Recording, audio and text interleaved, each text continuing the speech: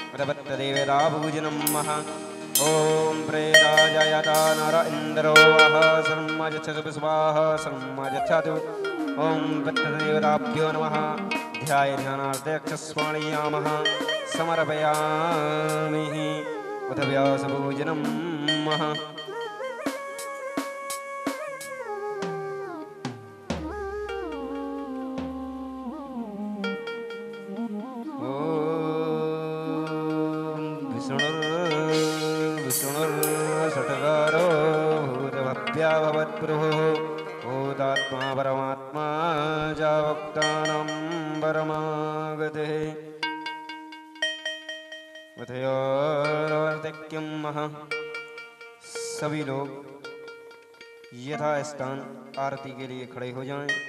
श्रीमद् भागवत महापुराण की आरती के लिए।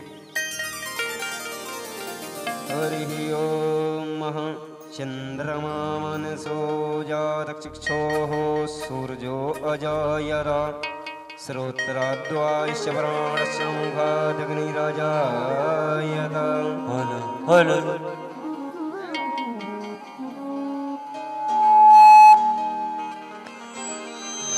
श्री भागवत भगवान की है।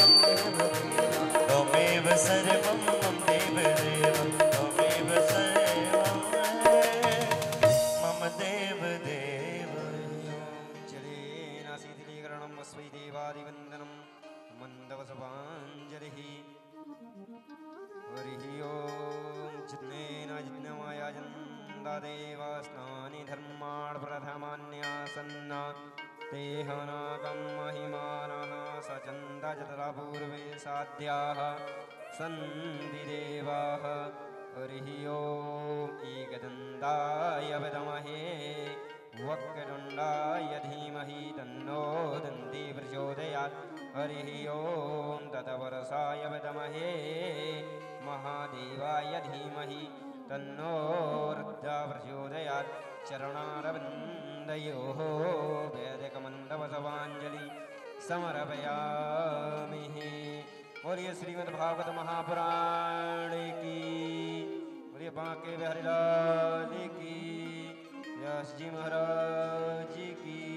जय जय श्री राधे। बोले भागवत भगवान की। समस्त भगवत प्रेमियों, बंधुओं का इस पंडाल पर यो आकर के अपने यथास्थान बैठ करके आज चतुर्दिवस की श्री मावन भागवत महापुराण के अति सुंदर स्वरूप का दर्शन अपने नेत्रों और कानों के द्वारा महाराज जी के मुखारबिंद से आप सभी को प्राप्त होगा जैसा कि कल हम समस्त भक्तजनों ने भक्त प्रहलाद की कथा तक का कल रसपान किया। उसके आगे की कथाओं का आज आप समस्त भक्तगण महाराज श्री के मुखारबिंद से रसपान करेंगे। आज बहुत ही प्रमुख कथाएँ हैं जिसमें आज सर्वप्रथम भगवान वामन का जन्म होगा। किस प्रकार से भगवान वामन राजा बलि के यहाँ जाकर के उनसे तीन पग भूमि मांग करके समस्त ब्रह्मांड को नाप लेते हैं। अंत में तीसरे पग में स्वयं राजा बलि अपने आप को नपवा देते हैं। आज सब आप महाराज श्री के मुखारबिंद से इन कथाओं का। उसके बाद में राम जन्म, किस प्रकार से राम जी का जन्म हुआ, रावण का वध किया। राजअभिषेक हुआ, ये भी कथाएँ आज समस्त भक्त महाराज श्री के मुखारबिंद से रसपान करेंगे। अंत में आज हमारे कन्हैया, हमारे छलिया का बड़े ही धूमधाम से आज आपकी इस मुंबई में सेंचुरी जो कॉलोनी है, यहाँ बड़े धूमधाम से आज इसे गोकुल की तरह सजाया गया है। आज यहीं पर भगवान श्री कृष्ण का अद्भुत रूप से जन्म होगा। आप सभी भक्तगण उस जन्मोत्सव में के जो तैयारियाँ करके आए हैं, वो बड़ी शोभनीय है। आज किस प्रकार से माता श्री आपको कथाएँ सुनाएँगे और समस्त जनता जनार्दन की ओर से स्वयं अपनी तरफ़ से महाराज जी के चरणों में प्रणाम करते हुए आपसे बस एक ही विनती करूँगा, जिस प्रकार से आप प्रगत तीन दिवस से हम समस्त भक्तजनों को अपनी मीठी वाणी के द्वारा जो हमें कथाओं का रसपान करा रहे हैं, आज चतुर्थ दिवस की कथा में भी जो व्यास जी ने सुखदेव जी को कथा बतलाई, जो परीक्षित को कथा सुनाई गई, जो कल माता पार्वती को भगवान शंकर ने अमर कथा के रूप में रसपान कराया, उसी प्रकार से आप हम समस्त भक्तजनों को आज चतुर्थ दिवस की कथा का रसपान करा करके, हम समस्त भक्तजनों के जीवन रूपी नौका को मजधार से निकाल करके पल्ली पार ले जाने का कृपा करेंगे। जय श्री राधे, जय श्री श्याम। बोल बंसी वारे की।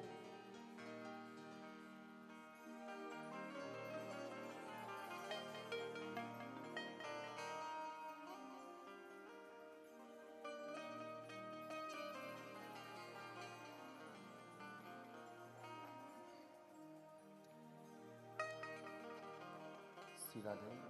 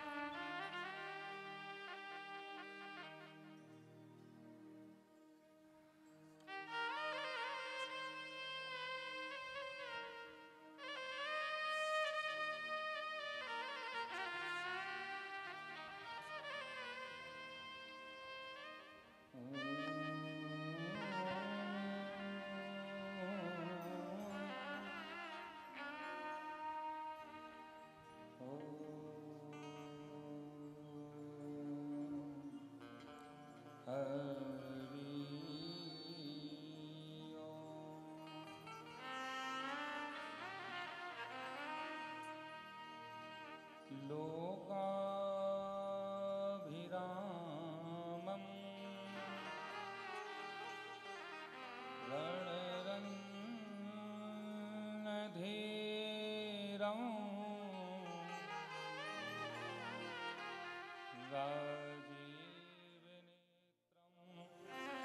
भुवनकम्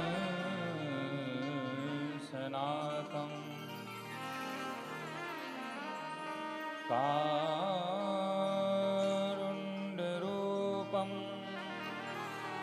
करुणाकरं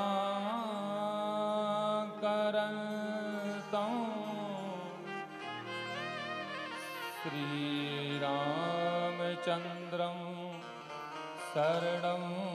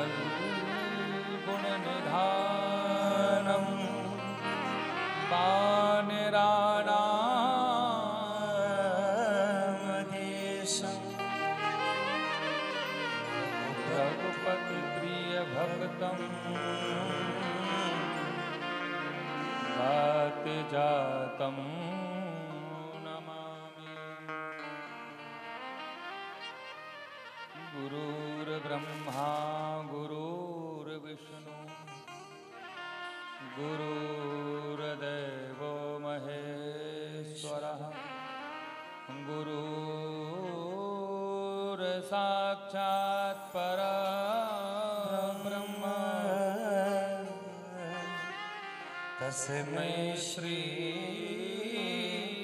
गुरुवे नमः। यं प्रभजन्तमनुपेतिमपेति कृत्यं।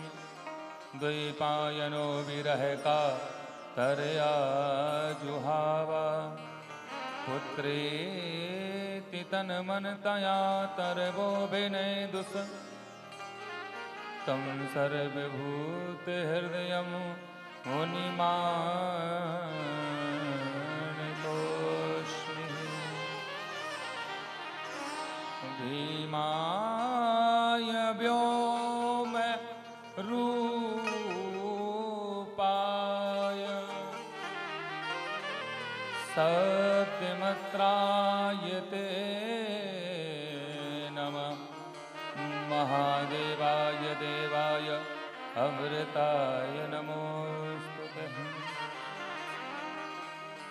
सर्वमङ्गल माङ्गले शिवे सर्वाधिसाधिके शरण्यत्रे अम्बिके गौरी नारायणी नमोऽस्तुते शरण्ये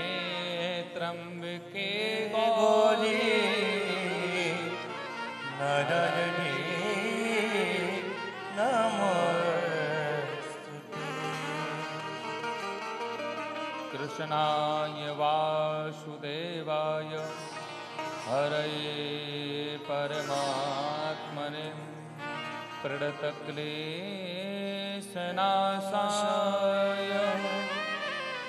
गोविन्दाय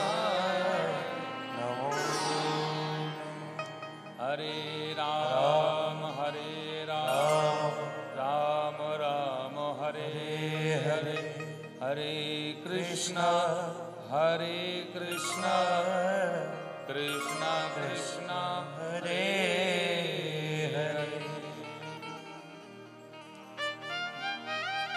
बोल वृंदावन बिहारी लाल की जय। बोल बांके बिहारी लाल की जय। बोल राधा रानी सरकार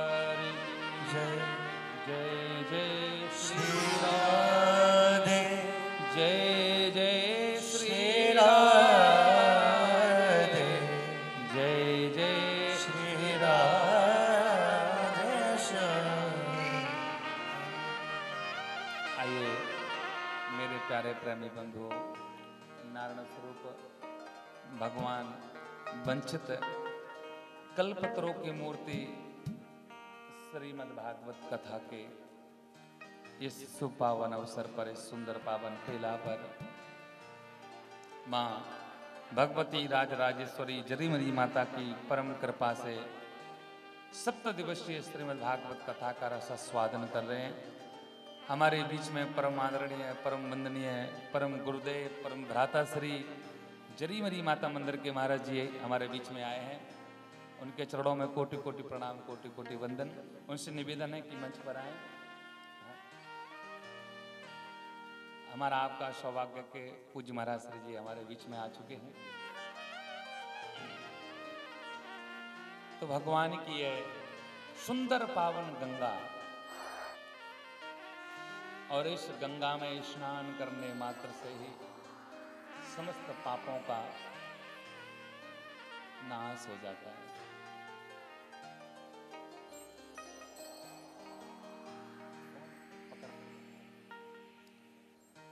और भगवान की यह पावन गंगा यहाँ पर बह रही है। आज परीक्षित जी बहुत प्रसन्न है। देखिए शुक्रताल के तट पर बैठ कर के परम संत श्रोमणी परमहंस श्री सुखदेव। और राजा परीक्षित के लिए कथा का रसपान करा रहे हैं।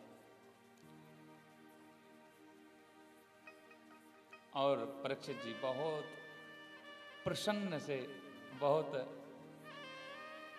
गदगद होकर के और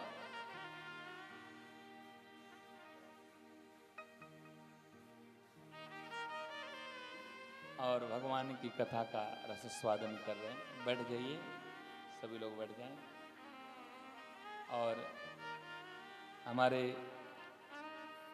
समिति के रजनीकांत दीक्षित जी एवं लल्लन गोपाल भैया, उनके परिवार के लिए और आज के यजमानों के लिए और जो दैनिक यजमान है उनके लिए इस व्यासपीठ से बहुत बहुत बहुत बहुत साधुवाद, आशीर्वाद और हमारी बहन चैम्बूर से अनीता यादव जी, उनके लिए भी इस व्यासपीठ से बहुत बहुत आशीर्वाद और साधुवाद, जो कि मुंबई से ही हैं और भैया जी जो आए हैं, उनके लिए भी बहुत बहुत आशीर्वाद और साधुवाद। समस्त सेंचुरी मिल, वर्ली, मुंबई, महाराष्ट्र के समस्त भक्तों के लिए इस व्यासपीठ से बहुत बहुत साधुवाद, आशीर्वाद। आपके हृदय में बैठे हुए ठाकुर जी के लिए मेरा कोटि कोटि प्रणाम कोटि कोटि वंदन। आइए, आज तो हमारे लाला आने वाले हैं, आज तो हमारे कन्हैया आने वाले हैं। आइए, बड़े भाव से उनके लिए आमंत्रित करते हैं, बुलाते हैं।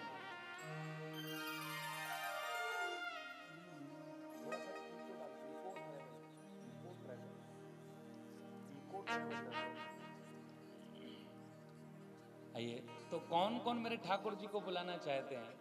सही में? बुलाएँगे?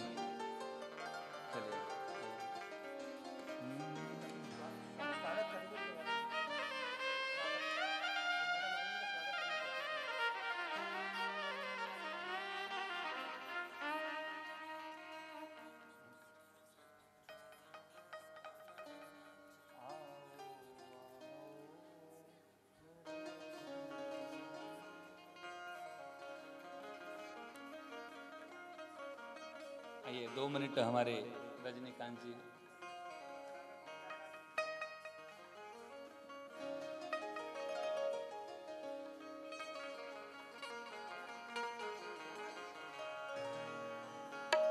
हेलो हमारे समिति के प्रमुख दीक्षित जी, जो हमारी माननीय का स्वागत करना चाहेंगे, दो मिनट के लिए।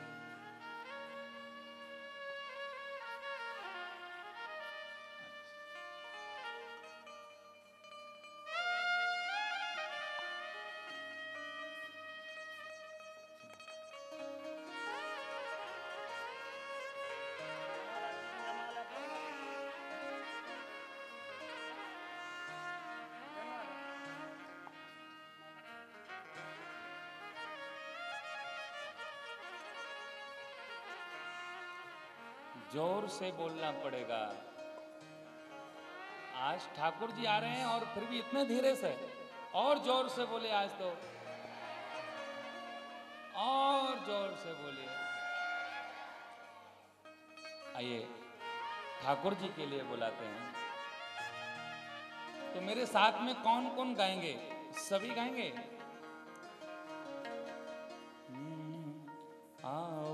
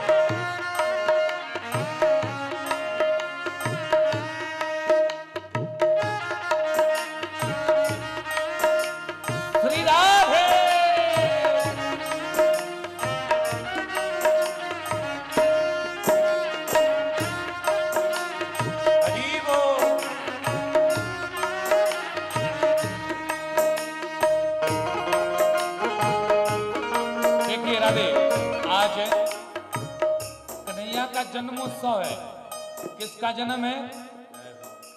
जो कभी जन्म नहीं लेता है, भगवान तो प्रकट होते हैं। भय प्रकट कृपाला दीन दयाला। आज अजन्मा का जन्मदिन है। किसका जन्म दिवस है आज?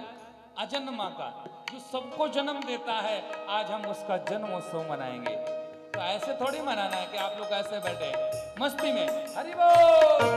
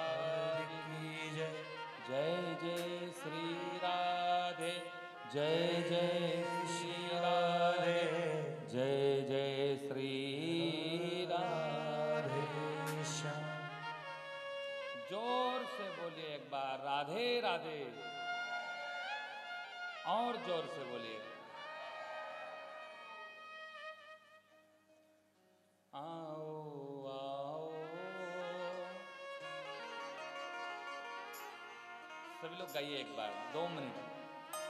आओ आओ, मेरे घनश्याम में आ जाओ।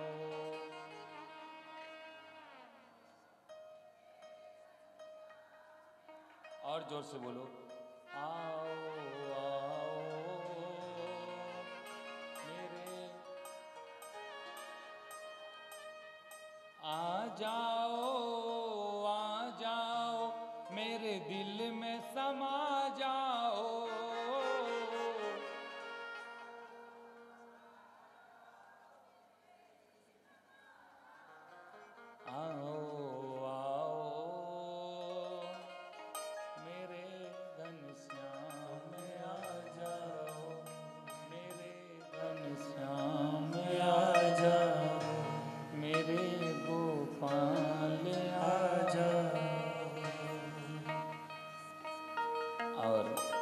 आज परीक्षित जी भी भगवान के लिए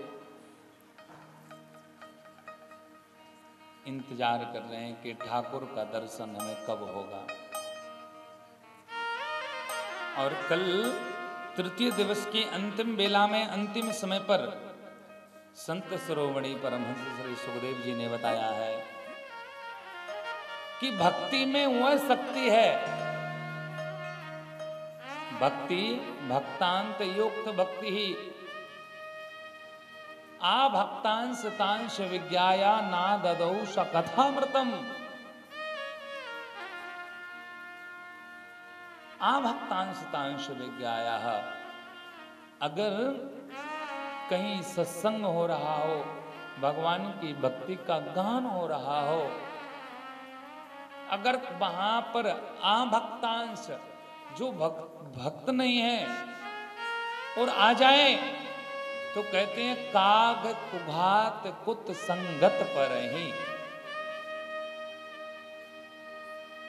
इंसान तब सुधरता है कब? बिनु सत्संग विवेक न होई। जब तक इंसान सत्संग नहीं करेगा तो तब तक भगवान की कृपा होने वाली नहीं है। बिनु सत्संग विवेक ना हो सत्संग करना अनिवार्य है। देखिए, सत्संग, संतों का संग। सत्संग ऐसा ही नहीं कि हम आए, हम ही लोग आपस में बैठ जाएँ और जो जैसा जानता है तो वैसी चर्चा करें। पहले एक बार संतों का संग हो, फिर सत्संग करें, फिर भगवान की कृपा हो जाएगी।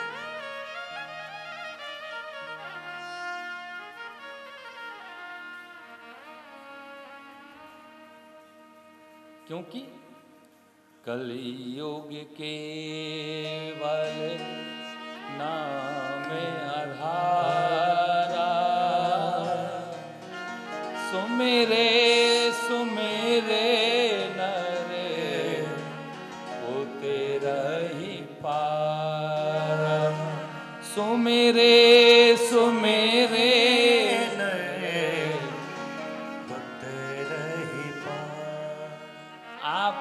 सत्संग में जाएँगे, संतों का संग मिलेगा। भगवान की गाथा को समझ जाएँगे कि भगवान की कथा क्या है। और जब गाथा को समझ जाएँगे तो आप ये भी जान जाएँगे कि कलयुग केवल नाम आधारा। कलयुग में तो भगवान का नाम लेने मात्र से ही इंसान की मोक्ष की प्राप्ति हो जाती है। क्यों? एक बार की बात है कि कन्हैया के लिए, जब कन्हैया ने मिट्टी खाई थी तो माँ यशोदा पीछे से छड़ी लेकर के पकड़ने के लिए दौड़ी। कन्हैया पकड़ाई में नहीं आ रहे थे।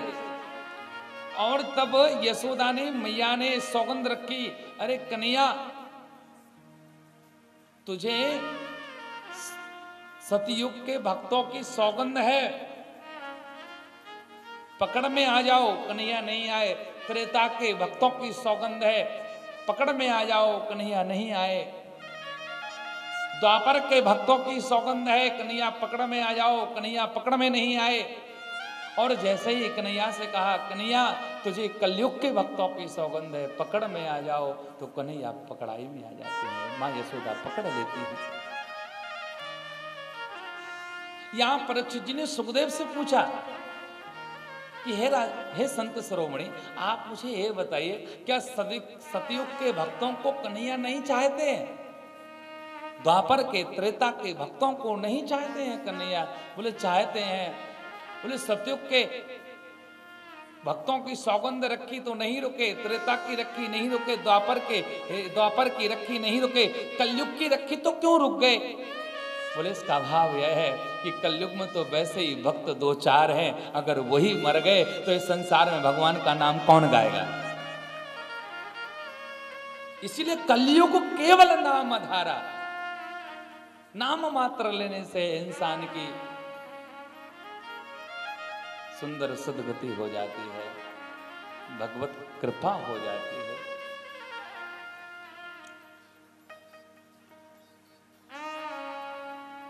इसीलिए हम भगवान की भक्ति करें, जितनी हो सके। अरे, क्या बताएँ? हमारा सनातन धर्म इतना सुंदर धर्म है, लेकिन हमारे धर्म के लोग, हमारे जितने भी भक्त हैं, अपने बच्चों को, अपने परिवार में, पर कभी ये पता नहीं है कि राम कौन है, राम के पिताजी कौन है, राम किस वंश में आए थे।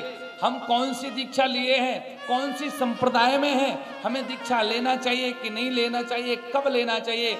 कब खाना चाहिए? कब उठना चाहिए? कब सोना चाहिए? ये पता ही नहीं है। मंदिर कब जाना चाहिए? कोई पता नहीं है। अरे, हमसे अच्छे तो वो मुस्लिम है। उनकी नमाज़ का जब समय होता है, वो चाहे ट्रेन में हो, चाहे वो रस्ते में हो, कहीं भी हो, लेकिन वो अपने समय पर नमाज़ को पढ़ लेते हैं। पर हमें तो हमारे भगवानों का पता ही नहीं है कब उठते हैं। याद होना चाहिए। हम मंदिर नित्य जाएँ, हम अपने बच्चों को बताएँ कि हमें सूर्य उदय से पहले उठना है।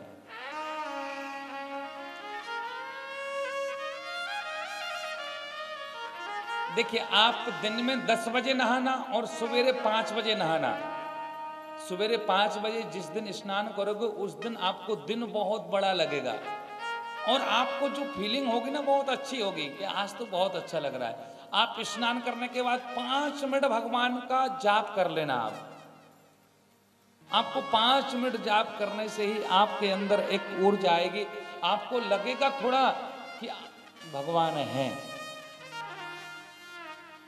भगवान इस संसार में है और भगवान नित्य आते हैं। हर इंसान के घर में नित्य आते हैं, नित्य दर्शन देते हैं।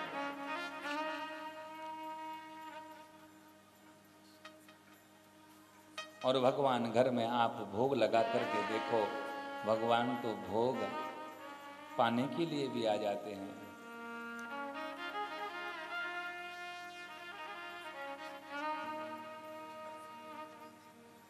भगवान मंदिर में रहते हैं। हम देखिए, मंदिर जाते हैं या किसी बड़े मंदिर में गए, तीर्थों पर मंदिर में गए, मंदिर का हमने दर्शन किया तो हमारे लिए नेत्र बंद नहीं करना है, नेत्र खोल करके देखना है। कई लोगों को मैंने देखा है, मंदिर में जाएँगे, बाकी बिहारी की मंदिर में जाएँगे, नेत्र बंद करके खड़े हो जाएँगे। अरे नेत्र बंद करके दर्शन करना था तो घर पर ही कर लेता। यहाँ तो दर्शन करने आए हैं। एक एक चीज़ की ठाकुर जी को देखें। ठाकुर जी कौन से कलर की बांसुरी को धारण किए हुए हैं और ठाकुर जी कैसे मुस्कुरा रहे हैं, कैसे खड़े हुए हैं। ये हमारे लिए याद करना चाहिए। किस कलर की वह, हम पुष्पों की माला पहने हुए हैं? कौन से कलर का पीतांबर है? आज मोर पंख किस तरह रखा हुआ था? किस तरह का मोर पंख लगाए हुए थे? और घर पर आने के बाद में फिर ठाकुर जी की छवि को आपको निहारना है, देखना है तो नेत्र बंद कीजिए, उस छवि का ध्यान कीजिए। तो आपका दर्शन करना सार्थक है।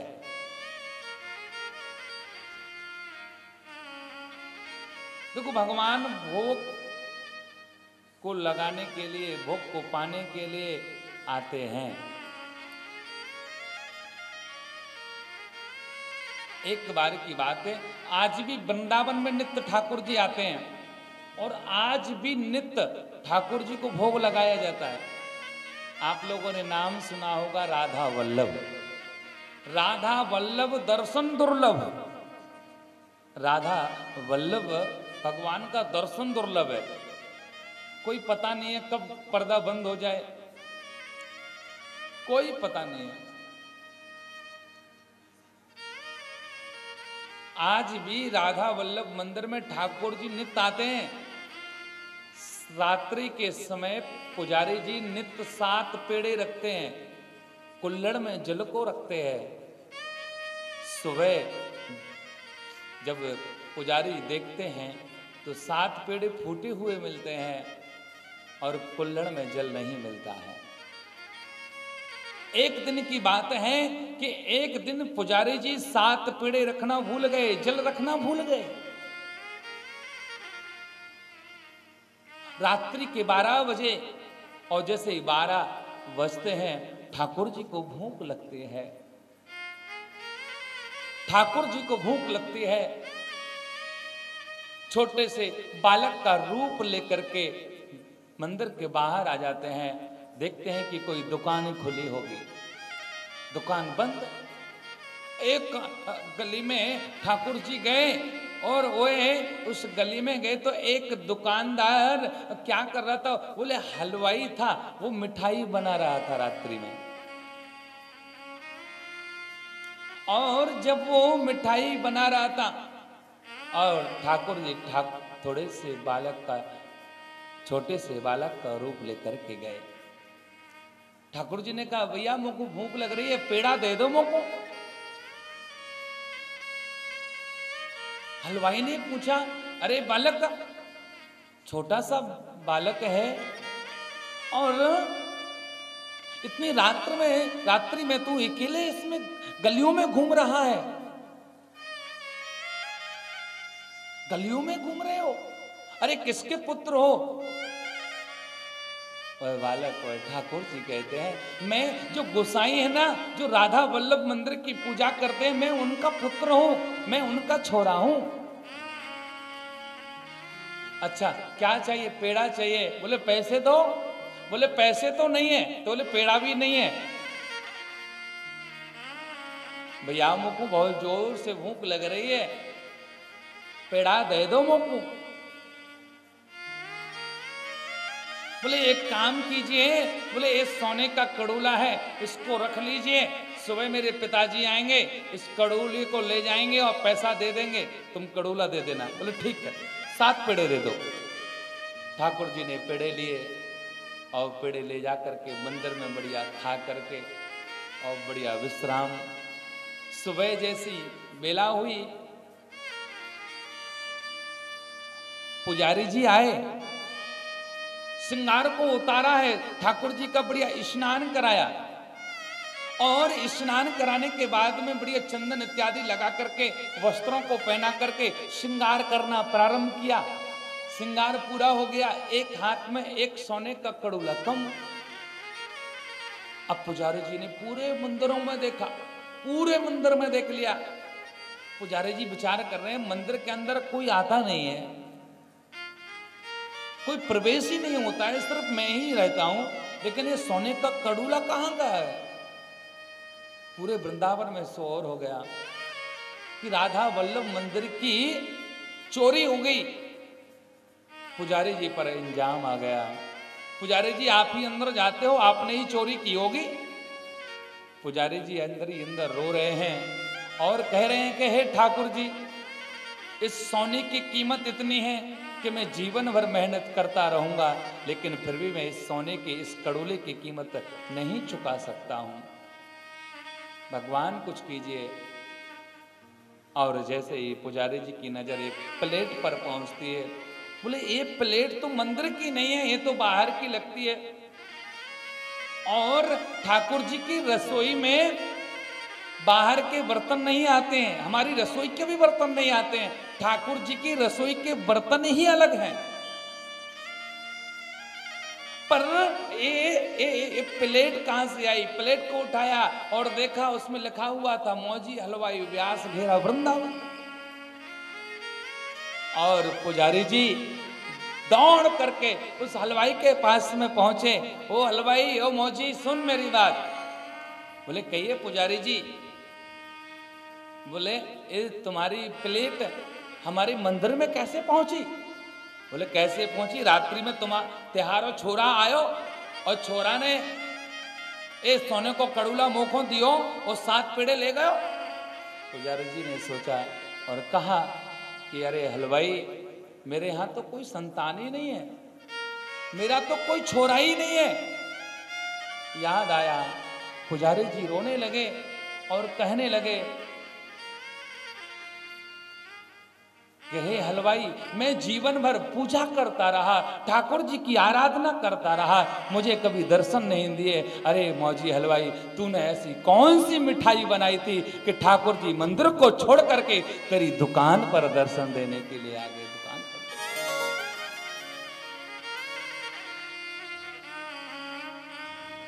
पुजारी जी रो रहे हैं। ए, भक्त का भाव है। जब भक्त का भाव सुंदर रहता है तो ठाकुर जी भी देरी नहीं करते हैं आने में।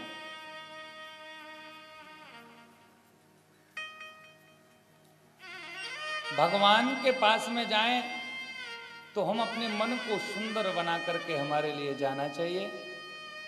जब आज हिरण्य हिरण्यकश्यपु ने बहुत अत्याचार किया कल कथा यहीं पर विश्राम हुई थी।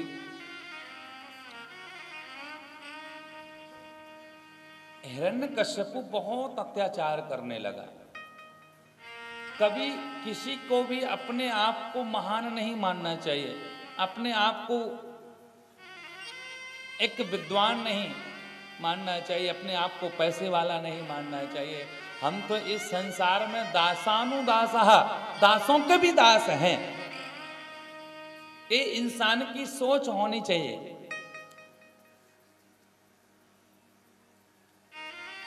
ठाकुर जी को दिल से याद करो तो ठाकुर जी भी तुरंत आ जाते हैं। तुरंत। प्रहलाद जी के लिए ऊपर पहाड़ से गिराया गया। और प्रहलाद जी देखो एक बात और है कि कंस उग्रसेन के यहाँ कंस जन्म ले लेते हैं और हिरण्य कश्यपु के यहाँ भक्त प्रहलाद जन्म ले लेते हैं। अधर्मी के यहाँ धर्मात्मा और धर्मात्मा के यहाँ अधर्मी। उग्रसेन बहुत धर्मात्मा है, बहुत भजन करते हैं, लेकिन उग्रसेन के यहाँ कंस का जन्म हुआ। और हिरण्य कश्यपु बहुत पाप करता है, और इस हिरण्य कश्यपु के यहाँ भक्त प्रहलाद का जन्म हुआ।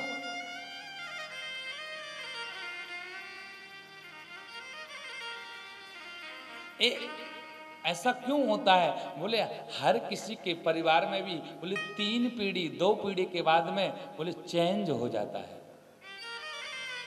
आज हम अच्छे हैं शायद हमारे कर्म हमारे पूर्वजों के कर्म अगर ठीक नहीं है हम बहुत अच्छे हैं बहुत अच्छी स्थिति में हैं लेकिन जब हम ठाकुर को भूल जाएँगे अधर्मी का हम रास्ता पकड़ लेंगे तो आने वाली संतान भी अधर्मी ही हो जाएगी।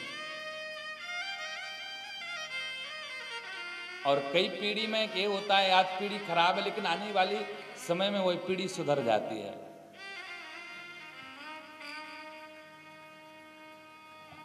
तो यहाँ पर भक्त प्रहलाद ने ठाकुर जी का स्मरण हर समय किया और जब प्रहलाद जी के लिए ऊपर से फेंका ना तो प्रहलाद जी जब गिरते हुए मैंने तेरा नाम लिया है, गिरने ना दिया तूने मुझे, थाम लिया है। जब गिरते हुए मैंने तेरा नाम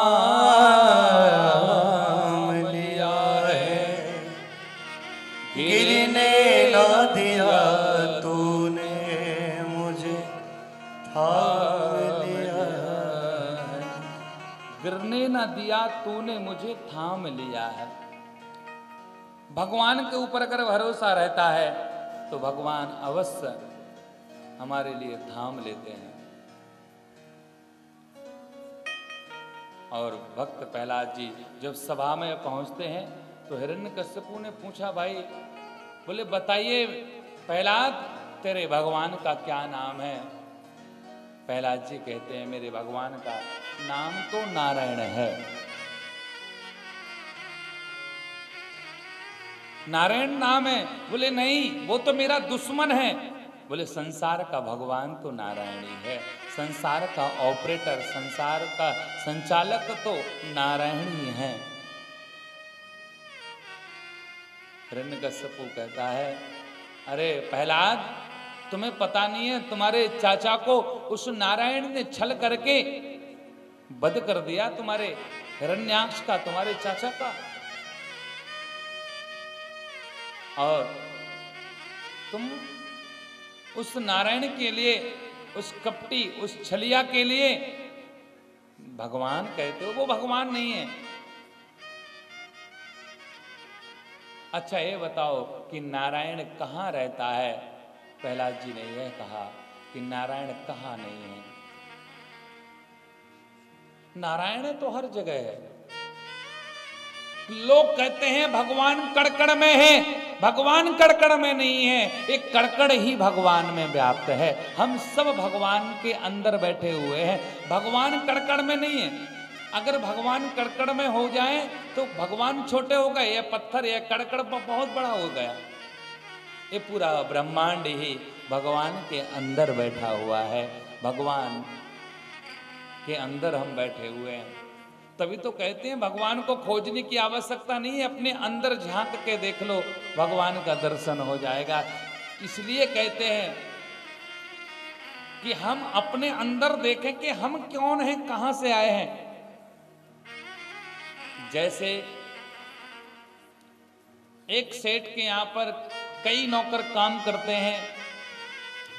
सुबह से शाम तक वह नौकर बिक्री करता है, दुकान की। शाम के समय अपने सेठ को हिसाब देकर के अपने घर चला जाता है। जाता है कि नहीं जाता है? तो वैसे ही हमारे लिए भी सुबह से लेकर के शाम तक जो मेरा हिसाब है शाम के समय भगवान के पास में बैठ करके अपनी दिनचर्या का हिसाब देना चाहिए। फिर भगवान उस हिसाब को रख लेते हैं तिजोड़ी में रख देते हैं और जब तिजोड़ी कभी खोलते हैं तो ठाकुर जी को फिर हमारी याद आ जाती है और हमारा बेड़ा पार हो जाता है, बेड़ा पार हो जाता है। ठाकुर की तिजोड़ी में भी हमारा नाम होना चाहिए। ठाकुर जी के भजन की पूजी में भी हमारा नाम होना चाहिए।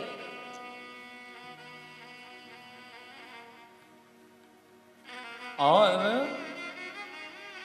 प्रहलाद ने तो कह दिया, हर जगह मेरा ठाकुर है, हर जगह। तुझ में भी है, मुझमें भी है, खड़ग खम्भ में भी है। हिरण्य कश्यपु यह कहता है, क्या ये जो खम्मा लगा हुआ है, इसके अंदर? बोले हाँ इसके ऊपर जो चीटी है, उसमें है। बोले हाँ। भगवान हर जगह है। देखिए, चाहे हाथी हो या फिर चीटी हो, भगवान कहते हैं जो आत्मा है ना, चीटी में भी वही आत्मा है और हाथी इतने बड़े विशाल, हाथी में भी आत्मा वही है। आत्मा बड़ी और छोटी नहीं होती है। आत्मा तो बराबर है, बस योनि योनि का अंतर है। कोई योनि छोटी होती है, कोई बड़ी होती है। इसलिए हमें जिसमें हमने जन्म ले लिया है, वो शरीर बढ़ गया है। लेकिन आत्मा तो एक है और एक जैसी है।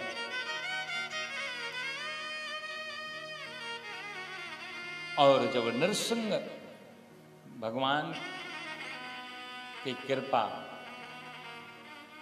इस तरह हुई कि जब हिरण्य कश्यपु ने तलवार को निकाल करके उस खंबे पर प्रहार किया, चीटी के ऊपर प्रहार किया, और जैसे ही प्रहार किया और इतने में हमारे भगवान प्रकट हो गए। बोले, नरसिंह भगवान की जय जय श्री राधे, जय जय श्री राधे, जय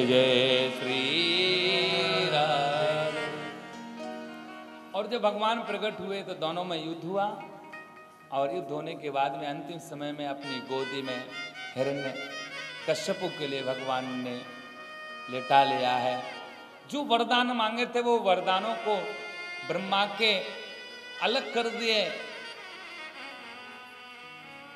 उन वरदानों को तोड़ा नहीं, अलग से ही भगवान ने कुछ नियम अपना लिया। जैसे कि हिरण्य कश्यपु ने वरदान मांगे थे। ना मैं अंदर मरू ना मैं बाहर। बीच दहरी पर मारा था। इसीलिए शाम के समय कभी भी किसी भी इंसान के लिए बीच देहरी पर नहीं बैठना चाहिए। शाम के समय बीच देहरी पर, दरवाजे पर दीपक को जलाना चाहिए। प्रातः सुबह सुबह बढ़िया रंगोली बनाना चाहिए, दीपक जलाना चाहिए, स्वस्तिक बनाना चाहिए। क्यों? क्योंकि देहरी पर हम बैठते नहीं हैं देरी पर, हमारे नरसिंह भगवान का अवतार दिखता है। देरी पर बैठ करके भगवान ने, जो कि, जो अधर्मी था, जो हिरण्य कश्यपु था, उसके लिए भगवान ने देरी पर बैठ करके हिरण्य कश्यपु का उद्धार कर दिया था। इसलिए देरी पर शाम के समय नहीं बैठा जाता है। और अब तो शायद देरी ही नहीं होती है। शहरों में कहाँ देरी होती है? पहले के समय में देहरी होती थी। देहरी समझते होंगे आप लोग। पहले में और अभी में बहुत अंतर है। देखिए, आज से बहुत साल पहले देखा जाए तो उस समय उम्र रहती थी एक हज़ार वर्ष। एक ज़ीरो हट गया। और उसके पहले और देखे तो दस हज़ार, एक लाख वर्ष तक जीते थे लोग। सतयुग में द्वापर में पाँच पाँच हज़ार, दस दस हज़ार लाखों तक जीते थे।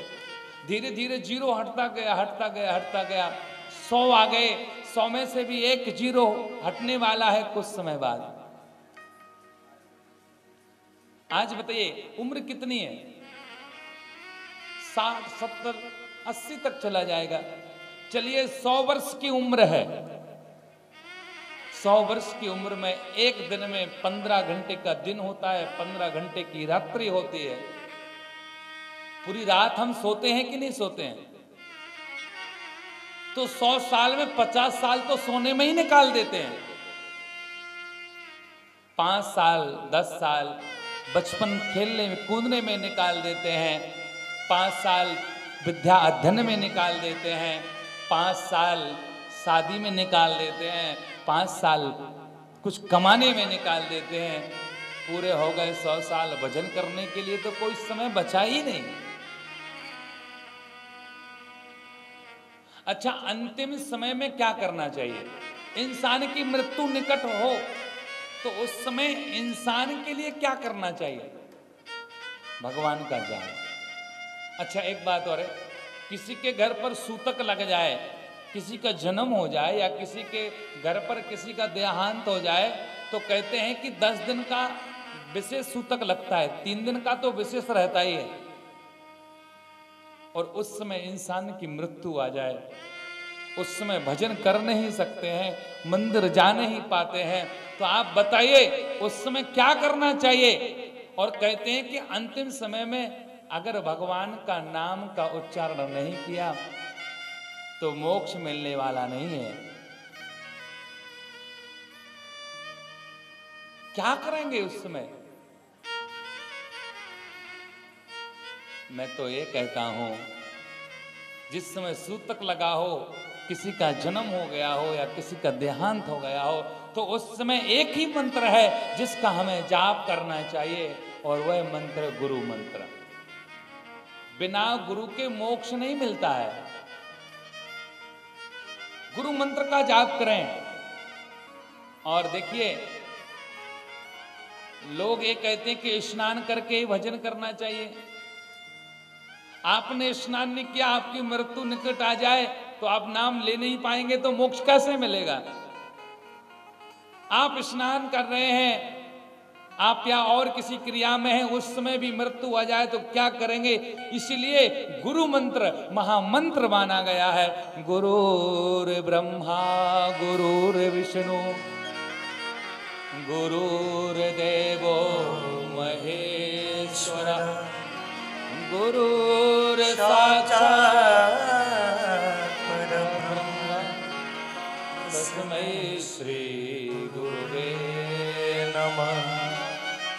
इसीलिए गुरु मंत्र का हमारे लिए जाप करना चाहिए। और कब करें? जिस देश में, जिस भेष में, परिवेश में रहो। क्या करना है रह करके? राधा रमण राधा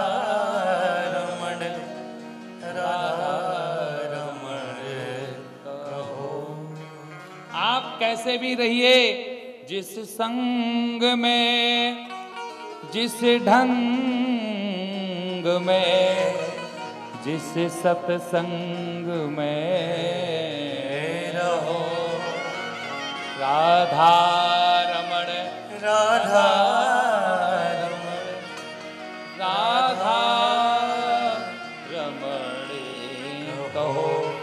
आप जैसे भी रहिए लेकिन राधा रमण राधा रमण राधा रमण राधा रमण हमेशा रटते रहिए।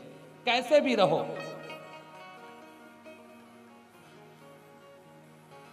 और इसीलिए धैर्य पर हम शाम के समय कुछ ना करें। शाम के समय कोई नया कार्य भी नहीं करना चाहिए। जैसे कि भोजन भी नहीं करना चाहिए। नई विद्या का अध्ययन भी नहीं करना चाहिए। शाम के समय, उस समय भोजन भी नहीं बनाना चाहिए, ना कुछ खाना चाहिए, ना कुछ पीना चाहिए। उस समय सिर्फ़ भगवान का भजन करना चाहिए, भगवान की आरती करना चाहिए। हम शाम के समय आरती क्यों करते हैं? क्योंकि हमारा जो सूर है, वो अस्त होने वाला है, अंधकार आने वाला है। इसलिए प्रकाश कीजिए, दीपक जलाइए, जिससे कि रात्रि में भी हमारे लिए कुछ प्रकाश मिल सके। कीमत दीपक की सोने की और मिट्टी से नहीं की जाती है कि उसकी कीमत और उसको जो देखा जाता है तो रोशनी कौन तेज दे रहा है? कीमत उसकी उससे होती है। वैसे इंसान की कीमत है। इंसान की वैल्यू वही है, जहाँ इंसान प्रकाशमान है, जहाँ इंसान के अंदर कुछ जप है, इंसान के अंदर कुछ तपस्या है, इंसान वहीं पर प्रतिष्ठित होता है। दूसरा वरदान, ना दिन में मरू, ना मैं रात में शाम हो गया, ना अंदर मरू, ना मैं बाहर, बीच देरी हो गया। और मैं ब्रह्मा के बनाए हुए बारह माह में भी ना मरूं। इसलिए हर तीन साल में भगवान ने एक अलग से तेरहवा माह बना दिया, जिसको हम आप सभी लोग पुरुषोत्तम माह कहते हैं, जिसको लौण का माह कहा जाता है। इस माह में पूजा करने से और एक महीने का व्रत करने से बहुत फल प्राप्त होता है। चार धाम की यात्रा करने का फल प्राप्त होता है, बारह ज्योतिर्लिंग की यात्रा करने का फल प्राप्त होता है, अठारह पुराणों का, चार वेदों का, छह शास्त्रों का श्रवण करने का लाभ प्राप्त होता है। पुरुषोत्तम माया में व्रत करने मात्र से। हिरण्यकश्यपु कहता है, तुम मुझे मार नहीं सकते हो, नारायण। ना नर से और ना नारायण से भी ना मरूं। भगवान ने कहा, मेरा रूप देख लो। ना तो मैं नर में हूँ और ना मैं नारायण में हूँ। रूप दिखा दिया। तो योदितं शोभानमेवं नरसिंहरूप हरिणा। भक्ति प्रहलादस्त समन्विता। आज भगवान बोले, तयोदितम शोभने वहा आज भगवान बहुत शोभायमान लग रहे हैं। आज भगवान नर और नारायण का रूप लेकर के आए हैं। तो कहते हैं, सब इसमें दिख रहा है। अगर नरसिंह भगवान के चेहरे को अगर सही से हम देखें, सही से दर्शन करें तो इस चेहरे में पूरा ब्रह्मांड दिख रहा है। ना नर है, ना नारायण है। ना अस्त्र से मरू, ना में शस्त्र से भगवान ने नाखून दिखाए हैं। ब्रह्मा की बनाई हुई सृष्टि से भी ना मरूं, भगवान ने कहा, मैंने ब्रह्मा को बनाया है, ब्रह्मा ने मुझे नहीं बनाया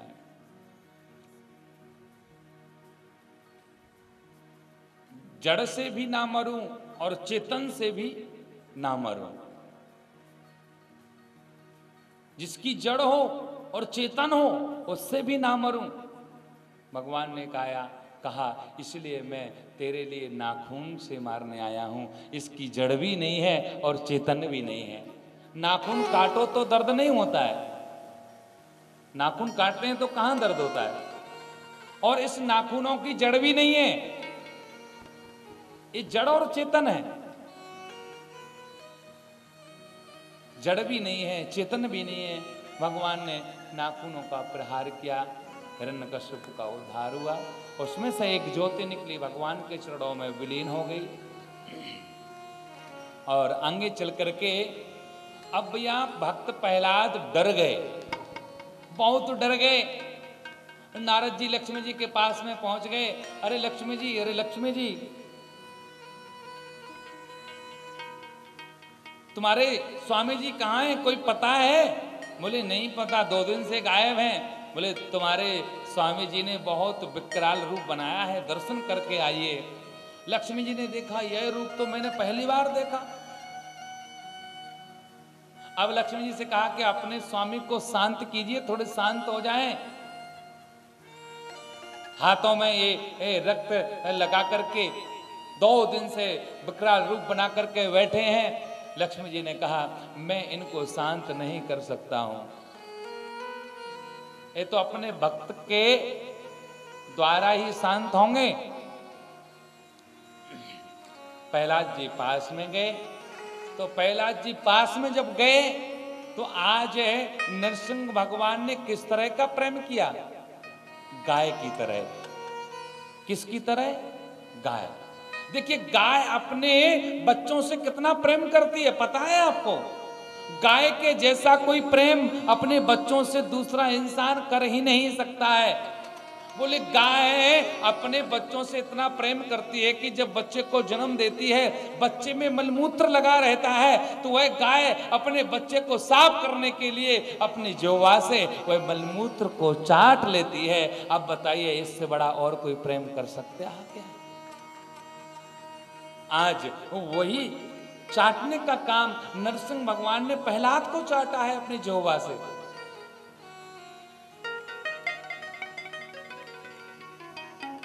देवताओं की आँखों में आँसू आ गए। प्रहलाद से कहा, मांगिए, क्या मांगना चाहते हो? मांगिए? प्रहलाद ने कहा, भगवान, आप मुझे देना चाहते हो तो दीजिए।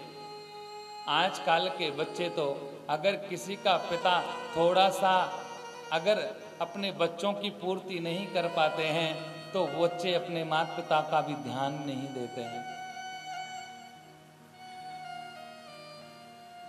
एक बार की बात है कि एक वैश्या थी।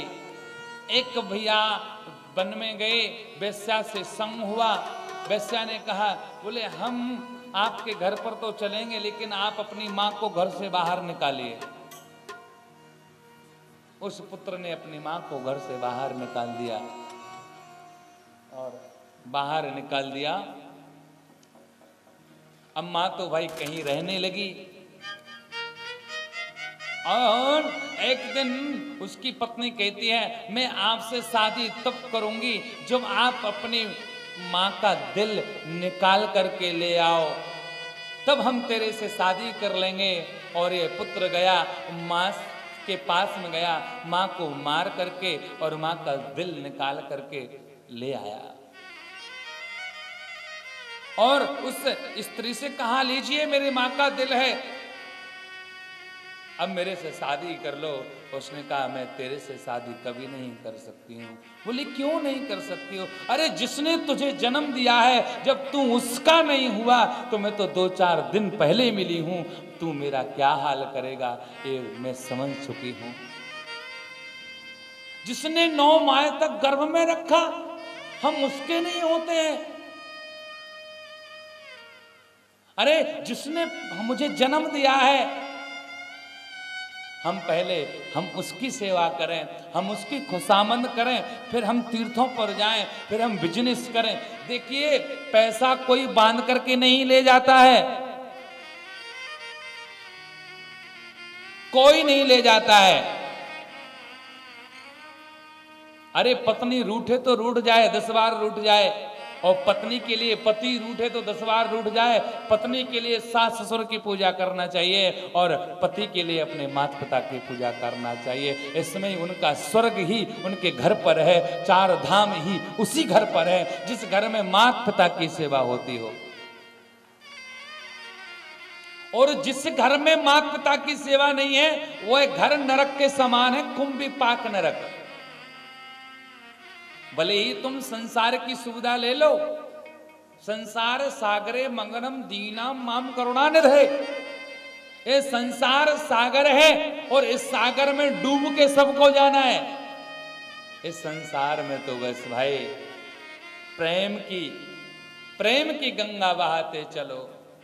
जोत से जोत जलाते चलो और प्रेम की गंगा बहाते चलो। प्रेम की गंगा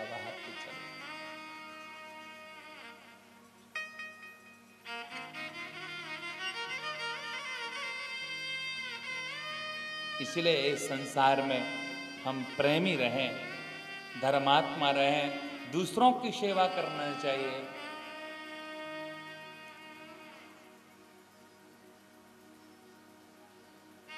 और भक्त प्रहलाद ने कहा कि, भगवान मुझे देना चाहते हो तो आप मुझे एक ही वस्तु दो कि आप मेरे पिताजी के लिए अपने चरणों में स्थान दीजिए और कुछ नहीं चाहता हूँ। जिस पिताजी ने बचपन से लेकर के आज जितने बड़े हो चुके हैं पहलाद जन्म से लेकर के आज तक इस प्रहलाद के लिए हिरण्य कश्यपु ने हमेशा दुखी दुख दिया है। लेकिन यह पुत्र देखिए यह पुत्र अपने पिताजी के लिए स्थान मांग रहा है। मेरे पिताजी नादान थे, कुछ जानते नहीं थे। उनकी सत्संग का जो संग था, वो ठीक नहीं था। उनके मित्र थे, वो ठीक नहीं थे। इसीलिए मेरे पिताजी के लिए माफ़ कर दीजिए और अपने चरणों में जगह दीजिए। संतान हो तो प्रहलाद की तरह हो, संतान हो तो श्रवण की तरह हो, संतान हो तो राम की तरह हो। संतान को जन्म देना बड़ी बात नहीं है। संसार में संतान आ जाए। संतान को अगर आपने संस्कार दे दिया, सुंदर आचरण दे दिया तो सब ठीक है। अगर आचरण और संस्कार नहीं है तो सब बेकार है। जब राम ने रावण का वध कर दिया तो रावण के लिए राम जी ने अपनी गोदी में लेटा लिया बाद में। तो रावण रोने लगा। बोले, भगवान, मैं बहुत बड़ा पापी हूँ। लेकिन एक बात आपसे कहते हैं कि भगवान, मैं आपसे हर चीज़ में बड़ा हूँ, हर चीज़ में बड़ा हूँ। लेकिन फिर भी मैं हार गया और मेरी मृत्यु हो गई। और वास्तव में बात सत्य है कि राम जी से बड़ा है रावण। रावण ने कहा, सर्वप्रथम बात, हम ऋषि की संतान हैं और आप एक छत्री की संतान हो। मैं आपसे बड़ा हूँ। आप छत्री हैं, मैं ब्राह्मण हूँ, आपसे बड़ा हूँ। आप का मंदिर सोने का रहता है, मेरी तो लंका ही सोने की है। और मैं तीनों लोकों में सबसे ज़्यादा जानने वाला विद्वान हूँ और मैं ब्राह्मण हूँ, फिर भी मैं आपसे हार गया। यह एक कारण था कि मैं आपसे हार गया हूँ। बोले, कौन सा कारण है कि हे राम, हे भगवान, आप चरित्रवान हो, हम चरित्रहीन हैं, बस हम इसकी वजह से ही हार गए। आपका चरित्र बढ़िया है। और मैं चरित्रहीन हूँ। इसलिए अपने संतानों को चरित्रवान बना करके जाएँ। और जब चरित्रवान बनते हैं तो कहते हैं, फिर तो और किसी को दूसरी महफिल में जाने की आवश्यकता ही नहीं पड़ती है।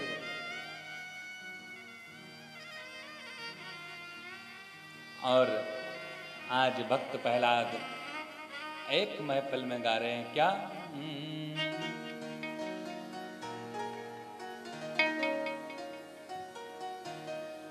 अब किसी महफिल में जाने। कहिए अब किसी महफिल में जाने कि हमें फुर्सत नहीं। अब किसी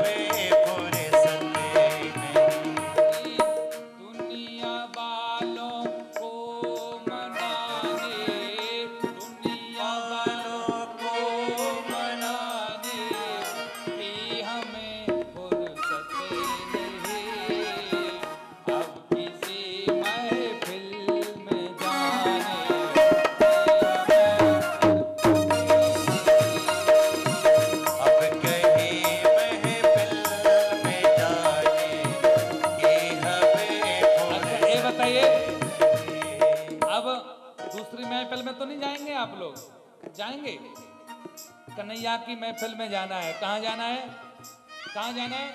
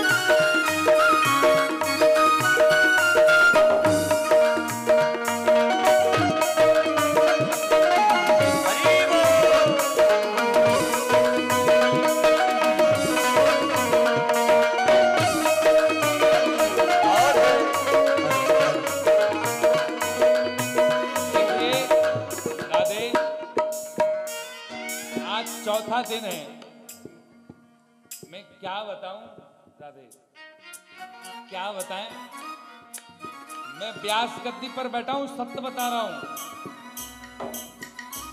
मेरा मन कर रहा है कि अभी खड़े होकर के झूमने लग जाए। आप लोग वास्तव में ना जाने कैसे भक्त हैं। अरे नाच नहीं सकते हो तो कम से कम ताली तो बजा सकते हो। तो हाथ ऊपर करके।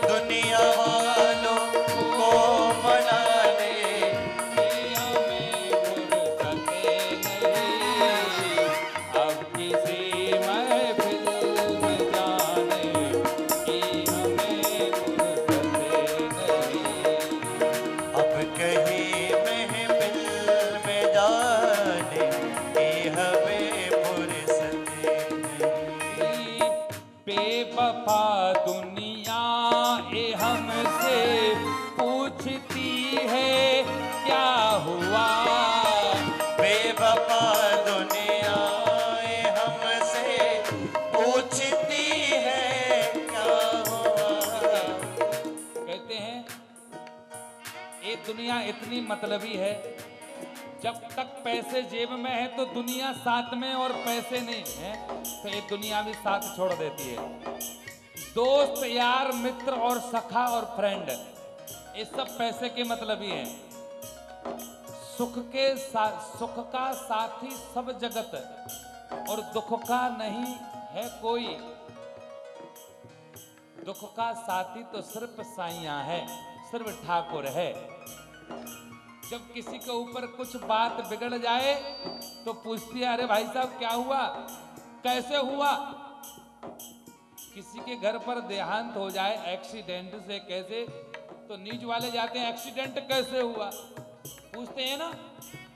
बताइए, ए, आप कैसे गिर गए? अरे, उसको तो चोट लगी है, तुम कह रहे हो, कैसे गिर गए? बेवफा दुनिया ए हमसे पूछती है, क्या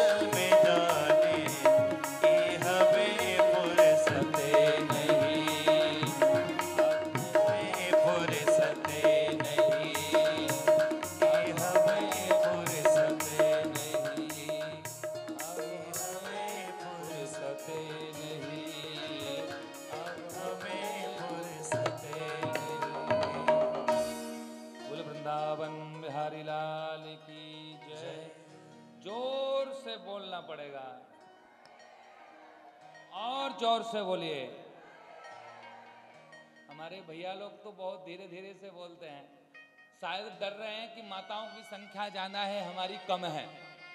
डरो मत हम आपके साथ में हैं। हैं?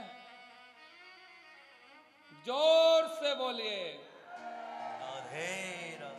अभी भी कंजूसी है आप लोगों की। एक साथ में बोलो ज़ोर से बोलो। आइए। अंतोगत्वा। भगवान की महफिल सुंदर है।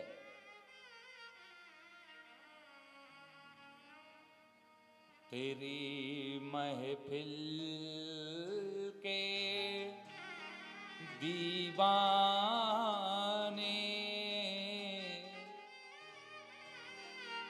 नशे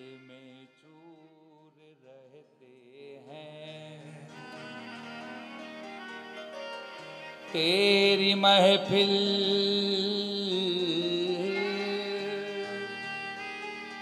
के दीवाने नशे में चूर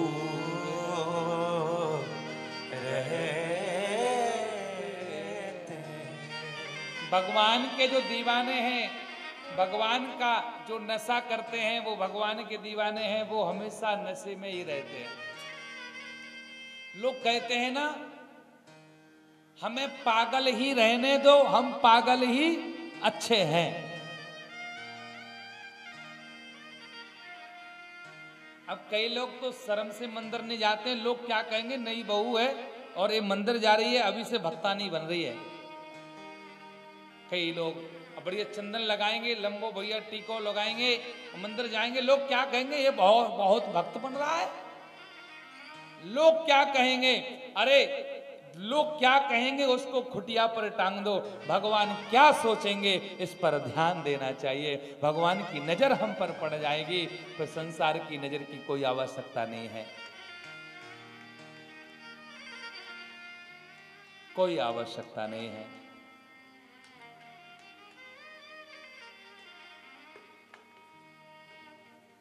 कहते हैं, संसार में भगवान की नज़र पड़नी चाहिए।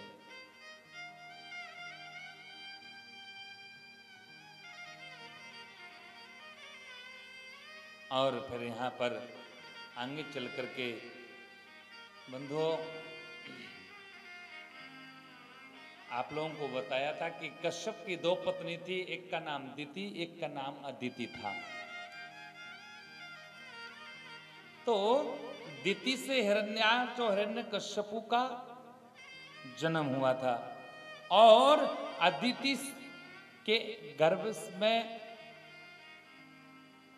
कहते हैं, एक बार भगवान का प्रादुर्भाव हुआ। लेकिन कहते हैं कि अदिति गर्भवती कैसे हुई?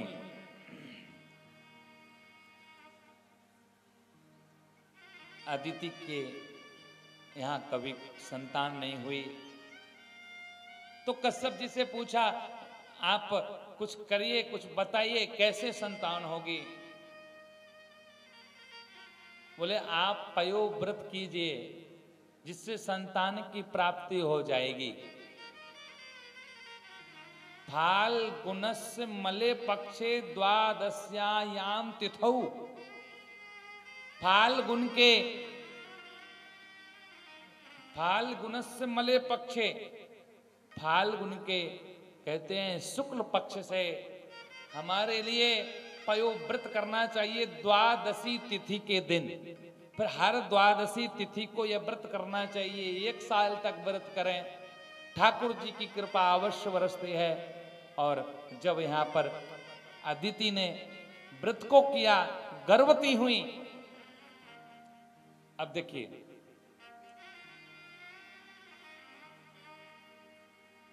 और यहाँ प्रहलाद जी के यहाँ पर प्रहलाद का विवाह हुआ।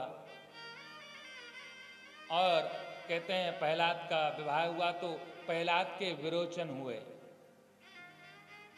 और विरोचन के राजा वली हुए। और जो वली हैं महाराज, वली भगवान का बहुत भजन करते हैं, बहुत भजन करते हैं। हर समय भगवान की ही रटना लगाए हुए हैं। और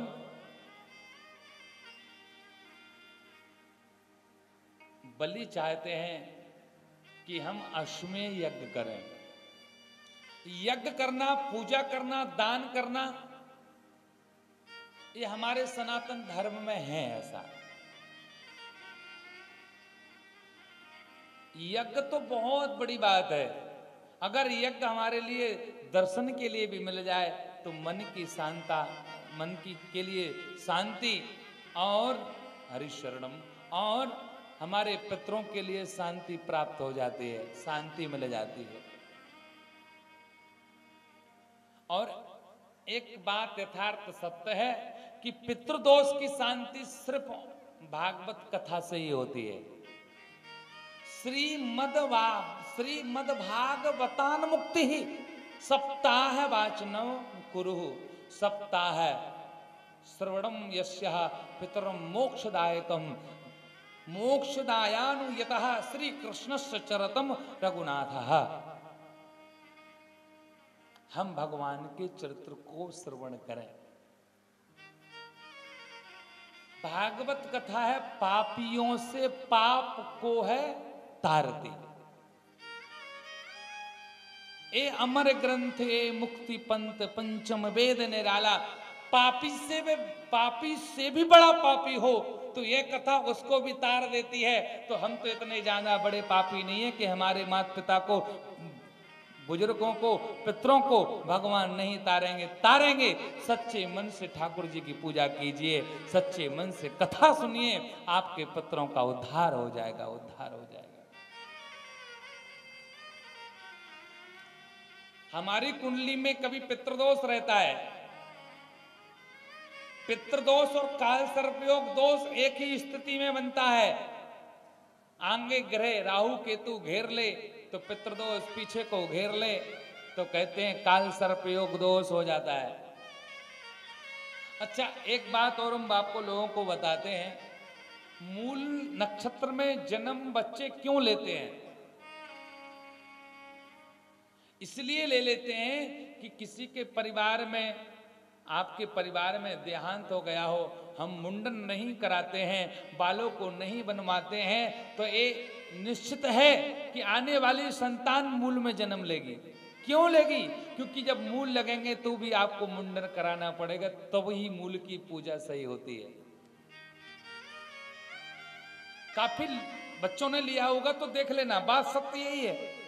जिसके संतान मूल में आई, उसके पिताजी ने परिवार में देहांत हुआ होगा, बाल नहीं बनवाएँगे तो पितृदोष हो जाता है।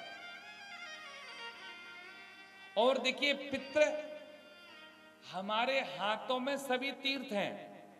हमारे हाथों में सभी तीर्थ हैं। देव तीर्थ है, पितृ तीर्थ है, पुत्र तीर्थ है और स्वयं का तीर्थ है। अच्छा एक बात बताइए, आप देवों को लिए जल चढ़ाते हैं तो कैसे चढ़ाते हैं? ऐसे चढ़ाते हैं ना? ये देव तीर्थ है। कौन सा तीर्थ है? देव। अच्छा अपने बच्चों को कभी कभी हम जल पिलाते हैं। हाथ से तो कैसे पिलाते हैं? हाथ को ऐसे लगाते हैं। तो एक किसका तीर्थ है? बच्चों का। हम दान करते हैं तो कैसे करते हैं? अन्न दान करोगे तो कैसे करोगे? ऐसे भरोगे और ऐसे छोड़ोगे। दान इसलिए करते हैं कि हमारे संतान सुखी जीवन व्यतीत करे, इसलिए दान करते हैं। हम सुखी रहें। देव तीर्थ हुआ, पुत्रों का तीर्थ हुआ, और हम जल पीते हैं तो कहाँ से पीते हैं? हम जल पिएँगे कोई पिलाएगा जल तो कैसे पीते हैं? ऐसे लगा के। तो ये स्वयं का तीर्थ है। हम आचमनी करते हैं तो यहाँ से करना चाहिए, इस चंद्र के स्थान से करना चाहिए। ऐसे डायरेक्ट नहीं करना चाहिए। जब भी हम आचमनी करें तो जल को लेकर के इस स्थान से जल को पीना चाहिए।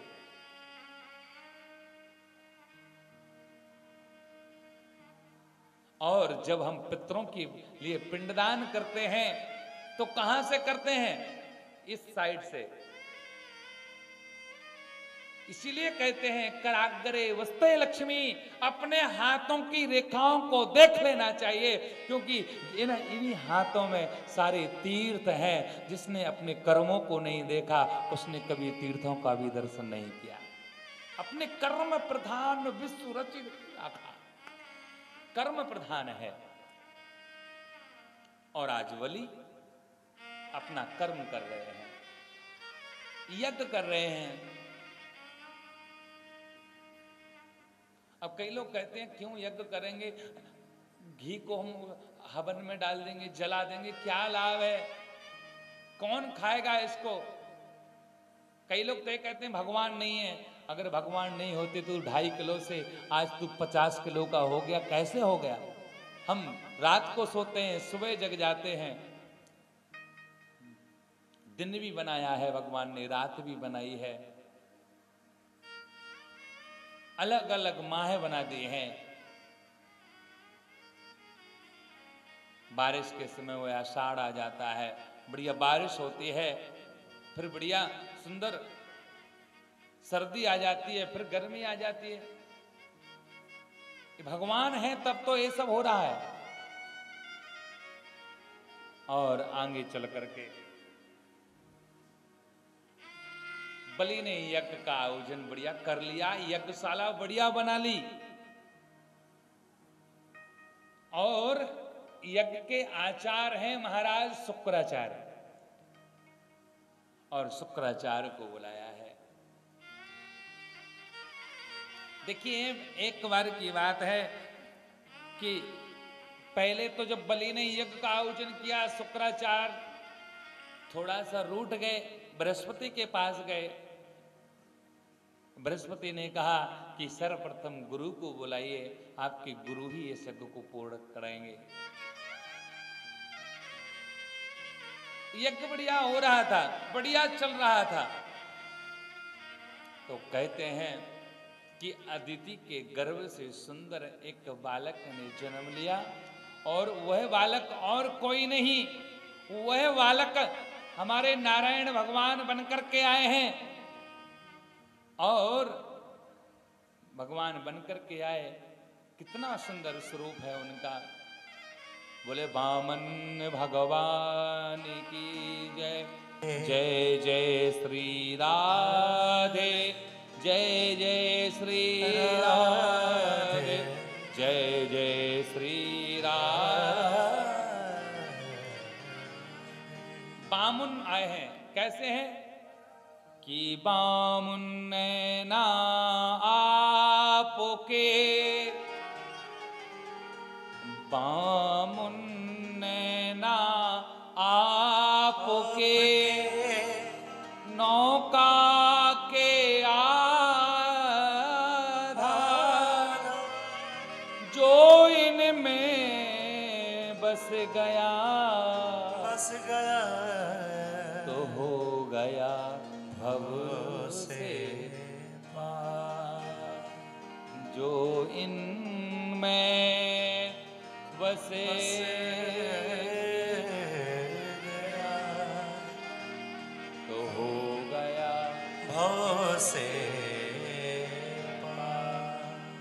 बामन भगवान कैसे हैं? बामन उंगली के हैं। कैसे हैं? बामन उंगली के हैं। बामुन नैना आपके नौका के आधार। भगवान के नेत्र और हमारे नेत्र कैसे हैं? किस तरह हैं? नौका की तरह। आप लोगों ने नौका देखी होगी। नौका किस तरह रहती है? प्रारंभ में पतली रहती है, फिर बीच में मोटी हो जाती है, लास्ट में फिर पतली हो जाती है। हमारी आँख की तरह ठाकुर जी के नेत्र हैं और हमारे नेत्र हैं। बामुन नैना आपके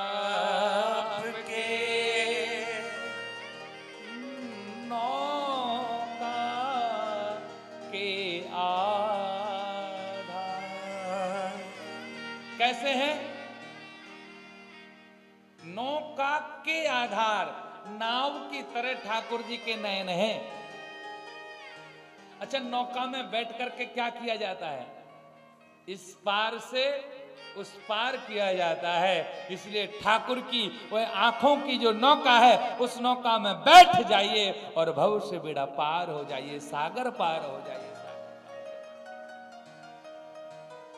इतने सुंदर भगवान के नयन हैं। अच्छा गुरु। गुरु तीन प्रकार के होते हैं। कितने प्रकार के होते हैं? तीन प्रकार के। इनमें से सबसे अच्छा गुरु कौन है? देखिए, लक्कड़ गुरु, फक्कड़ गुरु और ज्ञानी गुरु। तीनों की जो स्थिति है वो अलग अलग है। तीनों का काम है वो अलग अलग है। इनमें सर्वश्रेष्ठ गुरु कौन है? देखिए, अगर गुरु सही हैं, कहते हैं, किसी का झगड़ा हो जाए और हम अपने गुरु के पास में जाए, बोले गुरु जी ऐसा ऐसा हो गया, कुछ कीजिए। और गुरु अगर अधर्मी है, खराब है गुरु जी कहते हैं, लो, ये तलवार लो, ले जाकर के मार के आओ उसको। और एक होते हैं ज्ञानी गुरु, अगर उनके पास में भक्त जाए, झगड़ा कर, करके गुरु जी कहते हैं, बेटा, सब ठीक हो जाएगा, ओम शांति ओम शांति, बैठ जाए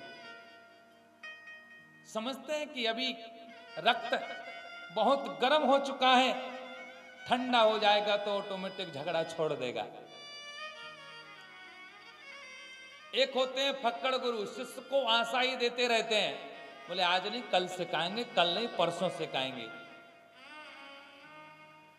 और एक गुरु होते हैं लक्कड़ गुरु ये सर्व से सर्वश्रेष्ठ होते हैं। बोले, कैसे? बोले, एक गुरु है लकड़ी की तरह, जैसे लकड़ी नौका, जो लकड़ी की नौका रहती है, और इस नौका में बैठते हैं, यात्री इस पार से उस पार हो जाते हैं। वैसे ही गुरु भी करते हैं अपने शिष्यों के लिए इस पार से अपनी शरीर रूपी नौका में बैठार करके, अपनी बुद्धि रूपी नौका में बैठाल करके इस पार से उस पार उतार देते हैं, लेकिन वो गुरु उसी नौका, उसी जल में डले रहते हैं। मैंने काफ़ी गुरुओं को देखा है, अपने विद्यार्थियों को पढ़ाते हैं, कोई विद्यार्थी डीएम हो गया, कोई आईएएस हो गया कोई एसपी हो गया, कोई डॉक्टर हो गया, कोई इंजीनियर हो गया, लेकिन गुरुजी वही पाँच हज़ार की नौकरी आज कर रहे हैं और विद्यार्थियों को पढ़ा रहे हैं। ऐसे गुरु होते हैं, इसलिए सर्वश्रेष्ठ गुरु लक्कड़ गुरु है, लकड़ी की तरह लकड़ी को लकड़ी ही काटती है, लकड़ी को लकड़ी ही काटती है। एक बार आपस में एक वृक्ष को कोई काट रहा था उस वृक्ष ने उस कुल्हाड़ी से कहा अरे कुल्हाड़ी, मुझे क्यों काट रही है तो? कुल्हाड़ी ने यह कहा, अरे भैया, मैं क्या करूँ? आपकी जो समाज, जो लकड़ी है ना, वो ही मेरे अंदर डली हुई है। अब वो जब उठेगी तो मुझे तो काटना पड़ेगा। इसलिए हम अपने परिवार को पहले एक करें, समाज को एक करें, हम अपनी कॉलोनी को एक करेंगे तो शायद आपस में कोई किसी को नहीं काटेगा, सब भाई बहन बन जाएँगे। सबको एक होना चाहिए। तो भगवान कैसे हैं? भगवान के नैन कैसे हैं? नौका की तरह। ज़ोर से बोलना पड़ेगा। और ज़ोर से बोलिए। और तो भगवान है नौका की तरह। अब बामन भगवान ने जब जन्म लिया तो कहते हैं, बढ़िया, एक कमंडल ले लियो, एक छतरी ले ली, और बढ़िया आसन ले ली कुसा की और बढ़िया लंगोट धारण किए हुए हैं। बहुत बड़े बड़े नेत्र हैं ठाकुर जी के। बहुत सुंदर लग रहे हैं। खड़ाऊ को पहन करके और बलि की यज्ञशाला के लिए प्रस्थान कर रहे हैं। और हमारे बामन भगवान धीरे धीरे धीरे धीरे चल करके बलि की यज्ञशाला के समीप आ जाते हैं।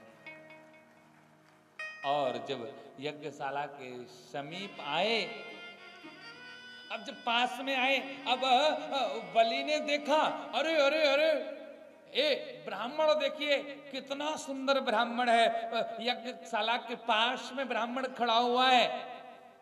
शुक्राचार्य ने कहा, अरे बैठ जाओ, पूजा में बैठो, हवन कीजिए, ब्राह्मण तो आते रहेंगे ऐसे। बलि ने कहा, बोले, नहीं, मेरे यज्ञ में अगर कोई ब्राह्मण आ जाए तो मेरा सौभाग्य है, क्योंकि अतिथि देवो भवा, वो बिन बुलाए आया है। शुक्राचार्य ने कहा कि ये ब्राह्मण नहीं है, ये छलिया है। ये ब्राह्मण जो दिख रहा है, ये ब्राह्मण नहीं है, ये कन्हैया है, छल ले जाएगा तुम्हें। बलि ने कहा अगर ये भगवान आए हैं बन करके तो मेरे से बड़ा कोई सौभाग्यशाली नहीं है कि आज भगवान हमारे दर पर, दरबार में आए हैं। बलि से रहा नहीं गया। यज्ञशाला में से बाहर निकल करके और ब्राह्मण के पास में आ गए। बोले, ब्राह्मण देवता प्रणाम। बामन भगवान नहीं बोले। मुहे बंद है। अरे, बोलिए देवता, क्यों नहीं बोल रहे हैं? कुछ चाहिए। बामन ने सिर हिलाया, नहीं चाहिए। अरे, भोजन करना है, नहीं करना है। यज्ञ में सम्मिलित होना है, नहीं होना है। विवाह करना है, नहीं करना है। अरे, क्या करना है? कुछ तो बोलिए ब्राह्मण देवता। बलि परेशान हो गया, शुक्राचार्य दौड़ते हुए आए। अरे अरे अरे अरे, आप क्या कर रहे हो? लुट जाओगे लुट जाओगे। बलि ये कह रहा है गुरु जी मैंने आपके जैसा मैंने गुरु नहीं देखा। गुरु तो ये कहते हैं, दान करो, पुण्य करो, और तुम मुझे दान करने से रोक रहे हो। अरे, ब्राह्मण आया है, मांगे, मैं आज देना चाहता हूँ। और बामन भगवान कुछ बोल नहीं रहे हैं। अंतिम में कहा, बोले, महाराज, ये राजा वली भक्त प्रहलाद की वंशज बार बार प्रणाम करते हैं। बताइए, क्या चाहिए? कुछ मांगना चाहते हो? कुछ लेना चाहते हो तो बोलिए। बावन भगवान ने कहा, बोले, ठीक है तो। दीजिए। दोगे? बोले हाँ देंगे। बोले, संकल्प करो। अगर कोई एक कहे के संकल्प करो तो थोड़ा सतर्क हो जाना चाहिए कि आखिर संकल्प क्या है? बोले, संकल्प कीजिए। और जैसे आइए, और इसके बाद फिर कथा को सुनेंगे। आइए, जो कोई भी पूजा करना चाहते हैं, हमारी माता, बहन, भाई, आइए, एक भजन के माध्यम से बामन भगवान का पूजन करते हैं। बामन भगवान की पूजा करने से अभी मैं आपको बताऊँगा, तीन पैर धरती दान करने का फल प्राप्त होता है।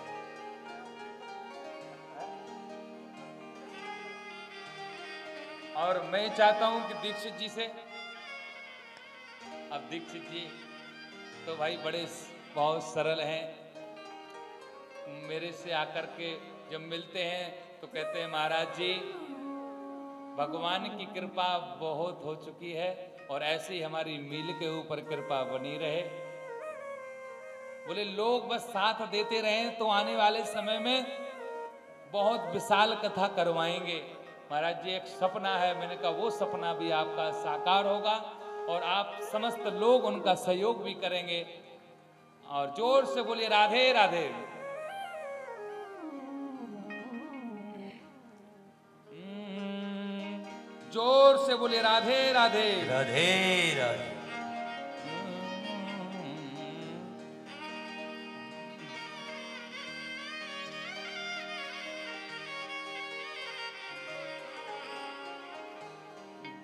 जोगन भेष बनाया।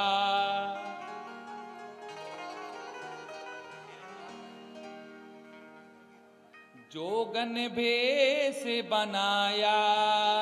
हो जोगन भेष बनाया।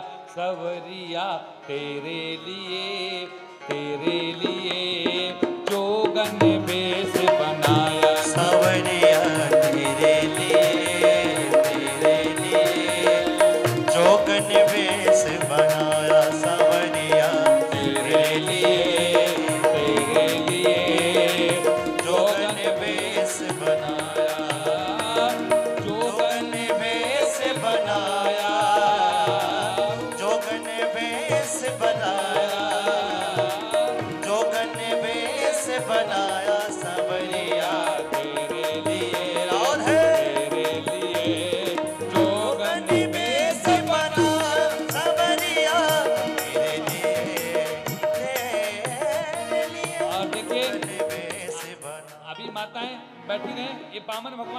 पास में ही पहुंचाएँगे।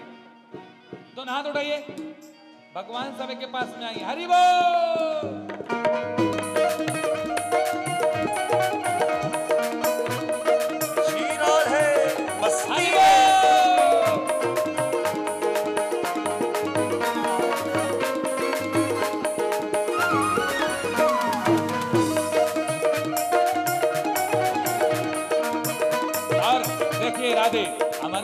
माताएँ हैं। ऐसे नहीं, ये जितने आगे हैं, दोनों हाथ उठाओ और मस्ती में हरी बोल।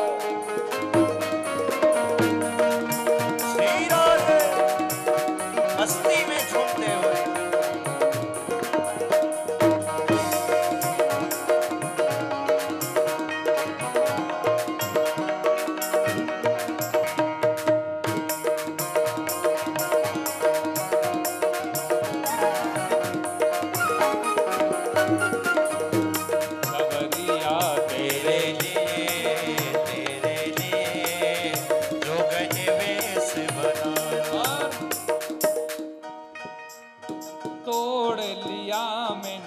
লাগছে না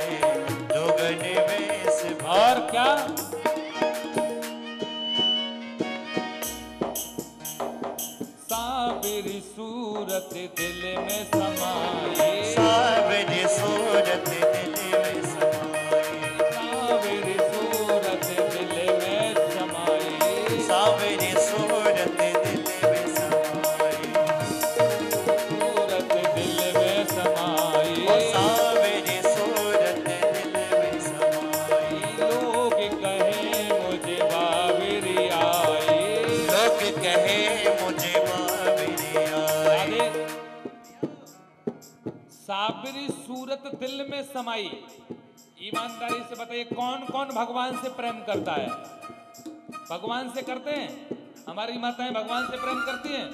सही में? और किसी से तो नहीं करती। भगवान से करती है? दोनों हाथ साबिर सूरत दिल में समाई साबिर सूरत दिल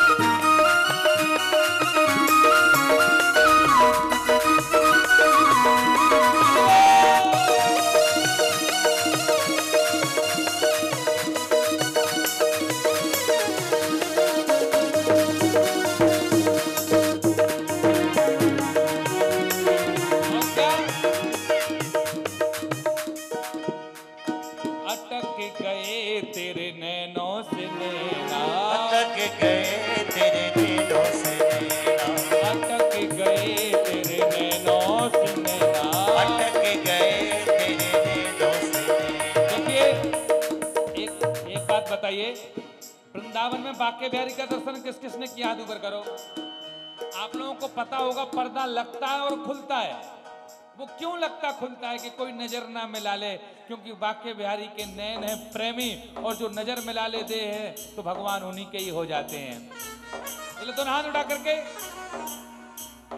अटक गए तेरे नैनों से नैना अटक गए तेरे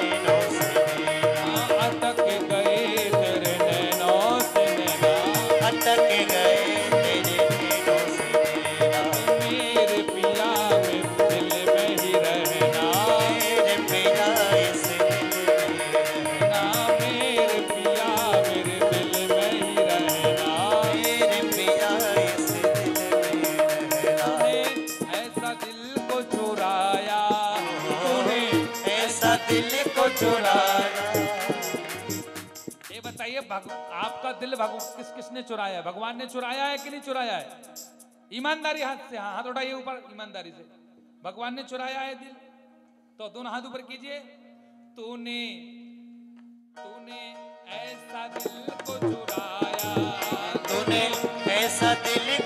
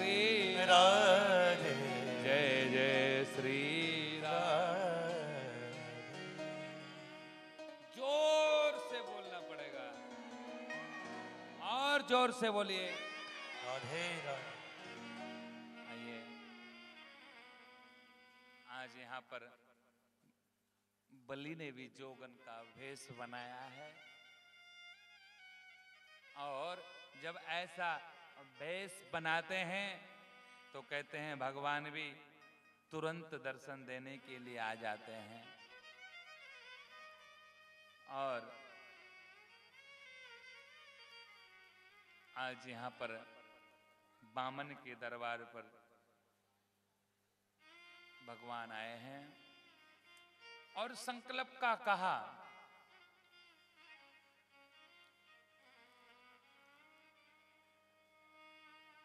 चौके पुराओ माटी रंगावो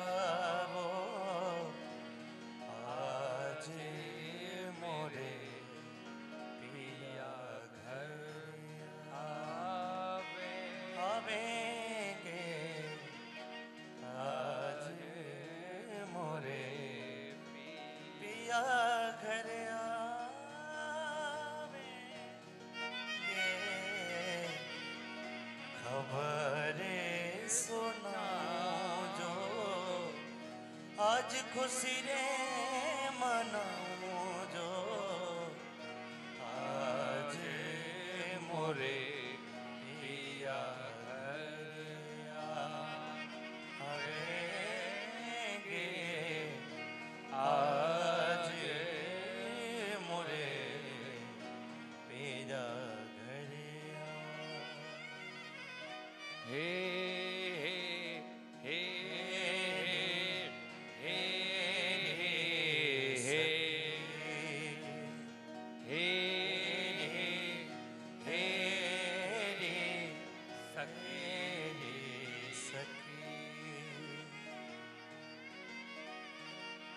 कोई हमारे दरबार पर आ जाए, नगर में आ जाए तो हमारे लिए सुंदर चौक पुराना चाहिए।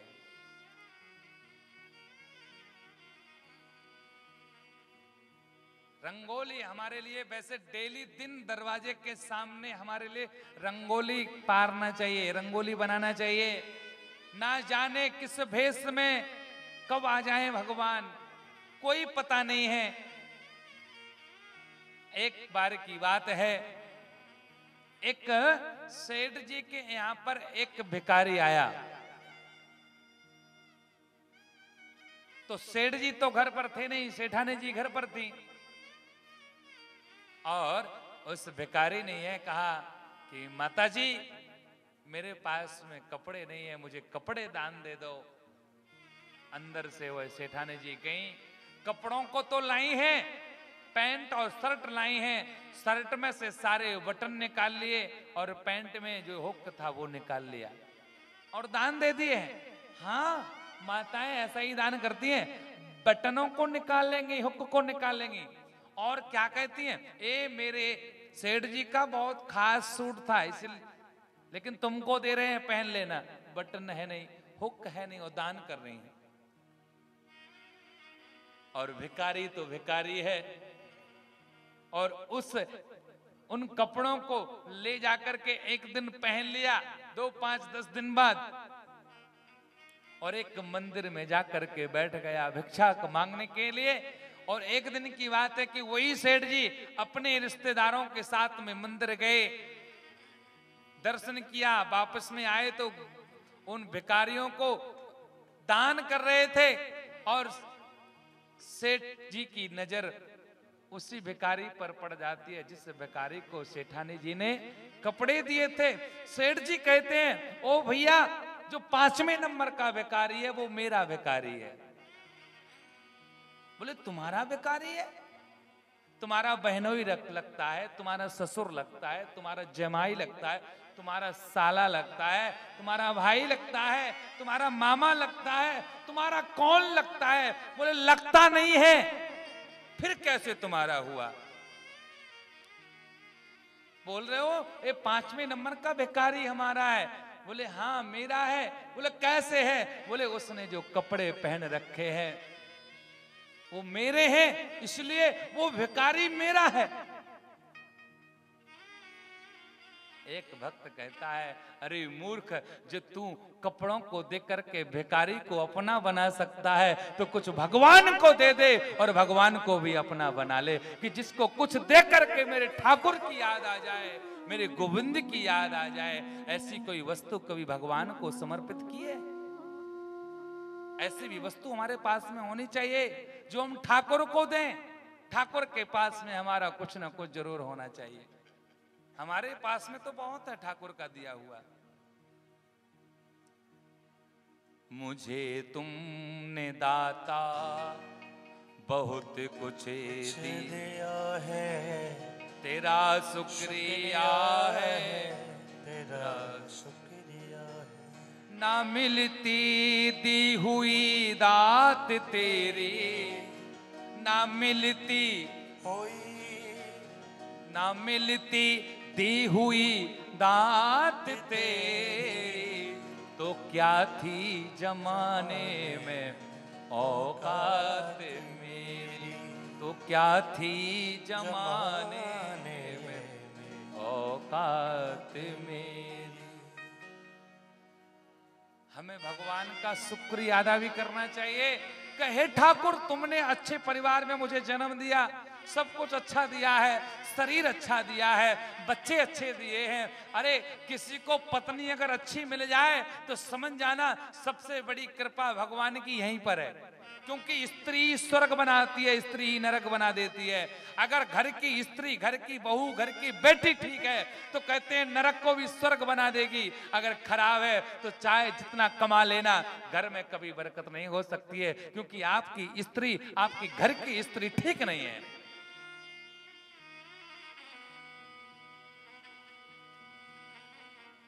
घर में बढ़िया भोग लगना और जब बलि से बामन ने कहा, संकल्प करो, क्यों देरी कर रहे हो? भूल गए। बलि ने कहा, संकल्प तो हम कर देंगे। उसी के लिए हूँ। अब शुक्राचार्य ने सोचा कि मेरा शिष्य लुटरा जा रहा है। ऐसा कोई गुरु नहीं है कि अपने शिष्य को आँखों देखे, लूटते देख ले। कोई गुरु नहीं चाहता कि मेरा शिष्य लुट जाए। सभी गुरु चाहते मेरा शिष्य ठीक रहे। और जब शिष्य ठीक रहेगा तो गुरु जी ठीक रहेंगे।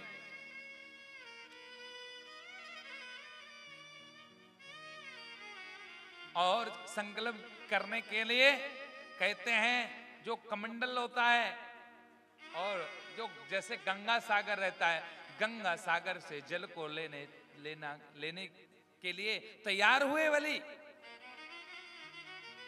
तो शुक्राचार्य ने क्या किया? छोटा सा रूप बनाया और गंगा सागर के कमंडल के उस क्षेत्र में बैठ गए। जल नहीं आ रहा था। बलि ने बहुत किया, पूरा ऊपर से टेढ़ा कर दिया, जल नहीं आया। क्योंकि अक्षत पुष्पाणी गृहित्वा, जब तक अक्षत पुष्प नहीं होंगे, जल नहीं होगा। द्रव्यम चा जलमादाया संकल्पम कुरियाता जब तक द्रव्य दक्षिणा और जल नहीं होगा तो संकल्प कैसे होगा? बलि भी सोच रहे हैं, जल नहीं आ रहा है। बामन ने कहा, चिंता मत करो बलि, संकल्प हो जाएगा। मेरे पास में उपाय है। कुश की आसन थी, उसमें से एक शीख निकाली और उस छिद्र में गंगा सागर के डाल दी। तो कहते हैं, यहाँ शुक्राचार्य की एक आँख फूट गई। शुक्राचार्य बाहर आए निकल करके। आँख फूट गई। कहते हैं, शुक्राचार्य की दोनों आँख क्यों नहीं फूटी? एक क्यों फूट गई? अरे, एक आँख इसलिए फूटी और एक इसलिए नहीं फूटी कि एक आँख से तो कहते हैं, शुक्राचार्य जी यज्ञ करा रहे थे तो अच्छा काम था। और दूसरी आँख से इनका शिष्य दान कर रहा था तो दान करने से ये वंचित कर रहा था। ये रोक रहे थे, इसलिए अधर्मी की जो आँख थी, वो फूट गई और धर्मी की, धर्मात्मा की जो आँख है, वो बच गई शुक्राचार्य की। और जब कोई दान करे तो रोकना नहीं चाहिए। पचास का क्यों दे रहे हो? दस का दे दो। कई लोगों को मैंने देखा है, माताएँ तो इतनी होशियार होती है। अगर किसी के पति हज़ार रुपए निकाल रहे हो, अरे रहने दो रहने दो, मंदिर में तो आए, दस से कम चल जाएगा। लेकिन कई माताएँ अपना दिल खोल देती हैं भगवान के प्रति। सब एक से हैं, सब लोग भगवान के प्रति अपना अपना दिल खोलते हैं। इसीलिए शुक्राचार्य जी फिर बाद में बैठ गए, बढ़िया जल लेकर के संकल्प किया अब संकल्प के लिए बोले, मांग लीजिए, क्या चाहिए? बामन ने कहा, बोले, बस एक ही चीज़ चाहिए। बोले, तीन पैर धरती चाहिए। अब बलि ने कहा, तीन पैर में क्या करोगे? आसन भी ठीक से नहीं बचेगी। अभी तो नेक्स्ट है, आगे बढ़ जाएगा, बड़ो है जाएगा तो पत्नी, परिवार कहाँ रहेंगे तेरे? बोले, तीन पैर ही दे दो, जाना नहीं चाहिए। तीन पैर दे दो। इसीलिए हर इंसान को तीन पैर धरती दान करना चाहिए। अब कहो कि मुंबई में तो धरती नहीं है, दान कहाँ करें हम? तो कोई धाम में अगर मंदिर बन रहा हो, गौशाला का निर्माण हो रहा हो तो तीन पैर जितनी धरती होती है, उसका दान करना चाहिए, पैसा दे देना चाहिए। इसलिए तीन पैर धरती दान करना अवश्य है। बहुत आवश्यक है। एक वृक्ष लगाना आवश्यक है।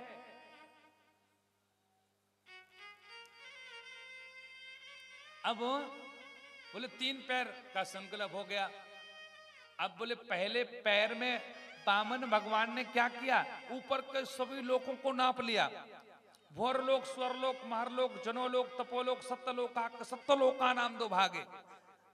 और दूसरे पैर में नीचे के लोक नाप लिए। अतल, बितल, सुतल, तलातल, रसातल, महातल, पाताल, लोकानम परिभागे। दो पैर में ही पूरा सब कुछ नाप लिया। अब बलि के पास में आए, विराट स्वरूप बनाया था भगवान ने, बहुत विराट स्वरूप बनाया था। और बलि से कहा, राजन, आप तो कह रहे थे और पैर मांगो, दो पैर में ही पूरा सब कुछ नाप लिया, तीसरा पैर कहाँ रखो? वचनबद्ध हो, तीसरा पैर रख, बताइए कहाँ रखे बलि ने कहा, महाराज, ये बताइए कि धन बड़ा होता है, कि धन का मालिक बड़ा होता है। बोले, मालिक बड़ा होता है। बोले, आपने मेरा धन ले लिया, मैं उसका मालिक था। ये तीसरा पैर हमारे ऊपर रख दीजिए। भगवान ने तीसरा पैर ऊपर स्पर्श कराया है और कहते हैं, आज यह बलि रोने लगा बहुत रो रहा है। भगवान ने कहा, चलो बलि, अब मेरे से मांगो, क्या मांगना चाहे तो? बलि ने कहा अच्छा भगवान है मेरे से लेकर के फिर कह रहा है, मेरे से मांगो, क्या मांगना चाहते हो?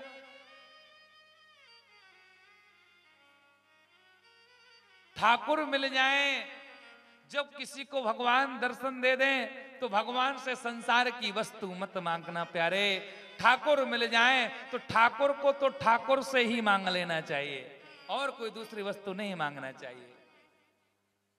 ठाकुर को ठाकुर से ही मांगो। बलि ने कहा, भगवान, देना चाहते तो बस एक ही मुझे वरदान दे दो कि आपका दर्शन हमेशा होता रहे मुझे, हमेशा. अब वो दर्शन तो कैसे होगा? भगवान को द्वारपाल बना लिया। भगवान वॉचमैन बन गए हैं गेट पर खड़े हैं। अब तो राजा बलि दर्शन करता है बार बार कभी अंदर, कभी बाहर, कभी अंदर, कभी बाहर। लक्ष्मी जी के पास नारद जी गए, नारद जी ने कहा है तुम्हारे नारायण जी? बोले, हमें नहीं है पता। आज देखिए बलि धन है। संसार की मालकिन का पति। संसार की मालकिन है लक्ष्मी जी, और लक्ष्मी जी का पति आज नौकरी कर रहा है, और वो भी द्वारपाल की नौकरी कर रहा है, वॉचमैन की नौकरी कर रहा है। लक्ष्मी जी के पास में नारद जी गए, अरे, तुम्हारे पति, अरे, तुम तो संसार की मालकिन बनी हो, और तुम्हारे पति छोटी सी नौकरी कर रहे हैं। मैंने संसार में भी बहुत देखा है, कई लोगों के यहाँ देखा है, कई मैंने माताओं को देखा है, कई स्त्रियों को देखा है कि अपने पति से बर्तन वगैरह साफ़ करवाती हैं, झाड़ू लगा लगवाती हैं।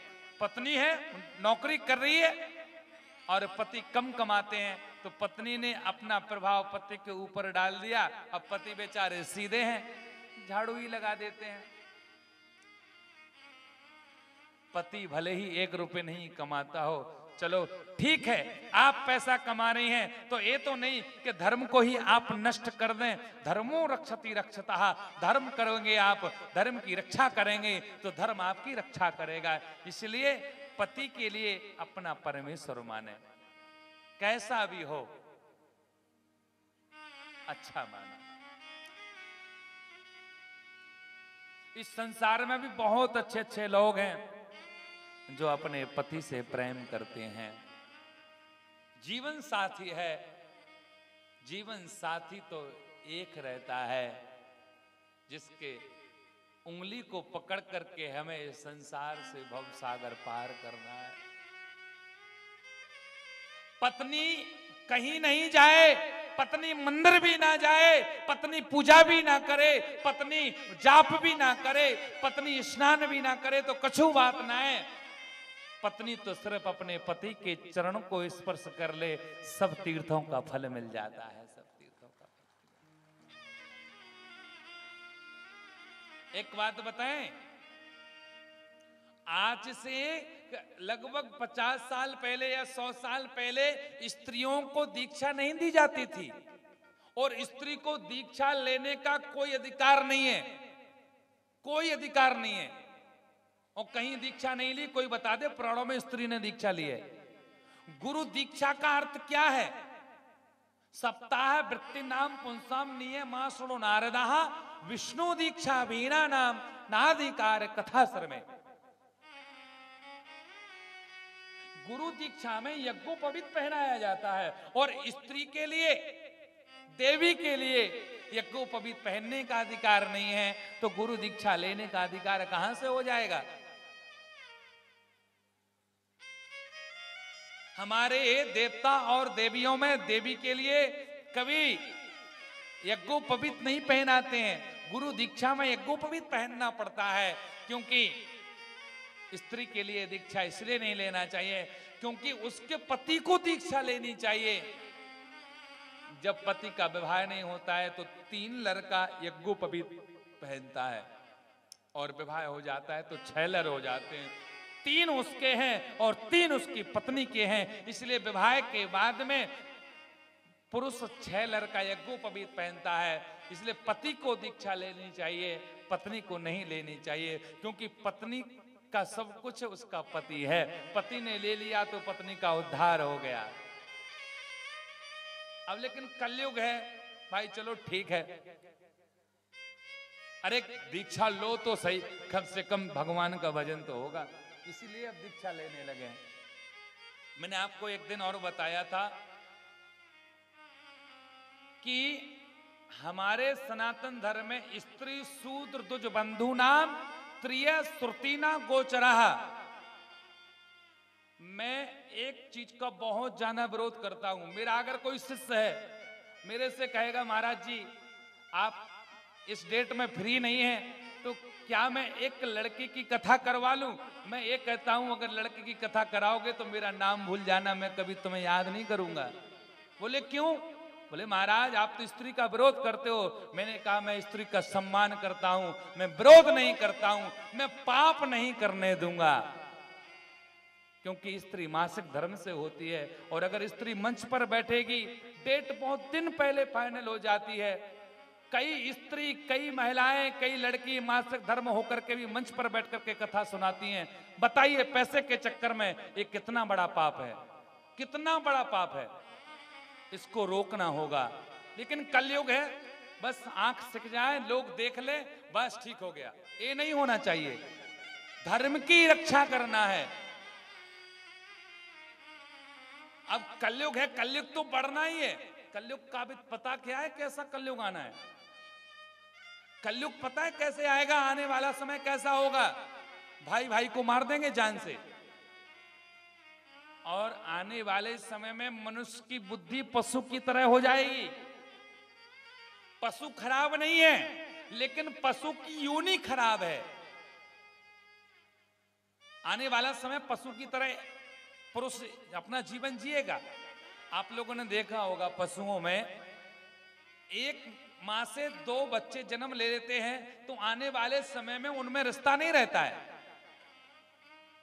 रिश्ता नहीं रहता है उनमें। तो आने वाला समय भी पुरुष भी ऐसा ही कर लेगा। और हो गया है। मैंने ऐसे ऐसे लोगों को देखा है, सगे मौसी के लड़के ने सगी मौसी की लड़की से शादी कर ली। सगे चाचा ने सगी भतीजी से शादी कर ली। सगे मामा ने सगी भानीजन से शादी कर ली। ये क्या हो रहा है? कोई रिश्ता ही नहीं रहा। ये क्या है? ये मनुष्य की सोच बिगड़ती जा रही है। कोई होश ही नहीं है कि हमें क्या कैसे रहना है, क्या करना है। हम अपने जीवन को सुधारें, हम अपने बच्चों को सुधारें, हम अपने सनातन धर्म की रक्षा को करें। जब हमारा धर्म ही नहीं रहेगा तो हम कहाँ रहेंगे? तभी तो धीरे धीरे धीरे धीरे धर्म लुप्त हो रहा है। धर्म की रक्षा करना है। अब भैया लक्ष्मी जी से कहा, ज़ोर से बोलिए, राधे राधे। और ज़ोर से बोलिए। आज रात्रि के 12 बजे तक कथा होगी। कितने बजे तक होगी?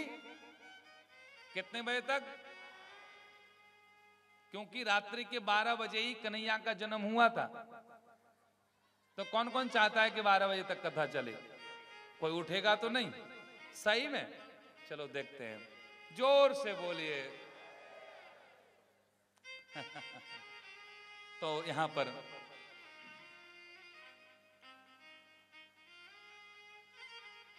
और यहाँ पर लक्ष्मी जी गई। अब लक्ष्मी जी ने कहा, मेरे पति नौकरी कर रहे हैं और मैं संसार की मालकिन हूँ। ये मुझे बिल्कुल अच्छा नहीं लग रहा है। लक्ष्मी जी बहन बन करके गई हैं। और आज वही रक्षाबंधन का दिन है। अब बहन बन करके गई तो अब देखिए आजकल की बहन भी अच्छी है। डिब्बा एक किलो का होना चाहिए, मिठाई ढाई सौ ग्राम होनी चाहिए। दिखना चाहिए, मिठाई तो एक ही खाएँगे भाई। और रक्षा बंधन बाँध करके फिर तो बनारस की साड़ी चाहिए, चंदरी की साड़ी चाहिए। फिर तो मांग बहुत लंबी होती है। तो वही रक्षाबंधन लेकर के लक्ष्मी जी गई हैं। और लक्ष्मी जी गई। राजा वली के पास में, बोले, भैया, मैं तुम्हारी बहन हूँ। आज अच्छा दिन है।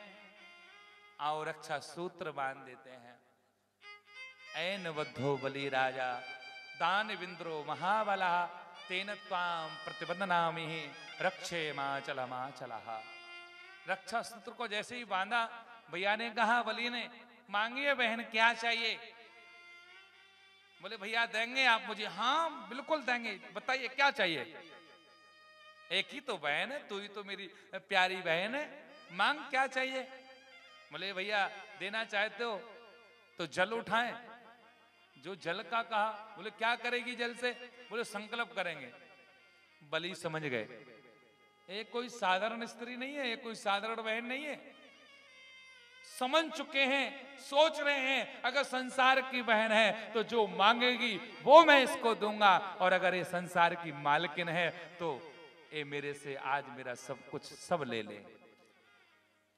और आपस में सोच रहा है, मंदर ही अंदर ही अंदर, आज मेरे से बड़ा कोई धन नहीं है, मेरे से बड़ा कोई भी भक्त नहीं है। आज भगवान की कृपा मेरे ऊपर कितनी है कि आज भगवान की कृपा ने मुझे कितना बड़ा भक्त बना दिया है कि मैं हर समय भगवान की सेवा कर रहा हूँ। क्योंकि जब तक भगवान की कृपा नहीं होती तो मैं कुछ नहीं कर पाता।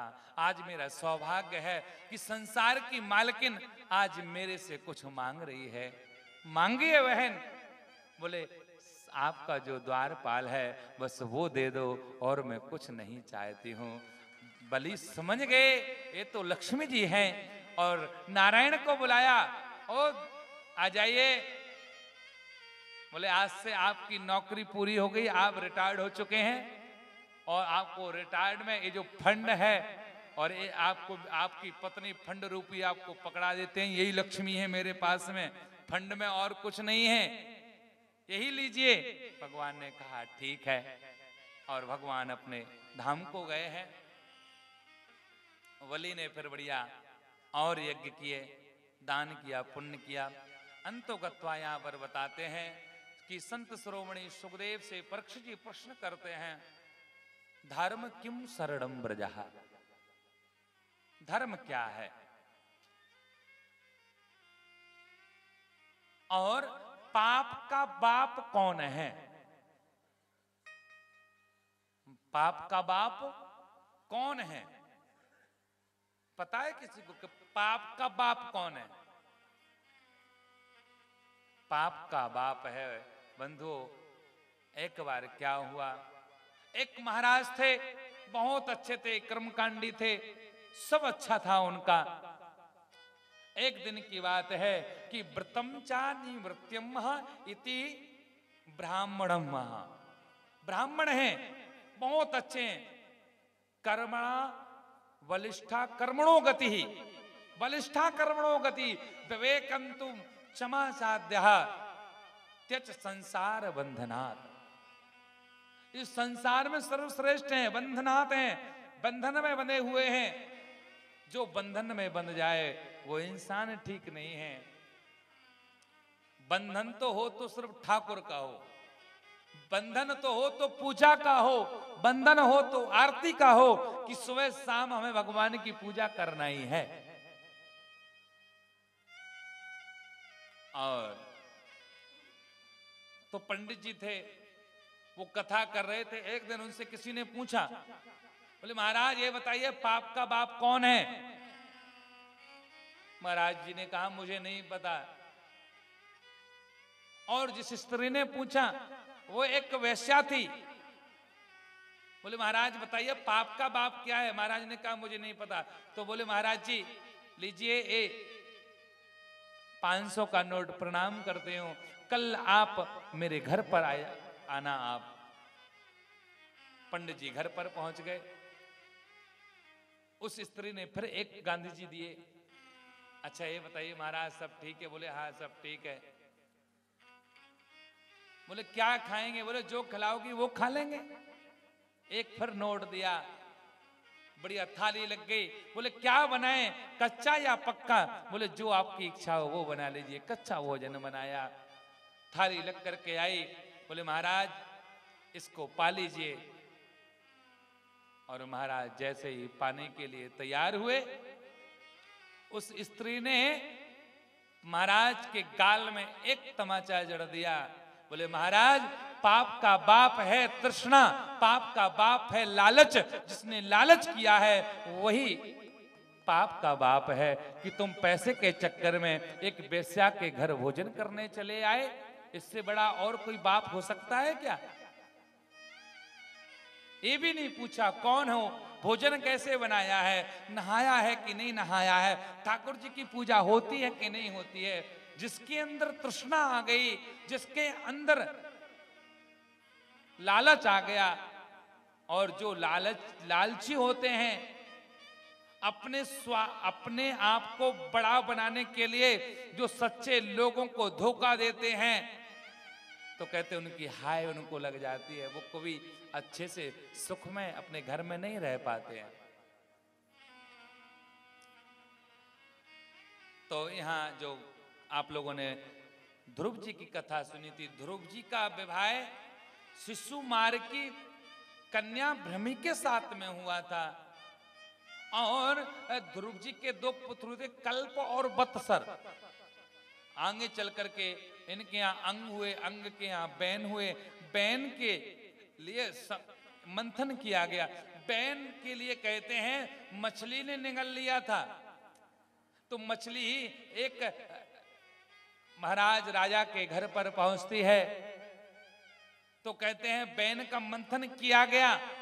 बैन से फिर कहते हैं प्रथु महाराज हुए हैं। प्रथु महाराज ने अश्वमेध यज्ञ किए हैं। इंद्र घबराने लगे और जब घबराने लगे तो भगवान से कहा, भगवान, आप दर्शन दो दो, नहीं तो हमारी पदवी चली जाएगी। और भगवान ने दर्शन दिया। प्रथु महाराज से कहा, मांगिए, क्या मांगना चाहते हो? प्रथु महाराज ने कहा, भगवान, मुझे आप देना चाहते हो तो मुझे दस हज़ार कान दे दो। कितने कान? दस हज़ार कान दे दो। बोले, दस हज़ार कान का क्या करोगे? संसार में तो लोग दो कानों से परेशान है, तुम दस हज़ार कान मांग रहे हो? बोले, जिसके पास में दो कान है। बोले, सेंचुरी मील में कथा हो रही है, कई लोग अपने अपने फ्लैट में रह रहे हैं और किसी किसी के तो कान बोले खराब हो चुके हैं, बोले कहाँ से कहाँ ये कथा चालू हो गई? कहाँ से महाराज आ गए? एक माह हो गया। अभी तक ये साउंड बंद नहीं हो रहा है। बहुत परेशान है। बच्चे पढ़ नहीं रहे हैं। अरे चाहे साउंड बंद कर दो, चाहे कुछ कर दो, जिसको नहीं पढ़ना है तो नहीं पढ़ना है, और जिसको पढ़ना है तो लाइट भी नहीं है, फिर भी पढ़ लेते हैं। ये तो बहाना है। अरे कथा से बढ़कर क्या है? भगवान को प्राप्त करने के लिए पढ़ने की आवश्यकता नहीं है कि शोर हो रहा है, क्या हो रहा है? जिसको पढ़ना है तो चाहे जैसा शोर होता रहे। सब पढ़ लेते हाँ। जब मानेंगे हम कि घर में कोई बात ही नहीं करेगा। टीवी चलेगी, लड़ाई भी होगी, झगड़ा भी होगा, घूमने भी जाएँगे यूट्यूब भी चलाएँगे, मोबाइल भी चलाएँगे। इससे पढ़ाई नहीं रुकेगी, कथा से पढ़ाई रुक जाएगी। कथा हो रही है। इन लोगों की सोच है महाराज। दो कानों से परेशान हो जाते हैं। प्रथु महाराज ने दस हज़ार कान मांगे। बोले, क्या करोगे इन कानों का? बोले, भगवान, जहाँ जहाँ आपकी कथा होगी, वहाँ वहाँ एक एक कान भेज दूँगा और आपकी कथा सुनता रहूँगा सुनता रहूँगा। इतना भारत वर्ष है। दस हज़ार कथा तो होती होंगी संसार में। सुन लेंगे आपकी कथा को। भगवान की प्राप्ति हुई। आज परीक्षित जी ने यह पूछा कि इस संसार में कौन किसका है, कौन किसका नहीं है? तो कहते हैं, परीक्षित जी ने कहा, गिरिवरो राजस्त्र कूट है गजेंद्र मोक्षा। एक गज और ग्राह की कथा आती है, हाथी और मगरमच्छ की। ये कथा हमारे लिए यह सिखाती है कि संसार में कोई किसी का नहीं है। वह हाथी अपने परिवार को लेकर के, बच्चों को लेकर के, पत्नी को लेकर के, एक सरोवर के पास में गया स्नान करने के लिए। और उस हाथी ने, उस गज ने, उस गजेंद्र ने स्नान करने के लिए सरोवर में गया। बंधुओं तो उसका पैर ग्राह ने पकड़ लिया, मगरमच्छ ने पकड़ लिया। वह हाथी कहता है, ओ अर्धांगनी, तुम तो मेरी पत्नी हो। तुम मेरी पत्नी हो, तुम एक काम कीजिए सूढ़ से सूढ़ मिला लीजिए, मैं बाहर निकल आऊँगा। पत्नी ने मना कर दिया। आप शक्तिशाली हैं, मैं आपकी पत्नी हूँ, मुझमें इतनी शक्ति नहीं है। आपने अगर मुझे ही अंदर कर लिया तो आप तो मर ही रहे हैं, हम और मर जाएँगे। बच्चों से कहा, बच्चों ने मना कर दिया। वह हाथी सोच रहा है संसार में तो कोई किसी का नहीं है। सब मतलब ये है। एक जगह एक बार एक परिवार था, उस परिवार में एक ही पुत्र था। बहुत प्रेम करते थे घर वाले परिवार वाले। बच्चों को, उस संतान को, उस पुत्र को कहीं जाने नहीं देते थे। बेटा, घर पर ही रहो, कुछ हो जाएगा तो हम लोग क्या करेंगे? कैसे जिएँगे? विवाह हो गया। पत्नी आई तो वो भी कहीं नहीं जाने दे रही है। घर पर रहो। एक दिन वही बालक चोरी से छिप करके कथा हो रही थी, पंडाल में आ गया बैठ गया। कथा सुनी। महाराज ने कह दिया, इस संसार में कोई किसी का नहीं है, सब मतलब ही है। महाराज बाद में मंच से उतरते हैं। वो बालक कहता है, बोले महाराज, आप कथा में झूठ बोल रहे थे। महाराज ने कहा, क्या झूठ बोला? बोले, महाराज, आपने कहा है, संसार में कोई किसी का नहीं है। ये तो गलत है। मेरी तो माँ है, मेरे पिताजी हैं और मेरी पत्नी है। बहुत प्रेम करते हैं। देखो, मुझे घर से बाहर भी नहीं निकलने देते हैं। इतना प्रेम करते हैं। महाराज जी ने कहा, एक काम करो आज। बोले, क्या काम करना है? बोले, आज घर पर जाना। बोले, ठीक है। और घर पर जाना ए, बेहोश की गोली ले जाओ, दो घंटे तुम बेहोश हो जाना और मरने का नाटक कर लेना, पता चल जाएगा। वह बेटा गया, घर पर गया, गोली खाई, लेट गया। डॉक्टर आए, डॉक्टर ने कहा, तुम्हारा बेटा, तुम्हारे बेटा का देहांत हो चुका है। माँ रोने लगी, पिता रोने लगी, पत्नी रोने लगी। बहुत रो रहे हैं। हालत खराब हो गई। वही संत निकले, संत ने सोचा, अरे, महाराज सोचते हैं, इस घर से आवाज़ कैसी आ रही है रोने की? महाराज से रहा नहीं गया अंदर चले गए। और महाराज ने देखा, ये तो वही बालक है।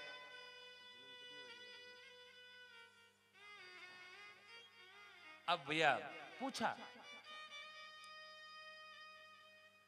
संत संत जी गए हरिशरणम और जब संत जी गए, संत ने देखा, बोले, क्यों रो रहे हैं आप लोग? बोले, महाराज, मेरे बेटे का देहांत हो चुका है। आप कुछ कर सकते हो, कोई जादू टोना कर सकते हो, क्योंकि दवा से बड़ी दुआ होती है।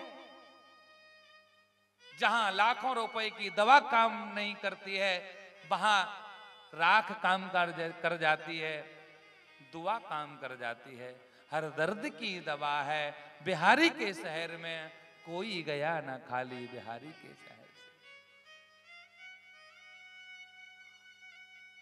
बोले, तुम्हारा बेटा ठीक हो जाएगा। सभी हंसने लगे। सभी बढ़िया प्रसन्न हो गए, माता, पिता, पत्नी। पंडित जी ने यह कहा, बोले, ठीक तो हो जाएगा, एक काम करना पड़ेगा। बोले, महाराज, जल्दी बताओ, एक काम हो जाएगा। एक काम नहीं पाँच पाँच काम हो जाएँगे। जल्दी बताओ। मेरा बेटा जीवित होना चाहिए। महाराज ने यह कहा, अगर एक इंसान मर जाएगा तो यह जीवित हो जाएगा, एक को मरना पड़ेगा।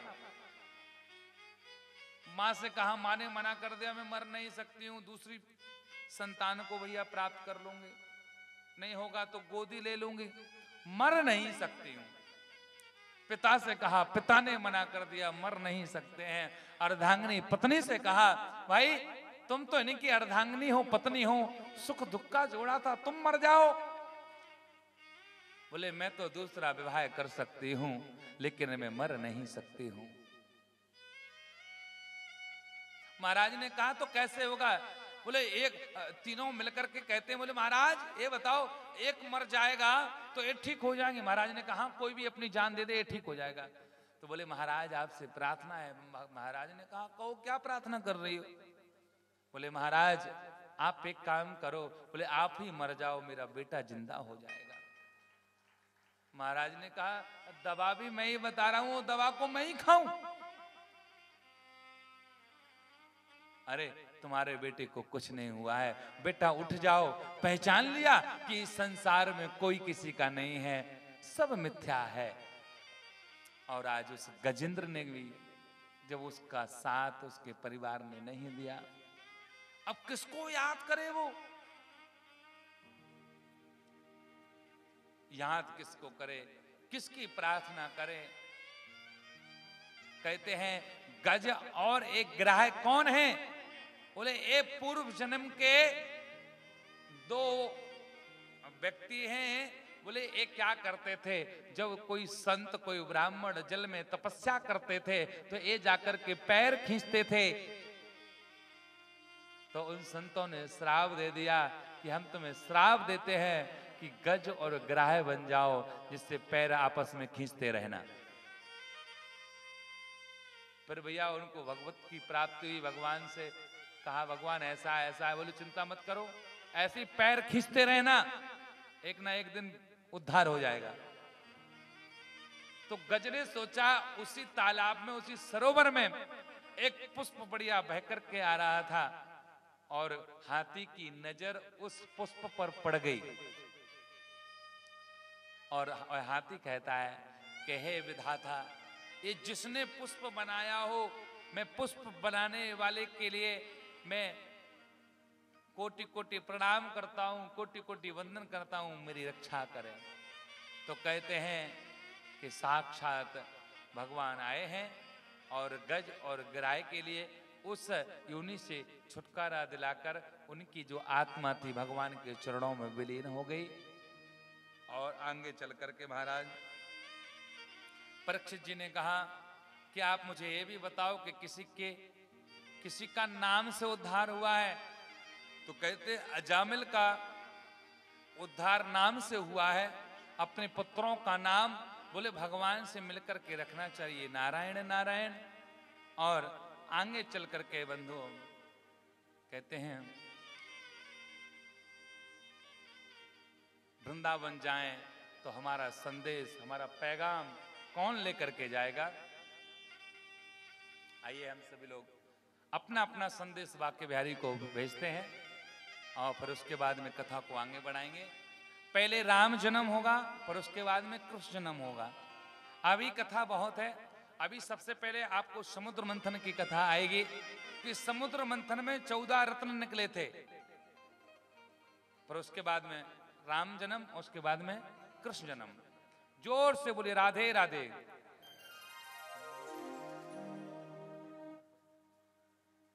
हम्म, कोई जाए जो वृंदावन मेरा पैगाम ले जाना ज़ोर से बोलिए।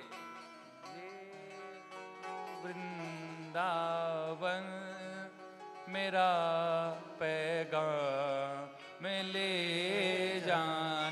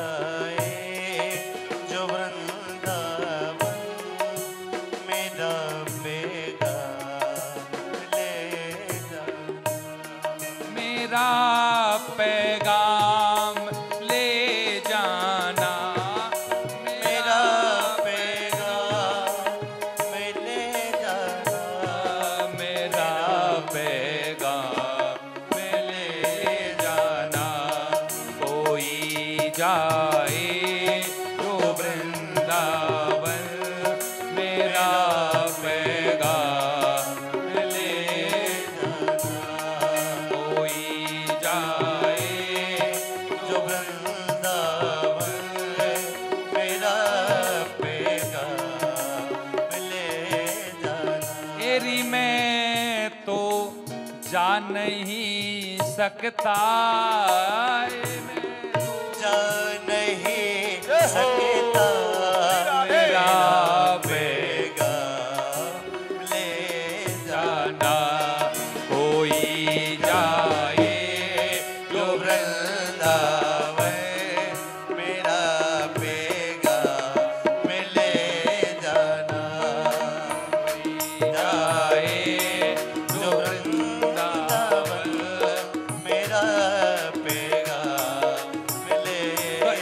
बताइए अपना अपना पत्र वाक्य बिहारी को कौन कौन भेजना चाहता है वृंदावन?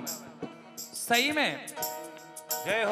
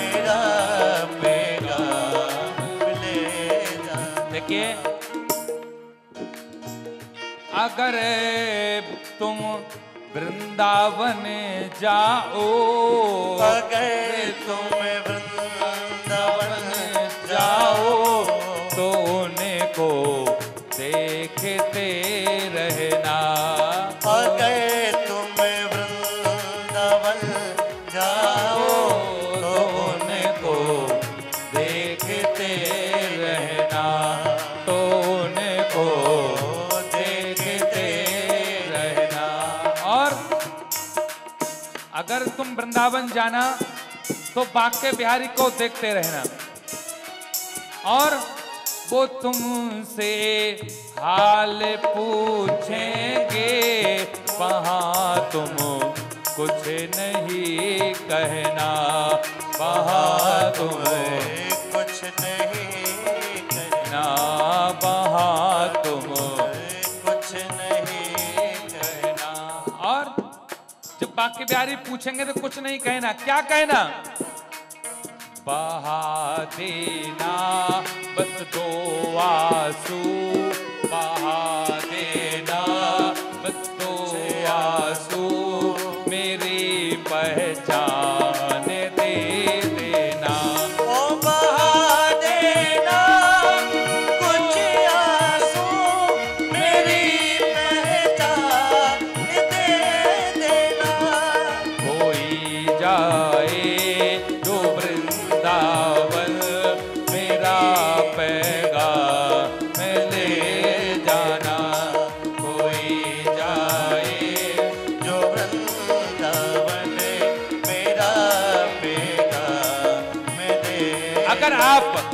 अपना प्रेम पत्र, अपने दुखों का पत्र अगर श्याम सुंदर को भेजना चाहते हो तो दोनों हाथों को ऊपर उठा करके मस्ती में। हरि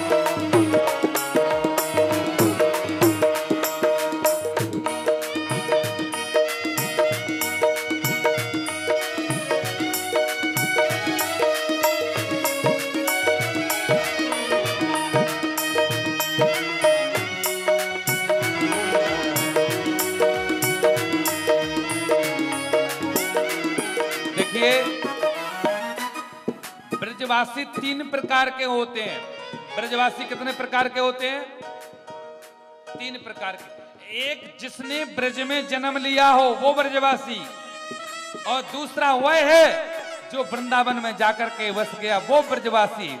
और तीसरा ब्रजवासी वो होता है जिसका मन वृंदावन चला जाए, वो ब्रजी ब्रजवासी हो जाता है। इसलिए गाइए मेरे साथ में।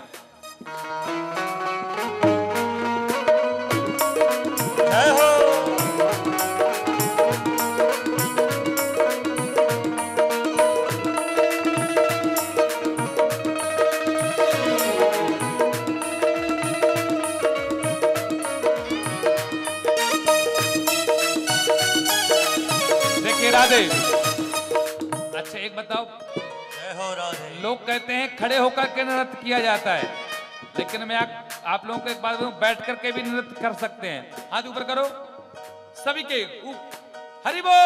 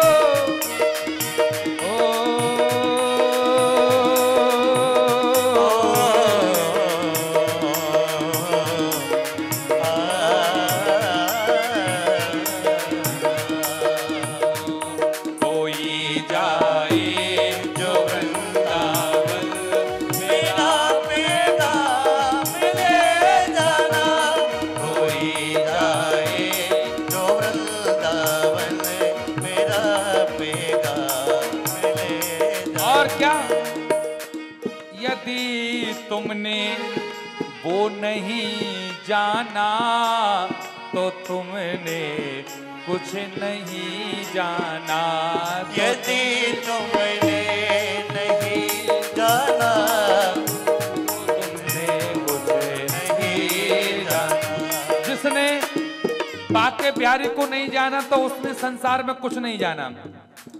यदि तुमने वो नहीं जाना तो तुमने कुछ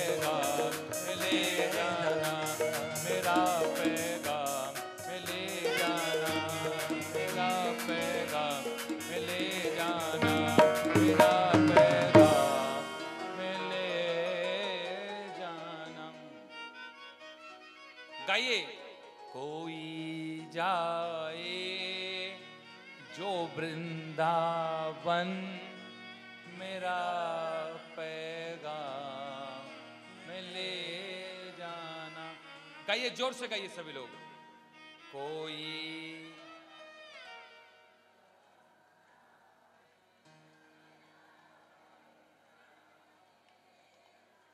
एक साथ में बोलो। सभी लोग बोलेंगे, कोई जाए जो वृंदावन मेरा पैगाम में ले जाना। कोई जाए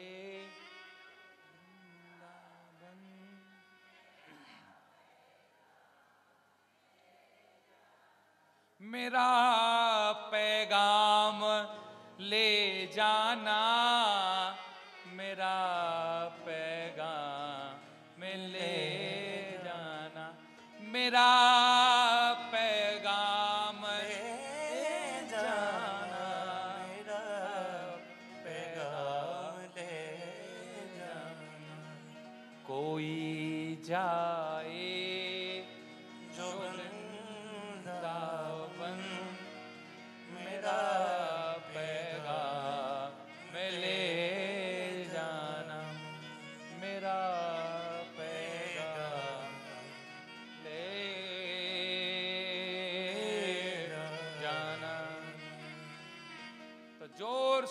एक बार तो जो भी वृंदावन जाए, पैगाम ले जाए और अंतोगत्वा भगवान श्री सुखदेव से राजा परीक्षित जी प्रश्न करते हैं कि महाराज, आज चतुर्थ दिवस की कथा को हम आप सभी लोग श्रवण कर रहे हैं। और भगवान आपकी कथा बहुत आनंदमयी है। मुझे भगवान की कथा का पान हमेशा कराते रहें, यह हम चाहते हैं। और देखिए कि इति तुष्णम स्थान दैत्यान विलोक पुरुषोत्तम।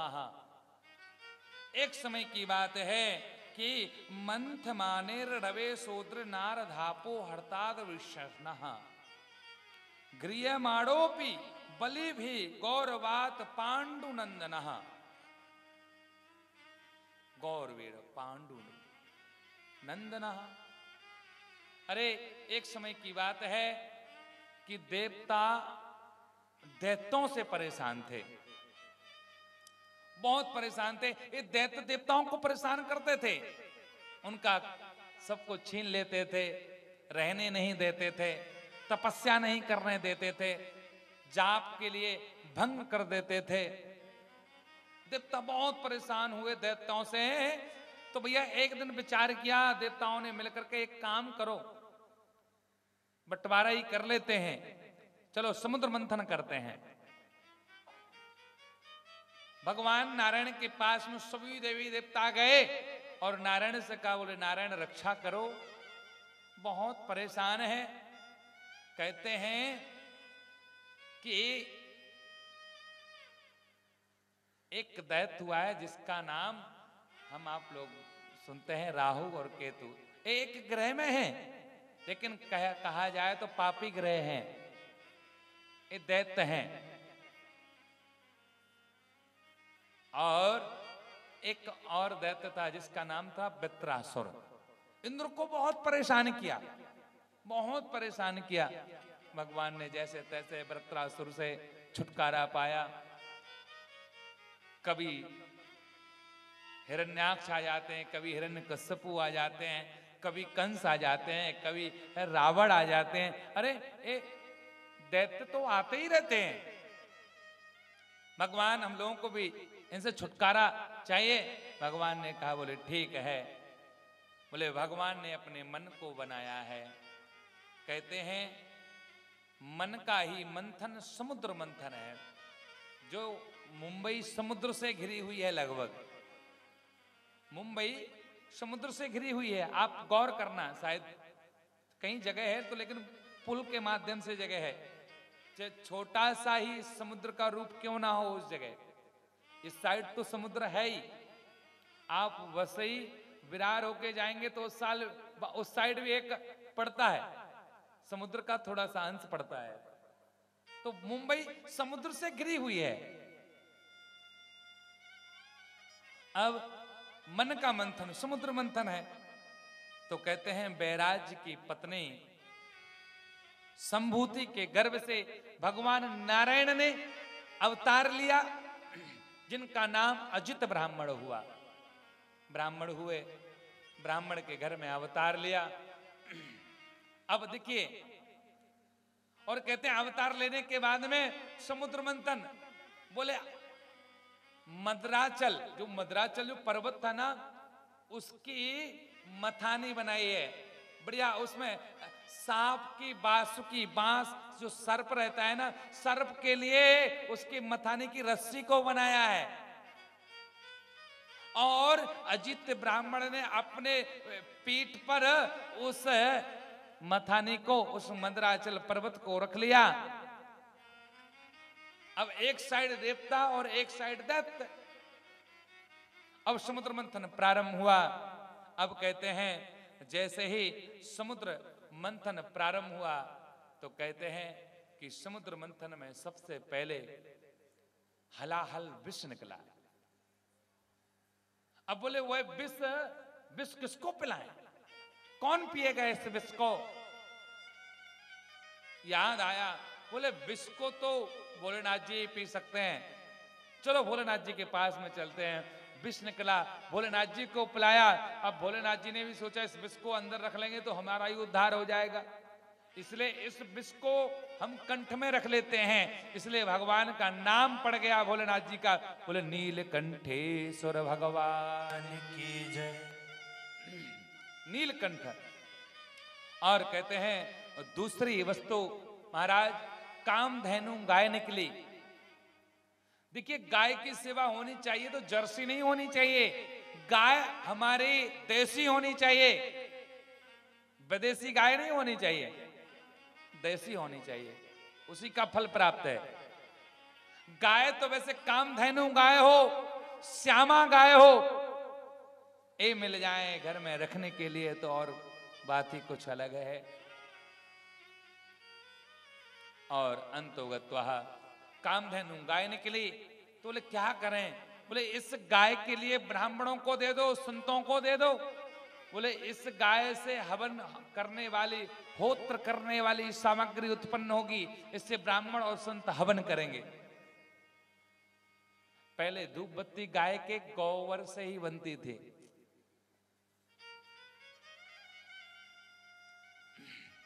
तीसरी वस्तु उच्च श्रवाना उच्च श्रवा नाम का एक घोड़ा निकला।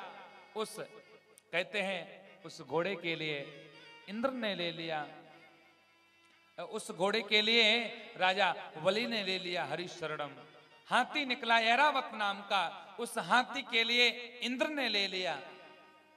और जो हाथी था ना, वो बहुत विशाल था। उसका नाम था ऐरावत हाथी।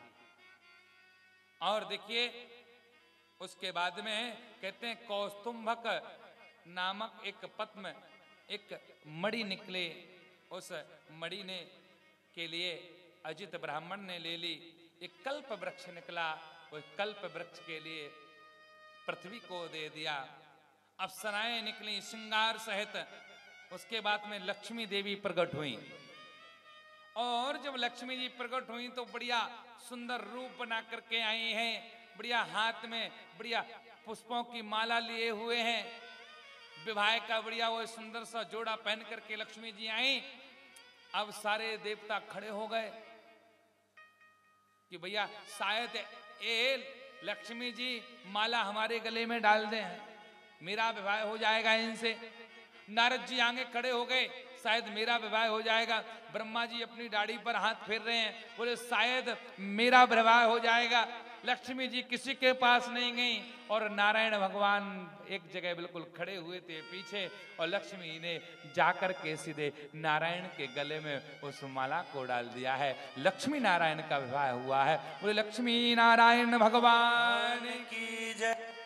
और फिर उसके बाद में कहते हैं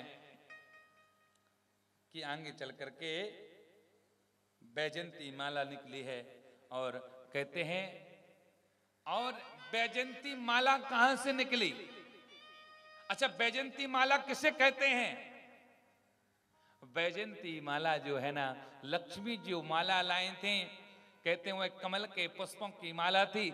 आप कमल गट्टे को आप कच्चे में फोड़ोगे तो बैजंती उत्पन्न होता है। भगवान को गले में बैजंती माला। वही बैजंती माला आज भगवान ने यहाँ पर पहनी है। बारुड़ी कन्या उत्पन्न हुई। वह दैत्यों को दे दी फिर हम जो दीपावली के एक दिन पहले पूजा करते हैं धनवंतरी का, यहाँ पर भगवान का अवतार हुआ है। बोले, धनवंतरी, भगवान की जय। धन्वंतरी का अवतार हुआ है, बढ़िया। धन लेकर के आए हैं। फिर कहते हैं, अंतिम में कहते हैं, बढ़िया, भगवान ने जैसे फिर से मंथन किया महाराज, सुंदर अमृत कलश निकला। और जब अमृत कलश निकला बंधुओं तो कहते हैं, इस अमृत को किसको पिलाएँ? ये चर्चा के लिए अमृत कलश एक जगह रखा तो दैत्यों ने छुड़ा लिया। हर ले गए। अब देवता फिर परेशान की, इतनी मेहनत की। और अमृत कलश अगर दैत्यों ने पी लिया तो तो भाई अमर हो जाएँगे वो। तो भगवान से प्रार्थना की तो भगवान पर मोहिनी का रूप बन करके आए हैं। बढ़िया, साड़ी को पहन करके, बिंदी को लगा करके, चूड़ी को पहन करके भगवान ने मोहिनी का रूप धारण किया। और मोहिनी बन करके दैत्यों के पास में गए तो दैत्य मोहिनी को देख करके मोहित हो गए। इतने में भगवान ने क्या किया? बोले, उस अमृत कलश को ले लिया और कहते, दैत्यों में, भगवान में तो थोड़ा खींचा तानी हुई अमृत कलश को लेकर के तो उसकी चार बूंदे गिर गईं। इलाहाबाद, हरिद्वार, उज्जैन और नासिक में, इसलिए वहाँ पर कुंभ लगता है। और फिर बढ़िया अमृत कलश लाए तो भैया देवताओं को पिला रहे थे भगवान। तो कहते हैं, एक आया जिसका नाम है राहु, वो भी देवताओं में बीच में जाकर के बढ़िया छिप गया और अमृत कलश का पान कर लिया। और चंद्र और सूर्य गए भगवान के पास। बोले, भगवान, हम सबके बीच में एक दैत्य ने भी अमृत पान कर लिया है। बोले, कौन है? बोले, राहु है। भगवान ने कहा अच्छा अगर दैत्य ने अगर अमर पान किया है तो ये सुदर्शन चक्र में भेजता हूँ। मार दें। लेकिन वो तो अमर हो चुके थे। सुदर्शन चक्र जैसे ही छोड़ा है नारायण ने तो कहते हैं, राहु का सिर कट गया। और सिर कट गया तो राहु से केतु हो गए। अमर हैं ये कुंडली में, जहाँ भी मिलेंगे आमने सामने मिलेंगे। तो राहु और केतु ने कहा, बोले सूर्य और चंद्र तुमको छोड़ेंगे नहीं हम। इसलिए सूर्य ग्रहण और चंद्र ग्रहण जब लगता है, राहु, केतु जब सूर्य को घेर लेते हैं तो सूर्य ग्रहण लग जाता है और चंद्र को घेर लेते हैं तो चंद्र ग्रहण लग जाता है। और आगे चल करके, बंधु, यहाँ पर परीक्षित जी कहते हैं, कहे, हे राजन, हे महाराज, संत शिरोमणि परम हंस, संत शिरोमणि श्री सुखदेव जी से कहते हैं कि आप मुझे अब मेरे प्रभु श्री कृष्ण भगवान की मुझे उस वंश का विस्तार बताइए, मैं सुनना चाहता हूँ। तो कहते हैं कि आगे चल करके दो वंश हुए हैं। एक वंश का नाम है सूर्यवंश और एक वंश का नाम है चंद्रवंश सूर्यवंश में हमारे प्रभु श्री राम का अवतार हुआ है और चंद्रवंश में हमारे प्रभु श्री कृष्ण का अवतार हुआ है। सूर्यवंश और चंद्रवंश है। अब देखिए सूर्यवंश में कौन कौन आए, कैसे आए? और एक बात बताएँ, इस संसार में गंगा जी भी कैसे आई? गंगा जी सूर्यवंश में आई। अच्छा एक बात सभी माताओं को याद होनी चाहिए कि नारायण भगवान के लिए, कृष्ण भगवान के लिए, राम भगवान के लिए कभी भी ऊपर से गंगा जल नहीं चढ़ाना चाहिए। क्यों? क्योंकि विष्णु भगवान के पैर के अंगूठी से गंगा जी निकली हैं। और गंगा जी कहते हैं, भगवान के पैर से उनकी अर्धांगनी है और अर्धांगनी को सिर पर नहीं बैठाया जाएगा। इसलिए गंगा जल को हम पैरों में ही डालें। और पहली बात तो कि गंगा जल घर में नहीं है। तो टेंशन मत लो, भगवान को स्नान करा दो, गंगा जल बन गया। पैर के स्नान करा दो, गंगा जल बन गया। गंगा जल को चाहे जल में डालो, चाहे जल को गंगा जल में डालो, बात बराबर है। अच्छा एक बात। हम गंदे कब तक हैं? जैसे कि हमारे घर की नाली, वह नाली कब तक है? जब तक वह नाली किसी बड़े नाले में नहीं मिली है। और नाले में मिल जाने के बाद में वह घर की नाली क्या बन जाता है? नाला। और नाला कब तक गंदा है? जब तक वह नाला किसी तालाब में नहीं मिलता है। तालाब में मिल जाने के बाद में घर की नाली, नगर का नाला और सीधा तालाब बन जाता है। तालाब कब तक गंदा है? जब तक वह तालाब किसी बड़ी नदी में नहीं मिलता है। और नदी में मिलने के बाद में वह गंगा जल बन जाता है। घर की नाली, नगर का नाला ग्राम का नगर का तालाब गंगा जी में मिल जाने के बाद में गंगा जल बन जाता है और बाद में गंगा जी जाकर के समुद्र में मिल जाती हैं। तो कहते हैं वह जल वह गंगा जल। फिर तो पीने के लायक भी नहीं रहता है। सागर से तो नदियाँ भली, समुद्र से तो नदियाँ भली, जो कम से कम पीने के लायक आती है। अरे सागर विशाल है विशाल है। लेकिन उसका दिल ठीक नहीं है। क्यों? क्यों सागर को हम पी नहीं सकते? प्यास नहीं बुझा सकते एक बात बता रिश्ते नहीं बिगाड़ना चाहिए। रिश्ते नहीं बिगाड़ना चाहिए। बोले, क्यों? क्योंकि गंदा पानी पीने के काम नहीं आ सकता है तो गंदा पानी आग तो बुझा सकता है। गंदा पानी आग बुझा सकता है। इसलिए रिश्ते भी कभी मत बिगाड़ो। ना जाने कब किससे काम पड़ जाए, कोई पता नहीं है। इसलिए रिश्ते हमेशा बना करके चलो, हमेशा। और आज इसी सूर्यवंश में बंधुओं कहते हैं, सबसे पहले, आइए सूर्यवंश को सुनते हैं। सबसे पहले सत व्रत मनु हुए हैं और इनके हुए हैं विवस्वत मनु। और विवस्वत मनु के हुए हैं वैवस्त का विवाह हुआ श्रद्धा के साथ और कहते हैं, श्रद्धा के साथ विवाह हुआ। इनके यहाँ पर दस संतान हुए। इन्हीं दस संतानों से सूर्यवंश का विस्तार हुआ। दस संतान कौन सी हैं? इक्षवाकु नृग, सरयाति, दिष्टि, करुष, नरसिंहंत और प्रसंग नभग और कवि। अलग अलग देखिए यहाँ से विस्तार हुआ है। दृष्टि से महाराज द्रुपद हुए हैं और द्रुपद ने सोमक हुए हैं। सोमक के, जंतु के सौ पुत्र हुए हैं, जिनका द्रुपद इत्यादि नाम है। और कहते हैं, यहाँ और दृष्टि के एक हुए मरुत्र। मरुत्र चक्रवर्ती राजा हुए हैं। और कहते हैं, नवक के महाराज नाभाग हुए हैं। और कहते हैं नवक के नाभाग हुए हैं, नाभाग के अम्बरीश हुए हैं। अम्बरीश का जन्म हुआ। अम्बरीश से एकादशी का व्रत प्रादुर्भाव हुआ। व्रत आया, व्रत किया, दुर्वासा ऋषि आए और दुर्वासा ऋषि आए तो कहते हैं, द्वादशी के दिन, त्रियोदशी लगना था उस दिन। तो बोले, व्रत को तो हमारे लिए पूर्ण करना है। तो बोले दुर्वासा ऋषि स्नान करने के लिए गए थे तो हाथ में जल लिया तुलसी दल को लेकर के लेने लगे। दुर्वासा ऋषि आए, बोले, अम्बरीश जी, अंबर अर्थात ईश्वर अम्बरीश, जिसके अंदर अंबर और ईश्वर, अंबर अर्थात ईश्वर, जिसके अंदर ये है, वही अम्बरीश है। बोले, मुझे बुला लिया और पहले भोजन कर रहे हो। ये शोभायमान नहीं है।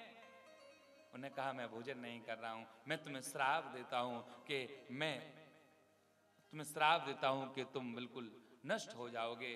लेकिन कहते हैं, दुर्वासा ऋषि ने श्राप दिया तो भगवान का सुदर्शन चक्र आ गया। अब दुर्वासा ऋषि परेशान, अब भगवान का चक्र आगे आगे दौड़े तो दुर्वासा ऋषि पीछे को आए और जब वह चक्र बगल में आए तो दुर्वासा ऋषि इस साइड हो जाए, चारों तरफ़ उस चक्र ने नचा दिया। भागते भागते भागते भागते दुर्वासा ऋषि विष्णु भगवान के पास में पहुँचे। बोले, भगवान, मुझे बचाओ। भगवान ने कहा, मैं तुम्हारी रक्षा नहीं कर सकता हूँ। तुम्हारी रक्षा तो इस सुदर्शन चक्र का भक्त ही कर सकता है। अम्बरीश के पास में जाओ। अम्बरीश से क्षमाचना मांगी। तो अम्बरीश ने क्षमा कर दिया। सुदर्शन चक्र भगवान के शरण में गया और आगे चल करके अम्बरीश जी से यहाँ पर एकादशी का व्रत और आगे चल करके कहते हैं, अम्बरीश का जन्म हुआ, फिर दुर् यहाँ आगे चल करके यहाँ इक्षवाकु हुए। इक्षवाकु से मानधाता हुए। मानधाता से पचास कन्या हुई। इनका विवाह सोबरी से किया गया। और आगे चल करके कहते हैं सगर हुए। सगर के सागर हुए। सागर के पौत्र जो हुए हैं, वो अंशुमान हुए। अंशुमान के दिलीप हुए हैं। दिलीप के भागीरथ हुए हैं। भागीरथ के पूर्वज जो है, उन्होंने बहुत पहले से गंगा जी को लाने का प्रयास किया, लेकिन गंगा जी नहीं आ पाई। लेकिन जैसे ही भागीरथ हुए हैं, भागीरथ की तपस्या इतनी प्रभावशाली थी कि भगवान को अपने पैर के अंगूठे से गंगा जी को निकालना पड़ा। अब बोले, गंगा जी ने सोचा कि हमारे लिए, कौन हमारे लिए संभालेगा? मुझे कोई संभालने वाला नहीं है। धरती पूरी फट जाएगी त्राही माम हो जाएगा भोलेनाथ जी ने कहा, चिंता मत करो, मैं अपनी जटाओं में तुम्हें कई सालों तक समा सकता हूँ। और गंगा जी निकली तो भोलेनाथ जी की जटाओं में। फिर गंगा जी ने कहा, क्यों? गंगा जी को अभिमान था। तो भोलेनाथ जी ने जटाओं में रख लिया। फिर भोलेनाथ जी ने फिर अपने चंद्रमा से फिर गंगा जी को निकाला है। तो कहते हैं, हल्की पौड़ी हरिद्वार में होती है, यहाँ पर गंगा जी का दर्शन हुआ। और आगे चल करके भागीरथ हुए हैं। तो भागीरथ के महाराज खटवांग हुए हैं। खटवांग के दीर्घ वायु हुए हैं दीर्घ बाहु के अज हुए हैं और अज के महाराज दशरथ हुए हैं। दशरथ का विवाह हुआ तीन रानियों के साथ कौशल्या कैकई और सुमित्रा। बहुत प्रसन्न है, सब कुछ है, एक समय की बात है कि दशरथ जी ने अपना चेहरा शीशे में देखा तो उनकी दाढ़ी का एक बाल वाइट सफ़ेद हो गया। और जब सफ़ेद हुआ, चिंता व्याप गई।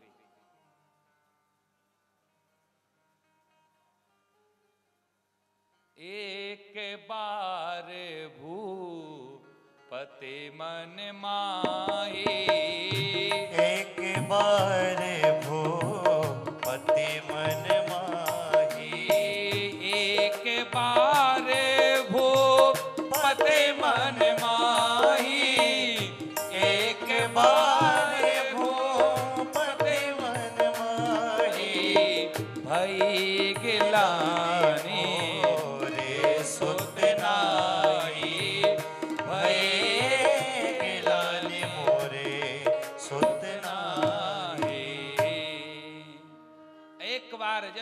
देखा।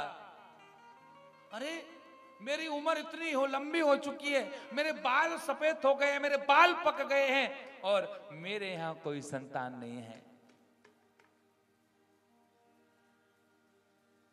कोई संतान नहीं है। गुरु ग्रह गया तुरते मही पाला। गुरु ग्रह गया तुरत मही गुरु ग्रह गाया हो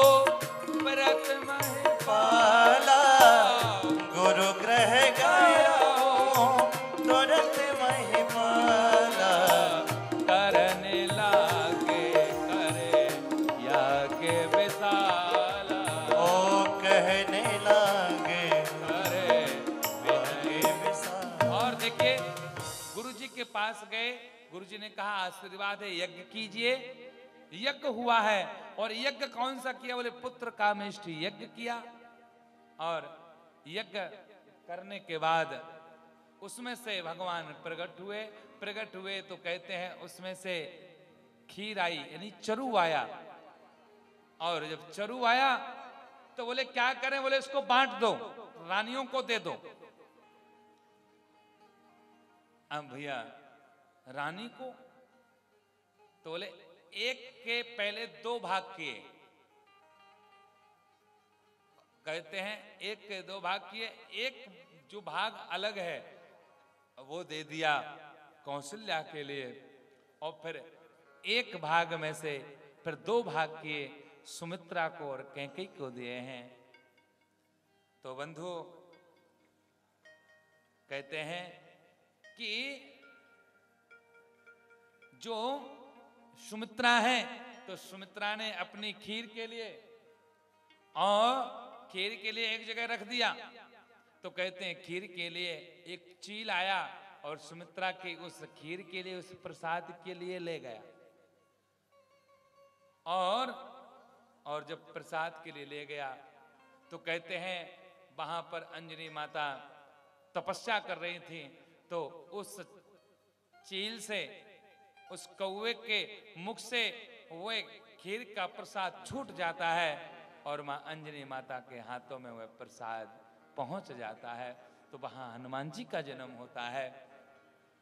अब भाई, सुमित्रा के लिए खीर नहीं है तो कहते हैं, अर्ध भाग कौशल्या की आधा भाग कौशल्या ने अपने में से दे करके और थोड़ा सा भाग कैकई ने दिया है और सुमित्रा को दिया है। सुमित्रा ने उस प्रसाद को पाया है। तीनों रानियों ने पाया है। अब भैया, तीनों रानी गर्भवती हो गई। तीनों रानी गर्भवती हो गई। अब तो इतना सुंदर लग रहा है। बहुत सुंदर लग रहा है अयोध्या में।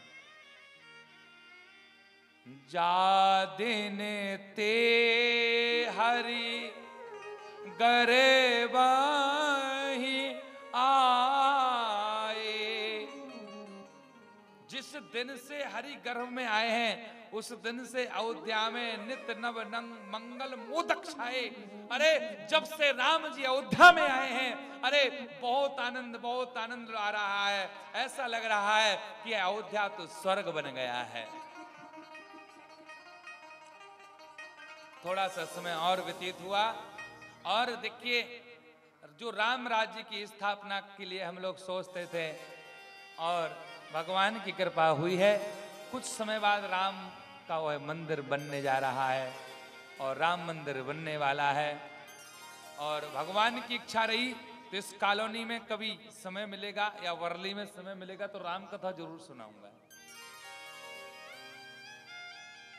भागवत कथा में कुल दो अध्याय में राम जी का जन्म ही आता है। क्योंकि कृष्ण कथा सुनने से पहले राम कथा सुनना ज़रूरी है। कहते हैं, राम कृष्ण दो एक हैं, अंतर नहीं निमेश, राम के नयन गंभीर हैं, कृष्ण के चपल विशेष। राम और कृष्ण दोनों एक हैं, लेकिन चार चीज़ों का अंतर है। पहला है नाम दूसरा है काम, तीसरा है पाम। नाम, काम, धाम, पाम। चार चीज़ों का अंतर। और कहते हैं राम कृष्ण दो एक हैं। नहीं, बिल्कुल अलग अलग है। एक नहीं है। राम कृष्ण दो एक हैं। देखिए, कृष्ण का काम क्या है? चलो, कृष्ण का बोले, नाम। कृष्ण का नाम कोई शुद्ध नहीं ले पाता है। कोई कृष्णा, कोई कृष्णो, कोई किशन, कोई कृष्णो, शुद्ध नाम नहीं है, क्योंकि उसका टेढ़ा नाम है। और टेढ़ा नाम क्यों है? और कन्हैया कैसे हैं? तू टेढ़ो तेरी, टेढ़ी नगरिया यशोदा तेरी टेढ़ी है? और टेढ़ी रे तेरी गोकुल नगरिया। टेढ़ी रे तेरे गोकुल नगरिया। सब टेढ़ा है, तू भी टेढ़ा है। तो कहते हैं, भगवान कैसे टेढ़े। तो पै और राम में रहे। राम का नाम बहुत सीधा है। कोई भी इंसान नाम ले लेता है राम। नाम में अंतर है कि नहीं? अब बात की जाए काम की। राम ने क्या किया और कृष्ण ने क्या किया? कृष्ण ने अपने मामा का उद्धार कर दिया, मौसी को मार दिया। और राम ने राक्षसों का संहार किया। और कन्हैया ने रिश्तेदारों का संहार किया। तो काम में भी अंतर है। अच्छा एक बात और आप लोगों ने देखी? लोग ये कहते हैं कि स्त्री पर हाथ नहीं उठाना चाहिए। राम ने और कृष्ण ने सबसे पहले स्त्री को ही मारा था। राम ने ताड़कासुर को पहले मारा था और कृष्ण ने सबसे पहले पुतना को मारा था। क्यों? उसका एक अर्थ है यह है कि जब तक जो स्त्री है, अगर उसकी बुद्धि राक्षसी की है तो सबसे पहले संतान को तो हम बाद में मारेंगे। सबसे पहले जिसने जन्म दिया है, उस राक्षस को ही मार दो। जब वो जन्म देने वाली नहीं रहेगी तो संतान राक्षसी कहाँ से आएगी? और अंतोगत देखिए, समय का अभाव है। पाँच मिनट में राम जन्म करके कृष्ण जन्मोत्सव की तैयारी करेंगे। और कहते हैं, बढ़िया गर्भवती हुई, बढ़िया आनंद आ रहा है। बढ़िया वह माँ है आ गया। बढ़िया दिन था। ओ,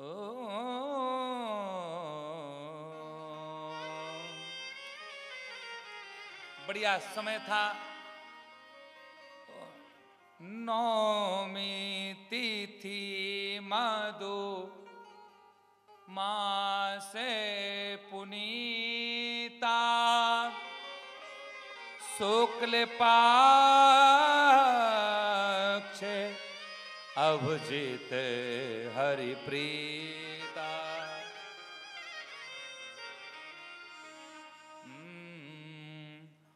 नौमी तिथि मधु। मधु मास पुनीता शुक्ल पक्ष अभी जित हरि बढ़िया सुंदर दिन था। नौवीं तिथि थी मधुमास था चैत का माह था।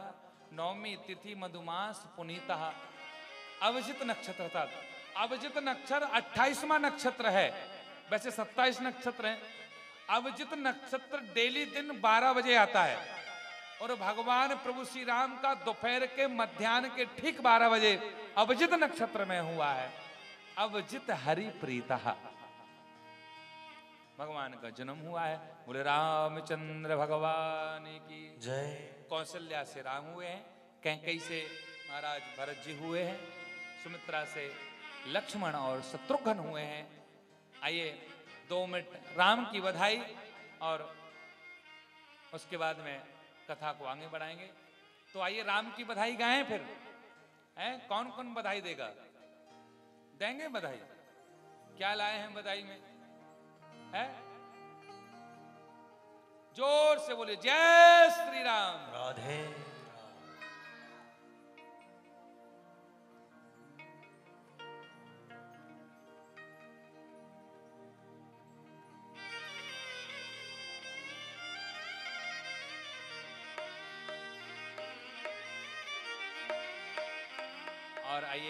राम जी की बधाई।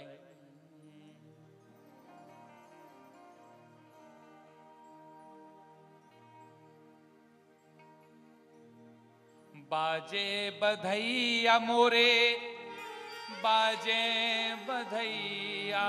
बधैया। गाइए बाजे बधैया मोरे बाजे बधैया। प्रकटे हैं चारों भैया अवधे में बाजे बधैया। प्रकटे प्रकटे चारों भैया अवधे में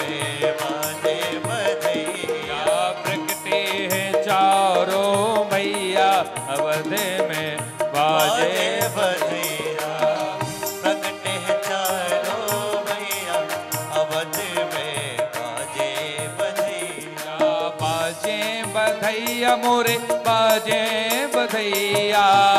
बाजे बधैया मोरे बाजे बधैया। बाजे बधैया मोरे बाजे बधैया। बाजे बधैया मोरे बाजे बधैया। बाजे बधैया मोरे बाजे बधैया बाजे बधैया मोरे बाजे बधैया। या प्रकटे है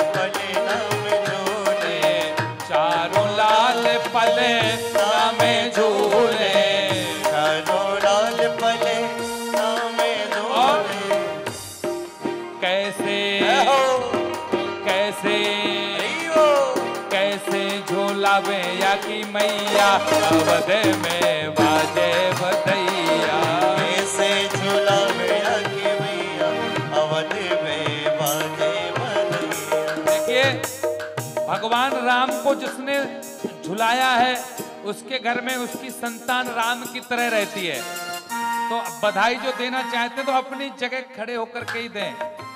ये नहीं के आगे आकर के हरि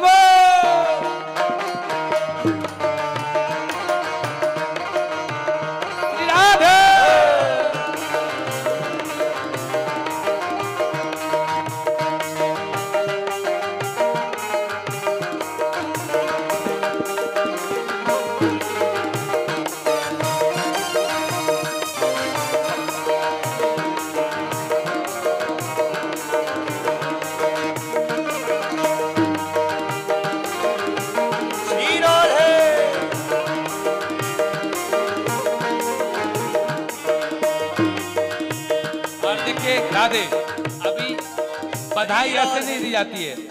संसार में बालक का जन्म होता है तो कितना हम नाचते, झूमते हैं। हैं? हाथ ऊपर कीजिए।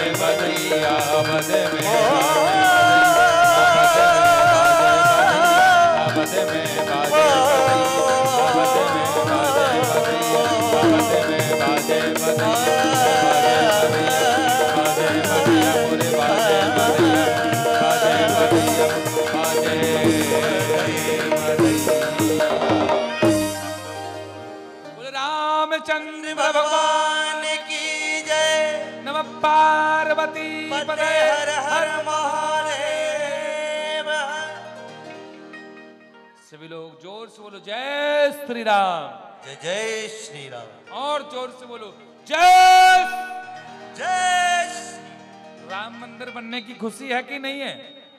है? तो ज़ोर से बोलो जय श्री राम जय श्री राम अभी आवाज़ ठीक से नहीं आई। मैं थोड़ा बहरा हूँ कम सुनता हूँ।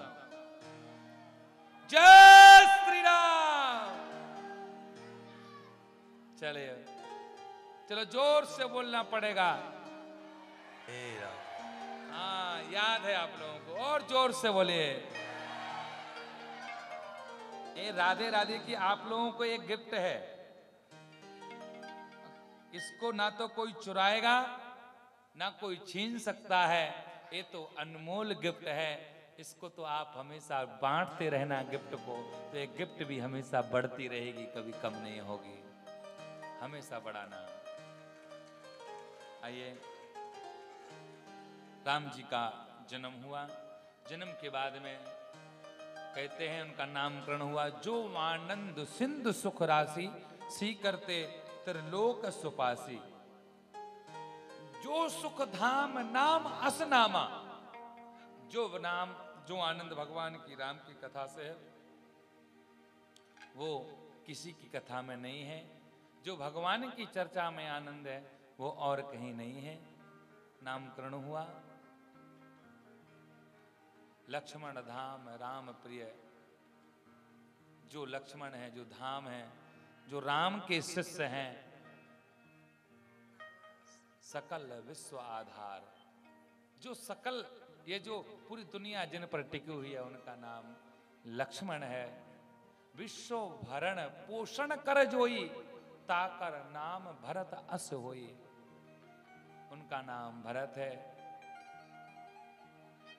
और जिसका नाम सुमरण करने से प्रकाश आ जाए, रिपुनासा, उनका नाम शत्रुघ्न है।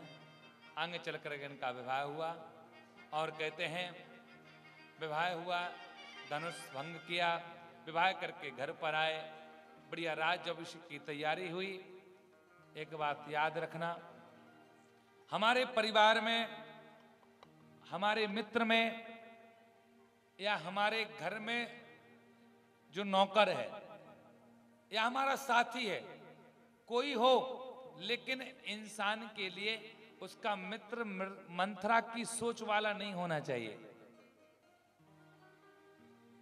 हम काम पर उसको लगाएँ जिसको काम की ज़रूरत है। हम ड्राइवर उसको बनाएँ जिसको ड्राइवरी की ज़रूरत है। किसी बड़े व्यक्ति को ड्राइवर बना लोगे, उसके पास में आपके जैसे कई गाड़ी हैं तो आपकी गाड़ी की वैल्यू नहीं करेगा, इज़्ज़त नहीं करेगा, कहीं ठोक देगा, कहीं पीट देगा।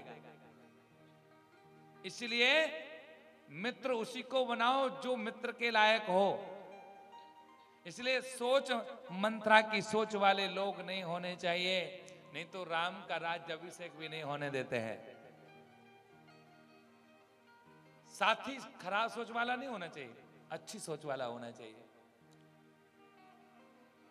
और आए हैं, तापस वेश विशेष उदासी चौदह वर्ष राम वनवासी। क्या ने अपने दशरथ जी से अपने वरदान मांगे। राम के लिए वनवास चाहिए और हमारे पुत्र भरत के लिए राज्य अभिषेक, राजा बनना है, उनका अभिषेक होना चाहिए। देखिए, राम मर्यादा पुरुषोत्तम राम कब कहलाए? जब राम वन में गए, तब राम मर्यादा पुरुषोत्तम राम कहलाए। क्योंकि रघुकुल रीत सदा चल आई, प्राण जाए पर वचन ना जाई। राम तभी मर्यादा हुए जब वह वन में गए। क्योंकि वन का राज भगवान के अंदर था। क्योंकि भगवान अगर वहाँ नहीं जाते तो कहते हैं कि और लोगों का उद्धार कैसे होता? वनवास में गए हैं, दशरथ जी का देहांत हुआ, सीता हरण हुआ, सीता जी की खोज के लिए हनुमान जी से कहते राम जी का मिलन हुआ, हनुमान जी ने सीता जी की खोज की और बाद में वहाँ पर रावण का वध किया, बाद में पुनः आए, रामराज की फिर से स्थापना हुई तो हमारे यहाँ भी फिर से रामराज की स्थापना हुई। आइए, आगे और कथा का मैं और वर्णन करता हूँ कि यहाँ पर परीक्षित जी सुखदेव से पूछते हैं कि महाराज मुझे मेरे कृष्ण की कथा सुनाइए। तो यहाँ पर सुखदेव जी ने कथा सुना दी कि कन, कन्हैया का जन्म जेल में हुआ। उग्रसेन के पुत्र कंस ने अत्याचार किया देवकी को जेल में कर लिया कन्हैया का जन्म हुआ गोकुल ले गए। गोकुल से फिर वो वृंदावन आ गए और कन्हैया ने बहुत लोगों का उद्धार कर दिया पूतना को मार दिया। बाद में कंस का उद्धार करके द्वारकाधीश चले गए। द्वारकाधीश बोले, सब हो गया। परीक्षित जी कहते हैं, बोले, कथितो वंश विस्तारो, भवता सोम सूरयो, भवता सोम सूरयो। अरे कथतो वंश विस्तारो, भवता सोम सूरयो राज्ञाम भय वंश्यानाम चरतम परमात्भुतम अरे, मुझे चरित्र मेरे भगवान का विस्तार से बताइए। कथतो वंश विस्तारो, भवता सोम सूरयो जैसे आपने सूर्य वंश विस्तार से किया, वैसे चंद्र वंश भी आप मेरा विस्तार से कीजिए। पता तो चले भगवान के वंशज में कौन कौन हुए हैं। तो कहते हैं कि चंद्र वंश में सबसे पहले राजा याति हुए। याति का विवाह देवयानी से हुआ। देवयानी से कहते हैं, जो पुत्री हुई, शर्मिष्ठा तो कहते हैं आगे चल करके देवयानी से पुत्री जो थी, शुक्राचार्य से विवाह हुआ। शर्मिष्ठा ने देवयानी के कपड़े नहीं पहनने दिए और शरीर को नहीं ढकने दिया। देवयानी शर्मिष्ठा के घर आई। याति के फिर कहते हैं, यहाँ पर पुरु हुए हैं, पुरु ही चंद्रवंश में आए हैं, पुरु के रंती देव हुए हैं। रंती देव के महाराज यदुराज का वर्णन आता है, यदुराज हुए हैं, इनके यहाँ पर आहुक हुए हैं। आहुक के दो पुत्र हुए हैं, एक का नाम देवक है, एक का नाम महाराज उग्रसेन है। कहते हैं, देवक की सात कन्याओं ने जन्म लिया। सात कन्या कौन कौन सी हैं? पौरवी, रोहिणी, भद्रा, मदरा, रोचना, इला। और सातवीं है देवकी। कहते हैं, इन सात बहनों सात कन्याओं में से एक कन्या को छोड़कर छह कन्याओं का विवाह महाराज वसुदेव से करा दिया है। और कहते हैं उग्रसेन की पत्नी का नाम था पवन रेखा पवन रेखा एक दिन अपने बालों को धो करके वन में घूमने के लिए गई। तो एक राक्षस था उस राक्षस का नाम था, दुर्मिक नाम का राक्षस था। उसने पवन रेखा को देखा तो बहुत सुंदर थी पवन रेखा। मन खराब कर लिया इस राक्षस ने और कहते हैं कि पवन रेखा को देखा तो इस राक्षस ने उग्रसेन का रूप धारण कर लिया और पवन रेखा के साथ में कुशन किया। पवन रेखा ने श्राप दिया तो वह दुर्भिक नाम का राक्षस कहता है, मुझे श्राप नहीं लगेगा, क्योंकि मैं तो अधर्मी हूँ। मैं तो अधर्म का प्रचार करने के लिए आया हूँ। लेकिन एक बात याद रखना, इससे बहुत भयानक संतान जन्म लेगी, बहुत बलशाली रहेगी, वो वह मथुरा पर राज करेगा। तो पवन रेखा से फिर कंस का जन्म हुआ है। अब भैया कंस थोड़ा बड़ा हो गया। अब कंस अपनी बहन देवकी से बहुत प्रेम करता है, बहुत प्रेम। अब बोले, क्या करें? विवाह तो करना है। किसके साथ किया जाए? मेरी बहन अच्छे घर में जाए तो मुझे भी अच्छा लगेगा। अब भैया, बहन के लिए घर देखा तो कहते हैं, घर भी कहा मिला? बोले वसुदेव के यहाँ बोले, छह बहन है तो साथ में और वहीं कर दो। ये अकेली कहाँ रहेगी? कम से कम एक साथ में तो रहेगी। साथ में रहेंगी, सातों एक साथ में साथ रहेंगी। बोले, ठीक है, विवाह भैया नक्की हुआ। और विवाह नक्की हुआ, बढ़िया विवाह हुआ। पाणी ग्रह संस्कार हुआ, बढ़िया कन्यादान किया कंस ने। और जब अंतिम समय में जैसे ही कहते हैं कि जब देवकी की विदा करने के लिए कंस तैयार हुआ, देवकी को डोली में बैठा दिया और जैसे ही देवकी को डोली में बैठाया है, बंधुओं, आकाशवाणी हुई कि हे कंस कंस, अरे अरे, तू जिस बहन की विदा कर रहा है और उसी बहन के गर्भ से उसकी संतान तुझे नष्ट कर देगी, तुझे मार देगी। तेरी बहन की संतान तुझे छोड़ने वाली नहीं है। तेरी बहन के पुत्र तेरे लिए काल है, काल। और तू बहन की विदा कर रहा है। आकाशवाणी जैसे ही होती है बंधुओं कंस को गुस्सा आया और देवकी के बाल को पकड़ करके नीचे उतार लिया। जो भाई, एक मिनट पहले जो भाई अपनी बहन के लिए, जो अपनी जान देने के लिए तैयार था, महाराज, आज वह भाई उसी बहन को मारने के लिए तैयार है। देवकी रो रही है, भैया, मत मारो मुझे, मत मारिए। मैं तुम्हारी बहन हूँ। मत मारिए। अरे, बहन, अब मैं तुझे छोड़ने वाला नहीं हूँ। अब तो तेरे लिए आज यहाँ पर मैं मार ही दूँगा। बहन ने बहुत बार कहा, मत मारो भैया, मत मारिए। नहीं, अब छोड़ेंगे नहीं, बालों को पकड़ लिया।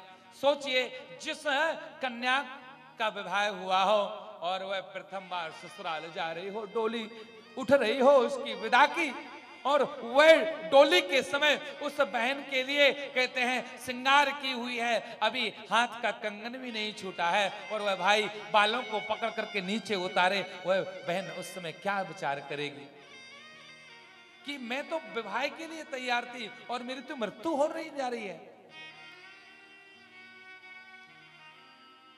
देवकी से एक डोली और कहने लगी।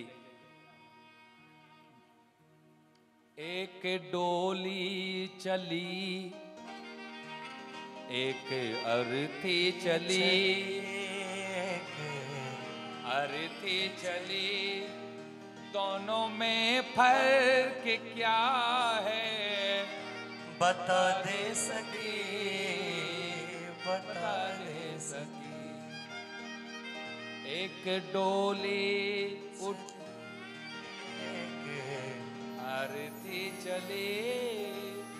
बात दोनों में फिर तरह से चली तरह से चली।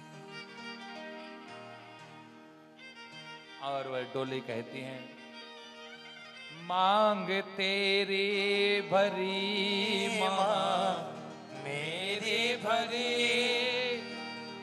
चूड़ी तेरी हरी चूड़ी मेरी हरी चूड़ी मेरी हरी। फ़र्क दोनों में इतना, सुन ले सकी हाँ सुन ले सके तो पिया को चली मैं, प्रभु को चली मैं, प्रभु को चली। और डोली कहने लगी, एक डोली ने कहा, अरे कहाँ जा रही हो? उसने कहा, मैं तो पिया के यहाँ जा रही हूँ और मैं पिया को छोड़ चली। मेरे पति छूट गए हैं। मांग तेरी भरी, मांग मेरी भरी। दोनों में फ़र्क यह है, मैं तू विदा हो चली, मैं अलविदा हो चली। मैं संसार को छोड़ करके जा रही हूँ। यहाँ पर वसुदेव ने कहा कि देखिए कंस, और जब कंस ने अत्याचार करना प्रारंभ किया तो उग्रसेन आए, बोले, बेटा छोड़ दो, ये तुम्हारी बहन है। कंस ने कहा, अब इसको छोड़ने वाला नहीं हूँ। पिताजी, अगर तुम भी कुछ करोगे तो तुम्हारे लिए भी हम मैं कारागार में डाल दूँगा। तो कहते हैं, कंस ने अपने पिता उग्रसेन को भी कारागार में डाल दिया। और राजा बन गया। और वसुदेव ने कहा, तुम्हें इसकी संतान से डर है तो इसकी जितनी संतान होगी, हम सब आपको दे देंगे। सब आपको दे देंगे। अब भैया कारागार में बढ़िया हाथ में, हथकड़ी, पाँव में बेड़ी बढ़िया डाल दिया। पहली संतान हुई, कंस को दी। कंस ने कहा, भाई, पहली संतान से मुझे कोई दुश्मनी नहीं है। आठवीं संतान से डर है। नारद जी आ गए, बोले, कंस क्यों छोड़ दिया उसके लिए? बोले, एक गुलाब की पंखुड़ी लाए, कहीं से भी गिनो, कहीं भी आठ आ जाएँगे, कोई भी संतान काल हो सकती है। अब नारद जी तो ये चाहते थे, इसका घड़ा जल्दी भर जाए पाप का और जल्दी मर जाए कंस। और उस बालक को लिया, पहले पुत्र को लिया, और जैसे पत्थर पर मारा, देहांत हो गया। दूसरी संतान हुई, दूसरी मर गई, तीसरी, चौथी, पांचवी, छठवीं। सातवीं संतान के लिए हमारे बलराम जी आए तो कहते हैं, बलराम जी के लिए योग माया के द्वारा रोड़ी के गर्भ में पहुँचे वहाँ बलराम जी का जन्म हुआ है। और आठवीं संतान के रूप में हमारे माधव, हमारे कन्हैया आए हैं। और जब कन्हैया गर्भ में आए, सभी देवी देवताओं ने बढ़िया उनका स्वागत किया। और देखिए, स्वागत किया है और स्वागत के बाद में कहते हैं, वह भाद पद्र का माह आया, बढ़िया सुंदर माह आया, भादों का महीना आया। भगवान ने पहले राम अवतार दिन में लिया था। आज यहाँ पर मेरे श्री कृष्ण कन्हैया रात्रि के बारह बजे ले रहे हैं। क्योंकि जब राम ने जन्म लिया था तो सूर दो दिन तक हटे नहीं थे। दर्शन करते रहे एक माह तक। चंद्र ने कहा, भैया, ओ सूर भैया, हट जाओ, हम भी दर्शन कर लेंगे राम का। राम जी ने कहा, कोई परेशानी नहीं है। अगला जन्म होगा तो चंद्र वंश में होगा। चिंता मत करो, तुम भी देखते रहना। इसलिए रात्रि में आए हैं। चंद्र का समय है।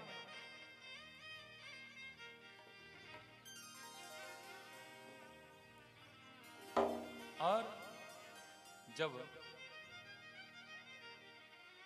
अब यहाँ पर देखिए,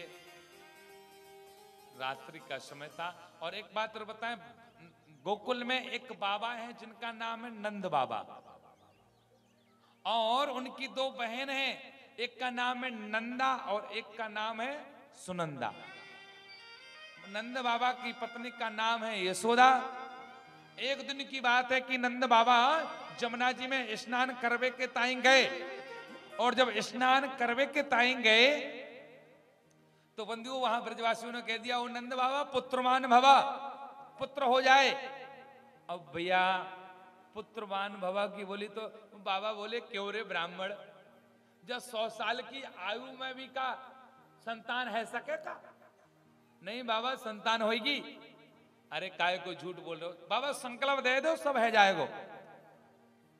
बाबा ने संकल्प दिया। अब ब्रजवासी मंत्र नहीं जानते थे।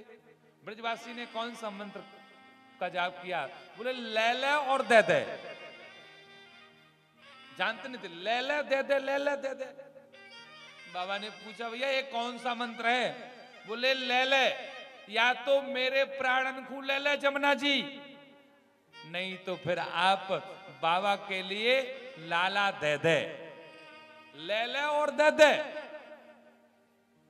और यहाँ ब्राह्मणों की वाणी को जमुना जी ने सुना, भगवान ने सुना है, यशोदा जी भी गर्भवती हो गई। अब नंदा और सुनंदा, नंदा और सुनंदा से नंद बाबा ने कह के रखा था कि जो मुझे सबसे पहले खुशखबरी देगा, मैं उसके लिए सोने का नवलखा हार दूँगा। और सोने का नवलखा हार, ओहो। अब हार मिल जाए। माताओं का सर्वश्रेष्ठ दो चीज़ होती हैं। एक सोना मिल जाए पहनने के लिए, दूसरा बढ़िया साड़ी मिल जाए। बस चकाचक है भाई। अच्छा अच्छा कई माताएँ एक व्रत करती हैं। उस व्रत का नाम है करवा चौथ। अच्छा एक बात सत्य बताना, करवा चौथ आकर किया ही क्यों जाता है? पता है हैं? अरे करवा चौथ पति के उम्र के लिए तो आप लोग मानती हैं, अच्छी बात है। करवा चौथ के लिए दिन किसको वरदान था? बोले, करवा चौथ के दिन उल्लू को वरदान था। उल्लू लक्ष्मी की सवारी है। और उल्लू ने कहा, अरे, हमारी भी इच्छा है कि हमारी भी किसी दिन पूजा हो। तो लक्ष्मी ने कहा, चिंता मत करो, चौथ के दिन करवा चौथ आएगा, तुम्हारी पूजा होगी। तभी तो आज संसार की माताएँ अपने पति को उल्लू समझती हैं और उल्लू मान करके उनकी पूजा करती हैं। बात सही है, जिस स्त्री को उसके पति ने साल भर एक साड़ी का जोड़ा नहीं लिवाया है, करवा चौथ के दिन तो वो स्त्री ज़रूर लिवाई लेती है। चाहिए अब तो। अब चलने वाला नहीं है। आज से सौ साल पहले कोई करवा चौथ नहीं होता था। आपके घर में बड़ी बुज़ुर्ग माताएँ होंगी, पूछ लेना। कोई करवा चौथ नहीं, ये सब टीवी ने बिगाड़ दिया है। बोले, टीवी ने बीबी को बिगाड़ दिया। देख देख कर सब देखेंगी, भाई, करवा चौथ है, साड़ी चाहिए, ये चाहिए, वो चाहिए। कई माताएँ तो करवा चौथ के दिन ही अपनी मनोकामना पूर्ण करवाती हैं। दिन भर से कुछ नहीं खाया। अब शाम का समय हुआ, पति घर पर आए बोले, आज मैंने आपकी उम्र के लिए व्रत रखा है। अच्छा एक बात और है। सारे व्रत हैं जितने बनाए ना, सब महिलाओं के लिए बनाए, कोई पुरुष के लिए तो बनाया ही नहीं है कि पुरुष भी अपनी पत्नी की उम्र के लिए कोई जाप करे। सब पत्नी ही जाप करती रहती हैं। अब भैया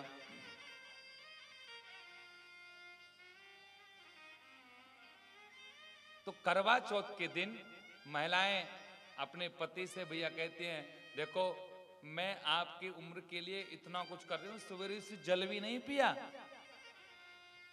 आप मार्केट ले चल रहे हो कि नहीं ले चल रहे हो? नहीं तो मैं अभी हाल है भोजन करती हूँ। अब पति कहते हैं, भाई, भोजन कर लेगी, हमारी उम्र कम हो जाएगी। चलो, चल, ज्वेलर्स की दुकान पर चलते हैं। एक किसी शहर में उस कन्या ने पहली बार करवा चौथ किया इस सत्य घटना है। पहली बार उसका विवाह हुआ बोलो पहली बार करवा चौथ आया व्रत किया। अब पहले कभी किया नहीं था।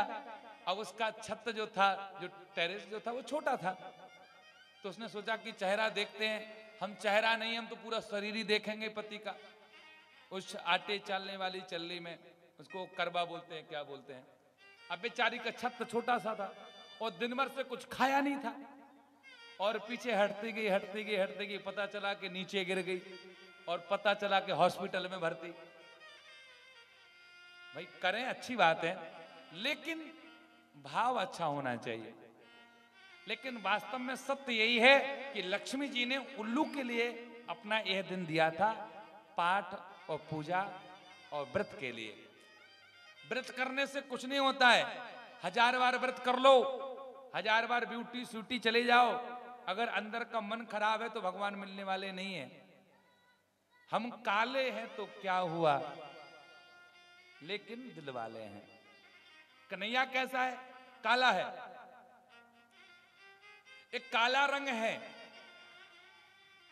कैसा है? काली कमली ने ऐसा रंग डाला। कि रंग कोई चढ़ता नहीं। काली कमली ने काली कमली ने ऐसा रंग डाला कि रंग कोई चढ़ता नहीं। काली कमली ने ऐसा रंग डाला कि रंग कोई चढ़ता नहीं। काली कमली ने काली कमली ने काली कमली ने ऐसा रंग डाला कि रंग कोई चढ़ता नहीं। ओ काली कमली ने ऐसा रंग डाला कि रंग कोई चढ़ता नहीं। के रंग कोई चढ़ता नहीं। रंग कोई चढ़ता नहीं। रंग कोई चढ़ता नहीं। काली कमली ने काली कमली ने काली कमली ने ऐसा रंग डाला कि रंग कोई चढ़ता नहीं। ओ काली कमली ने ऐसा रंग डाला कि रंग कोई हरि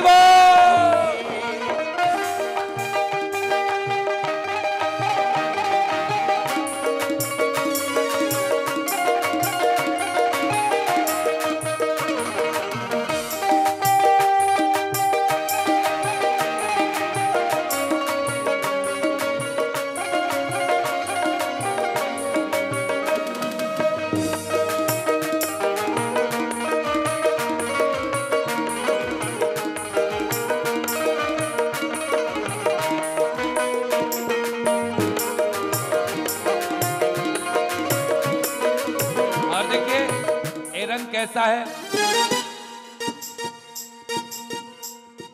कि रूप भी काला रंग भी काला। रूप भी काला रंग भी काला। रूप भी काला रंग भी काला। रूप भी काला रंग भी काला। फिर भी गजबे करे डाला। ओ काली कमली ने ओ काली कमली सजा रंग एक रंग कैसा है कि ज्यो ज्यो धोबे, ज्यो ज्यो चमके, ज्यो ज्यो धोबे, त्यों त्यों चमके, ऐसा रंग निराला। ये रंग कैसा है? इसको, देखिए, काले रंग पर कोई नहीं चढ़ पाता है, काला रंग सब पर चढ़ जाता है। है ना? काला रंग ही ये कैसा है। ज्यो ज्यो धोवे, त्यों त्यों चमके, ज्यो ज्यो धोवे, त्यों त्यों चमके, ऐसा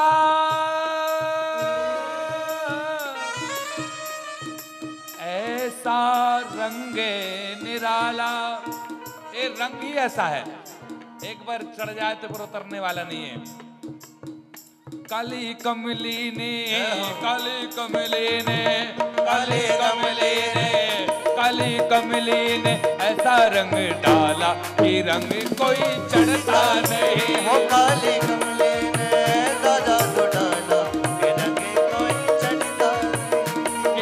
रंग कोई चढ़ता नहीं। रंग कोई चढ़ता नहीं। कल कमले ने काली कमले ने काली कमले ने ऐसा रंग डाला कि रंग कोई चढ़ता नहीं।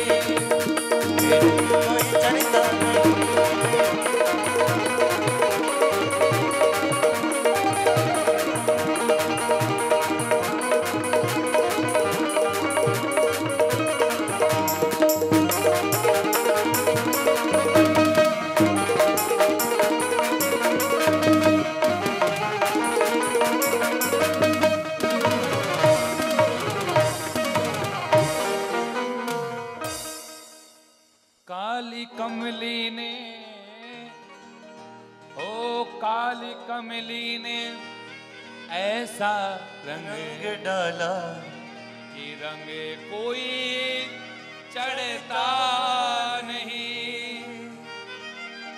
एक बार गाइए चले इसके लिए। अभी तीन दिन और है अभी। अभी और रंग चढ़ेगा। कल भगवान की माखन चोरी की लीला और गोवर्धन की पूजा है कल। कल छप्पन भोग यहाँ पर लगेगा। आप लोग अपनी तरफ़ से भी कुछ कुछ बना करके ला सकती हैं जिससे छप्पन भोग लग सके कल भगवान के लिए। माखन चोरी की लीला कल भगवान मटकी फोड़ेंगे, मटकी फोड़ लीला रहेगी और अंतिम में गोवर्धन की पूजा होगी। तो कहिए काली कमली ने, काली कमली ने ऐसा रंग डाला कि रंगे कोई चढ़ता नहीं। काली कमली ने ऐसा रंग डाला कि रंगे कोई चढ़ता नहीं। और भगवान का रंग आज इस मथुरा वालों पर चढ़ने वाला है। आइए, उसके बाद में क्या हुआ?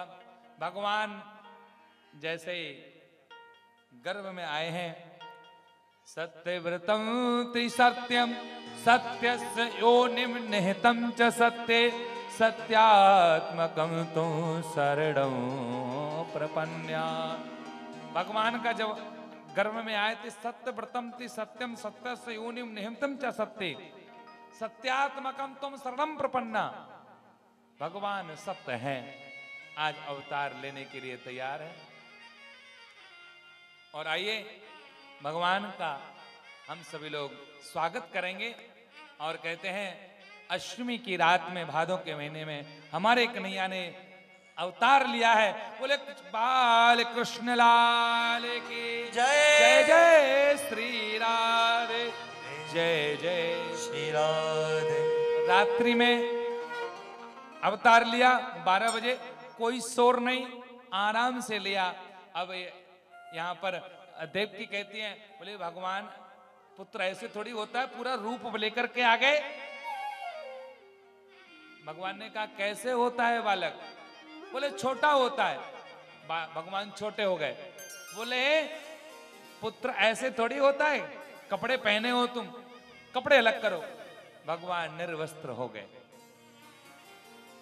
अरे, चार हाथ लेकर के आयो।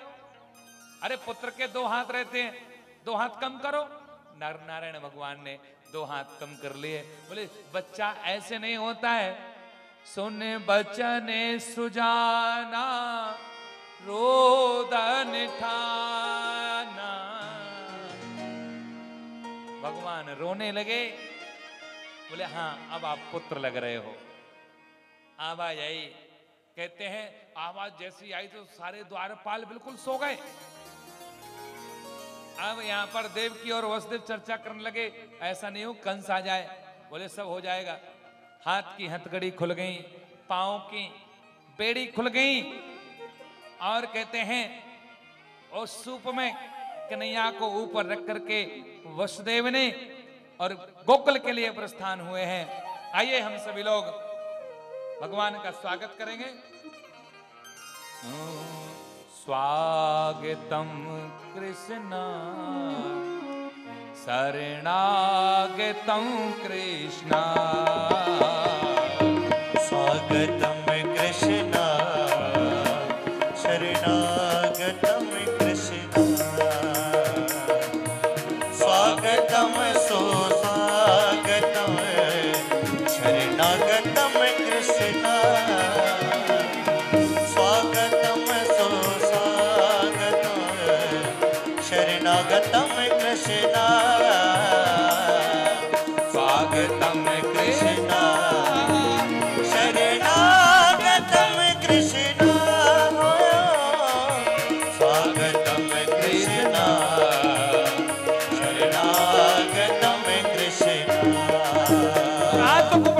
स्वागत करेंगे। हरि बोल।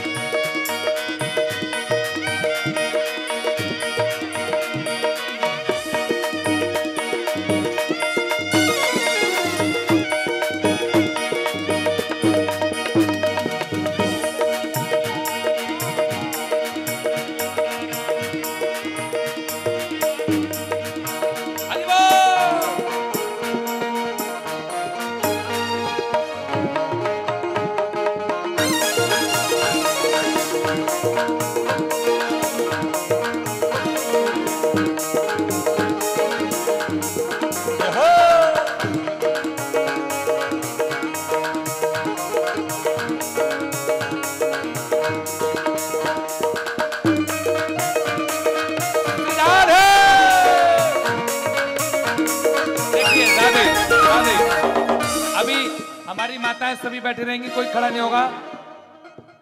ऐसे नहीं तो हाथ ऊपर कीजिए।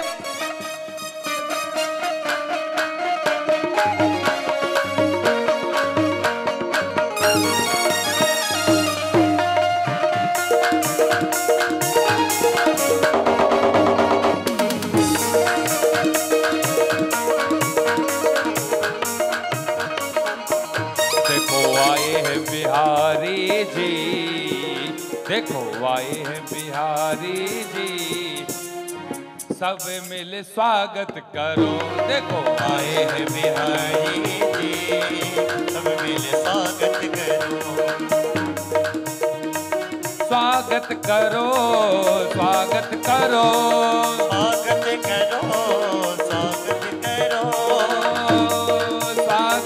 करो स्वागत करो। स्वागत करो स्वागत करो। देखो आए हैं देखो आए हैं देखो आए हैं बिहारी जी। देखो आए हैं बिहारी जी सब मिल और राधे वसुदेव जब ऊपर रख करके ले जा रहे थे घनघोर वर्षा होने लगी। जमुना जी की बाढ़ आ गई और जब बाढ़ आ गई और जब बाढ़ आ गई तो कन्हैया कहते हैं, अरे जमुना जी, पिताजी को निकल जाने दो, नहीं तो मैं गोकुल नहीं पहुँच पाऊँगा। जमुना जी ने कहा, मुझे दर्शन दे दो। भगवान ने अपने पैर नीचे किए, स्पर्श किए और सीधे चली गई हैं। और क्या साथ आई है साथ आई है साथ आई है राधा रानी। सब मिल स्वागत करो साथ आई है राधा रानी। सब मिल स्वागत करो स्वागत करो स्वागत करो। स्वागत करो स्वागत करो। देखो आए हैं। देखो आए हैं देखो आए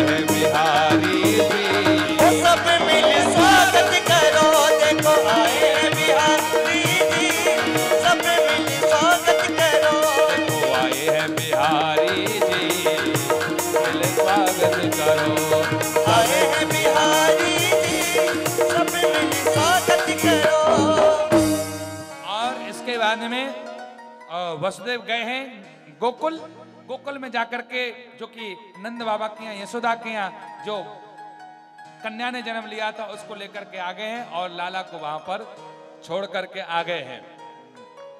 और कंस ने यहाँ पर कहते हैं, उस कन्या को मारना चाहा।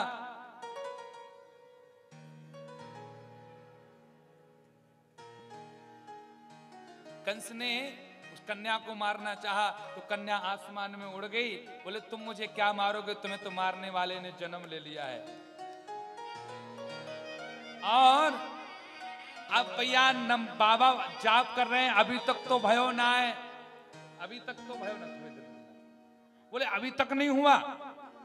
बहुत देर हो गई, नंदा गई हैं, यशोदा के कक्ष में कपड़े को धीरे धीरे हटा रही हैं।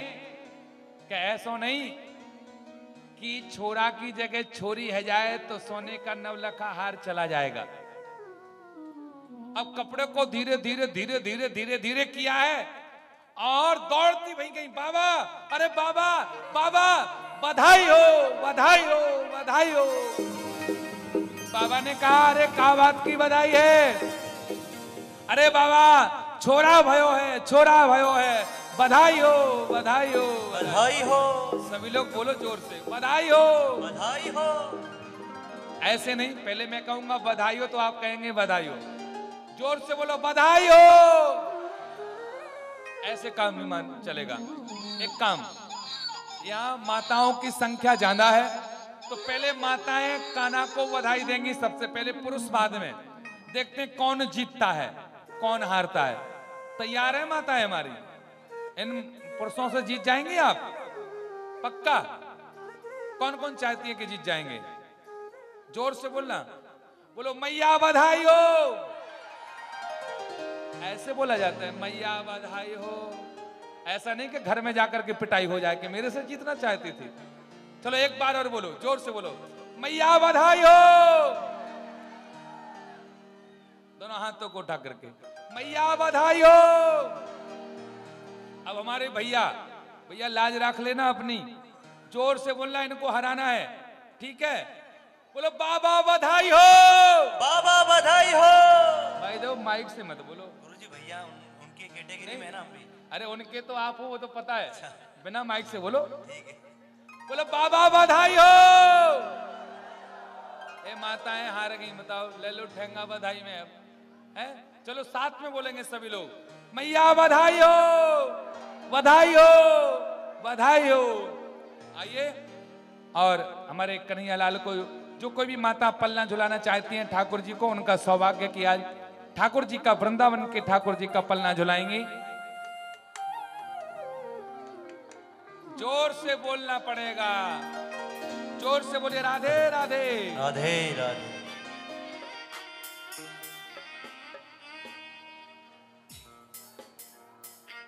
तो क्या? अरे अरे नंद जू के अंगना में बजे रहे आज बधाई। नंद झुके अंगना में बज रहे आज बधाई। नंद झुके के अंगना में बजे रही आज देखिए राधे। जय श्री राम। आराम से आएँगे बाकी पीछे रहे। पंडाल बहुत बड़ी है मस्ती भी तो करना है। ठाकुर जी को जो कोई भी भेंट देना चाहती है, पल्ले में डाल देंगे।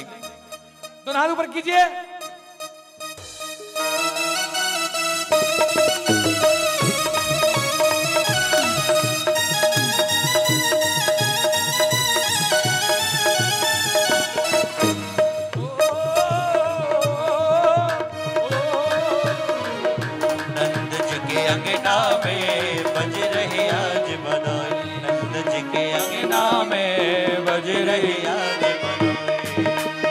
नंद जी के अंगना अंगना में बज रही आज बधाई देखो। रही आज बधाई देखो। बज रही आज बधाई। नंद झुके अंगना में। बज रही आज बधाई। और सौ सौ बार बधाई लो तो। सौ सौ बार बधाई सौ सौ बार बधाई लो तो। सौ सौ बार बधाई लो तो। लाखों बार बधाई नंद झुके। अंगना में बज रही आज बधाई। और देखिए हमारे यहाँ कहते हैं वृंदावन से गोकुल हमारी गोपी आ रही है बढ़िया सच धज करके बधाई देने के लिए। आइए हम सबके बीच में हरी बोल।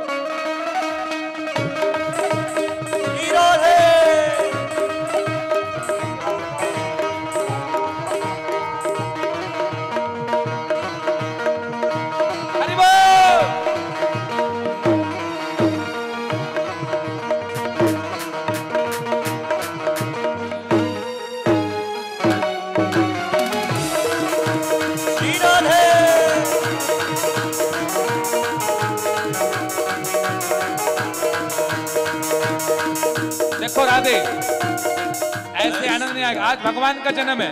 हाथ ऊपर कीजिए और मस्ती में हरी बोल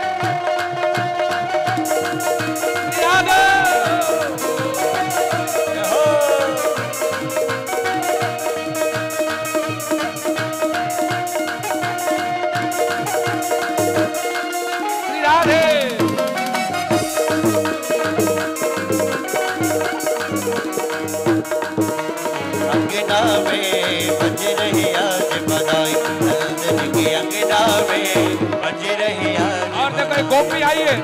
और चमत्कार सा हो गया लोग, हो गए बात निराले। अंधकार सा हो गया लोग, हो गए बात निराली। राती रात में नंद बाबा की काड़ी हो गई काली। और रात में रात में नंद बाबा की काड़ी हो गई काली। नंद जी के हो? में बजे रही आज बधाई नंद जी के में और देखिए ये बधाई देने के लिए आई है।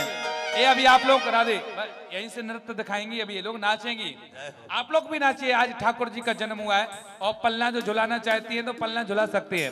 तो नाथ कीजिए ऊपर। ओ नंद झुके अंगना में बज रही आज बधाई। नंद झुके के अंगना में बज रही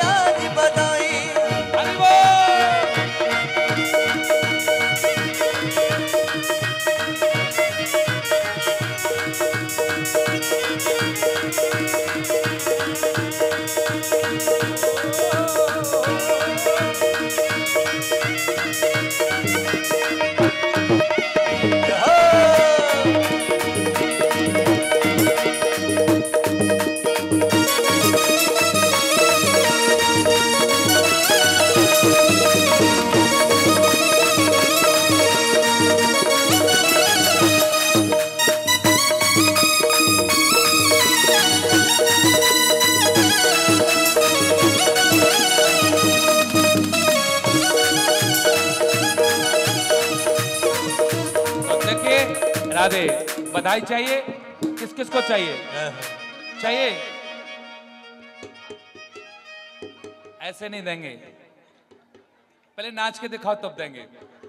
ओ नंद जो के अंगना में बजे रही आज बधाई। नंद जी के अंगना में बज रही आज बधाई। बधाई हो!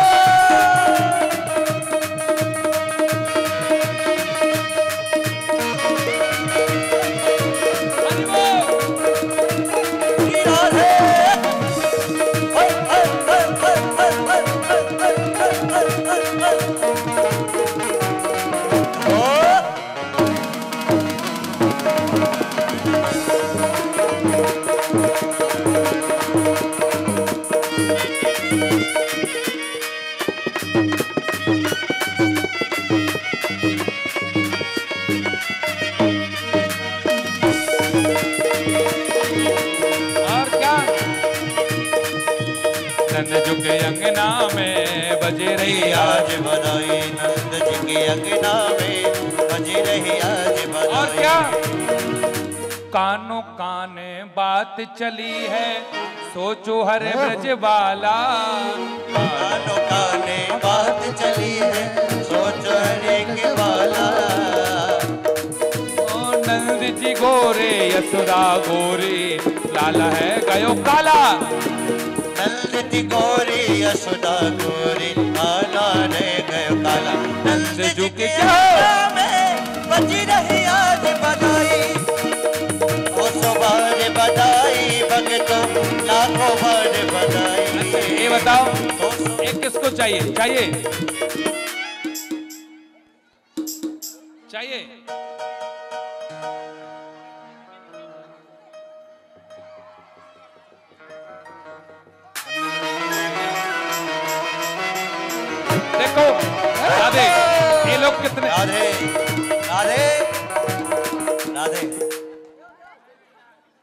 नंद के आनंद भयो। जय कन्हैया लाल की नंद गरा नंद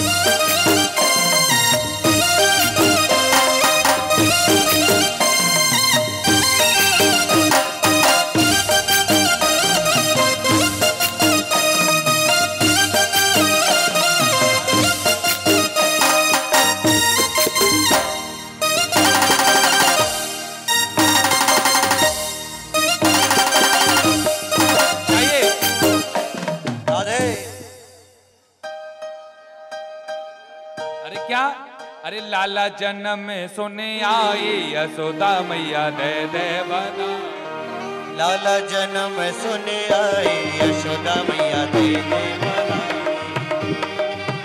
सुने आई यशोदा मैया दे दे बधाई दे दे बधाई मैया दे दे बधाई। दे दे बधाई मैया दे दे बधाई। मैया दे दे बधाई।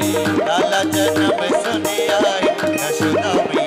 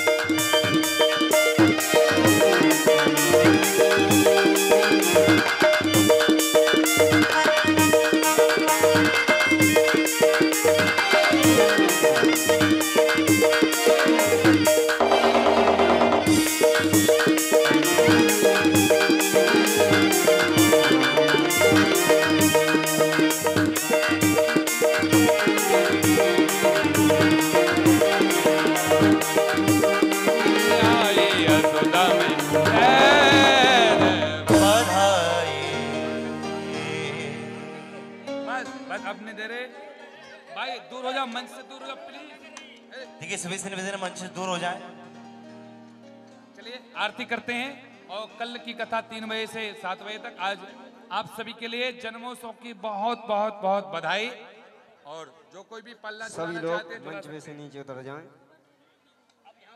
देखिए निवेदन करते हैं सभी लोग मंच में से नीचे उतर जाएँ। बस। चलो।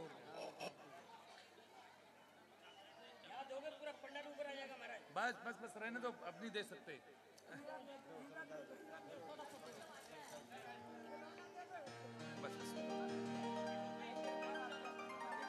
सभी लोग मंच पे से नीचे सभी लोगों से निमंत्रण विनती है कि जो ऊपर मंच पे खड़े हुए हैं कृपा करके नीचे जाएँ। सभी माता बहनों से मेरा नम्र निवेदन है कि कृपा करके व्यवस्था बनाए रखें।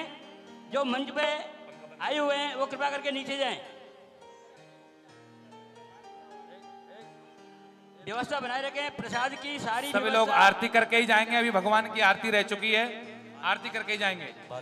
हमारे प्रसाद की पूरी व्यवस्था है। आरती होगी, शांति बनाए रखें। बैठे हैं, आरती होगी। भगवान का भजन होगा। भगवान का आज आनंद है, आनंद उत्सव है। उसमें आराम से नाचिए, गाइए और भगवान का भजन भी कीजिए, आरती कीजिए। जैसा आप लोगों को मालूम है कि विगत तीन दिन से यहाँ पर यह कथा चालू हो रही है, चालू चालू हुई है। जैसा कि महाराज जी ने आप लोगों को बताया था कि यह कथा किस रूप में यहाँ पे आयोजित की गई है? अरे भाई, व्यवस्था रखो ना यार, ये मंच पे क्यों आदमी अरे मेरी समझ नहीं आ रहा है। क्या लग रहा है? मंच पे रखो आप। गार्ड से विनती यहाँ पे कोई ऊपर नहीं आए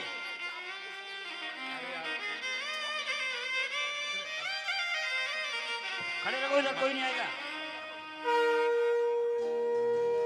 बोले बाल कृष्ण लाल की जय।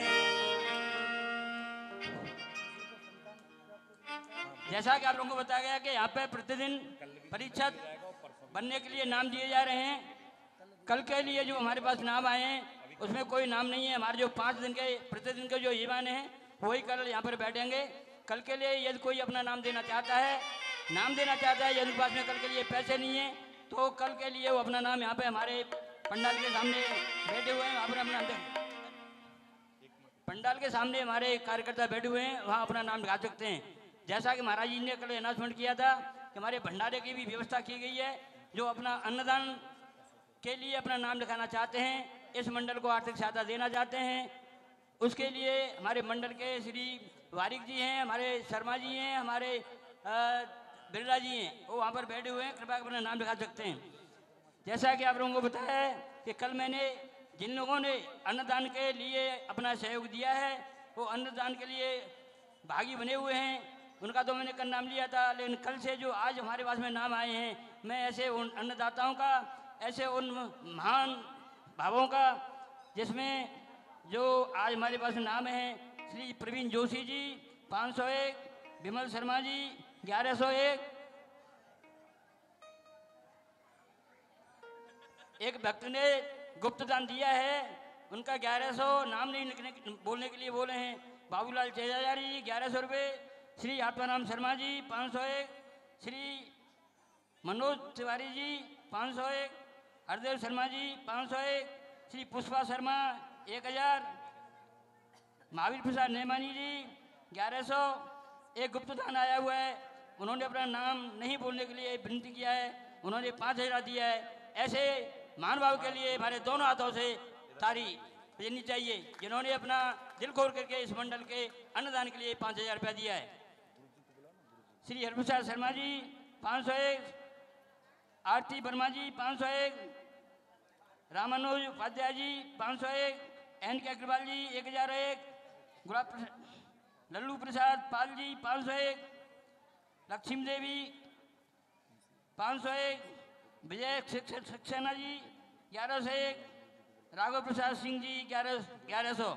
इस प्रकार से हमारे पास में आज जिन्होंने पाँच सौ और एक हज़ार के ऊपर जिन्होंने सहायता की है। मंडल उनका आभारी है।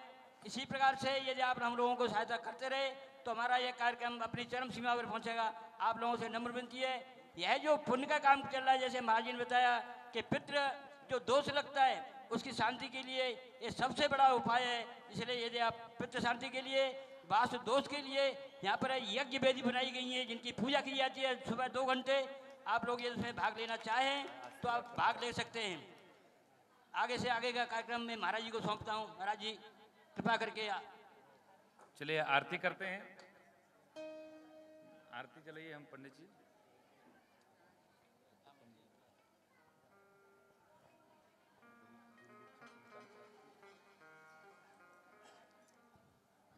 आरती।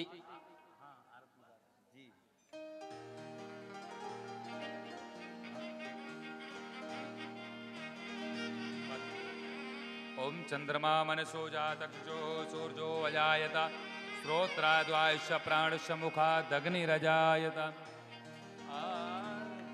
बाल कृष्ण की आरती।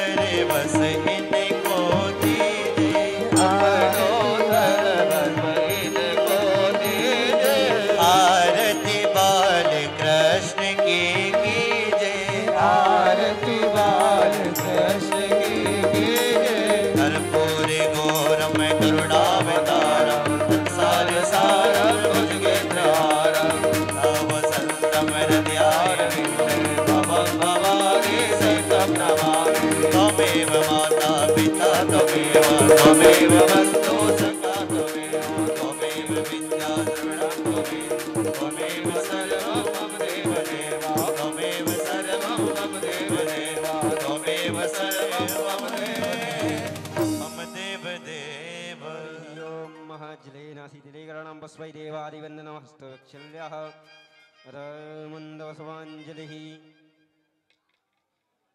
हरिः ओं जिज्ञेनज्ञमय जन्ददेवास्तानि धर्माण प्रमान्यासन्नाते हनाकं महिमानः सचन्दरपूर्वे साध्याः।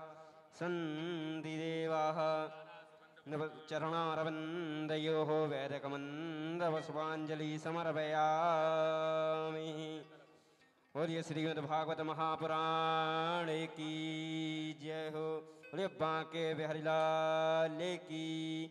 धर्म की धर्म की, अधर्म का अधर्म का, प्राणियों में प्राणियों में, विश्व का विश्व का, सनातन धर्म की, सनातन धर्म की गौ माता की, अपने अपने गौरव गोविंद की, जय जय श्री राधे।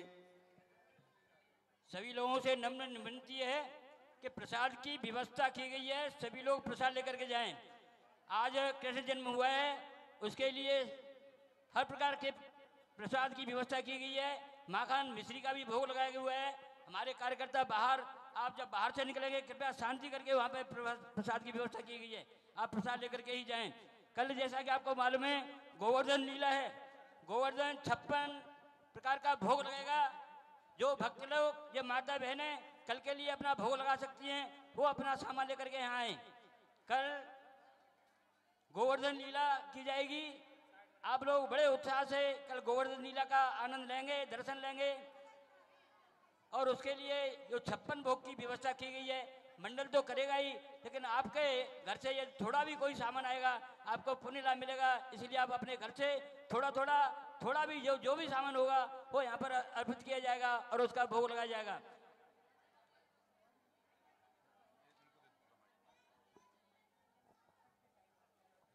श्री राधे बोली भागवत भगवान की, जैसे कि आप सभी भक्तों को पहले भी सूचित किया जा चुका है महाराज श्री से जो भी भक्त बंधु मिलना चाहते हैं, वो प्रातःकाल 10 बजे से लेकर के 12 बजे तक आकर के मिल सकते हैं। कुंडली वगैरह, जो भी आपको यदि कोई कष्ट है, शनि दोष है या सर्प दोष है, पित्त दोष है, सभी दोषों का निवारण हो सकता है। और यदि नंबर लेना चाहते हैं तो कार्यालय में संपर्क करके नंबर प्राप्त हो सकता है। और जो भी बंधु यदि महाराज श्री को अपना गुरु बनाना चाहता है तो उसके लिए भी आप कार्यालय में संपर्क कर करके समस्त जानकारी ले सकते हैं।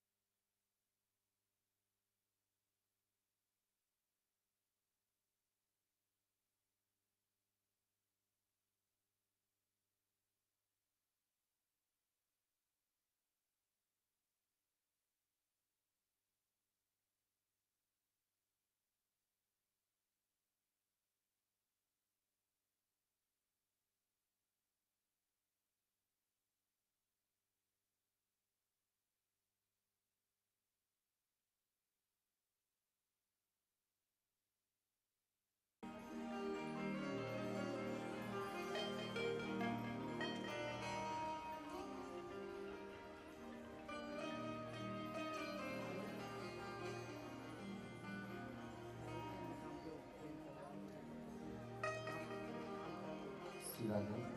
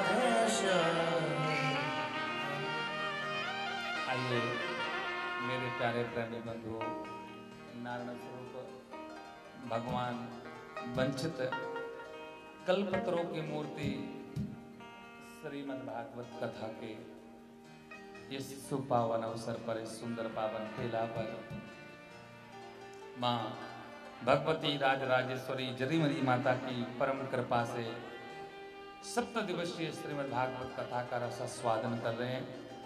हमारे बीच में परम आदरणीय, परम वंदनीय, परम गुरुदेव, परम भ्राता श्री जरीमरी माता मंदिर के महाराज जी हमारे बीच में आए हैं। उनके चरणों में कोटि कोटि प्रणाम कोटि कोटि वंदन। उनसे निवेदन है कि मंच पर आए। आपका सौभाग्य के पूज्य महाराज जी हमारे बीच में आ चुके हैं। तो भगवान की है सुंदर पावन गंगा और इस गंगा में स्नान करने मात्र से ही समस्त पापों का नाश हो जाता है।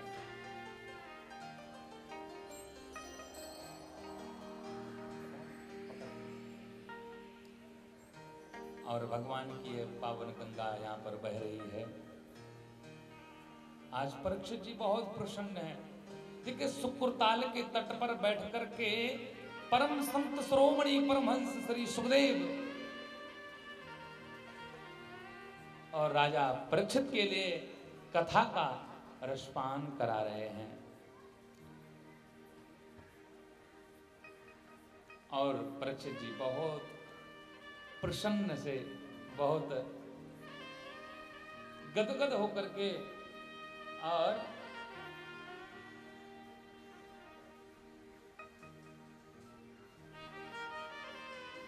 और भगवान की कथा का रस स्वादन कर रहे बैठ जाइए, सभी लोग बैठ जाएँ। और हमारे समिति के रजनीकांत दीक्षित जी एवं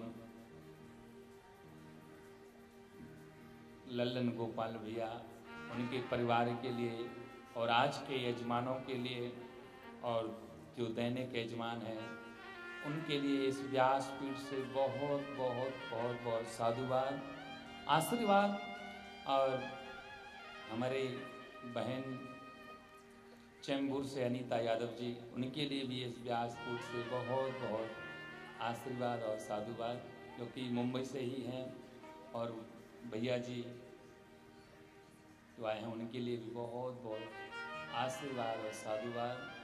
समस्त सेंचुरी मिल, वर्ली, मुंबई, महाराष्ट्र के समस्त भक्तों के लिए इस व्यासपीठ से बहुत बहुत साधुवाद, आशीर्वाद। आपके हृदय में बैठे हुए ठाकुर जी के लिए मेरा कोटि कोटि प्रणाम कोटि कोटि वंदन। आइए, आज तो हमारे लाला आने वाले हैं। आज तो हमारे कन्हैया आने वाले हैं। आइए बड़े भाव से उनके लिए आमंत्रित करते हैं, बुलाते हैं।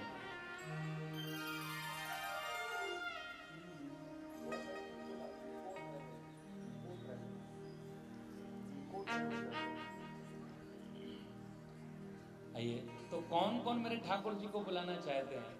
सही में? बुलाएँगे? चलिए।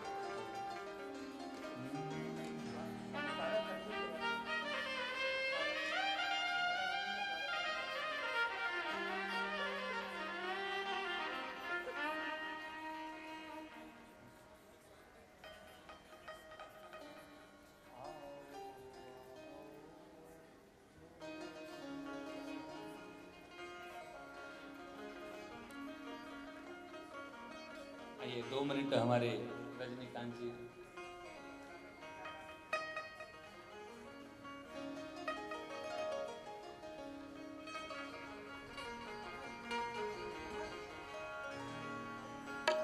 हेलो हमारे समिति के प्रमुख दीक्षित जी, जो हमारी माननीय उनका स्वागत करना चाहेंगे दो मिनट के लिए।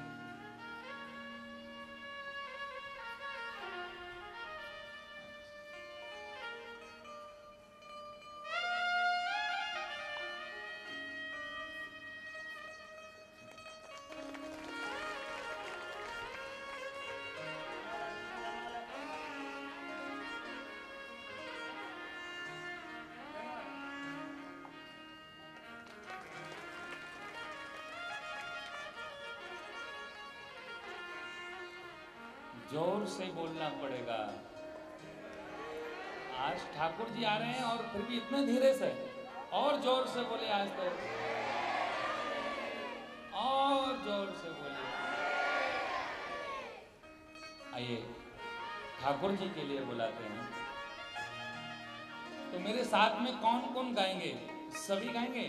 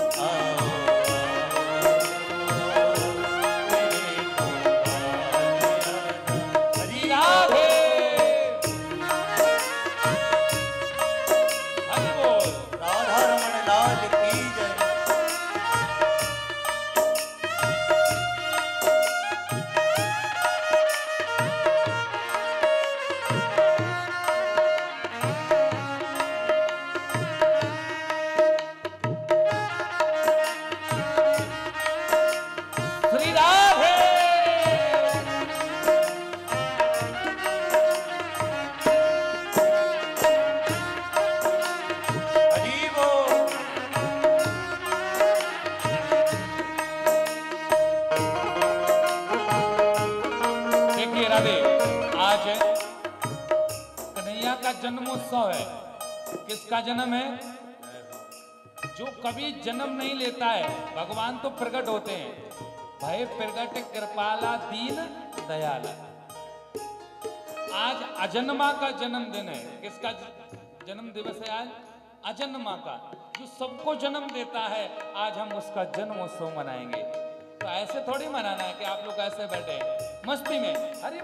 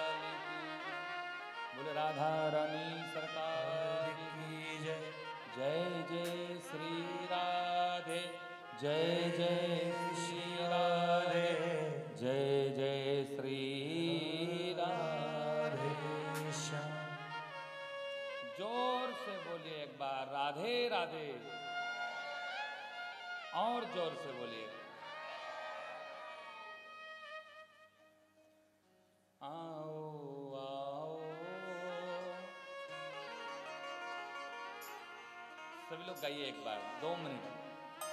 आओ आओ, मेरे घनश्याम में आ जाओ।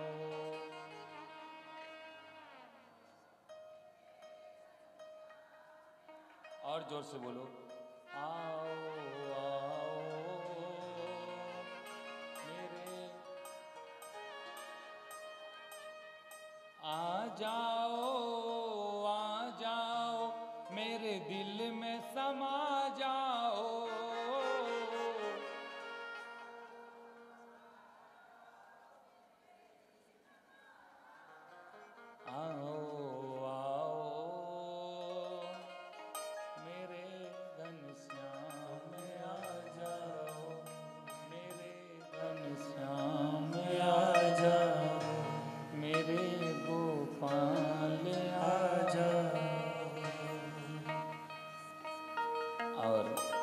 आज परीक्षित जी भी भगवान के लिए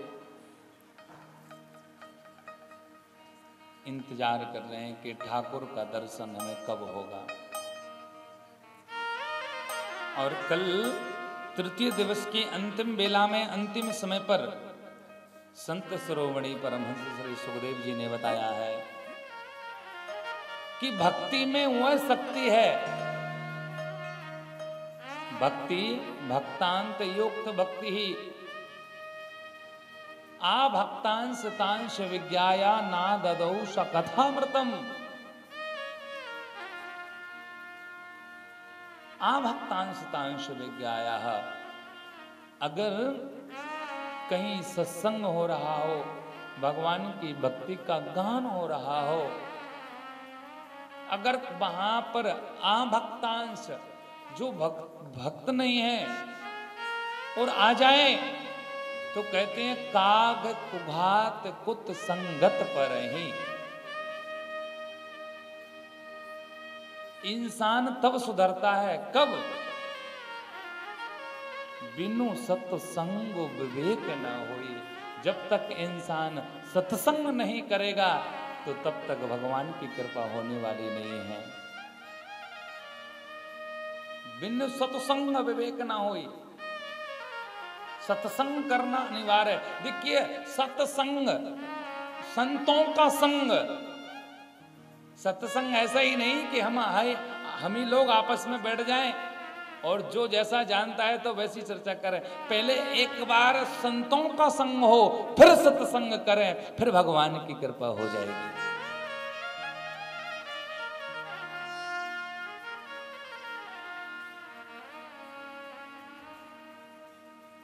क्योंकि कलयुग केवल नाम आधारा। सुमेरे सुमेरे नरे वो तेरा ही पार। सुमेरे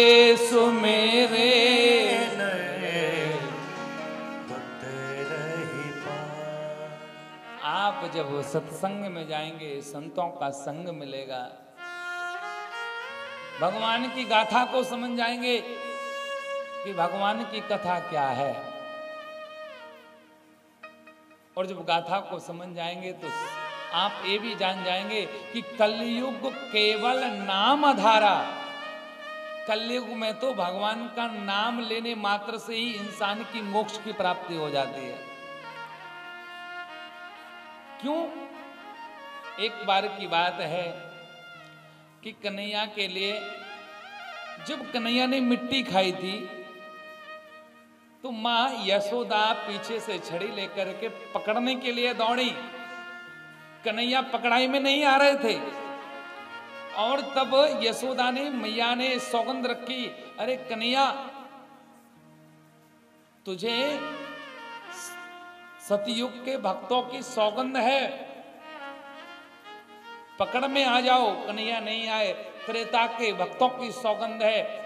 पकड़ में आ जाओ, कन्हैया नहीं आए। द्वापर के भक्तों की सौगंध है, कन्हैया पकड़ में आ जाओ, कन्हैया पकड़ में नहीं आए। और जैसे ही कन्हैया से कहा, कन्हैया, तुझे कलयुग के भक्तों की सौगंध है, पकड़ में आ जाओ। तो कन्हैया पकड़ाई में आ जाते हैं। माँ यशोदा पकड़ लेती है। यहाँ परीक्षित जी ने सुखदेव से पूछा कि हे हे संत सरोमणि आप मुझे ये बताइए, क्या सतयुग के भक्तों को कन्हैया नहीं चाहते हैं? द्वापर के, त्रेता के भक्तों को नहीं चाहते हैं कन्हैया? बोले, चाहते हैं। बोले, सतयुग के भक्तों की सौगंध रखी तो नहीं रुके, त्रेता की रखी नहीं रुके, द्वापर के द्वापर की रखी नहीं रुके, कलयुग की रखी तो क्यों रुक गए? बोले, इसका भाव यह है कि कलयुग में तो वैसे ही भक्त दो चार हैं, अगर वही मर गए तो इस संसार में भगवान का नाम कौन गाएगा? इसीलिए कलयुग केवल नाम आधारा नाम मात्र लेने से इंसान की सुंदर सदगति हो जाती है, भगवत कृपा हो जाती है।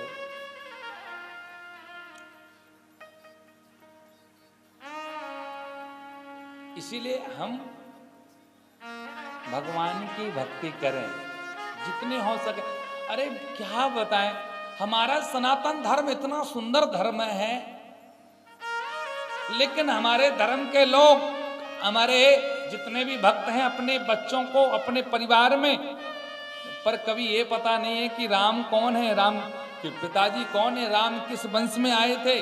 हम कौन सी दीक्षा लिए हैं? कौन सी संप्रदाय में हैं? हमें दीक्षा लेना चाहिए कि नहीं लेना चाहिए? कब लेना चाहिए? कब खाना चाहिए? कब उठना चाहिए? कब सोना चाहिए? ये पता ही नहीं है। मंदिर कब जाना चाहिए? कोई पता नहीं है। अरे हमसे अच्छे तो वो मुस्लिम है। उनकी नमाज़ का जब समय होता है, वो चाहे ट्रेन में हो, चाहे वो रास्ते में हो, कहीं भी हो, लेकिन वो अपने समय पर नमाज़ को पढ़ लेते हैं। पर हमें तो हमारे भगवानों का पता ही नहीं है कब उठते हैं। याद होना चाहिए हम मंदिर नित्य जाएँ, हम अपने बच्चों को बताएँ कि हमें सूर्य उदय से पहले उठना है।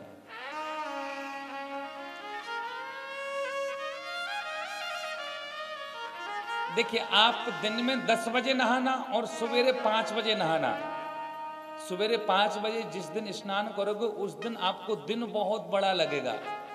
और आपको जो फीलिंग होगी ना, बहुत अच्छी होगी कि आज तो बहुत अच्छा लग रहा है। आप स्नान करने के बाद पाँच मिनट भगवान का जाप कर लेना आप। आपको पाँच मिनट जाप करने से ही आपके अंदर एक ऊर्जा आएगी। आपको लगेगा थोड़ा कि भगवान है। भगवान इस संसार में है। और भगवान नित्य आते हैं। हर इंसान के घर में नित्य आते हैं, नित्य दर्शन देते हैं।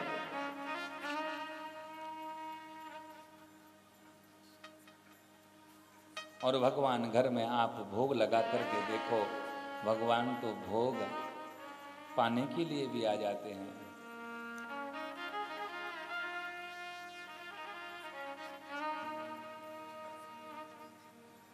भगवान मंदिर में रहते हैं। हम देखिए, मंदिर जाते हैं या किसी बड़े मंदिर में गए, तीर्थों पर मंदिर में गए, मंदिर का हमने दर्शन किया तो हमारे लिए नेत्र बंद नहीं करना है, नेत्र खोल करके देखना है। कई लोगों को मैंने देखा है, मंदिर में जाएँगे, बाकी बिहारी की मंदिर में जाएँगे नेत्र बंद करके खड़े हो जाएँगे।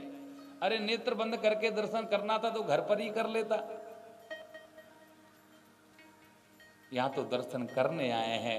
एक एक चीज़ की ठाकुर जी को देखें। ठाकुर जी कौन से कलर की बांसुरी को धारण किए हुए हैं और ठाकुर जी कैसे मुस्कुरा रहे हैं, कैसे खड़े हुए हैं, ये हमारे लिए याद करना चाहिए।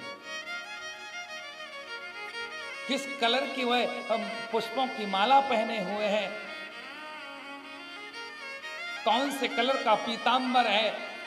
आज मोर पंख किस तरह रखा हुआ था? किस तरह का मोर पंख लगाए हुए थे? और घर पर आने के बाद में फिर ठाकुर जी की छवि को आपको निहारना है, देखना है तो नेत्र बंद कीजिए, उस छवि का ध्यान कीजिए। तो आपका दर्शन करना सार्थक है।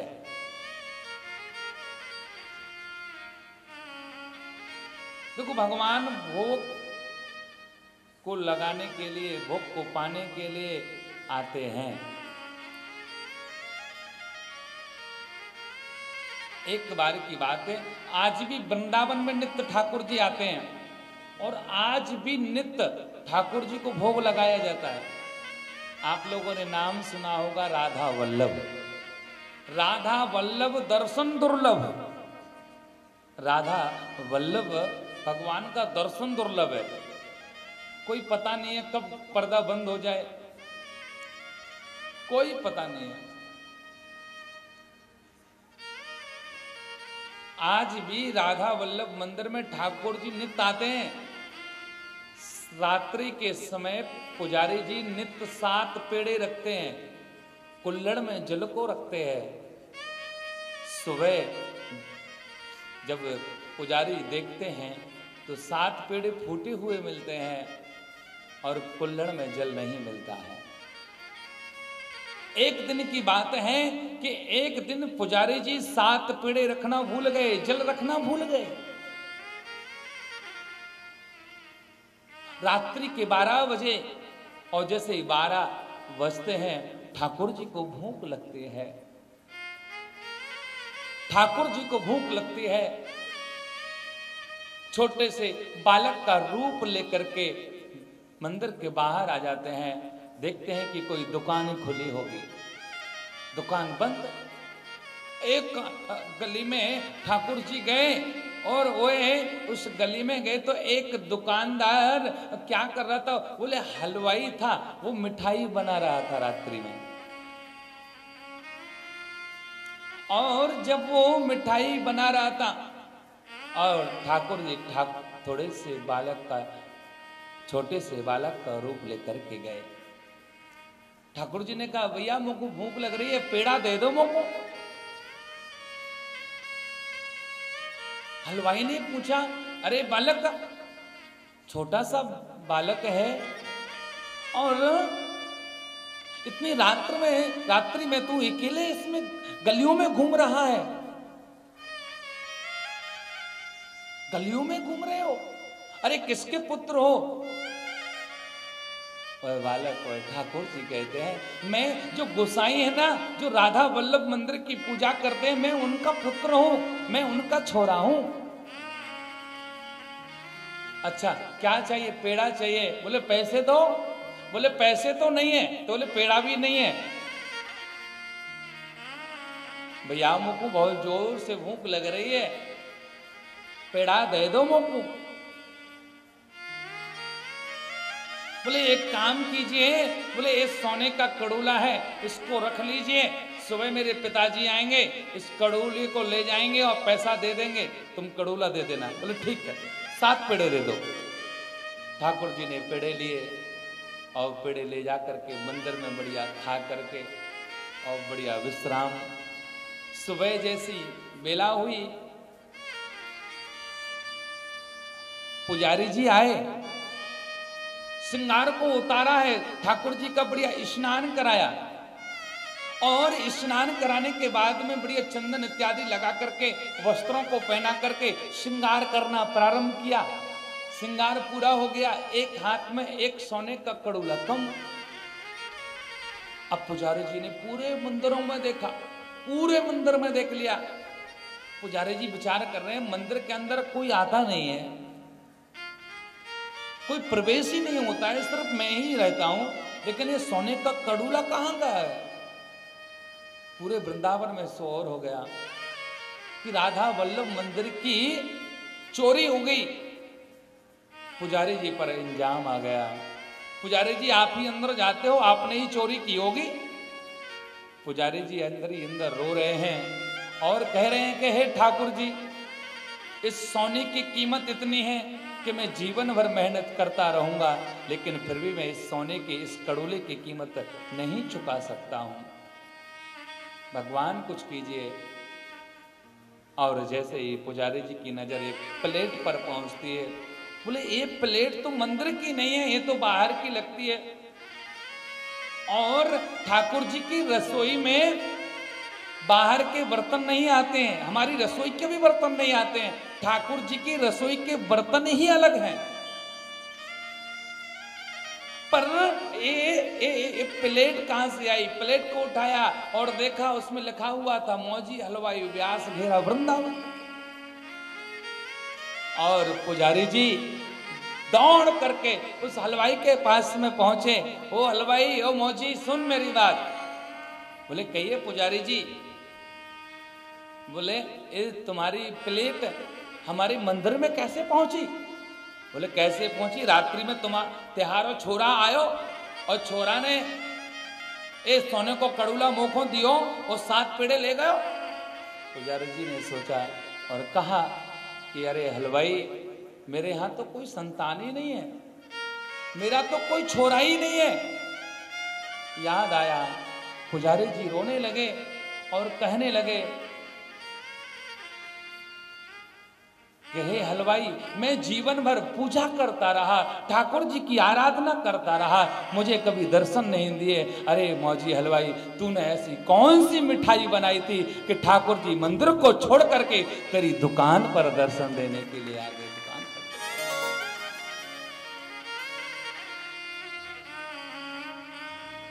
पुजारी जी रो रहे हैं।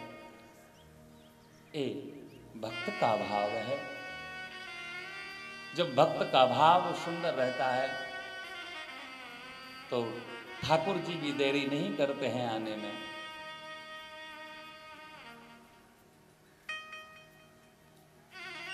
भगवान के पास में जाएँ तो हम अपने मन को सुंदर बना करके हमारे लिए जाना चाहिए।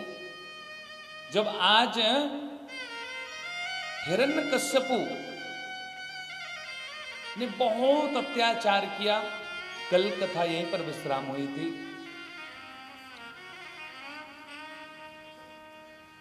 हिरण्यकश्यपु बहुत अत्याचार करने लगा। कभी किसी को भी अपने आप को महान नहीं मानना चाहिए। अपने आप को एक विद्वान नहीं मानना चाहिए। अपने आप को पैसे वाला नहीं मानना चाहिए। हम तो इस संसार में दासानुदास दासों के भी दास हैं। ये इंसान की सोच होनी चाहिए।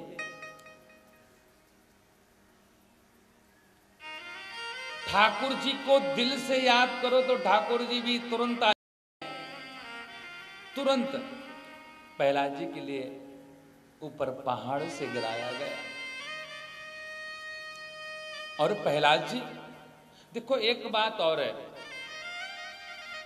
कि कंस उग्रसेन के यहाँ कंस जन्म ले लेते हैं और हिरण्य कश्यपु के यहाँ भक्त प्रहलाद जन्म ले लेते हैं। अधर्मी के यहाँ धर्मात्मा और धर्मात्मा के यहाँ अधर्मी। उग्रसेन बहुत धर्मात्मा है, बहुत भजन करते हैं, लेकिन उग्रसेन के यहाँ कंस का जन्म हुआ। और हिरण्य कश्यपु बहुत पाप करता है, और हिरण्य कश्यपु के यहाँ भक्त प्रहलाद का जन्म हुआ।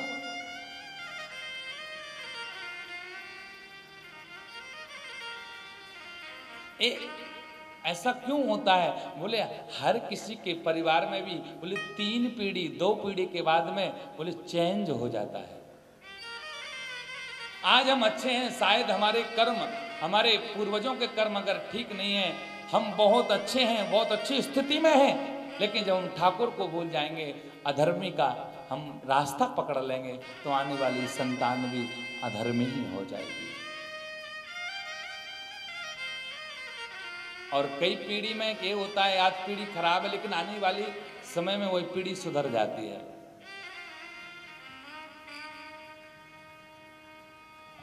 तो यहाँ पर भक्त प्रहलाद ने ठाकुर जी का स्मरण हर समय किया। और जब प्रहलाद जी के लिए ऊपर से फेंका ना तो प्रहलाद जी जब गिरते हुए मैंने तेरा नाम लिया है, गिरने ना दिया तूने मुझे, थाम लिया है। जब गिरते हुए मैंने तेरा नाम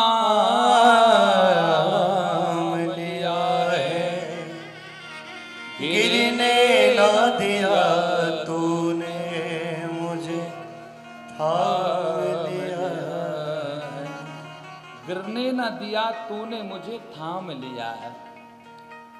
भगवान के ऊपर अगर भरोसा रहता है तो भगवान अवश्य हमारे लिए थाम लेते हैं। और भक्त प्रहलाद जी, जब सभा में पहुँचते हैं तो हिरण्यकश्यपु ने पूछा, भाई, बोले, बताइए प्रहलाद, तेरे भगवान का क्या नाम है? प्रहलाद जी कहते हैं, मेरे भगवान का नाम तो नारायण है। नारायण नाम है। बोले, नहीं, वो तो मेरा दुश्मन है। बोले, संसार का भगवान तो नारायण ही। है संसार का ऑपरेटर, संसार का संचालक तो नारायण ही। है हिरण्यकश्यपु कहता है, अरे प्रहलाद, तुम्हें पता नहीं है, तुम्हारे चाचा को उस नारायण ने छल करके बद कर दिया तुम्हारे हिरण्याक्ष का, तुम्हारे चाचा का। और तुम उस नारायण के लिए, उस कपटी, उस छलिया के लिए भगवान कहते हो, वो भगवान नहीं है। अच्छा ये बताओ कि नारायण कहाँ रहता है? प्रहलाद जी ने यह कहा कि नारायण कहाँ नहीं है। नारायण तो हर जगह है। लोग कहते हैं, भगवान कड़कड़ में है। भगवान कड़कड़ में नहीं है। एक कड़कड़ ही भगवान में व्याप्त है। हम सब भगवान के अंदर बैठे हुए हैं। भगवान कड़कड़ में नहीं है। अगर भगवान कड़कड़ में हो जाए तो भगवान छोटे हो गए, ये पत्थर, ये कड़कड़ बहुत बड़ा हो गया। ये पूरा ब्रह्मांड ही भगवान के अंदर बैठा हुआ है। भगवान के अंदर हम बैठे हुए हैं। तभी तो कहते हैं, भगवान को खोजने की आवश्यकता नहीं है, अपने अंदर झाँक के देख लो, भगवान का दर्शन हो जाएगा। इसलिए कहते हैं कि हम अपने अंदर देखें कि हम कौन हैं, कहाँ से आए हैं। जैसे एक सेठ के यहाँ पर कई नौकर काम करते हैं। सुबह से शाम तक वह नौकर बिक्री करता है दुकान की। शाम के समय अपने सेठ को हिसाब देकर के अपने घर चला जाता है। जाता है कि नहीं जाता है? तो वैसे ही हमारे लिए भी सुबह से लेकर के शाम तक जो मेरा हिसाब है शाम के समय भगवान के पास में बैठ करके अपनी दिनचर्या का हिसाब देना चाहिए। फिर भगवान उस हिसाब को रख लेते हैं तिजोड़ी में रख देते हैं और जब तिजोड़ी कभी खोलते हैं तो ठाकुर जी को फिर हमारी याद आ जाती है और हमारा बेड़ा पार हो जाता है, बेड़ा पार हो जाता है। ठाकुर की तिजोड़ी में भी हमारा नाम होना चाहिए। ठाकुर जी के भजन की पूजी में भी हमारा नाम होना चाहिए।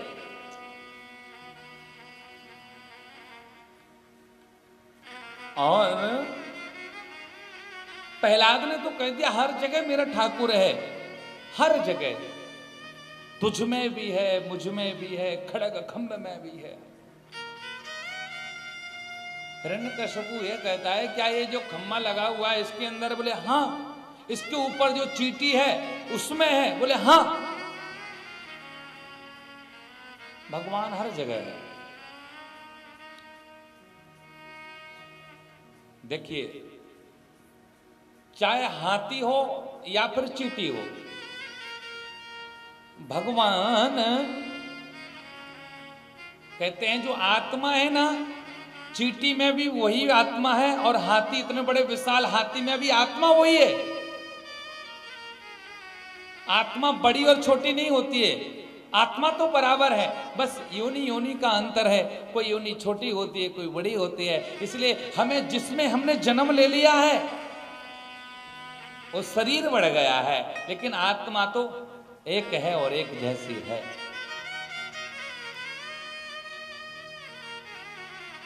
और जब नरसिंह भगवान की कृपा इस तरह हुई कि जब हिरण्य कश्यपु ने तलवार को निकाल करके इस खंबे पर प्रहार किया, चीटी के ऊपर प्रहार किया, और जैसे ही प्रहार किया, और इतने में हमारे भगवान प्रकट हो गए। बोले, नरसिंह भगवान की जय जय श्री राधे, जय जय श्री राधे, जय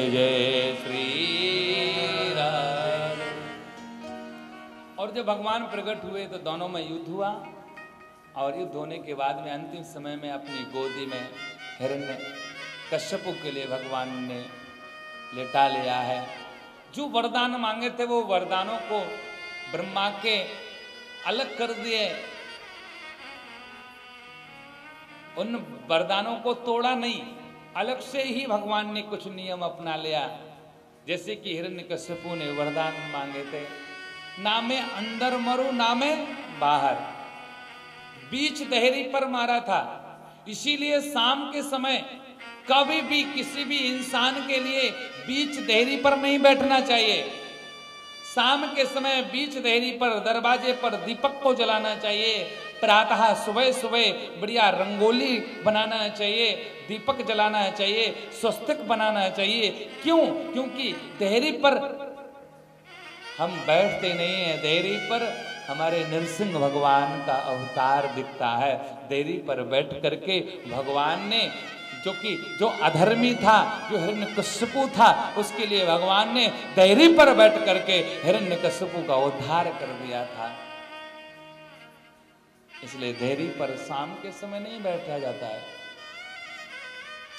और अब तो शायद देरी ही नहीं होती है। शहरों में कहाँ देरी होती है? पहले के समय में देहरी होती थी। देहरी समझते होंगे आप लोग। पहले में और अभी में बहुत अंतर है। देखिए, आज से बहुत साल पहले देखा जाए तो उस समय उम्र रहती थी एक हज़ार वर्ष। एक ज़ीरो हट गया। और उसके पहले और देखे तो दस हज़ार, एक लाख वर्ष तक जीते थे लोग। सतयुग में द्वापर में पाँच पाँच हज़ार, दस दस हज़ार लाखों तक जीते थे। धीरे धीरे ज़ीरो हटता गया हटता गया हटता गया। सौ आ गए सौ में से भी एक ज़ीरो हटने वाला है कुछ समय बाद। आज बताइए, उम्र कितनी है? साठ, सत्तर, अस्सी तक चला जाएगा। चलिए, सौ वर्ष की उम्र है। सौ वर्ष की उम्र में एक दिन में पंद्रह घंटे का दिन होता है, पंद्रह घंटे की रात्रि होती है। पूरी रात हम सोते हैं कि नहीं सोते हैं?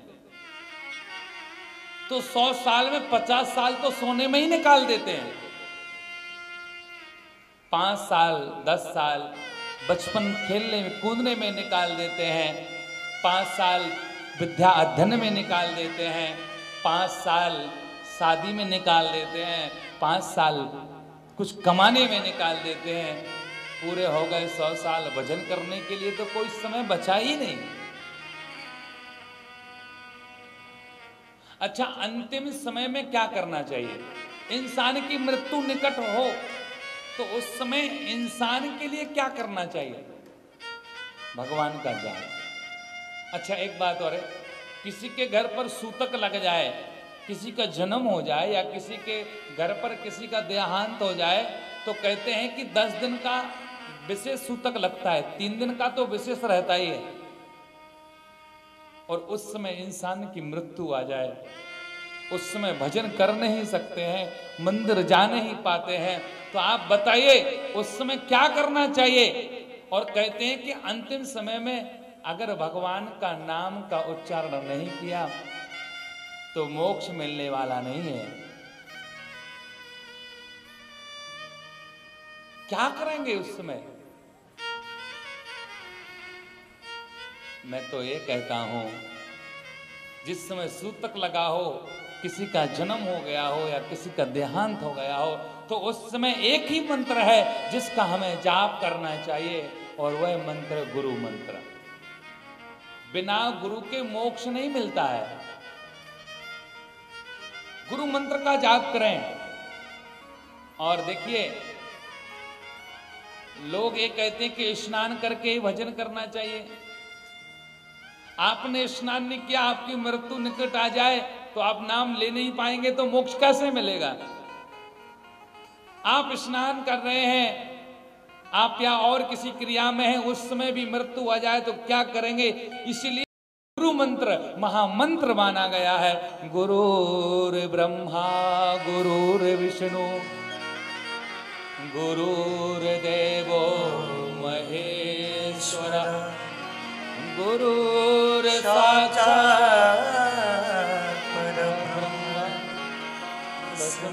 श्री गुरुवे नमः। इसीलिए गुरु मंत्र का हमारे लिए जाप करना चाहिए। और कब करें? जिस देश में, जिस भेष में, परिवेश में रहो। क्या करना है रह करके? राधा रमण, राधा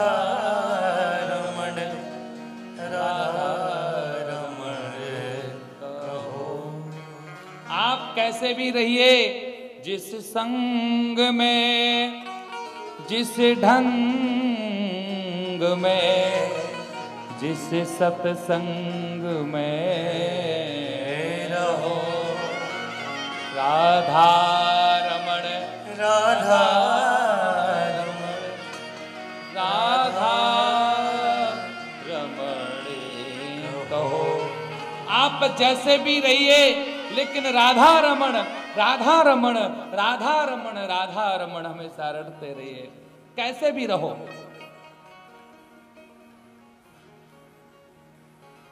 और इसीलिए धैर्य पर हम शाम के समय कुछ ना करें। शाम के समय कोई नया कार्य भी नहीं करना चाहिए। जैसे कि भोजन भी नहीं करना चाहिए।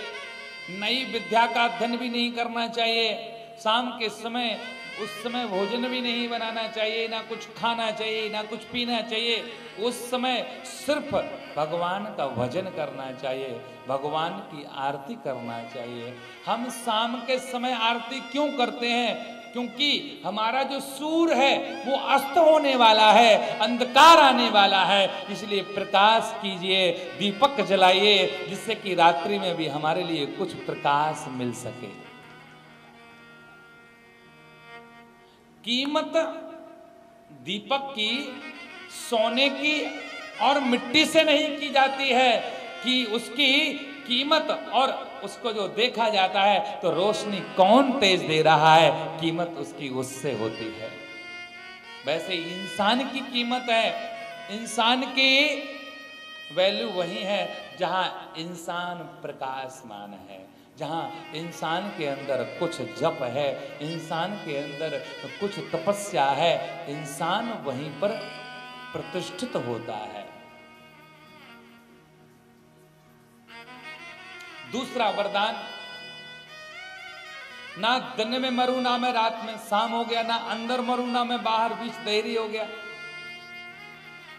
और मैं ब्रह्मा के बनाए हुए बारह माह में भी ना मरूं। इसलिए हर तीन साल में भगवान ने एक अलग से तेरहवा माह बना दिया, जिसको हम आप सभी लोग पुरुषोत्तम माह कहते हैं, जिसको लौण का माह कहा जाता है। इस माह में पूजा करने से और एक महीने का व्रत करने से बहुत फल प्राप्त होता है। चार धाम की यात्रा करने का फल प्राप्त होता है, बारह ज्योतिर्लिंग की यात्रा करने का फल प्राप्त होता है, अठारह पुराणों का, चार वेदों का, छह शास्त्रों का श्रवण करने का लाभ प्राप्त होता है। पुरुषोत्तम माह में व्रत करने मात्र से। हिरण्यकश्यपु कहता है, तुम मुझे मार नहीं सकते हो, नारायण। ना नर से और ना नारायण से भी ना मरूं। भगवान ने कहा, मेरा रूप देख लो। ना तो मैं नर में हूँ और ना मैं नारायण में हूँ। रूप दिखा दिया। तो योदितम शोभानमेवं नरसिंह रूप हरिणा। भक्त प्रहलादस्त समन्विता। आज भगवान बोले तयोदितम शोभने वहा आज भगवान बहुत शोभायमान लग रहे हैं। आज भगवान नर और नारायण का रूप लेकर के आए हैं। तो कहते हैं, सब इसमें दिख रहा है। अगर नरसिंह भगवान के चेहरे को अगर सही से हम देखें, सही से दर्शन करें तो इस चेहरे में पूरा ब्रह्मांड दिख रहा है। ना नर है, ना नारायण है। ना अस्त्र से मरू, ना में शस्त्र से भगवान ने नाखून दिखाए हैं। ब्रह्मा की बनाई हुई सृष्टि से भी ना मरू, भगवान ने कहा, मैंने ब्रह्मा को बनाया है, ब्रह्मा ने मुझे नहीं बनाया है।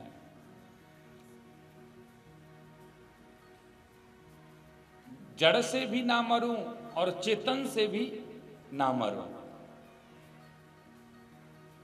जिसकी जड़ हो और चेतन हो, उससे भी ना मरूं। भगवान ने कहा कहा, इसलिए मैं तेरे लिए नाखून से मारने आया हूँ। इसकी जड़ भी नहीं है और चेतन भी नहीं है।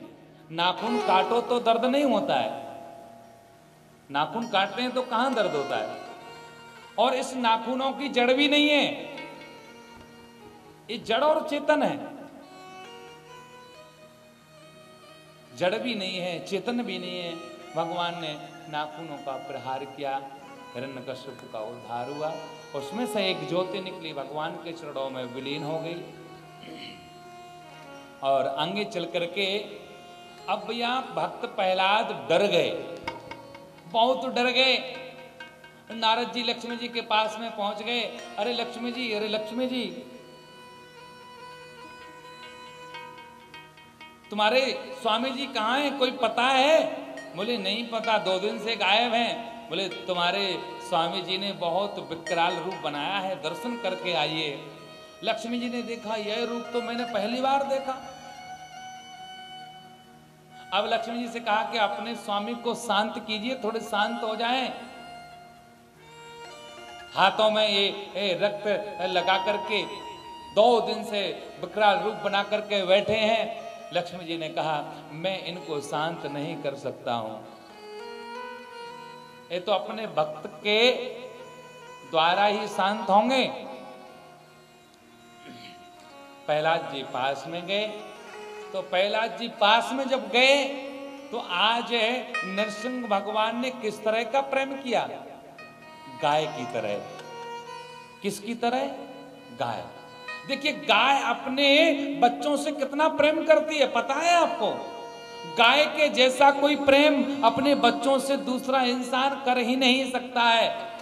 बोले, गाय अपने बच्चों से इतना प्रेम करती है कि जब बच्चे को जन्म देती है, बच्चे में मलमूत्र लगा रहता है तो वह गाय अपने बच्चे को साफ़ करने के लिए अपनी जोवा से वह मलमूत्र को चाट लेती है। अब बताइए, इससे बड़ा और कोई प्रेम कर सकते हैं? क्या आज वही चाटने का काम नरसिंह भगवान ने प्रहलाद को चाटा है अपनी जोबा से।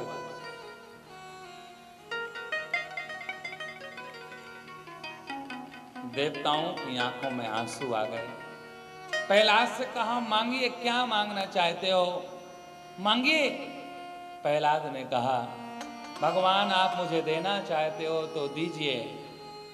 आजकल के बच्चे तो अगर किसी का पिता थोड़ा सा अगर अपने बच्चों की पूर्ति नहीं कर पाते हैं तो बच्चे अपने माता पिता का भी ध्यान नहीं देते हैं। एक बार की बात है कि एक वैश्या थी। एक भैया वन में गए, वैश्या से संग हुआ। वैश्या ने कहा, बोले, हम आपके घर पर तो चलेंगे, लेकिन आप अपनी माँ को घर से बाहर निकालिए। उस पुत्र ने अपनी माँ को घर से बाहर निकाल दिया और बाहर निकाल दिया। अब माँ तो भाई कहीं रहने लगी और एक दिन उसकी पत्नी कहती है, मैं आपसे शादी तब करूँगी जब आप अपनी माँ का दिल निकाल करके ले आओ। तब हम तेरे से शादी कर लेंगे। और ये पुत्र गया माँ के पास में गया, माँ को मार करके और माँ का दिल निकाल करके ले आया। और उस स्त्री से कहा, लीजिए, मेरी माँ का दिल है। अब मेरे से शादी कर लो। उसने कहा, मैं तेरे से शादी कभी नहीं कर सकती हूँ। बोली, क्यों नहीं कर सकती हो? अरे, जिसने तुझे जन्म दिया है, जब तू उसका नहीं हुआ तो मैं तो दो चार दिन पहले मिली हूँ। तू मेरा क्या हाल करेगा, ये मैं समझ चुकी हूँ। जिसने नौ माह तक गर्भ में रखा, हम उसके नहीं होते हैं। अरे, जिसने मुझे जन्म दिया है हम पहले, हम उसकी सेवा करें, हम उसकी खुशामंद करें, फिर हम तीर्थों पर जाएँ, फिर हम बिज़नेस करें। देखिए, पैसा कोई बाँध करके नहीं ले जाता है। कोई नहीं ले जाता है।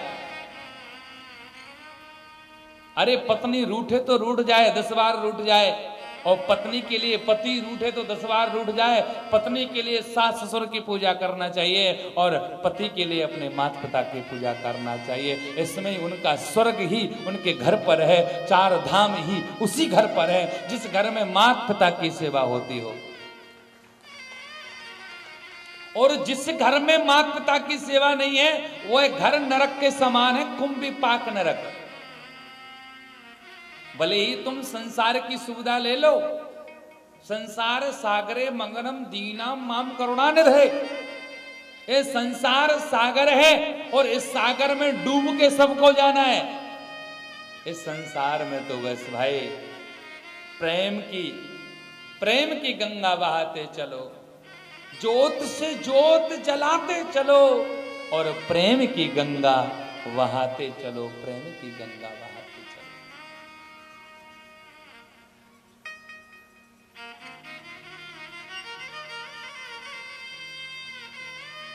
इसलिए इस संसार में हम प्रेमी रहें, धर्मात्मा रहें, दूसरों की सेवा करना चाहिए।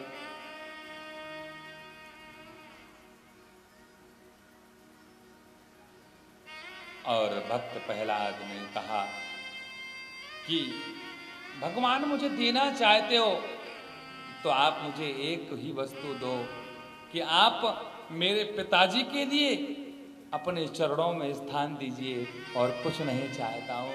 जिस पिताजी ने बचपन से लेकर के आज जितने बड़े हो चुके हैं पहलाद जन्म से लेकर के आज तक इस पहलाद के लिए हिरण्य ने हमेशा दुखी दुख दिया है। लेकिन यह पुत्र देखिए पुत्र अपने पिताजी के लिए स्थान मांग रहा है। मेरे पिताजी नादान थे, कुछ जानते नहीं थे। उनकी सत्संग का जो संग था, वो ठीक नहीं था। उनके मित्र थे, वो ठीक नहीं थे। इसीलिए मेरे पिताजी के लिए माफ़ कर दीजिए और अपने चरणों में जगह दीजिए। संतान हो तो पहलाद की तरह हो, संतान हो तो श्रवण की तरह हो, संतान हो तो राम की तरह हो। संतान को जन्म देना बड़ी बात नहीं है, संसार में संतान आ जाए। संतान को अगर आपने संस्कार दे दिया, सुंदर आचरण दे दिया तो सब ठीक है। अगर आचरण और संस्कार नहीं है तो सब बेकार है। जब राम ने रावण का वध कर दिया तो रावण के लिए राम जी ने अपनी गोदी में लेटा लिया बाद में। तो रावण रोने लगा। बोले, भगवान, मैं बहुत बड़ा पापी हूँ, लेकिन भाव एक बात आपसे कहते हैं कि भगवान, मैं आपसे हर चीज़ में बड़ा हूँ, हर चीज़ में बड़ा हूँ, लेकिन फिर भी मैं हार गया और मेरी मृत्यु हो गई। और वास्तव में बात सत्य है कि राम जी से बड़ा है रावण।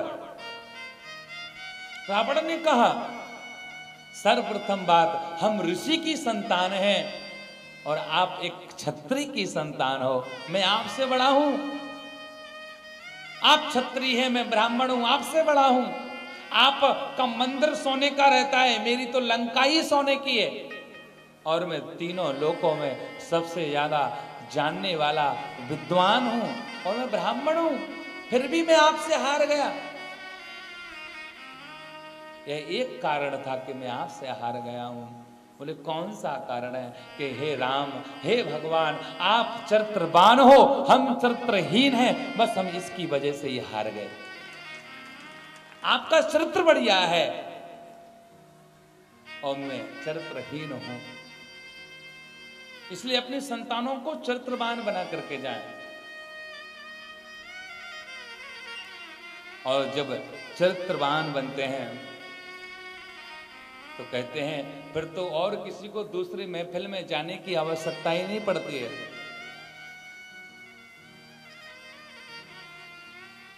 और आज भक्त प्रहलाद एक महफिल में गा रहे हैं। क्या?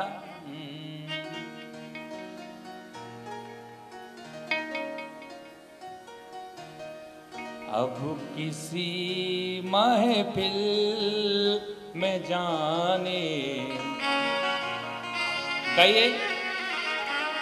अब किसी महफिल में जाने कि हमें फुर्सत नहीं।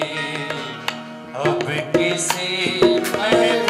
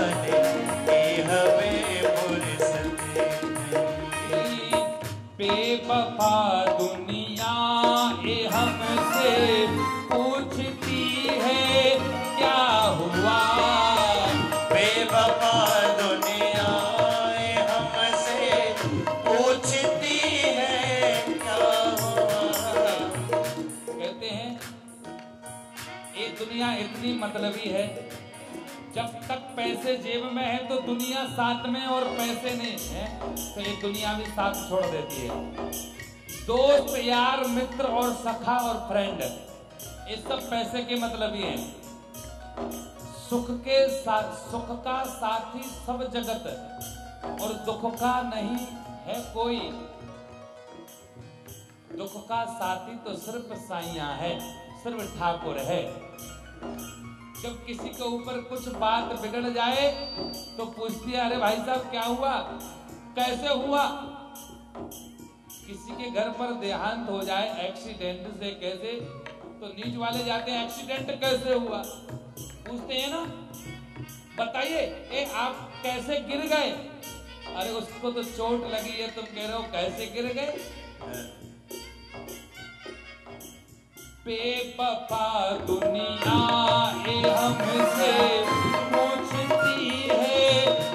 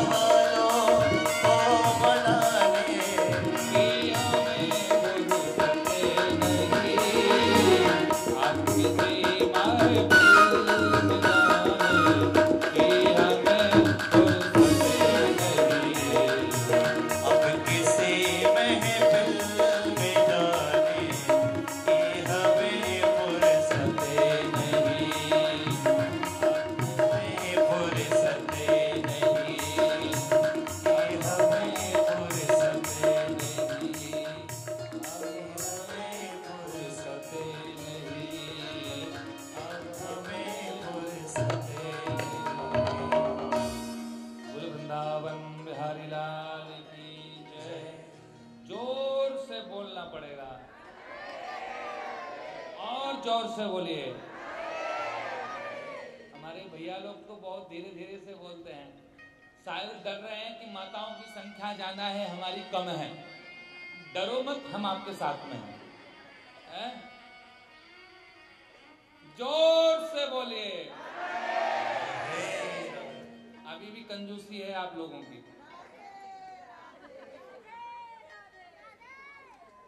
एक साथ में बोलो, ज़ोर से बोलो। आइए। अंतोगत्वा। भगवान की महफिल सुंदर है।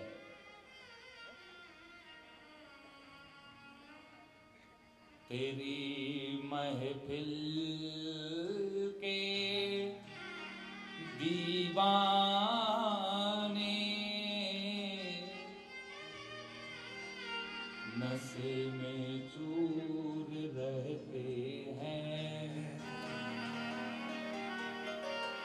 तेरी महफिल।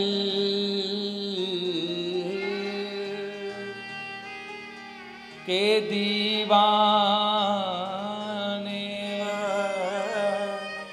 नशे में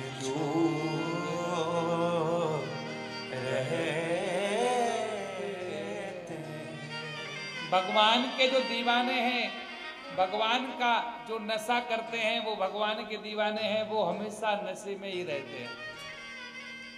लोग कहते हैं ना, हमें पागल ही रहने दो, हम पागल ही अच्छे हैं।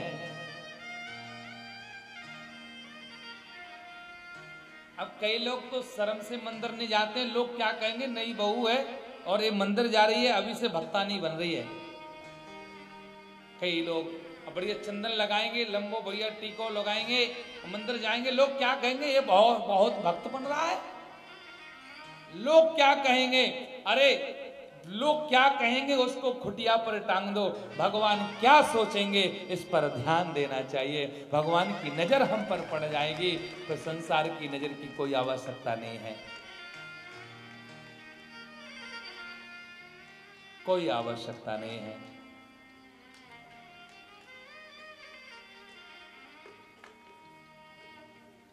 कहते हैं, संसार में भगवान की नज़र पड़नी चाहिए।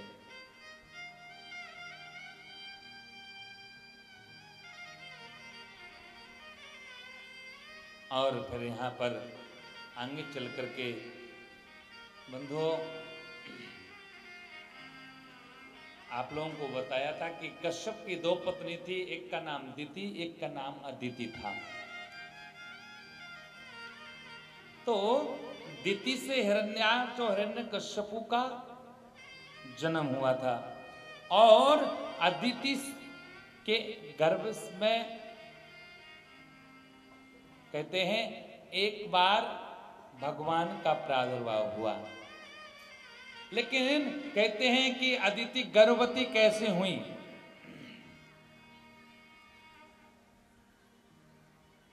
अदिति के यहाँ कभी संतान नहीं हुई। तो कश्यप जी से पूछा, आप कुछ करिए, कुछ बताइए, कैसे संतान होगी? बोले, आप पयो व्रत कीजिए, जिससे संतान की प्राप्ति हो जाएगी।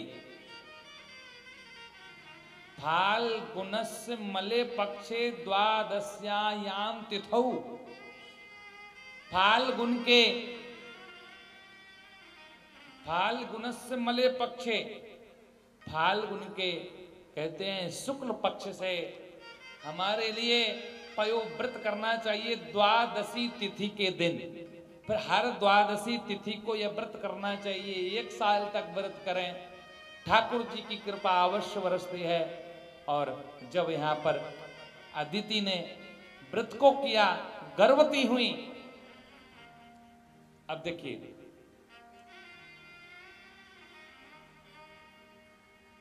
और यहाँ प्रहलाद जी के यहाँ पर प्रहलाद का विवाह हुआ। और कहते हैं प्रहलाद का विवाह हुआ तो प्रहलाद के विरोचन हुए। और विरोचन के राजा वली हुए।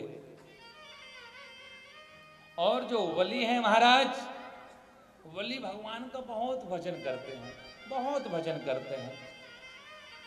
हर समय भगवान की ही रटना लगाए हुए हैं।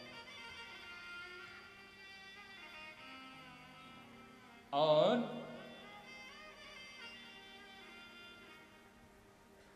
बलि चाहते हैं कि हम अश्वमेध यज्ञ करें। यज्ञ करना, पूजा करना, दान करना, ये हमारे सनातन धर्म में है ऐसा।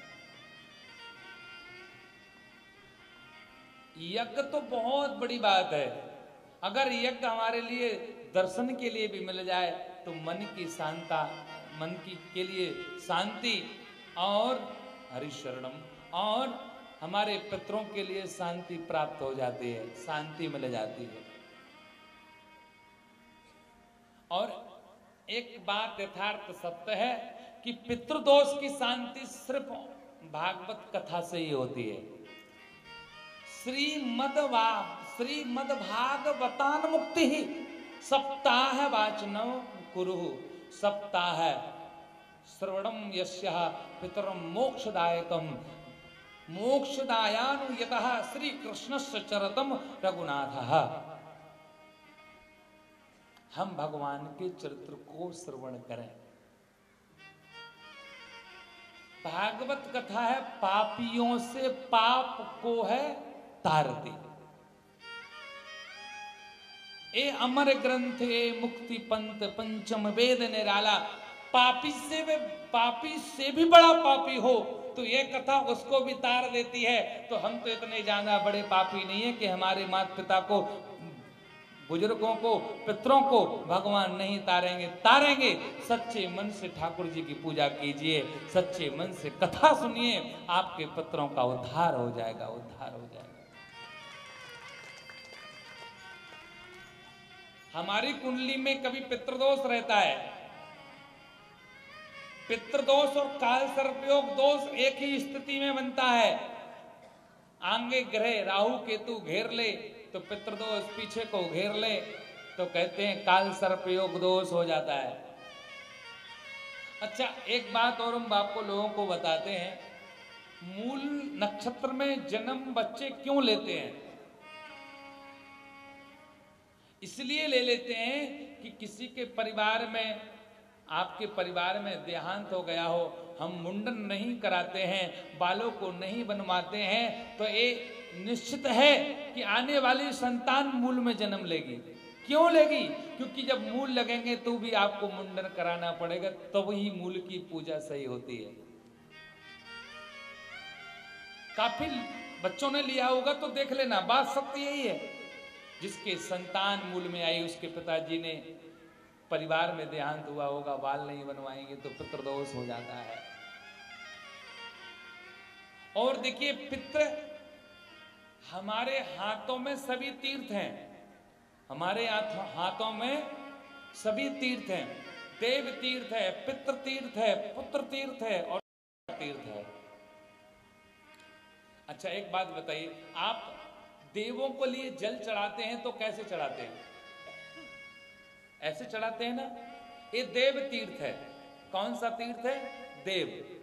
अच्छा अपने बच्चों को कभी कभी हम जल पिलाते हैं। हाथ से तो कैसे पिलाते हैं? हाथ को ऐसे लगाते हैं। तो ये किसका तीर्थ है? बच्चों का। हम दान करते हैं तो कैसे करते हैं? अन्न दान करोगे तो कैसे करोगे? ऐसे भरोगे और ऐसे छोड़ोगे। दान इसलिए करते हैं कि हमारे संतान सुखी जीवन व्यतीत करे, इसलिए दान करते हैं। हम सुखी रहें। देव तीर्थ हुआ, पुत्रों का तीर्थ हुआ, और हम जल पीते हैं तो कहाँ से पीते हैं? हम जल पिएँगे कोई पिलाएगा जल तो कैसे पीते हैं? ऐसे लगा के। तो ये स्वयं का तीर्थ है। हम आचमनी करते हैं तो यहाँ से करना चाहिए, इस चंद्र के स्थान से करना चाहिए। ऐसे डायरेक्ट नहीं करना चाहिए। जब भी हम आचमनी करें तो जल को लेकर के इस स्थान से जल को पीना चाहिए।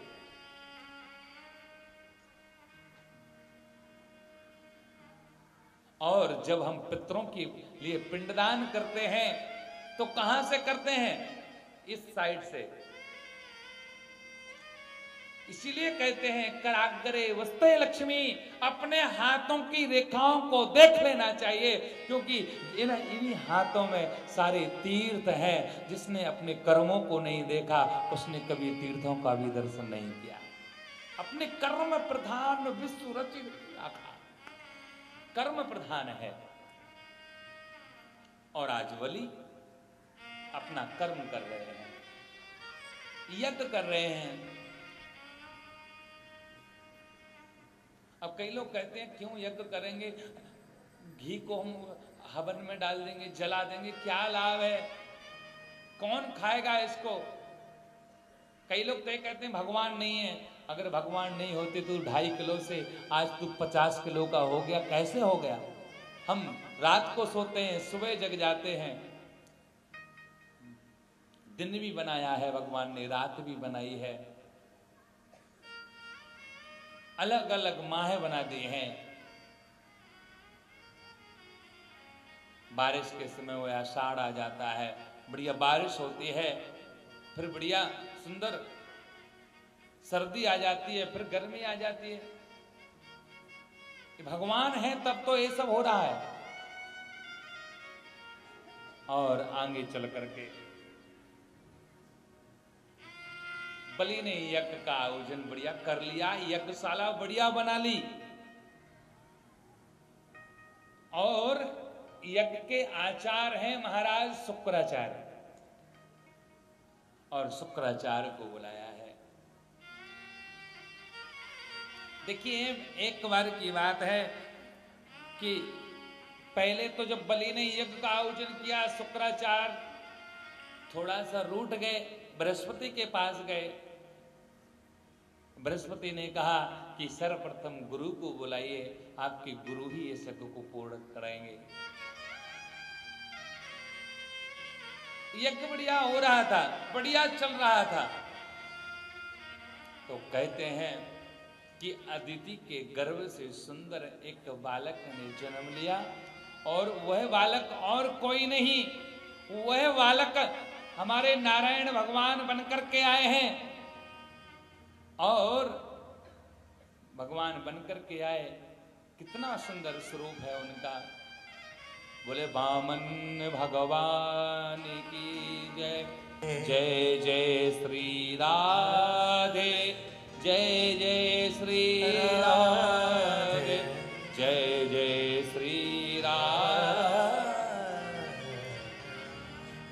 बामुन आए हैं। कैसे हैं? कि बामुन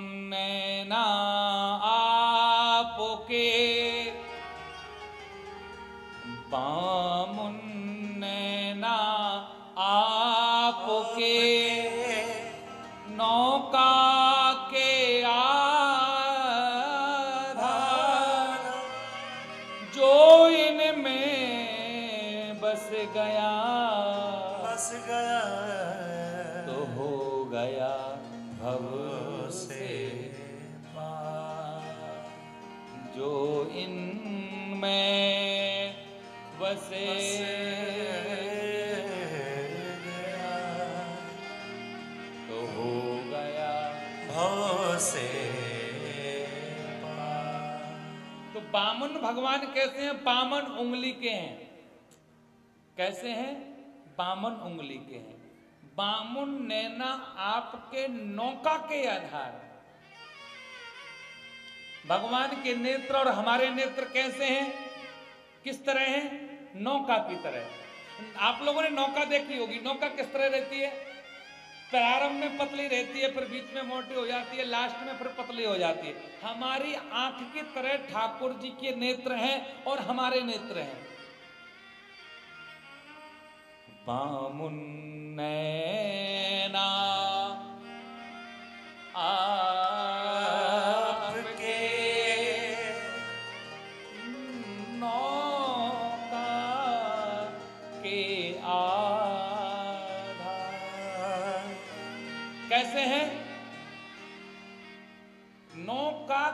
के आधार नाव की तरह ठाकुर जी के नयन है।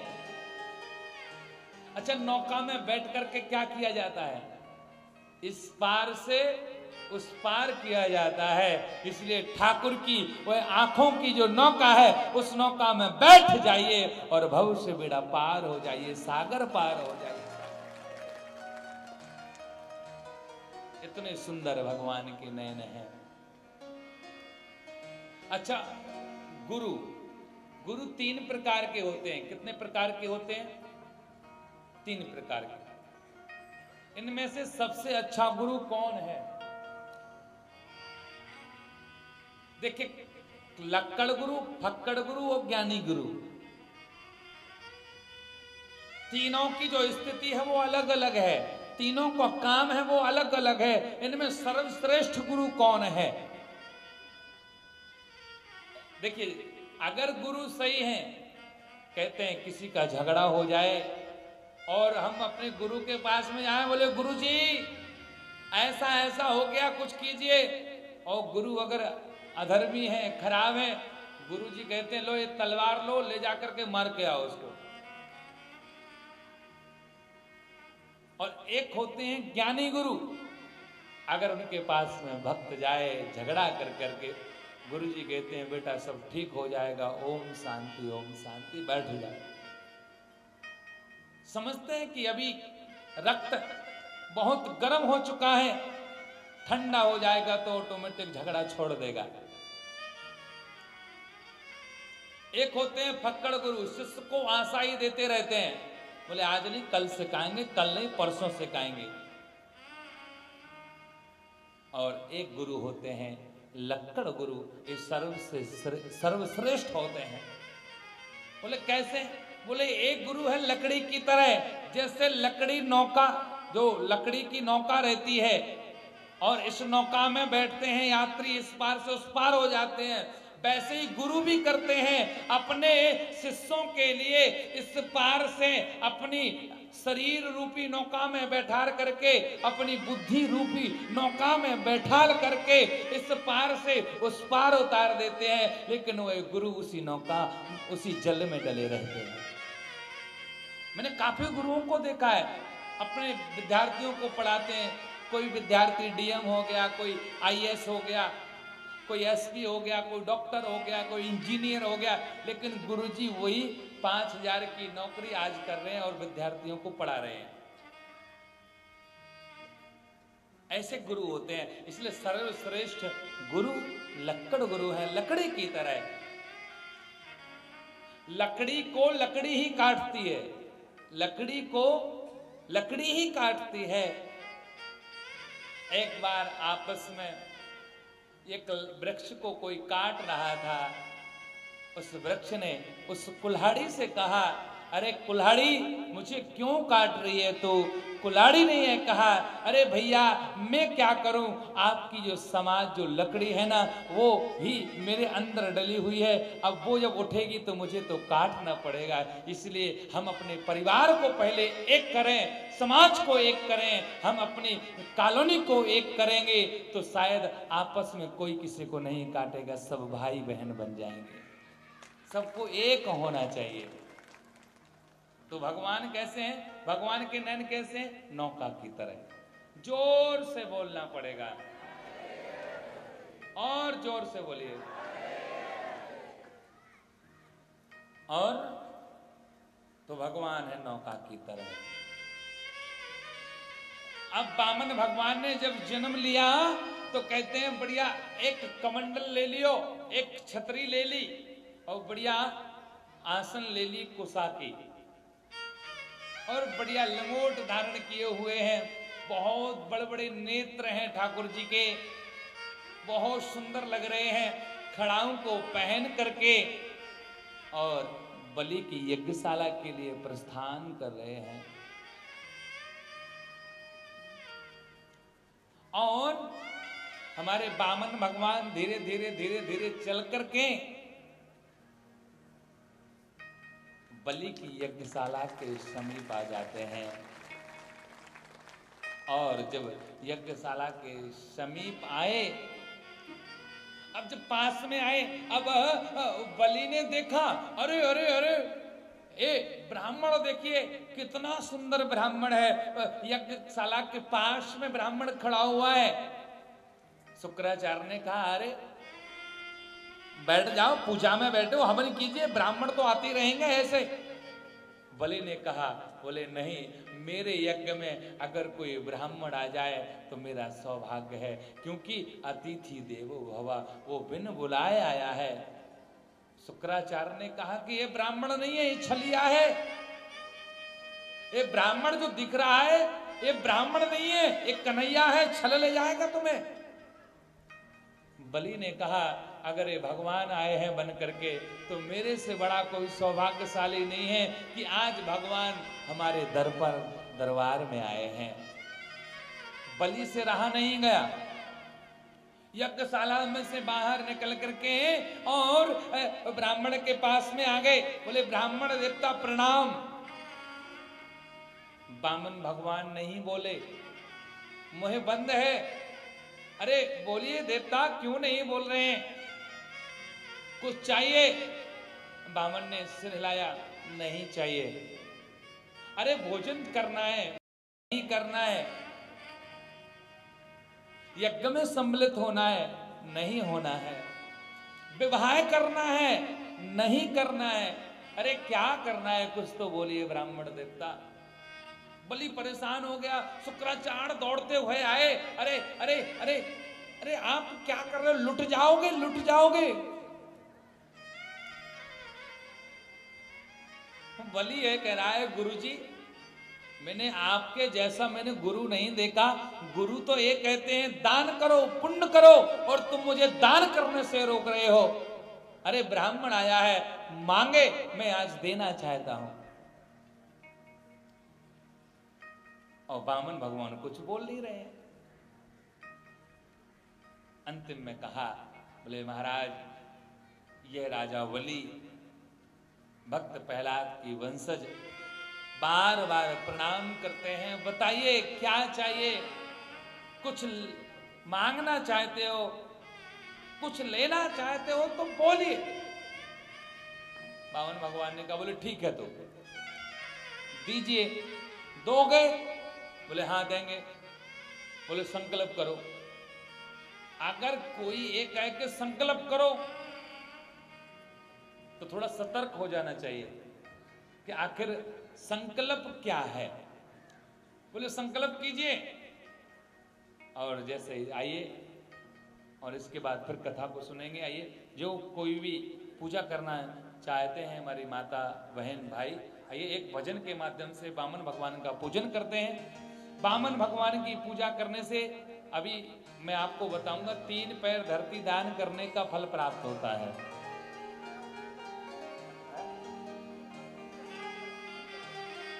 और मैं चाहता हूँ कि दीक्षित जी से,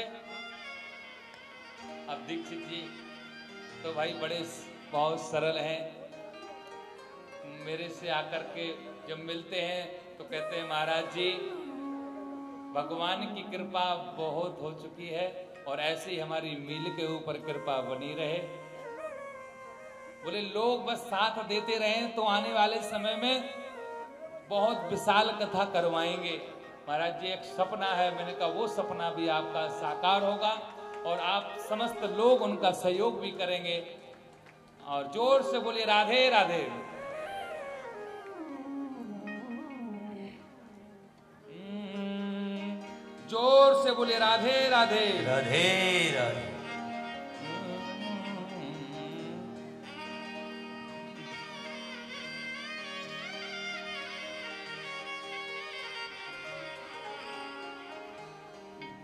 जोगन भेष बनाया।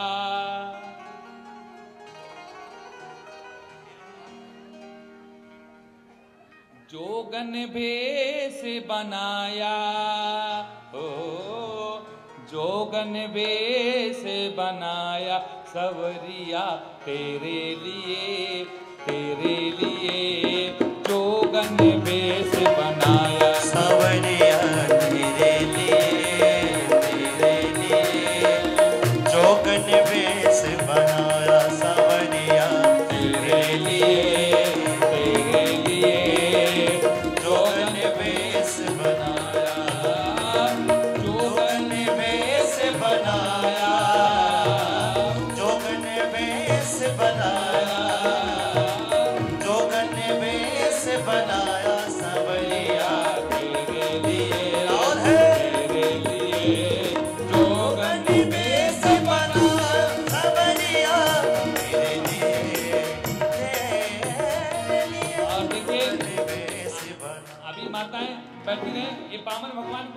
नहीं पहुंचाएँगे। तो ना उठाइए। भगवान सभी के पास में आई हरिभो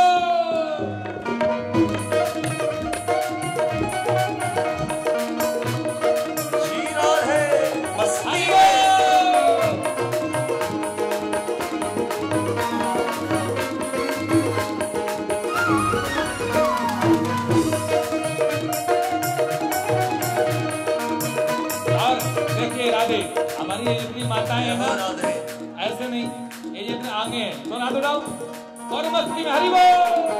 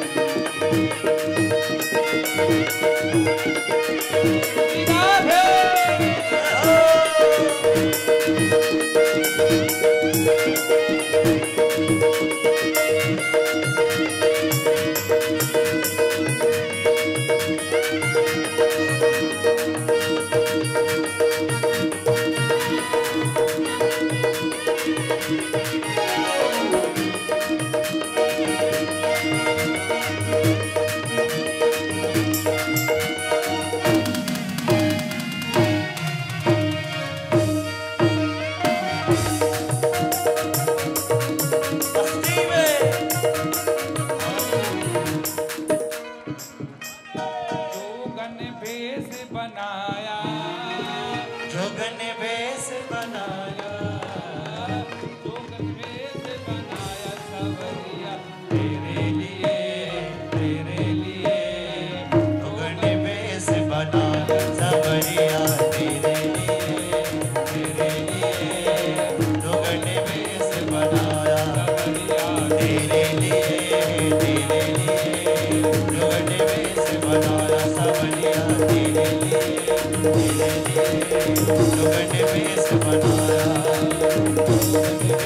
बनाया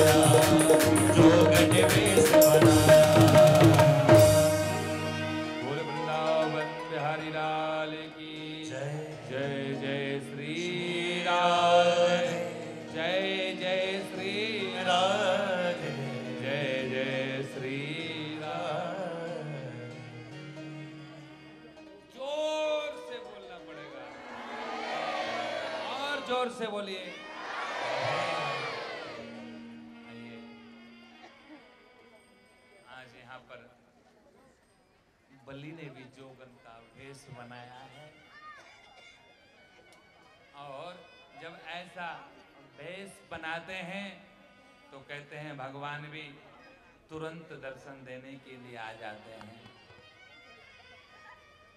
और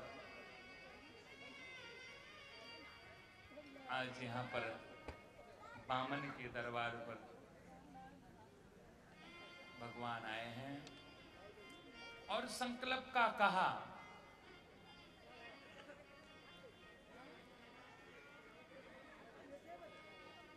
चौके पुराओ माटी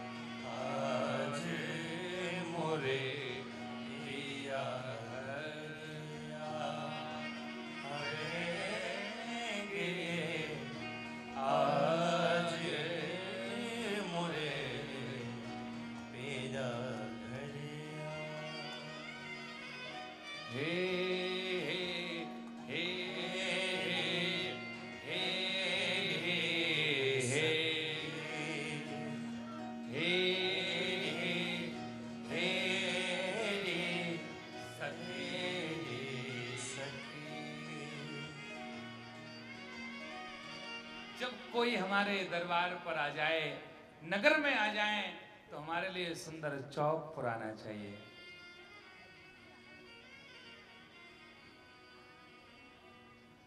रंगोली हमारे लिए, वैसे डेली दिन दरवाजे के सामने हमारे लिए रंगोली पारना चाहिए, रंगोली बनाना चाहिए।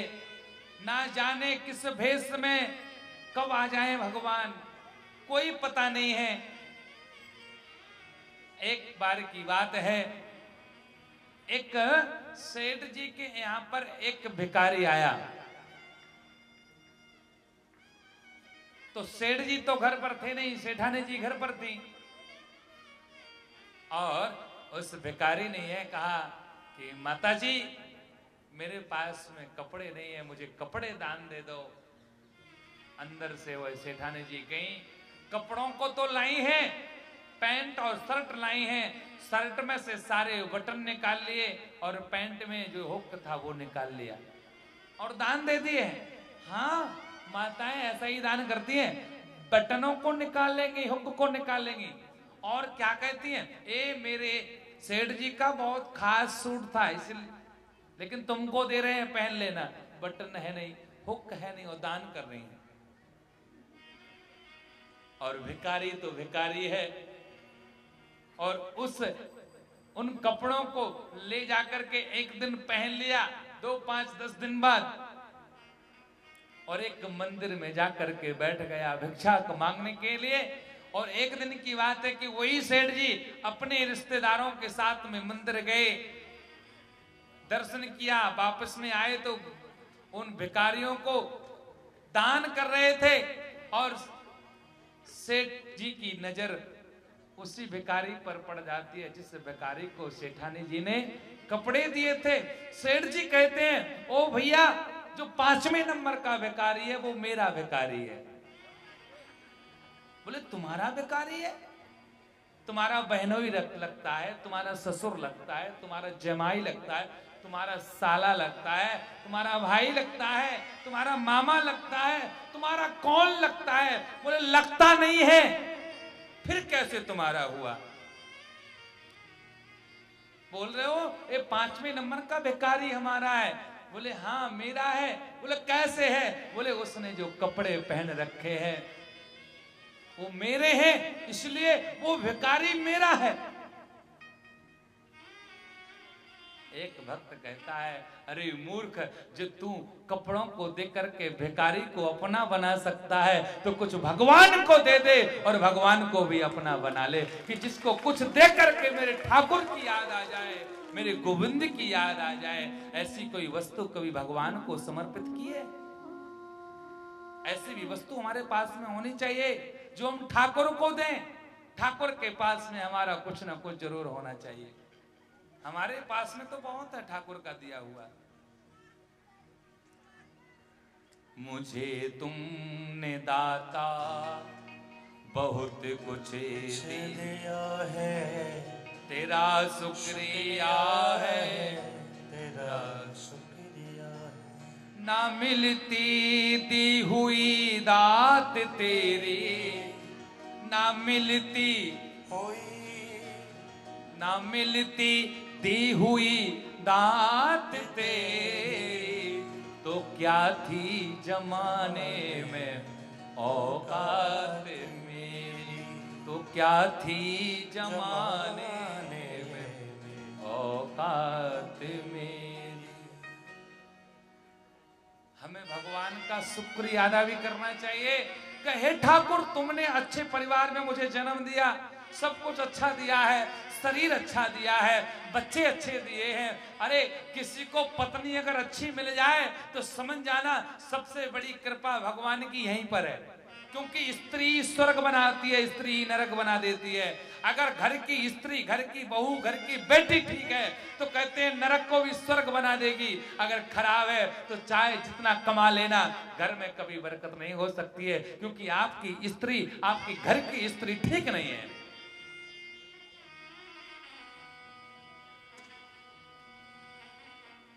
घर में बढ़िया भोग लगना और जब बलि से पामन ने कहा, संकल्प करो, क्यों देरी कर रहे हो? भूल गए। बलि ने कहा, संकल्प तो हम कर देंगे। उसी के लिए हूँ। अब शुक्राचार्य ने सोचा कि मेरा शिष्य लुटा जा रहा है। ऐसा कोई गुरु नहीं है कि अपने शिष्य को आँखों देखे, लूटते देख ले। कोई गुरु नहीं चाहता कि मेरा शिष्य लुट जाए। सभी गुरु चाहते मेरा शिष्य ठीक रहे। और जब शिष्य ठीक रहेगा तो गुरु जी ठीक रहेंगे।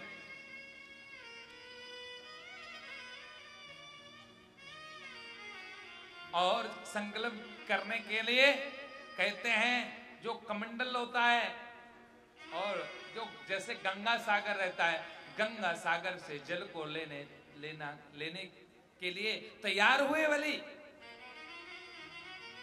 तो शुक्राचार्य ने क्या किया? छोटा सा रूप बनाया और गंगा सागर के कमंडल के उस क्षेत्र में बैठ गए। जल नहीं आ रहा था। बलि ने बहुत किया, पूरा ऊपर से टेढ़ा कर दिया, जल नहीं आया। क्योंकि अक्षत पुष्पाणी गृहित्वा जब तक अक्षत पुष्प नहीं होंगे, जल नहीं होगा। द्रव्यम चा जल मादाया संकल्पम कुरियाद। जब तक द्रव्य दक्षिणा और जल नहीं होगा तो संकल्प कैसे होगा? बलि भी सोच रहे हैं, जल नहीं आ रहा है। बामन ने कहा, चिंता मत करो बलि, संकल्प हो जाएगा। मेरे पास में उपाय है। कुश की आसन थी, उसमें से एक शीख निकाली और उस क्षेत्र में गंगा सागर के डाल दी।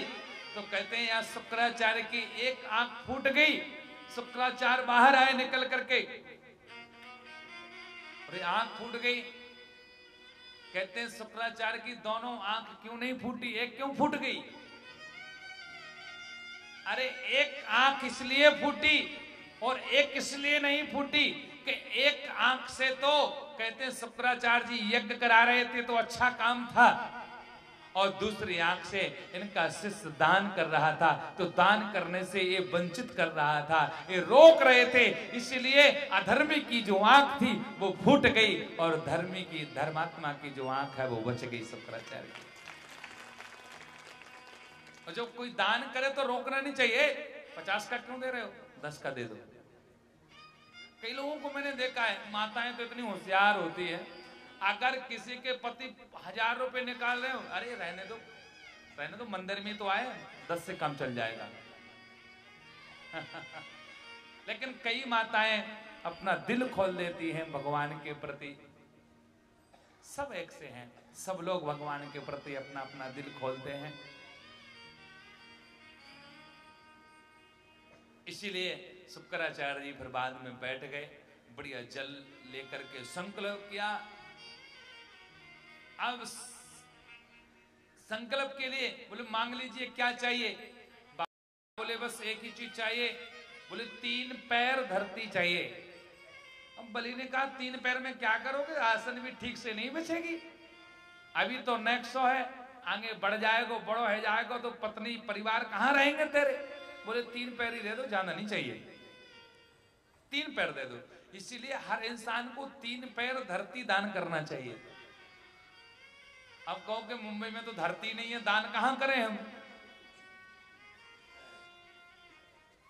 तो कोई धाम में अगर मंदिर बन रहा हो, गौशाला का निर्माण हो रहा हो तो तीन पैर जितनी धरती होती है, उसका दान करना चाहिए, पैसा दे देना चाहिए।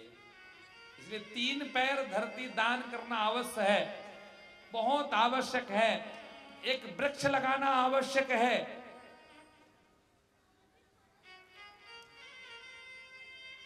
अब बोले, तीन पैर का संकल्प हो गया। अब बोले, पहले पैर में बामन भगवान ने क्या किया? ऊपर के सभी लोगों को नाप लिया। भोरलोक स्वरलोक मारलोक जनोलोक तपोलोक सप्तलोक सप्तलोक का नाम दो भागे। और दूसरे पैर में नीचे के लोक नाप लिए। अतल, बितल, सुतल, तलातल, रसातल, महातल, पाताल, लोकानम परिभागे। दो दो पैर में ही पूरा सब कुछ नाप लिया। अब बलि के पास में आए विराट स्वरूप बनाया था, भगवान ने बहुत विराट स्वरूप बनाया था। और बलि से कहा, राजन, आप तो कह रहे थे और पैर मांगो, दो पैर में ही पूरा सब कुछ नाप लिया, तीसरा पैर कहाँ रखो? वचनबद्ध हो, तीसरा पैर रख, बताइए कहाँ रखे बलि ने कहा, महाराज, ये बताइए कि धन बड़ा होता है, कि धन का मालिक बड़ा होता है। बोले, मालिक बड़ा होता है। बोले, आपने मेरा धन ले लिया, मैं उसका मालिक था। ये तीसरा पैर हमारे ऊपर रख दीजिए। भगवान ने तीसरा पैर ऊपर स्पर्श कराया है और कहते हैं, आज यह बलि रोने लगा। बहुत रो रहा है। भगवान ने कहा, चलो बलि, अब मेरे से मांगो, क्या मांगना चाहे तो? बलि ने कहा अच्छा भगवान है मेरे से लेकर के फिर कह रहा है, मेरे से मांगो, क्या मांगना चाहते हो?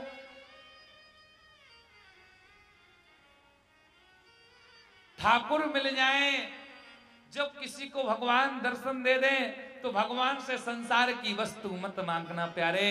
ठाकुर मिल जाए तो ठाकुर को तो ठाकुर से ही मांग लेना चाहिए, और कोई दूसरी वस्तु नहीं मांगना चाहिए। ठाकुर को ठाकुर से ही मांगो। बलि ने कहा, भगवान देना चाहते तो बस एक ही मुझे वरदान दे दो कि आपका दर्शन हमेशा होता रहे मुझे, हमेशा। अब वो दर्शन तो कैसे होगा? भगवान को द्वारपाल बना लिया। भगवान वॉचमैन बन गए, गेट पर खड़े हैं। अब तो राजा बलि दर्शन करता है बार बार कभी अंदर, कभी बाहर, कभी अंदर, कभी बाहर।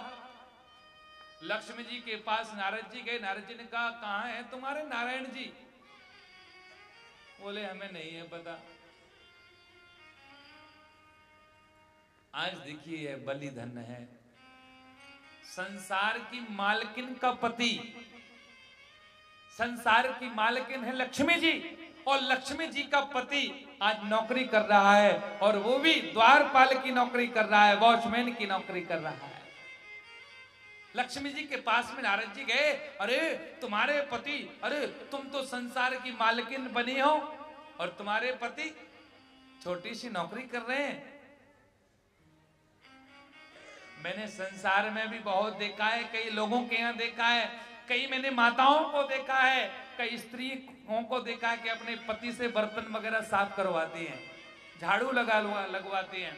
पत्नी है, नौकरी कर रही है और पति कम कमाते हैं तो पत्नी ने अपना प्रभाव पति के ऊपर डाल दिया, अब पति बेचारे सीधे हैं, झाड़ू ही लगा देते हैं।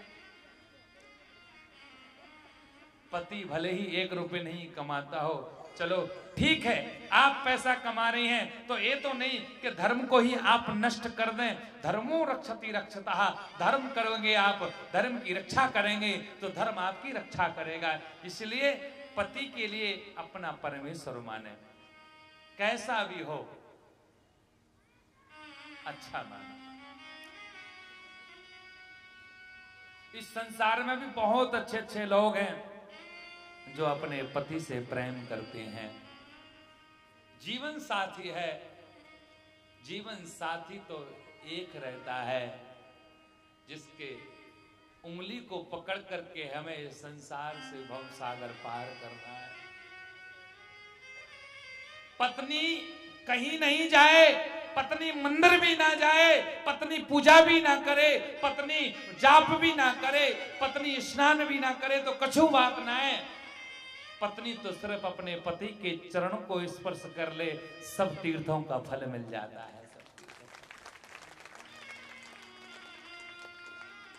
एक बात बताएँ? आज से लगभग पचास साल पहले या सौ साल पहले स्त्रियों को दीक्षा नहीं दी जाती थी। और स्त्री को दीक्षा लेने का कोई अधिकार नहीं है। कोई अधिकार नहीं है। और कहीं दीक्षा नहीं ली, कोई बता दे, प्राणों में स्त्री ने दीक्षा ली है। गुरु दीक्षा का अर्थ क्या है? सप्ताह वृत्ति नाम पुंसाम निये माँ सुनो नारदा, विष्णु दीक्षा वीणा नाम, नाधिकार कथा सर में। गुरु दीक्षा में यज्ञोपवित पहनाया जाता है और स्त्री के लिए, देवी के लिए यज्ञोपवित पहनने का अधिकार नहीं है। तो गुरु दीक्षा लेने का अधिकार कहाँ से हो जाएगा? हमारे देवता और देवियों में देवी के लिए कभी यज्ञोपवित नहीं पहनाते हैं। गुरु दीक्षा में यज्ञो पवित्र पहनना पड़ता है, क्योंकि स्त्री के लिए दीक्षा इसलिए नहीं लेना चाहिए, क्योंकि उसके पति को दीक्षा लेनी चाहिए। जब पति का विवाह नहीं होता है तो तीन लड़का यज्ञो पवित्र पहनता है। और विवाह हो जाता है तो छह लर हो जाते हैं। तीन उसके हैं और तीन उसकी पत्नी के हैं। इसलिए विवाह के बाद में पुरुष छह लड़का यज्ञोपवीत पहनता है। इसलिए पति को दीक्षा लेनी चाहिए, पत्नी को नहीं लेनी चाहिए, क्योंकि पत्नी का सब कुछ उसका पति है। पति ने ले लिया तो पत्नी का उद्धार हो गया। अब लेकिन कलयुग है। भाई चलो ठीक है। अरे दीक्षा लो तो सही, कम से कम भगवान का भजन तो होगा। इसीलिए अब दीक्षा लेने लगे। मैंने आपको एक दिन और बताया था कि हमारे सनातन धर्म में स्त्री सूत्र दुज बंधु नाम त्रिय श्रुतिना गोचरा। मैं एक चीज़ का बहुत ज़्यादा विरोध करता हूँ। मेरा अगर कोई शिष्य है, मेरे से कहेगा, महाराज जी, आप इस डेट में फ्री नहीं है तो क्या मैं एक लड़की की कथा करवा लूँ? मैं ये कहता हूँ, अगर लड़के की कथा कराओगे तो मेरा नाम भूल जाना, मैं कभी तुम्हें याद नहीं करूँगा। बोले, क्यों? बोले, महाराज, आप तो स्त्री का विरोध करते हो। मैंने कहा, मैं स्त्री का सम्मान करता हूँ, मैं विरोध नहीं करता हूँ, मैं पाप नहीं करने दूँगा। क्योंकि स्त्री मासिक धर्म से होती है, और अगर स्त्री मंच पर बैठेगी, डेट बहुत दिन पहले फाइनल हो जाती है कई स्त्री, कई महिलाएँ, कई लड़की मासिक धर्म होकर के भी मंच पर बैठ करके कथा सुनाती हैं। बताइए पैसे के चक्कर में ये कितना बड़ा पाप है? कितना बड़ा पाप है? इसको रोकना होगा। लेकिन कलयुग है, बस आँख सिक जाए, लोग देख ले, बस ठीक हो गया। ये नहीं होना चाहिए। धर्म की रक्षा करना है। अब कलयुग है, कलयुग तो पढ़ना ही है। कलयुग का भी पता क्या है, कैसा कलयुग आना है? कलयुग पता है कैसे आएगा? आने वाला समय कैसा होगा? भाई भाई को मार देंगे जान से। और आने वाले समय में मनुष्य की बुद्धि पशु की तरह हो जाएगी।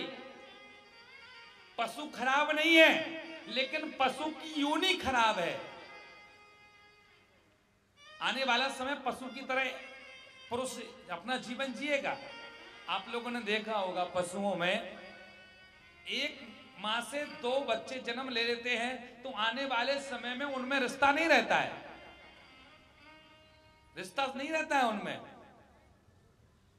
तो आने वाला समय भी पुरुष भी ऐसा ही कर लेगा। और हो गया है। मैंने ऐसे ऐसे लोगों को देखा है, सगे मौसी के लड़के ने सगी मौसी की लड़की से शादी कर ली। सगे चाचा ने सगी भतीजी से शादी कर ली। सगे मामा ने सगी भानीजन से शादी कर ली। ये क्या हो रहा है? कोई रिश्ता ही नहीं रहा। ये क्या है? ये मनुष्य की सोच बिगड़ती जा रही है। कोई होश ही नहीं है कि हमें क्या, कैसे रहना है, क्या करना है। हम अपने जीवन को सुधारें, हम अपने बच्चों को सुधारें, हम अपने सनातन धर्म की रक्षा को, करें। जब हमारा धर्म ही नहीं रहेगा तो हम कहाँ रहेंगे? तभी तो धीरे धीरे धीरे धीरे धर्म लुप्त हो रहा है। धर्म की रक्षा करना है। अब भैया, लक्ष्मी जी से कहा, ज़ोर से बोलिए, राधे राधे। और ज़ोर से बोलिए। आज रात्रि के 12 बजे तक कथा होगी। कितने बजे तक होगी? कितने बजे तक? क्योंकि रात्रि के 12 बजे ही कन्हैया का जन्म हुआ था। तो कौन कौन चाहता है कि 12 बजे तक कथा चले? कोई उठेगा तो नहीं। सही में? चलो देखते हैं। ज़ोर से बोलिए। तो यहाँ पर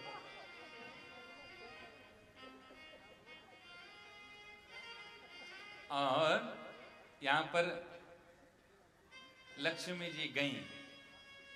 अब लक्ष्मी जी ने कहा, मेरे पति नौकरी कर रहे हैं। और मैं संसार की मालकिन हूँ। ये मुझे बिल्कुल अच्छा नहीं लग रहा है। लक्ष्मी जी, बहन बन करके गई हैं और आज वही रक्षाबंधन का दिन है। अब बहन बन करके गई तो अब देखिए आजकल की बहन भी अच्छी हैं। डिब्बा एक किलो का होना चाहिए, मिठाई ढाई सौ ग्राम होनी चाहिए। दिखना चाहिए। मिठाई तो एक ही खाएँगे भाई। और रक्षा बंधन बाँध करके फिर तो बनारस की साड़ी चाहिए, चंदरी की साड़ी चाहिए। फिर तो मांग बहुत लंबी होती है। तो वही रक्षाबंधन लेकर के लक्ष्मी जी गई हैं। और लक्ष्मी जी गई राजा वली के पास में। बोले, भैया, मैं तुम्हारी बहन हूँ, आज अच्छा दिन है। और अच्छा सूत्र बाँध देते हैं। ऐन बद्धो बलि राजा। दान बिंद्रो महाबला, तेन त्वाम प्रतिबंधनामि, रक्षे माँ चल माँ चला रक्षा सूत्र को जैसे ही बांधा, भैया ने कहा, बलि ने, मांगिए बहन, क्या चाहिए? बोले, भैया देंगे आप मुझे हाँ देंगे, बताइए क्या चाहिए? एक ही तो बहन है, तू ही तो मेरी प्यारी बहन है, मांग क्या चाहिए? बोले, भैया, देना चाहते हो तो जल उठाएँ जो जल का कहा, बोले, क्या करेगी जल से? बोले, संकल्प करेंगे. बलि समझ गए। ये कोई साधारण स्त्री नहीं है, ये कोई साधारण बहन नहीं है। समझ चुके हैं, सोच रहे हैं, अगर संसार की बहन है तो जो मांगेगी, वो मैं इसको दूँगा। और अगर ये संसार की मालकिन है तो ये मेरे से, आज मेरा सब कुछ सब ले ले। और आपस में सोच रहा है, मंदर ही अंदर ही अंदर आज मेरे से बड़ा कोई धन नहीं है, मेरे से बड़ा कोई भी भक्त नहीं है। आज भगवान की कृपा मेरे ऊपर कितनी है कि आज भगवान की कृपा ने मुझे कितना बड़ा भक्त बना दिया है कि मैं हर समय भगवान की सेवा कर रहा हूँ। क्योंकि जब तक भगवान की कृपा नहीं होती तो मैं कुछ नहीं कर पाता। आज मेरा सौभाग्य है कि संसार की मालकिन आज मेरे से कुछ मांग रही है। मांगिए बहन। बोले, आपका जो द्वारपाल है, बस वो दे दो और मैं कुछ नहीं चाहती हूँ। बलि समझ गए, ये तो लक्ष्मी जी हैं और नारायण को बुलाया और आ जाइए। बोले, आज से आपकी नौकरी पूरी हो गई, आप रिटायर्ड हो चुके हैं और आपको रिटायर्ड में ये जो फंड है और ये आपको, आपकी पत्नी फंड रूपी आपको पकड़ा देते हैं, यही लक्ष्मी है मेरे पास में, फंड में और कुछ नहीं है। यही लीजिए। भगवान ने कहा, ठीक है। और भगवान अपने धाम को गए हैं। वली ने फिर बढ़िया और यज्ञ किए, दान किया, पुण्य किया। अंतोगत्वा यहाँ पर बताते हैं कि संत श्रोमणी सुखदेव से परीक्षित जी प्रश्न करते हैं, धर्म क्यों शरणम ब्रजा धर्म क्या है? और पाप का बाप कौन है? पाप का बाप कौन है? पता है किसी को कि पाप का बाप कौन है? पाप का बाप है, बंधु, एक बार क्या हुआ? एक महाराज थे, बहुत अच्छे थे, कर्मकांडी थे, सब अच्छा था उनका। एक दिन की बात है कि व्रतम चा निवृत्यम इति ब्राह्मणम ब्राह्मण है, बहुत अच्छे हैं। कर्मणा बलिष्ठा कर्मणो गति बलिष्ठा कर्मणो गति, विवेकंतु क्षमा साध्य त्यज संसार बंधनात्। इस संसार में सर्वश्रेष्ठ हैं, बंधनात् हैं, बंधन में बंधे हुए हैं। जो बंधन में बंध जाए वो इंसान ठीक नहीं है। बंधन तो हो तो सिर्फ़ ठाकुर का हो। बंधन तो हो तो पूजा का हो। बंधन हो तो आरती का हो कि सुबह शाम हमें भगवान की पूजा करना ही है। और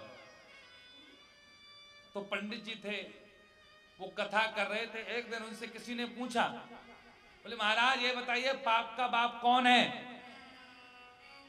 महाराज जी ने कहा, मुझे नहीं पता। और जिस स्त्री ने पूछा, वो एक वैश्या थी। बोले, महाराज, बताइए, पाप का बाप क्या है? महाराज ने कहा, मुझे नहीं पता। तो बोले, महाराज जी, लीजिए ए 500 का नोट, प्रणाम करते हो। कल आप मेरे घर पर आया आना आप। पंडित जी घर पर पहुँच गए। उस स्त्री ने फिर एक गांधी जी दिए। अच्छा ये बताइए, महाराज, सब ठीक है? बोले हाँ सब ठीक है। बोले, क्या खाएँगे? बोले, जो खिलाओगी वो खा लेंगे। एक फिर नोट दिया। बढ़िया, थाली लग गई। बोले, क्या बनाए? कच्चा या पक्का? बोले, जो आपकी इच्छा हो, वो बना लीजिए। कच्चा भोजन बनाया। थाली लग करके आई। बोले, महाराज, इसको पा लीजिए। और महाराज, जैसे ही पाने के लिए तैयार हुए उस स्त्री ने महाराज के गाल में एक तमाचा जड़ दिया। बोले, महाराज, पाप का बाप है तृष्णा, पाप का बाप है लालच, जिसने लालच किया है, वही पाप का बाप है कि तुम पैसे के चक्कर में एक बेस्या के घर भोजन करने चले आए। इससे बड़ा और कोई बाप हो सकता है क्या? ये भी नहीं पूछा, कौन हो? भोजन कैसे बनाया है, नहाया है कि नहीं नहाया है, ठाकुर जी की पूजा होती है कि नहीं होती है, जिसके अंदर तृष्णा आ गई, जिसके अंदर लालच आ गया, और जो लालच, लालची होते हैं, अपने स्वा, अपने आप को बड़ा बनाने के लिए जो सच्चे लोगों को धोखा देते हैं तो कहते उनकी हाय उनको लग जाती है, वो कभी अच्छे से सुख में अपने घर में नहीं रह पाते हैं। तो यहाँ जो आप लोगों ने ध्रुव जी की कथा सुनी थी, ध्रुव जी का विवाह शिशु मार की कन्या भ्रमी के साथ में हुआ था। और ध्रुव जी के दो पुत्र थे, कल्प और बत्सर। आगे चल करके इनके यहाँ अंग हुए, अंग के यहाँ बैन हुए। बैन के लिए मंथन किया गया। बैन के लिए कहते हैं, मछली ने निगल लिया था। तो मछली एक, महाराज राजा के घर पर पहुँचती है। तो कहते हैं, बैन का मंथन किया गया। बैन से फिर कहते हैं प्रथु महाराज हुए हैं। प्रथु महाराज ने अश्वमेध यज्ञ किए हैं। इंद्र घबराने लगे। और जब घबराने लगे तो भगवान से कहा, भगवान, आप दर्शन दो दो, नहीं तो हमारी पदवी चली जाएगी। और भगवान ने दर्शन दिया। प्रथु महाराज से कहा, मांगिए, क्या मांगना चाहते हो? प्रथु महाराज ने कहा, भगवान, मुझे आप देना चाहते हो तो मुझे दस हज़ार कान दे दो। कितने कान? दस हज़ार कान दे दो। बोले, दस हज़ार कान का क्या करोगे? संसार में तो लोग दो कानों से परेशान है, तुम दस हज़ार कान मांग रहे हो। बोले, जिसके पास में दो कान है, बोले, सेंचुरी मील में कथा हो रही है, कई लोग अपने अपने फ्लैट में रह रहे हैं, और किसी किसी के तो कान, बोले, खराब हो चुके हैं, बोले, कहाँ से कहाँ ये कथा चालू हो गई? कहाँ से महाराज आ गए?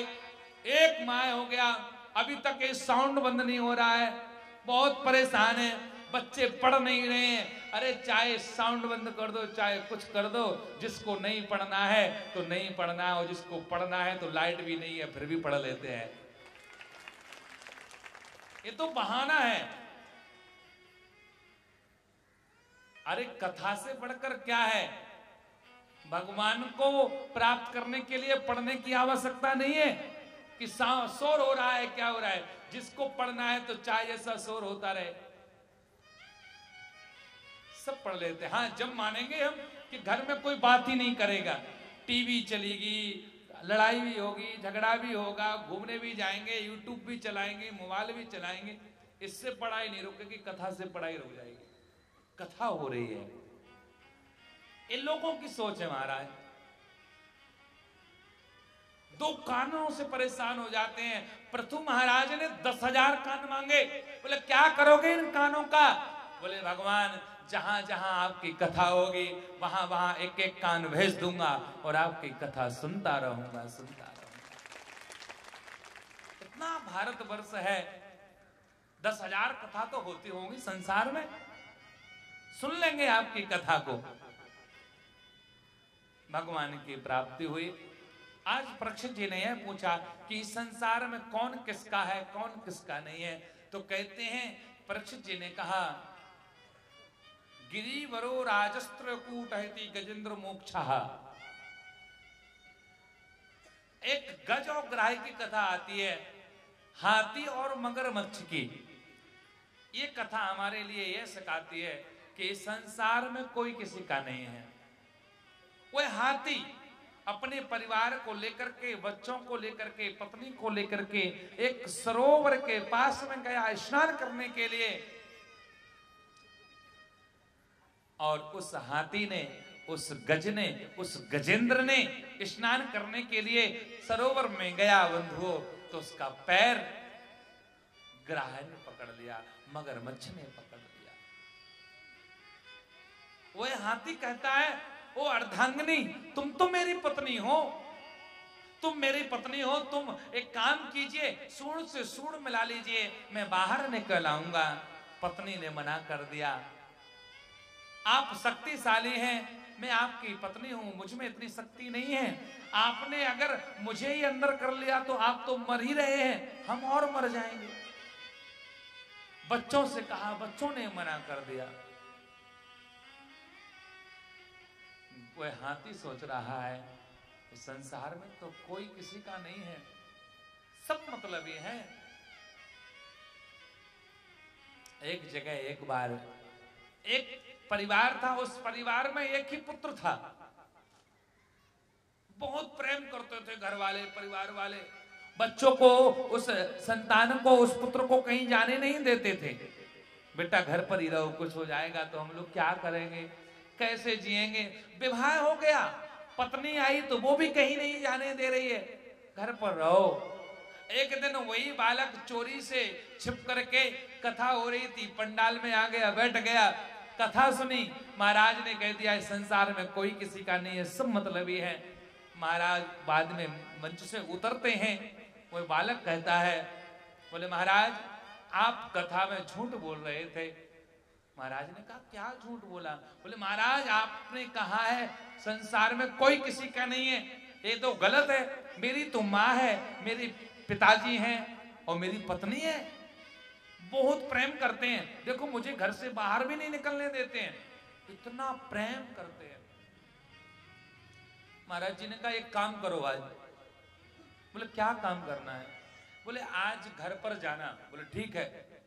और घर पर जाना, ए, बेहोश की गोली ले जाओ, दो घंटे तुम बेहोश हो जाना और मरने का नाटक कर लेना, पता चल जाएगा।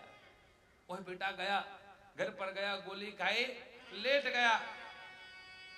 डॉक्टर आए। डॉक्टर ने कहा, तुम्हारा बेटा, तुम्हारे बेटा का देहांत हो चुका है। माँ रोने लगी, पिता रोने लगे, पत्नी रोने लगी। बहुत रो रहे हैं। हालत खराब हो गई। वही संत निकले। संत ने सोचा, अरे, महाराज, सोचते हैं, इस घर से आवाज़ कैसी आ रही है रोने की? महाराज से रहा नहीं गया अंदर चले गए। और महाराज ने देखा, ये तो वही बालक है।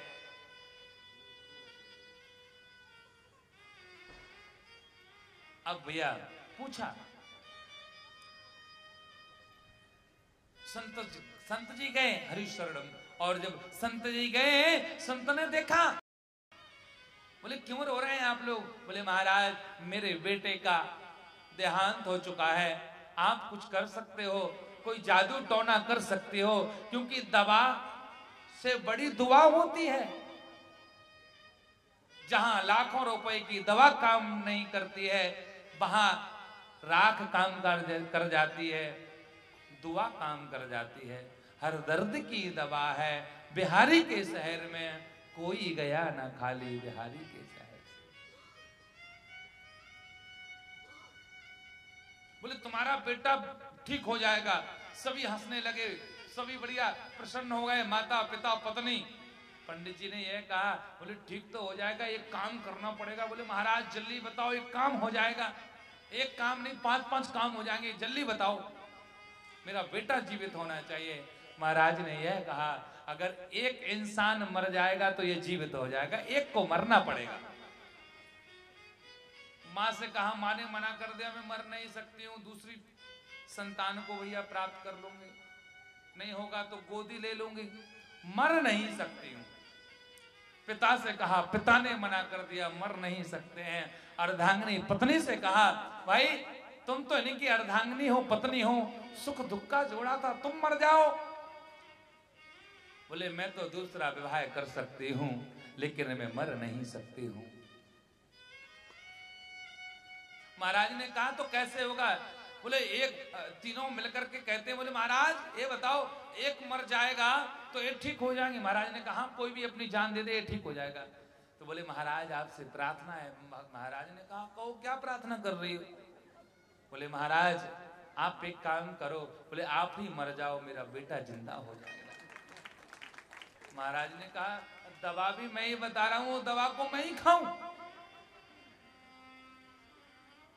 अरे, तुम्हारे बेटे को कुछ नहीं हुआ है। बेटा, उठ जाओ। पहचान लिया कि इस संसार में कोई किसी का नहीं है। सब मिथ्या है। और आज उस गजेंद्र ने भी, जब उसका साथ उसके परिवार ने नहीं दिया, अब किसको याद करे वो? याद किसको करे? किसकी प्रार्थना करे? कहते हैं, गज और एक ग्राह कौन है? बोले ये पूर्व जन्म के दो व्यक्ति हैं। बोले, ये क्या करते थे? जब कोई संत, कोई ब्राह्मण जल में तपस्या करते थे तो ये जाकर के पैर खींचते थे। तो उन संतों ने श्राप दे दिया कि हम तुम्हें श्राप देते हैं कि गज और ग्राह बन जाओ, जिससे पैर आपस में खींचते रहना। फिर भैया, उनको भगवत की प्राप्ति हुई, भगवान से कहा, भगवान, ऐसा ऐसा है। बोले, चिंता मत करो, ऐसे पैर खींचते रहना, एक ना एक दिन उद्धार हो जाएगा। तो गज ने सोचा, उसी तालाब में, उसी सरोवर में एक पुष्प बढ़िया बह करके आ रहा था और हाथी की नज़र उस पुष्प पर पड़ गई। और हाथी कहता है कि, हे विधाता, ये जिसने पुष्प बनाया हो, मैं पुष्प बनाने वाले के लिए मैं कोटि कोटि प्रणाम करता हूँ कोटि कोटि वंदन करता हूँ, मेरी रक्षा करें। तो कहते हैं कि साक्षात भगवान आए हैं और गज और ग्राय के लिए उस योनि से छुटकारा दिलाकर उनकी जो आत्मा थी भगवान के चरणों में विलीन हो गई। और आगे चल करके महाराज, परीक्षित जी ने कहा कि आप मुझे ये भी बताओ कि किसी के किसी का नाम से उद्धार हुआ है तो कहते अजामिल का उद्धार नाम से हुआ है, अपने पुत्रों का नाम बोले, भगवान से मिलकर के रखना चाहिए, नारायण नारायण। और आगे चल करके बंधु, कहते हैं, वृंदावन जाएँ तो हमारा संदेश, हमारा पैगाम कौन लेकर के जाएगा? आइए हम लोग अपना अपना संदेश वाक्य बिहारी को भेजते हैं और फिर उसके बाद में कथा को आगे बढ़ाएँगे।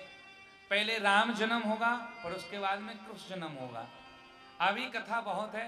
अभी सबसे पहले आपको समुद्र मंथन की कथा आएगी कि समुद्र मंथन में चौदह रत्न निकले थे। पर उसके बाद में राम जन्म, उसके बाद में कृष्ण जन्म। ज़ोर से बोले राधे राधे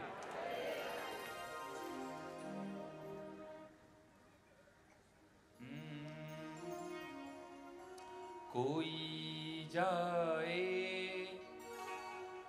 जो वृंदावन मेरा पैगाम ले जाना। ज़ोर से बोलिए। वृंदावन मेरा पैगाम ले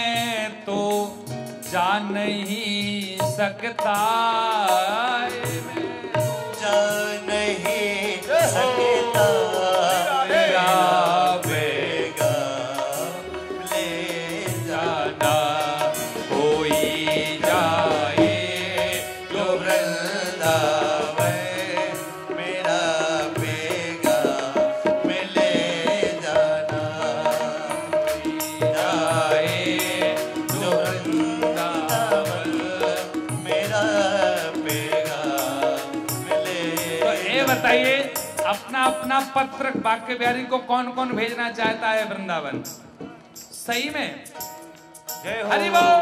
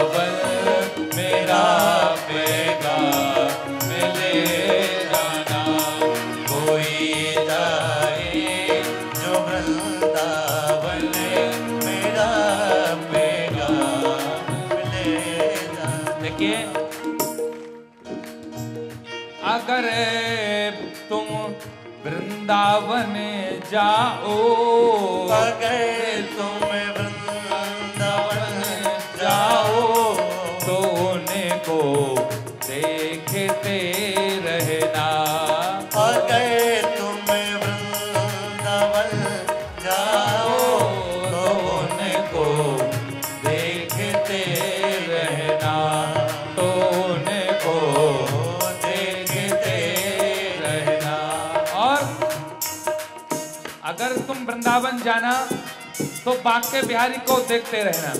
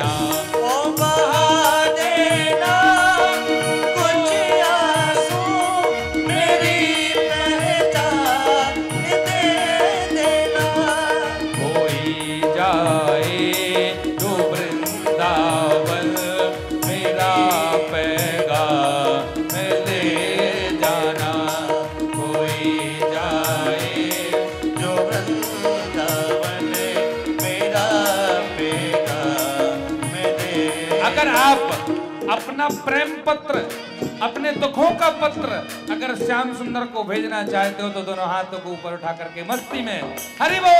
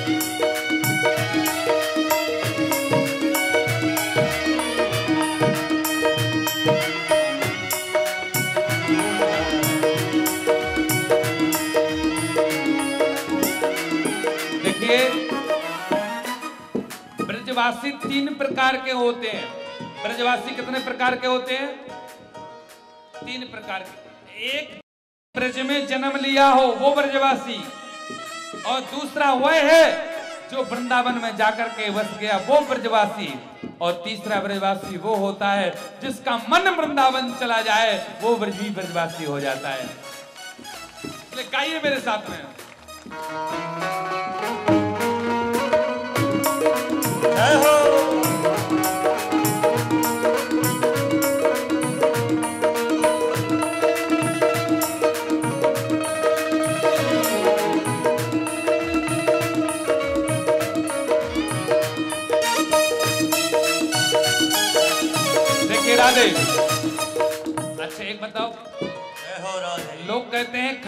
करके नृत्य किया जाता है। लेकिन मैं आप, आप लोगों को एक बात बैठ करके भी नृत्य कर सकते हैं। हाथ ऊपर करो। सभी के हरिबोल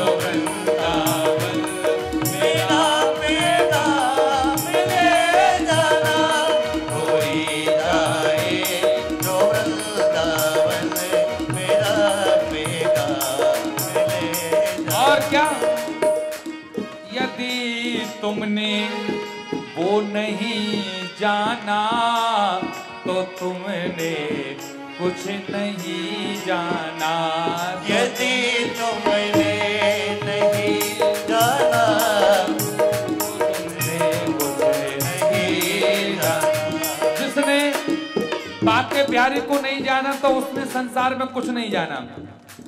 यदि तुमने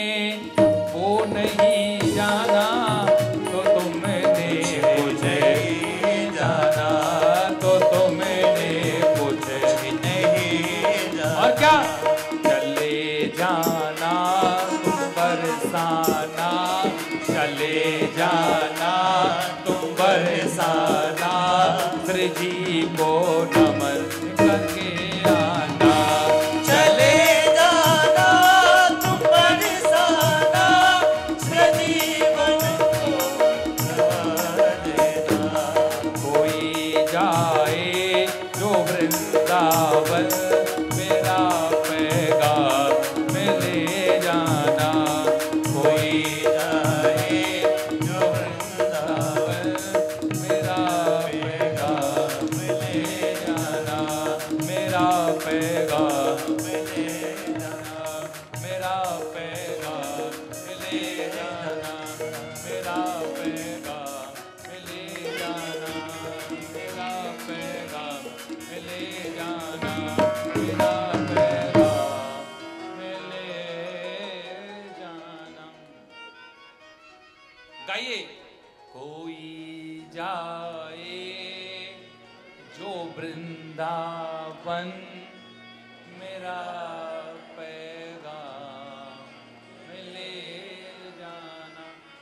ज़ोर से गाइए सभी लोग।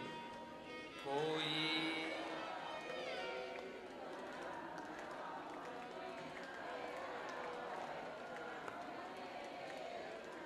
एक साथ में बोलो।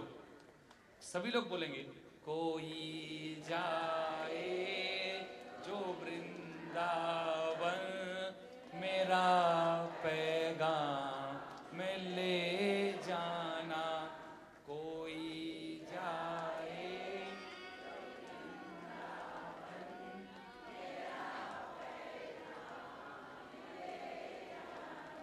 मेरा पैगाम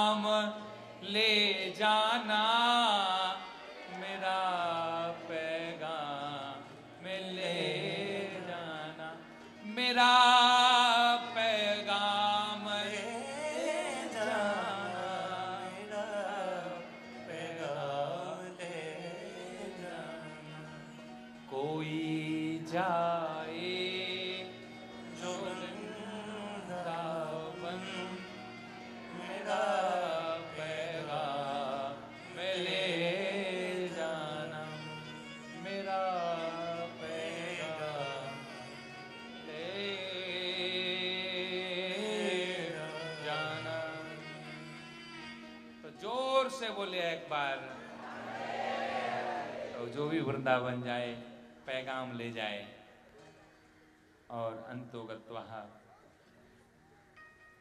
भगवान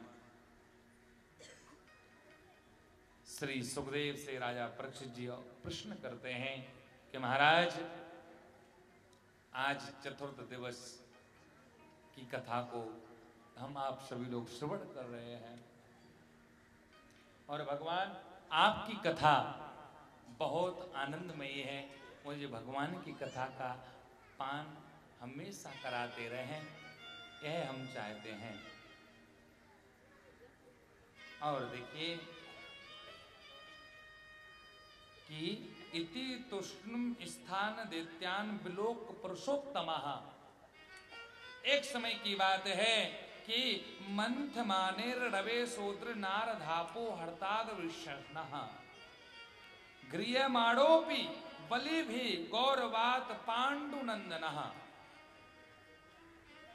गौरवीर पांडु नंदन अरे, एक समय की बात है कि देवता दैत्यों से परेशान थे। बहुत परेशान थे। ये दैत्य देवताओं को परेशान करते थे। उनका सबको छीन लेते थे, रहने नहीं देते थे। तपस्या नहीं करने देते थे, जाप के लिए भंग कर देते थे। देवता बहुत परेशान हुए देवताओं से। तो भैया, एक दिन विचार किया, देवताओं ने मिलकर के एक काम करो। बंटवारा ही कर लेते हैं। चलो, समुद्र मंथन करते हैं। भगवान नारायण के पास में सभी देवी देवता गए और नारायण से कहा, बोले, नारायण, रक्षा करो। बहुत परेशान है। कहते हैं कि एक दैत्य हुआ है जिसका नाम हम आप लोग सुनते हैं राहु और केतु। एक ग्रह में है लेकिन कह, कहा जाए तो पापी ग्रह हैं। ये दैत्य हैं। और एक और दैत्य था जिसका नाम था वित्रासुर। इंद्र को बहुत परेशान किया। बहुत परेशान किया। भगवान ने जैसे तैसे वृत्रासुर से छुटकारा पाया।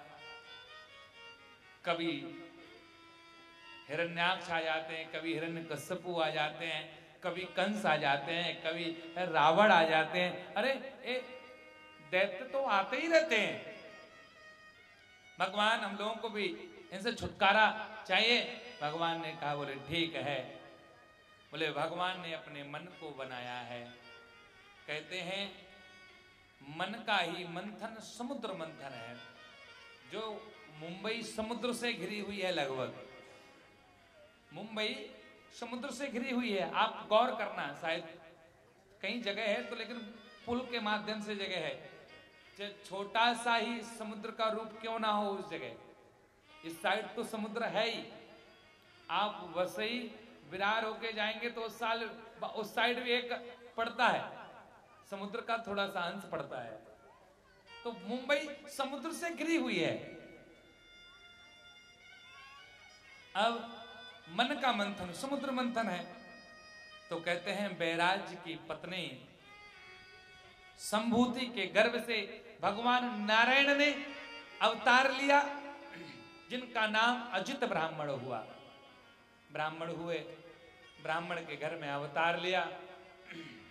अब देखिए, और कहते हैं अवतार लेने के बाद में समुद्र मंथन। बोले, मद्राचल, जो मद्राचल जो पर्वत था ना, उसकी मथानी बनाई है। बढ़िया, उसमें सांप की बासुकी बाँस जो सर्प रहता है ना, सर्प के लिए उसकी मथानी की रस्सी को बनाया है। और अजित ब्राह्मण ने अपने पीठ पर उस मथानी को उस मंदराचल पर्वत को रख लिया। अब एक साइड देवता और एक साइड दत्त अब समुद्र मंथन प्रारंभ हुआ। अब कहते हैं, जैसे ही समुद्र मंथन प्रारंभ हुआ तो कहते हैं कि समुद्र मंथन में सबसे पहले हलाहल विष निकला। अब बोले, वह विष विष किसको पिलाएँ? कौन पिएगा इस विष को याद आया? बोले विष को तो भोलेनाथ जी पी सकते हैं। चलो, भोलेनाथ जी के पास में चलते हैं। विष निकला। भोलेनाथ जी को पिलाया। अब भोलेनाथ जी ने भी सोचा, इस विष को अंदर रख लेंगे तो हमारा ही उद्धार हो जाएगा। इसलिए इस विष को हम कंठ में रख लेते हैं। इसलिए भगवान का नाम पड़ गया भोलेनाथ जी का। बोले, नीलकंठेश्वर भगवान की जय। नीलकंठ। और कहते हैं और दूसरी वस्तु, महाराज, कामधेनु गाय निकली। देखिए, गाय की सेवा होनी चाहिए तो जर्सी नहीं होनी चाहिए। गाय हमारी देसी होनी चाहिए। विदेशी गाय नहीं होनी चाहिए। देसी होनी चाहिए। उसी का फल प्राप्त है। गाय तो वैसे कामधेनु गाय हो, श्यामा गाय हो ए, मिल जाए घर में रखने के लिए तो और बात ही कुछ अलग है। और अंतोगत कामधेनु गाय निकली। तो बोले, क्या करें? बोले, इस गाय के लिए ब्राह्मणों को दे दो, संतों को दे दो। बोले, इस गाय से हवन करने वाली, होत्र करने वाली सामग्री उत्पन्न होगी। इससे ब्राह्मण और संत हवन करेंगे। पहले धूप बत्ती गाय के गोवर से ही बनती थी।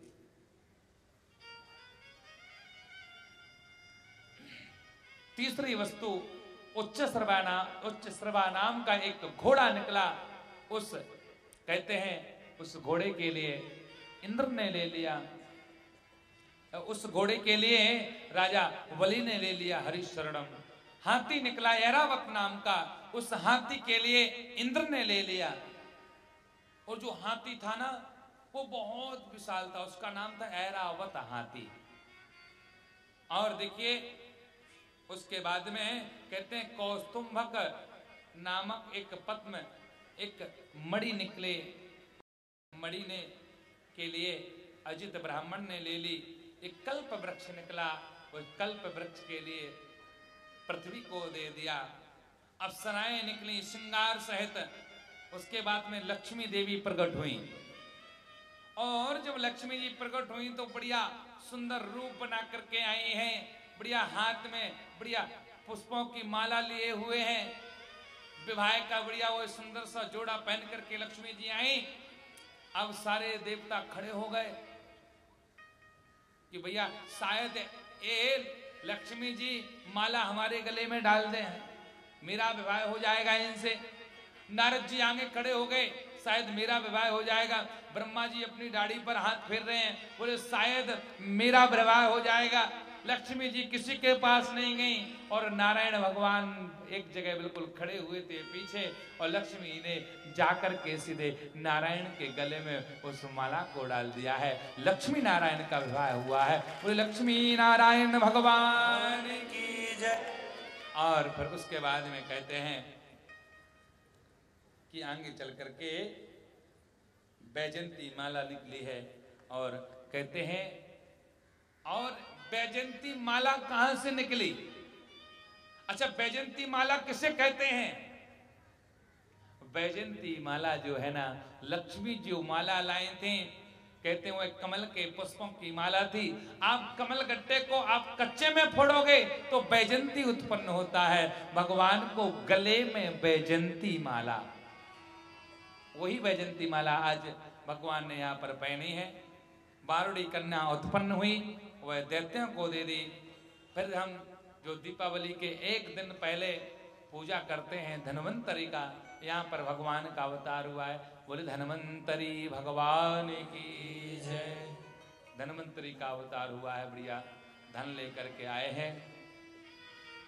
फिर कहते हैं, अंतिम में कहते हैं, बढ़िया, भगवान ने जैसे फिर से मंथन किया महाराज, सुंदर अमृत कलश निकला। और जब अमृत कलश निकला, बंधु तो कहते हैं, इस अमृत को किसको पिलाएँ? इस चर्चा के लिए अमृत कलश एक जगह रखा तो दैत्यों ने छुड़ा लिया। हर ले गए। अब देवता फिर परेशान की, इतनी मेहनत की, और अमृत कलश अगर दैत्यों ने पी लिया तो तो भाई अमर हो जाएँगे वो। तो भगवान से प्रार्थना की तो भगवान पर मोहिनी का रूप बन करके आए हैं। बढ़िया, साड़ी को पहन करके, बिंदी को लगा करके, चूड़ी को पहन करके भगवान ने मोहिनी का रूप धारण किया। और मोहिनी बन करके दैत्यों के पास में गए तो दैत्य मोहिनी को देख करके मोहित हो गए। इतने में भगवान ने क्या किया? बोले, उस अमृत कलश को ले लिया और कहते दैत्यों में, भगवान में थोड़ा खींचातानी हुई। अमृत कलश को लेकर के तो उसकी चार बूंदें गिर गई। इलाहाबाद, हरिद्वार, उज्जैन और नासिक में। इसलिए वहाँ पर कुंभ लगता है। और फिर बढ़िया अमृत कलश लाए तो भैया देवताओं को पिला रहे थे भगवान। तो कहते हैं, एक देवताया जिसका नाम है राहु, वो भी देवताओं में बीच में जाकर के बढ़िया छिप गया और अमृत कलश का पान कर लिया। और चंद्र और सूर्य गए भगवान के पास।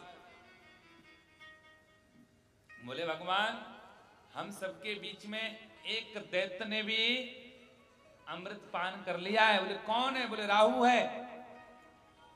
भगवान ने कहा अच्छा अगर दैत्य ने अगर अमर पान किया है तो ये सुदर्शन चक्र में भेजता हूँ। मार दें। लेकिन वो तो अमर हो चुके थे। सुदर्शन चक्र जैसे ही छोड़ा है नारायण ने तो कहते हैं राहु का सिर कट गया। और सिर कट गया तो राहु से केतु हो गए। अमर हैं ये कुंडली में, जहाँ भी मिलेंगे आमने सामने मिलेंगे। तो राहुल और केतु ने कहा, बोले सूर्य और चंद्र तुमको छोड़ेंगे नहीं हम। इसलिए सूर्य ग्रहण और चंद्र ग्रहण जब लगता है, राहु, केतु जब सूर्य को घेर लेते हैं तो सूर्य ग्रहण लग जाता है और चंद्र को घेर लेते हैं तो चंद्र ग्रहण लग जाता है। और आगे चल करके बंधु यहाँ पर परीक्षित जी कहते हैं, कहे, हे राजन, हे महाराज, संत शिरोमणि परम हंस, संत शिरोमणि श्री सुखदेव जी से कहते हैं कि आप मुझे अब मेरे प्रभु श्री कृष्ण भगवान की मुझे उस वंश का विस्तार बताइए। मैं सुनना चाहता हूँ। तो कहते हैं कि आगे चल करके दो वंश हुए हैं। एक वंश का नाम है सूर्यवंश और एक वंश का नाम है चंद्रवंश। सूर्यवंश में हमारे प्रभु श्री राम का अवतार हुआ है और चंद्रवंश में हमारे प्रभु श्री कृष्ण का अवतार हुआ है। सूर्यवंश और चंद्रवंश है। अब देखिए, सूर्यवंश में कौन कौन आए, कैसे आए? और एक बात बताएँ, इस संसार में गंगा जी भी कैसे आई? गंगा जी सूर्यवंश में आई। अच्छा एक बात सभी माताओं को याद होनी चाहिए कि नारायण भगवान के लिए, कृष्ण भगवान के लिए, राम भगवान के लिए कभी भी ऊपर से गंगा जल नहीं चढ़ाना चाहिए। क्यों? क्योंकि विष्णु भगवान के पैर के अंगूठी से गंगा जी निकली हैं। और गंगा जी कहते हैं, भगवान के पैर से उनकी अर्धांगनी है और अर्धांगनी को सिर पर नहीं बैठाया जाएगा। इसलिए गंगा जल को हम पैरों में ही डालें। और पहली बात तो कि गंगा जल घर में नहीं है। तो टेंशन मत लो, भगवान को स्नान करा दो, गंगा जल बन गया। पैर के स्नान करा दो, गंगा जल बन गया। गंगा जल को चाहे जल में डालो, चाहे जल को गंगा जल में डालो, बात बराबर है। अच्छा एक बात। हम गंदे कब तक हैं?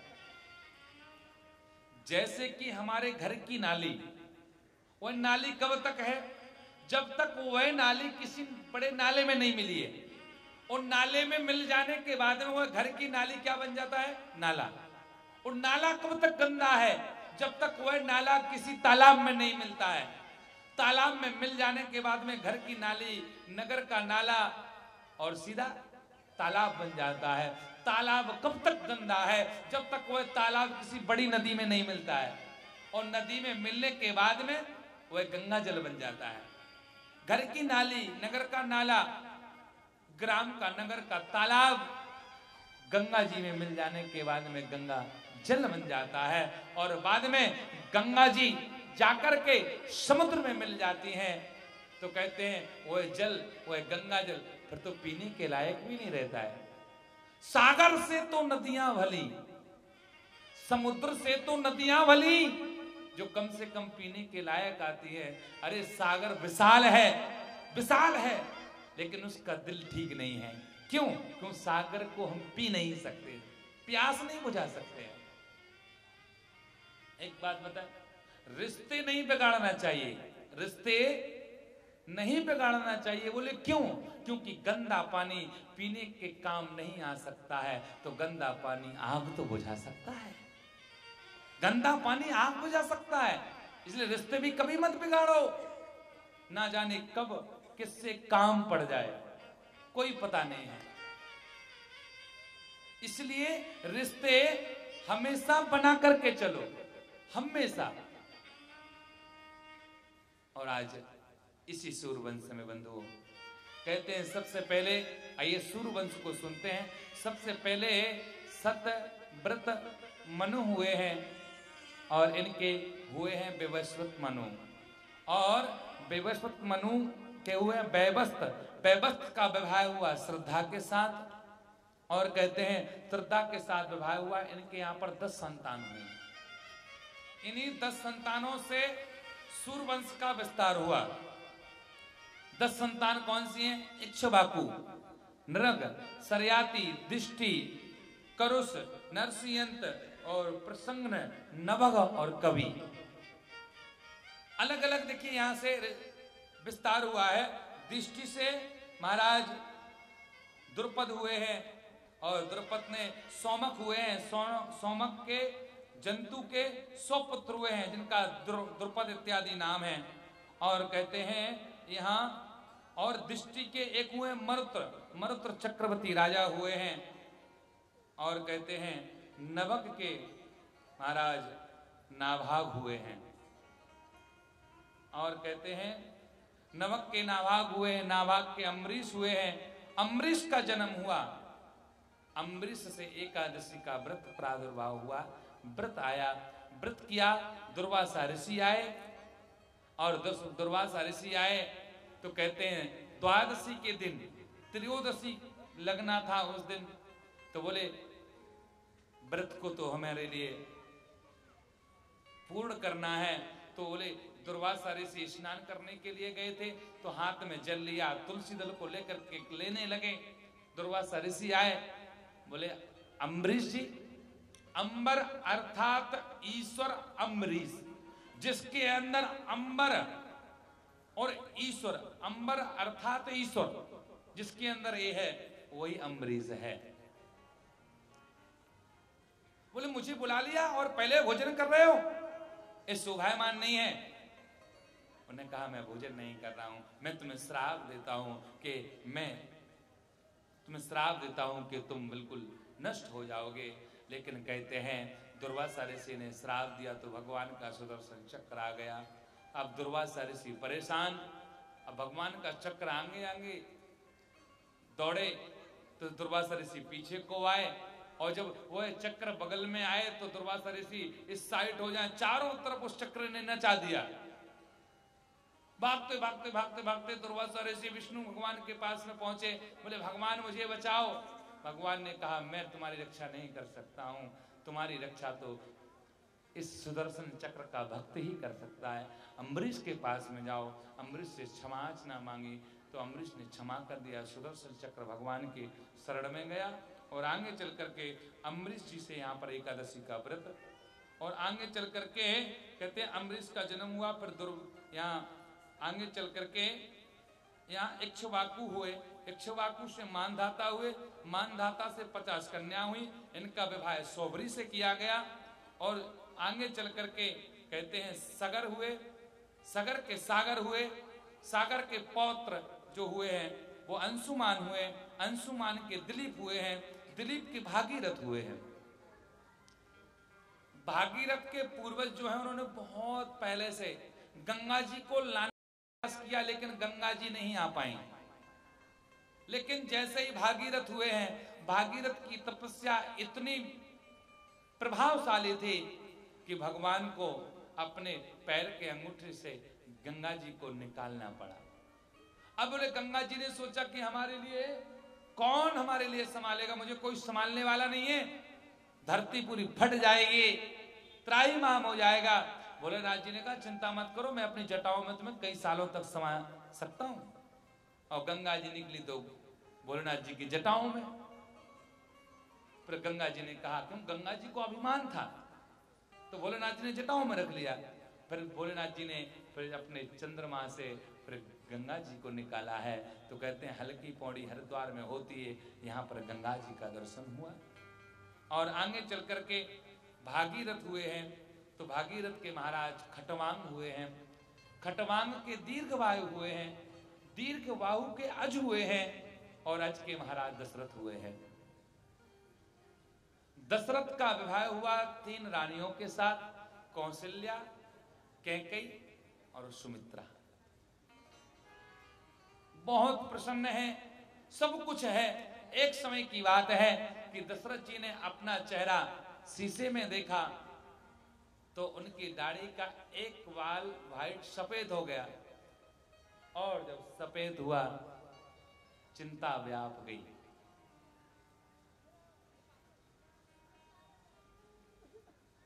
एक बार भू पति मन माही। एक बार भू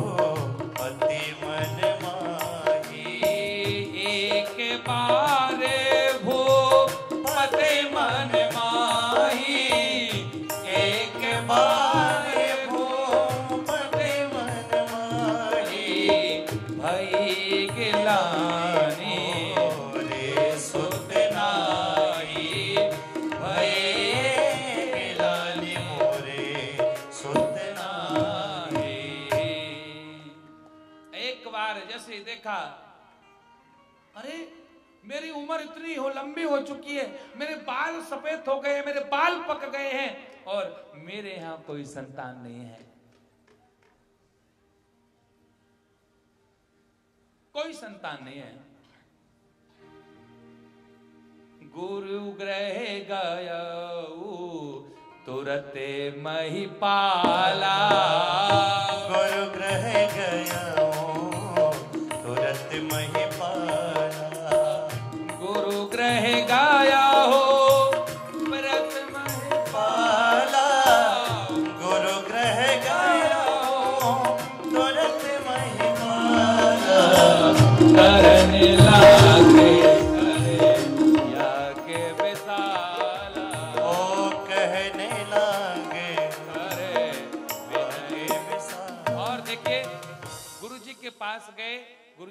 आशीर्वाद है यज्ञ कीजिए। यज्ञ हुआ है और यज्ञ कौन सा किया? बोले पुत्र कामेष्टि यज्ञ किया। और यज्ञ करने के बाद उसमें से भगवान प्रकट हुए प्रकट हुए तो कहते हैं उसमें से खीर आई, यानी चरु आया। और जब चरु आया तो बोले, क्या करें? बोले, इसको बांट दो, रानियों को दे दो। अब भैया, रानी को? तो बोले, एक के पहले दो भाग किए। कहते हैं, एक के दो भाग किए, एक जो भाग अलग है वो दे दिया कौशल्या के लिए। और फिर एक भाग में से फिर दो भाग किए, सुमित्रा को और कैकई को दिए हैं। तो बंधु, कहते हैं कि जो सुमित्रा है तो सुमित्रा ने अपनी खीर के लिए और खीर के लिए एक जगह रख दिया। तो कहते हैं खीर के लिए एक चील आया और सुमित्रा के उस खीर के लिए, उस प्रसाद के लिए ले गया।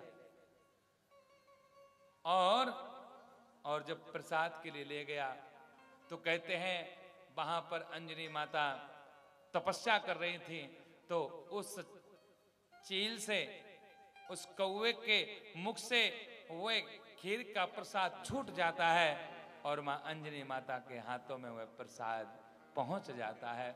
तो वहाँ हनुमान जी का जन्म होता है। अब भाई, सुमित्रा के लिए खीर नहीं है। तो कहते हैं अर्ध भाग कौशल्या की आधा भाग कौशल्या ने अपने में से दे करके और थोड़ा सा भाग कैकई ने दिया है और सुमित्रा को दिया है। सुमित्रा ने उस प्रसाद को पाया है, तीनों रानियों ने पाया है। अब भैया तीनों रानी गर्भवती हो गई। तीनों रानी गर्भवती हो गई। अब तो इतना सुंदर लग रहा है, बहुत सुंदर लग रहा है अयोध्या में। जा दिन ते हरि, गरे आए। जिस दिन से हरि गर्भ में आए हैं उस दिन से अयोध्या में नित्य नव नंग मंगल मोदक छाए। अरे, जब से राम जी अयोध्या में आए हैं, अरे, बहुत आनंद बहुत आनंद आ रहा है। ऐसा लग रहा है कि अयोध्या तो स्वर्ग बन गया है। थोड़ा सा समय और व्यतीत हुआ। और देखिए, जो राम राज्य की स्थापना के लिए हम लोग सोचते थे, और भगवान की कृपा हुई है, कुछ समय बाद राम का वह मंदिर बनने जा रहा है और राम मंदिर बनने वाला है। और भगवान की इच्छा रही तो इस कॉलोनी में कभी समय मिलेगा या वर्ली में समय मिलेगा तो राम कथा ज़रूर सुनाऊँगा। भागवत कथा में कुल दो अध्याय में राम जी का जन्म ही आता है। क्योंकि कृष्ण कथा सुनने से पहले राम कथा सुनना ज़रूरी है। कहते हैं, राम कृष्ण दो एक हैं, अंतर नहीं निमेश, राम के नयन गंभीर हैं, कृष्ण के चपल विशेष। राम और कृष्ण दोनों एक हैं, लेकिन चार चीज़ों का अंतर है। पहला है नाम, दूसरा है काम, तीसरा है पाम। नाम, काम, धाम, पाम, चार चीज़ों का अंतर। और कहते हैं, राम कृष्ण दो एक हैं। नहीं, बिल्कुल अलग अलग है। एक नहीं है। राम कृष्ण दो एक हैं। देखिए, कृष्ण का काम क्या है? चलो कृष्ण का, बोले, नाम।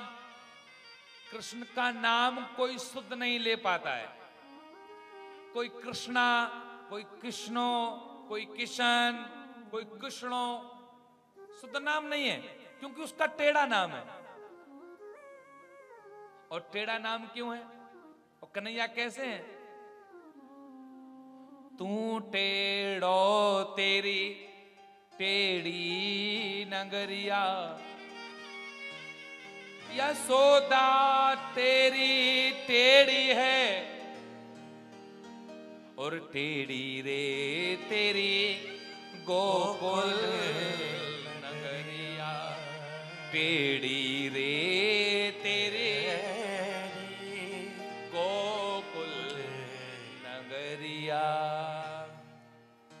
टेढ़ा है, तू भी टेढ़ा है। तो कहते हैं, भगवान कैसे टेढ़े। तो पै, और राम में रहे। राम का नाम बहुत सीधा है। कोई भी इंसान नाम ले लेता है राम। नाम में अंतर है कि नहीं? अब बात की जाए काम की। राम ने क्या किया? और कृष्ण ने क्या किया? कृष्ण ने अपने मामा का उद्धार कर दिया, मौसी को मार दिया और राम ने राक्षसों का संहार किया और कन्हैया ने रिश्तेदारों का संहार किया। तो काम में भी अंतर है। अच्छा एक बात और आप लोगों ने देखी? लोग ये कहते हैं कि स्त्री पर हाथ नहीं उठाना चाहिए। राम ने और कृष्ण ने सबसे पहले स्त्री को ही मारा था। राम ने ताड़कासुर को पहले मारा था और कृष्ण ने सबसे पहले पूतना को मारा था। क्यों? उसका एक अर्थ है, यह है कि जब तक जो स्त्री है, अगर उसकी बुद्धि राक्षसी की है तो सबसे पहले संतान को तो हम बाद में मारेंगे। सबसे पहले जिसने जन्म दिया है, उस राक्षस को ही मार दो। जब वो जन्म देने वाली नहीं रहेगी तो संतान राक्षसी कहाँ से आएगी? और अंतोगत्वा। देखिए, समय का अभाव है। पाँच मिनट में राम जन्म करके कृष्ण जन्मोत्सव की तैयारी करेंगे। और कहते हैं, बढ़िया गर्भवती हुई, बढ़िया आनंद आ रहा है। बढ़िया वह माँ है, आ गया। बढ़िया दिन था। ओ,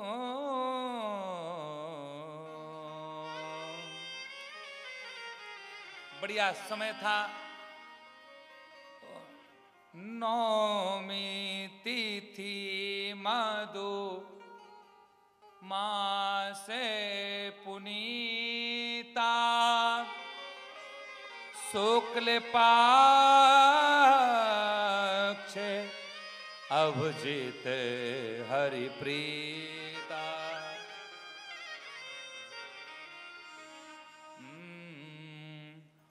नौमी तिथि मधु। मधु मास पुनीता शुक्ल पक्ष अभी जित हरि बढ़िया सुंदर दिन था। नौमी तिथि थी मधुमास था चैत का माह था। नौमी तिथि मधुमास पुनीता। अवजित नक्षत्र था। अवजित नक्षत्र अट्ठाईसवा नक्षत्र है। वैसे सत्ताईस नक्षत्र है। अवजित नक्षत्र डेली दिन 12 बजे आता है। और भगवान प्रभु श्री राम का दोपहर के मध्यान्ह के ठीक 12 बजे अवजित नक्षत्र में हुआ है। अवजित हरि प्रीता भगवान का जन्म हुआ है। बोले रामचंद्र भगवान की जय। कौशल्या से राम हुए हैं। कैकई से महाराज भरत जी हुए हैं। सुमित्रा से लक्ष्मण और शत्रुघ्न हुए हैं। आइए दो मिनट राम की बधाई और उसके बाद में कथा को आगे बढ़ाएँगे। तो आइए राम की बधाई गाएँ फिर। हैं? कौन कौन बधाई देगा? देंगे बधाई। क्या लाए हैं बधाई में? है? ज़ोर से बोले जय श्री राम। राधे।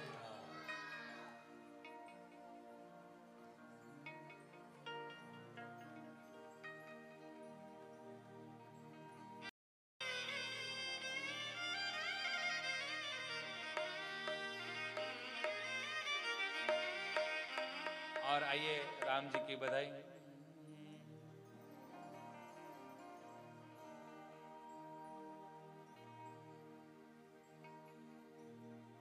बाजे बधैया मोरे बाजे बधैया। बधैया। गाइए बाजे बधैया मोरे बाजे बधैया। प्रकटे हैं चारों भैया अवधे में बाजे बधैया। प्रकटे चारों भैया अवध में बाजे बधैया। प्रकटे हैं चारों भैया अवधे में बाजे बधैया।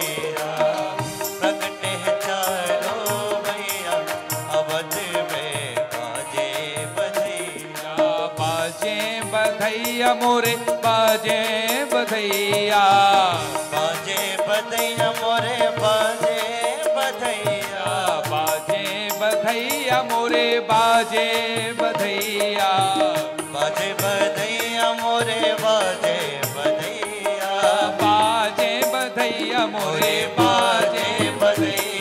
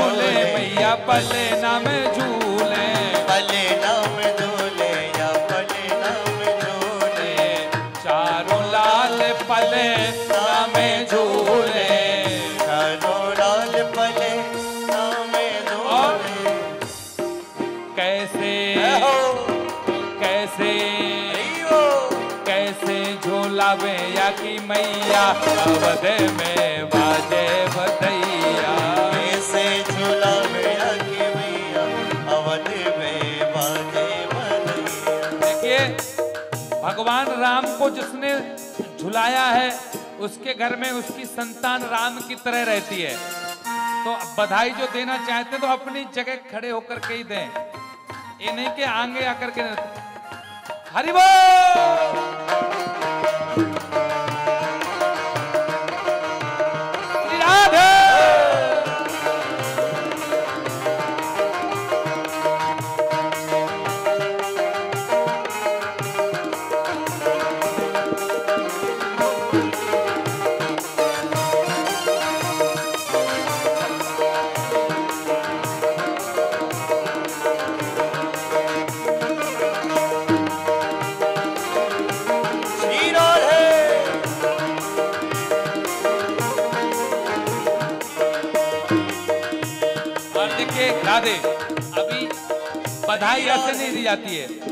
संसार में बालक का जन्म होता है तो कितना हम नाचते, झूमते हैं हैं? हाथ ऊपर कीजिए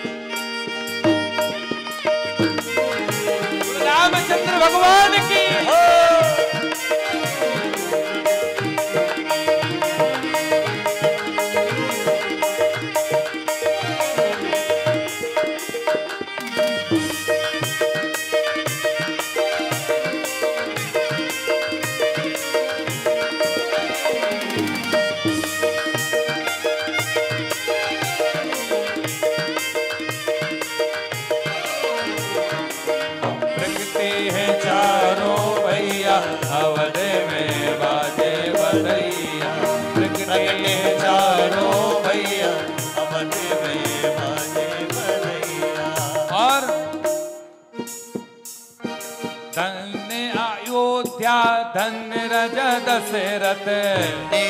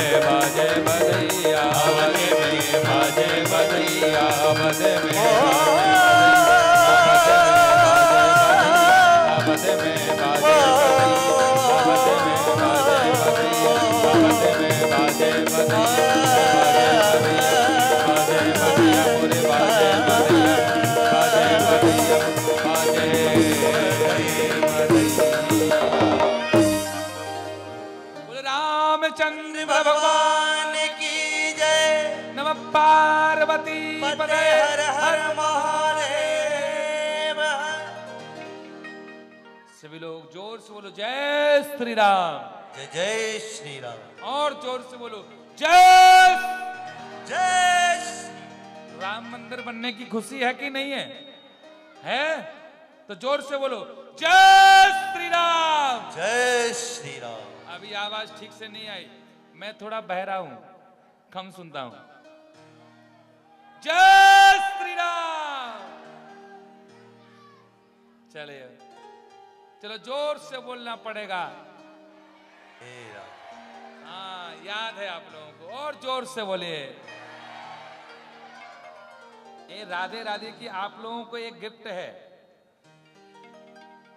इसको ना तो कोई चुराएगा ना कोई छीन सकता है ये तो अनमोल गिफ्ट है। इसको तो आप हमेशा बांटते रहना गिफ्ट को तो ये गिफ्ट भी हमेशा बढ़ती रहेगी कभी कम नहीं होगी। हमेशा बढ़ाना। आइए। राम जी का जन्म हुआ। जन्म के बाद में कहते हैं उनका नामकरण हुआ, जो आनंद सिंधु सुख राशि, सी करते त्रिलोक सुपासी। जो सुख धाम नाम असनामा। जो नाम, जो आनंद भगवान की राम की कथा से है, वो किसी की कथा में नहीं है। जो भगवान की चर्चा में आनंद है वो और कहीं नहीं है। नामकरण हुआ। लक्ष्मण धाम, राम प्रिय।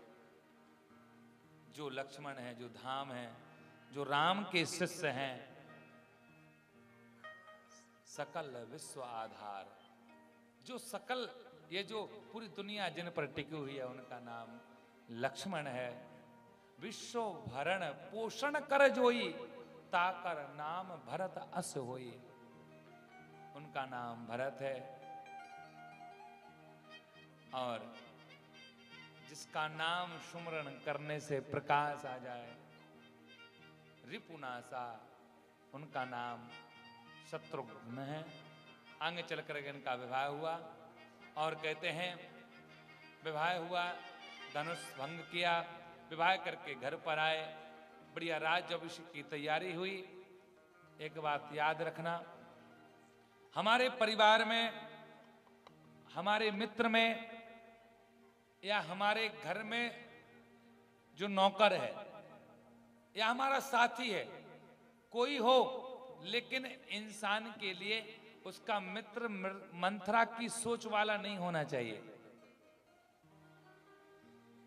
हम काम पर उसको लगाएँ जिसको काम की ज़रूरत है। हम ड्राइवर उसको बनाएँ जिसको ड्राइवरी की ज़रूरत है। किसी बड़े व्यक्ति को ड्राइवर बना लोगे, उसके पास में आपके जैसे कई गाड़ी हैं तो आपकी गाड़ी की वैल्यू नहीं करेगा, इज़्ज़त नहीं करेगा, कहीं ठोक देगा, कहीं पीट देगा।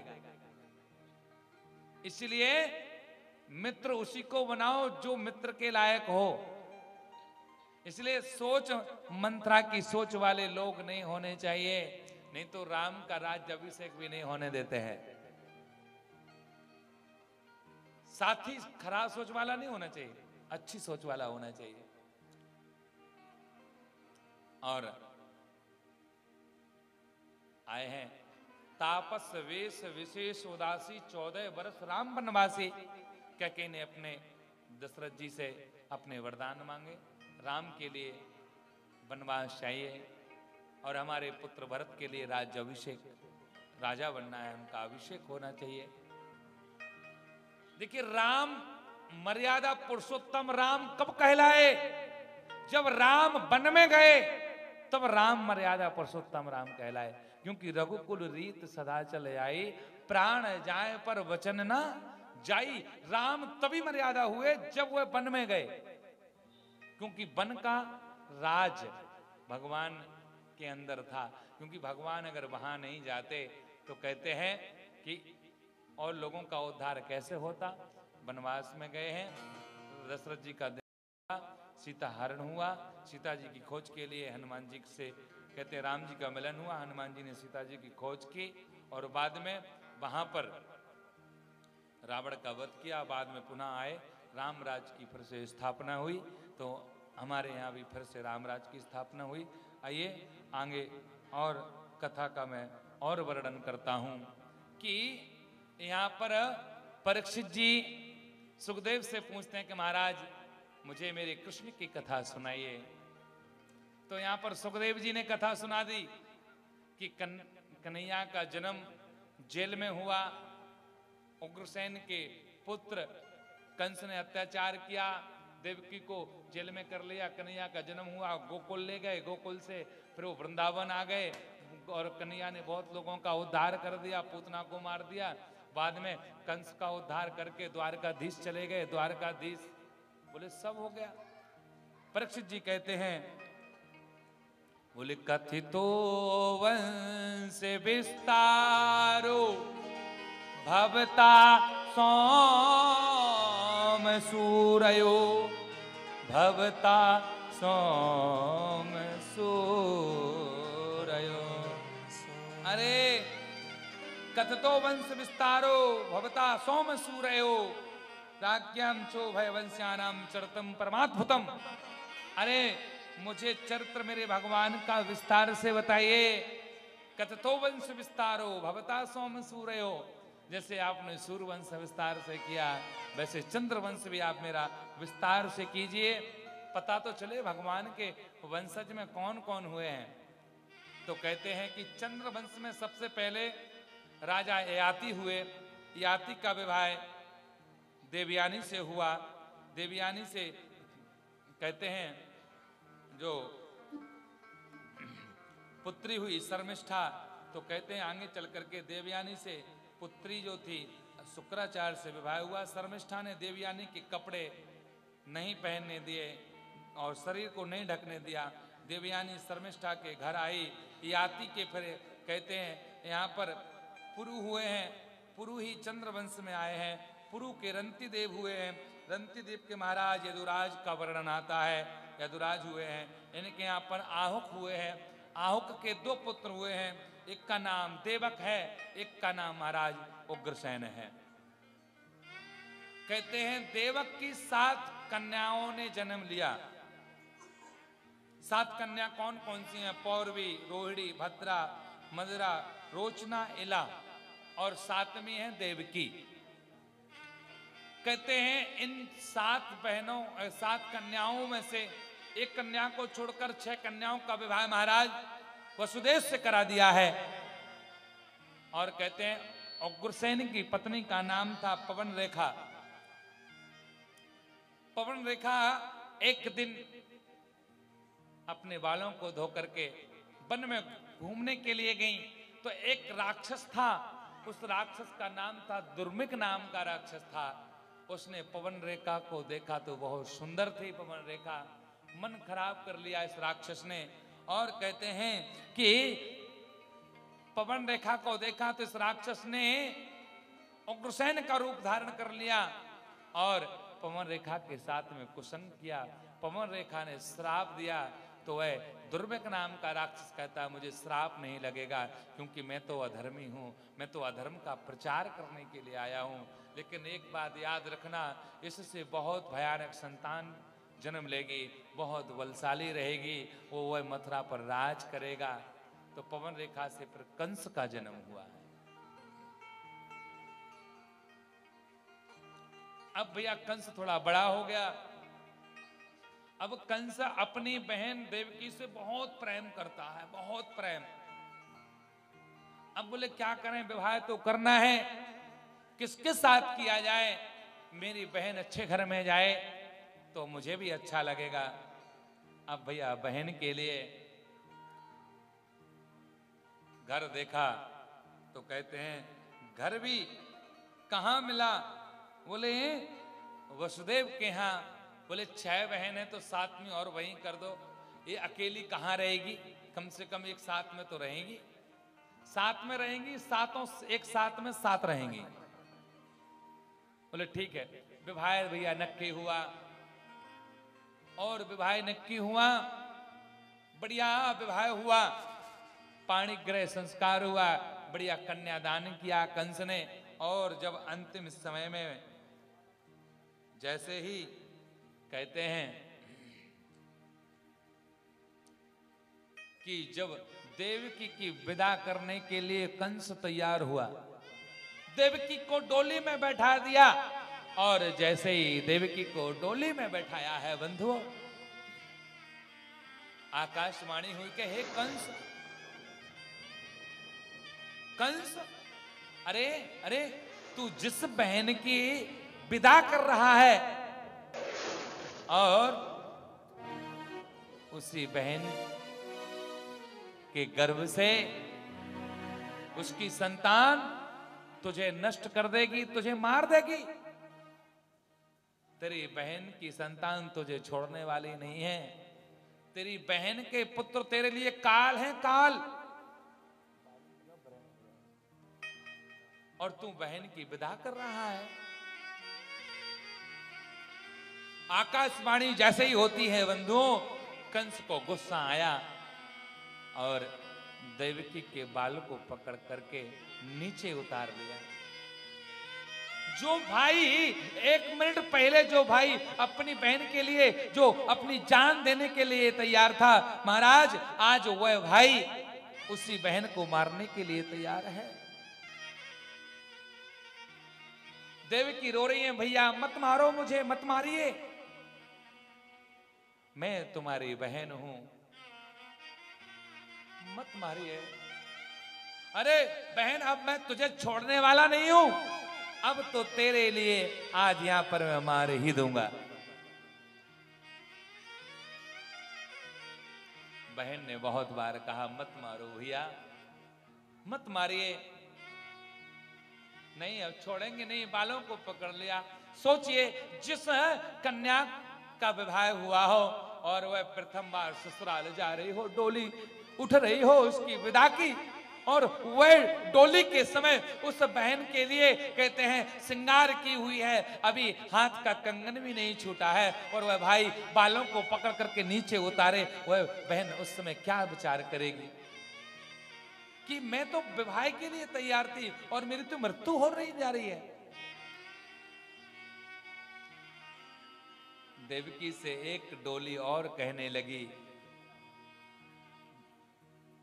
एक डोली चली, एक अर्थी चली अर्थी चली।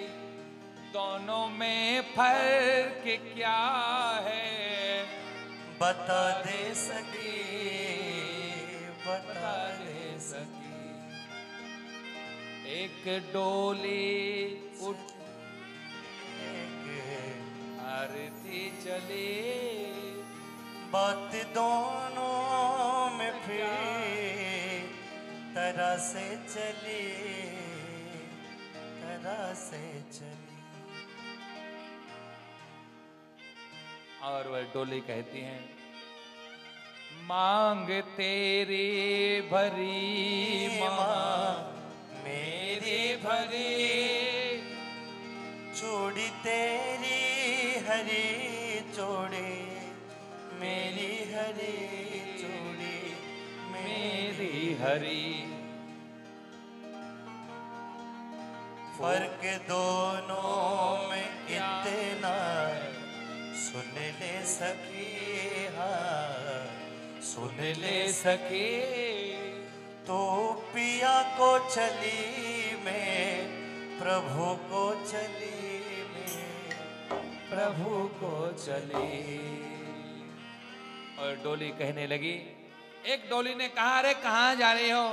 उसने कहा, मैं तो पिया के यहाँ जा रही हूँ और मैं पिया को छोड़ चली। मेरे पति छूट गए हैं। मांग तेरी भरी, मांग मेरी भरी। दोनों में फ़र्क यह है, मैं तू विदा हो चली, मैं अलविदा हो चली। मैं संसार को छोड़ करके जा रही हूँ। यहाँ पर वसुदेव ने कहा कि देखिए कंस, और जब कंस ने अत्याचार करना प्रारंभ किया तो उग्रसेन आए, बोले, बेटा छोड़ दो, ये तुम्हारी बहन है कंस ने कहा, अब इसको छोड़ने वाला नहीं हूँ। पिताजी, अगर तुम भी कुछ करोगे तो तुम्हारे लिए भी हम मैं कारागार में डाल दूँगा। तो कहते हैं, कंस ने अपने पिता उग्रसेन को भी कारागार में डाल दिया। और राजा बन गया। और वसुदेव ने कहा, तुम्हें इसकी संतान से डर है तो इसकी जितनी संतान होगी, हम सब आपको दे देंगे। सब आपको दे देंगे। अब भैया कारागार में बढ़िया हाथ में, हथकड़ी, पाँव में बेड़ी बढ़िया डाल दिया। पहली संतान हुई, कंस को दी। कंस ने कहा, भाई, पहली संतान से मुझे कोई दुश्मनी नहीं है। आठवीं संतान से डर है। नारद जी आ गए, बोले, कंस क्यों छोड़ दिया उसके लिए? बोले, एक गुलाब की पंखुड़ी लाए, कहीं से भी गिनो, कहीं भी आठ आ जाएँगे, कोई भी संतान काल हो सकती है। अब नारद जी तो ये चाहते थे, इसका घड़ा जल्दी भर जाए पाप का और जल्दी मर जाए कंस। और उस बालक को लिया, पहले पुत्र को लिया, और जैसे पत्थर पर मारा, देहांत हो गया। दूसरी संतान हुई, दूसरी मर गई, तीसरी, चौथी, पांचवी, छठवीं। सातवीं संतान के लिए हमारे बलराम जी आए तो कहते हैं, बलराम जी के लिए योग माया के द्वारा रोड़ी के गर्भ में पहुँचे वहाँ बलराम जी का जन्म हुआ है। और आठवीं संतान के रूप में हमारे माधव, हमारे कन्हैया आए हैं। और जब कन्हैया गर्भ में आए, सभी देवी देवताओं ने बढ़िया उनका स्वागत किया। और देखिए, स्वागत किया है और स्वागत के बाद में कहते हैं, वह भाद पद्र का माह आया, बढ़िया सुंदर माह है आया, भादों का महीना आया। भगवान ने पहले राम अवतार दिन में लिया था। आज यहाँ पर मेरे श्री कृष्ण कन्हैया रात्रि के बारह बजे ले रहे हैं। क्योंकि जब राम ने जन्म लिया था तो सूर दो दिन तक हटे नहीं थे। दर्शन करते रहे एक माह तक। चंद्र ने कहा, भैया, ओ सूर भैया, हट जाओ, हम भी दर्शन कर लेंगे राम का। राम जी ने कहा, कोई परेशानी नहीं है। अगला जन्म होगा तो चंद्र वंश में होगा। चिंता मत करो, तुम भी देखते रहना। इसलिए रात्रि में आए का समय है।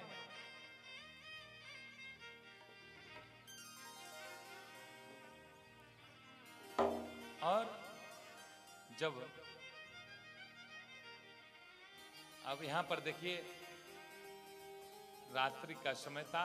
और एक बात और बताएँ, गोकुल में एक बाबा है जिनका नाम है नंद बाबा।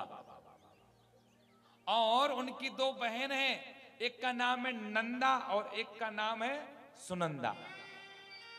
नंद बाबा की पत्नी का नाम है यशोदा। एक दिन की बात है कि नंद बाबा जमुना जी में स्नान करवे के ताई गए। और जब स्नान करवे के ताई गए तो बंधुओं, वहाँ ब्रजवासियों ने कह दिया वो नंद बाबा पुत्रमान भवा, पुत्र हो जाए।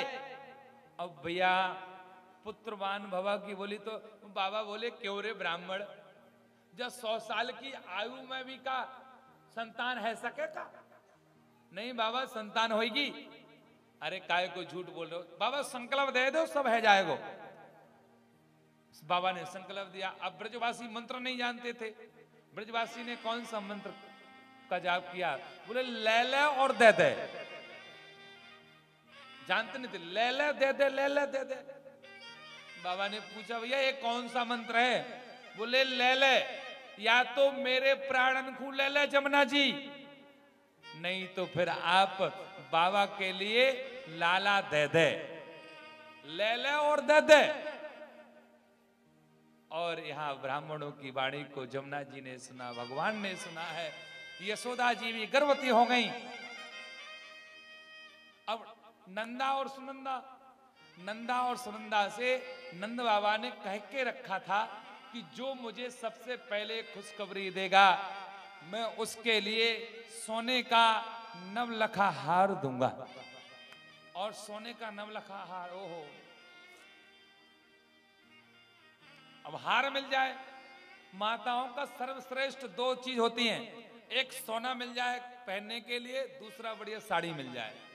बस चकाचक है भाई। अच्छा अच्छा कई माताएँ एक व्रत करती हैं। उस व्रत का नाम है करवा चौथ। अच्छा एक बात सत्य बताना, करवा चौथ आकर किया ही क्यों जाता है? पता है? हैं?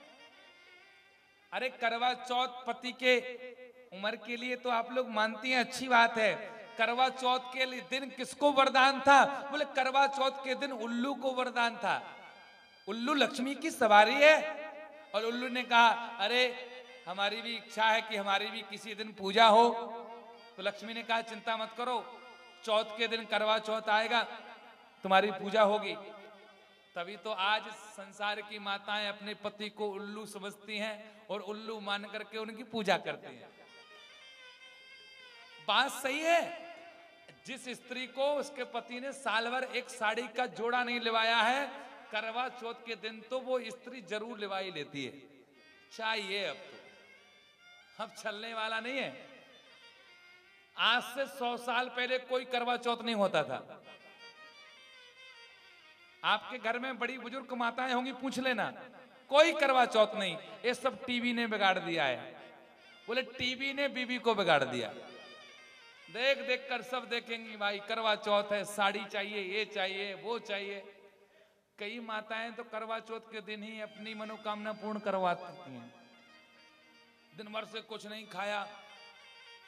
अब शाम का समय हुआ, पति घर पर आए बोले, आज मैंने आपकी उम्र के लिए व्रत रखा है। अच्छा एक बात और है। सारे व्रत हैं जितने बनाए ना, सब महिलाओं के लिए बनाए। कोई पुरुष के लिए तो बनाया ही नहीं है कि पुरुष भी अपनी पत्नी की उम्र के लिए कोई जाप करे। सब पत्नी ही जाप करती रहती हैं।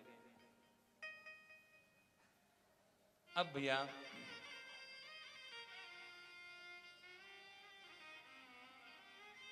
तो करवा चौथ के दिन महिलाएँ अपने पति से भैया कहते हैं, देखो, मैं आपकी उम्र के लिए इतना कुछ कर रही हूँ, सवेरे से जल भी नहीं पिया। आप मार्केट ले चल रहे हो कि नहीं ले चल रहे हो? नहीं तो मैं अभी हाल है भोजन करती हूँ। अब पति कहते हैं, भाई, भोजन कर लेगी, हमारी उम्र कम हो जाएगी। चलो, चल, ज्वेलर्स की दुकान पर चलते हैं। एक किसी शहर में उस कन्या ने पहली बार करवा चौथ किया, इस सत्य घटना है। पहली बार उसका विवाह हुआ बोलो पहली बार करवा चौथ आया, व्रत किया। अब पहले कभी किया नहीं था। अब उसका छत जो था, जो टेरेस जो था, वो छोटा था। तो उसने सोचा कि चेहरा देखते हैं। हम चेहरा नहीं, हम तो पूरा शरीर ही देखेंगे पति का।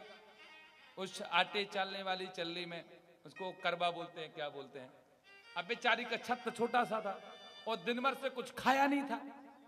और पीछे हटती गई हटती गई हटती गई, पता चला कि नीचे गिर गई और पता चला कि हॉस्पिटल में भर्ती। भाई, करें अच्छी बात है, लेकिन भाव अच्छा होना चाहिए। लेकिन वास्तव में सत्य यही है कि लक्ष्मी जी ने उल्लू के लिए अपना यह दिन दिया था, पाठ और पूजा और व्रत के लिए। व्रत करने से कुछ नहीं होता है, हज़ार बार व्रत कर लो हज़ार बार ब्यूटी सूटी चले जाओ। अगर अंदर का मन खराब है तो भगवान मिलने वाले नहीं है। हम काले हैं तो क्या हुआ? लेकिन दिल वाले हैं। कन्हैया कैसा है?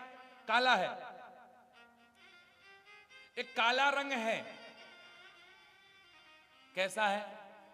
काली कमली ने ऐसा रंग डाला। कि रंग कोई चढ़ता नहीं। काली कमली ने काली कमली ने ऐसा रंग डाला कि रंग कोई चढ़ता नहीं। काली कमली ने ऐसा रंग डाला कि रंग कोई चढ़ता नहीं। काली कमली ने काली कमली ने काली कमली ने ऐसा रंग डाला कि रंग कोई चढ़ता नहीं। ओ काली कमली ने ऐसा रंग डाला कि रंग कोई चढ़ता नहीं। के रंग कोई चढ़ता नहीं। रंग कोई चढ़ता नहीं। रंग कोई चढ़ता नहीं। काली कमली ने काली कमली ने काली कमली ने ऐसा रंग डाला कि रंग कोई चढ़ता नहीं। ओ काली कमली ने ऐसा रंग डाला रंग कोई हरि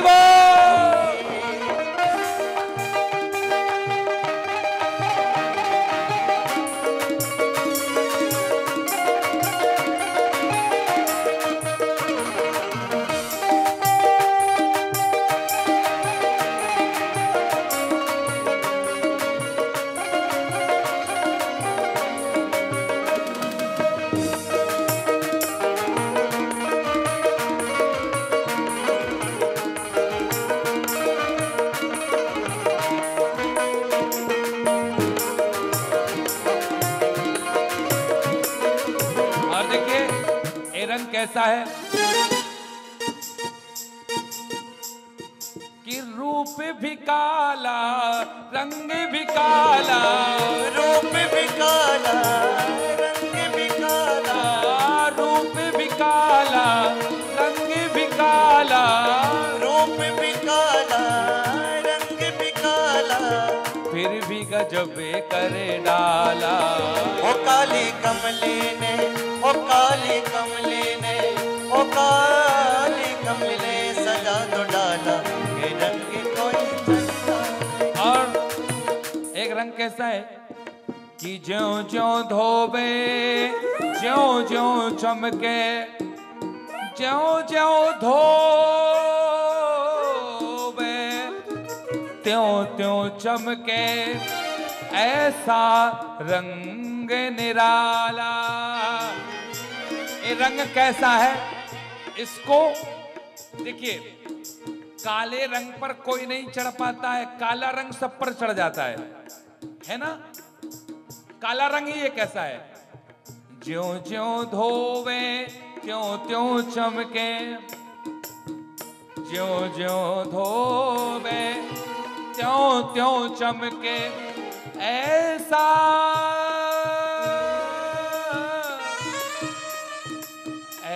ऐसा रंगे निराला। ये रंग ही ऐसा है। एक बार चढ़ जाए तो फिर उतरने वाला नहीं है। काली कमली ने काली कमली ने काली कमली ने काली कमली ने ऐसा रंग डाला कि रंग कोई चढ़ता नहीं। हो काली कमले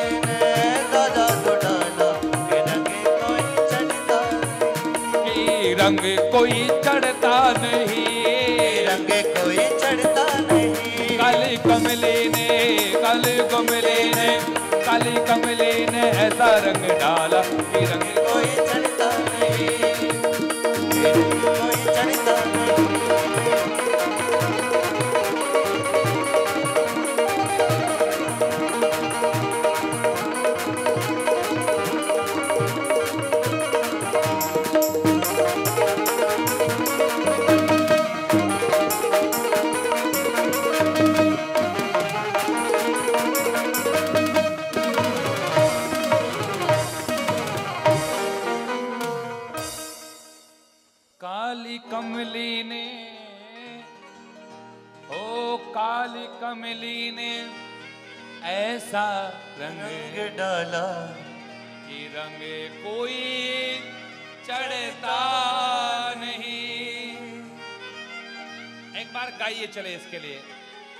तीन दिन और है अभी। अभी और रंग चढ़ेगा। कल भगवान की माखन चोरी की लीला और गोवर्धन की पूजा है कल। कल छप्पन भोग यहाँ पर लगेगा। आप लोग अपनी तरफ़ से भी कुछ कुछ बना करके ला सकती हैं जिससे छप्पन भोग लग सके कल भगवान के लिए। माखन चोरी की लीला कल भगवान मटकी फोड़ेंगे। मटकी फोड़ लीला रहेगी और अंतिम में गोवर्धन की पूजा होगी। तो कहिए काली कमली ने काली कमली ने ऐसा रंग डाला कि रंगे कोई चढ़ता नहीं। काली कमली ने ऐसा रंग डाला कि रंगे कोई चढ़ता नहीं। और भगवान का रंग आज इस मथुरा वालों पर चढ़ने वाला है। आइए, उसके बाद में क्या हुआ?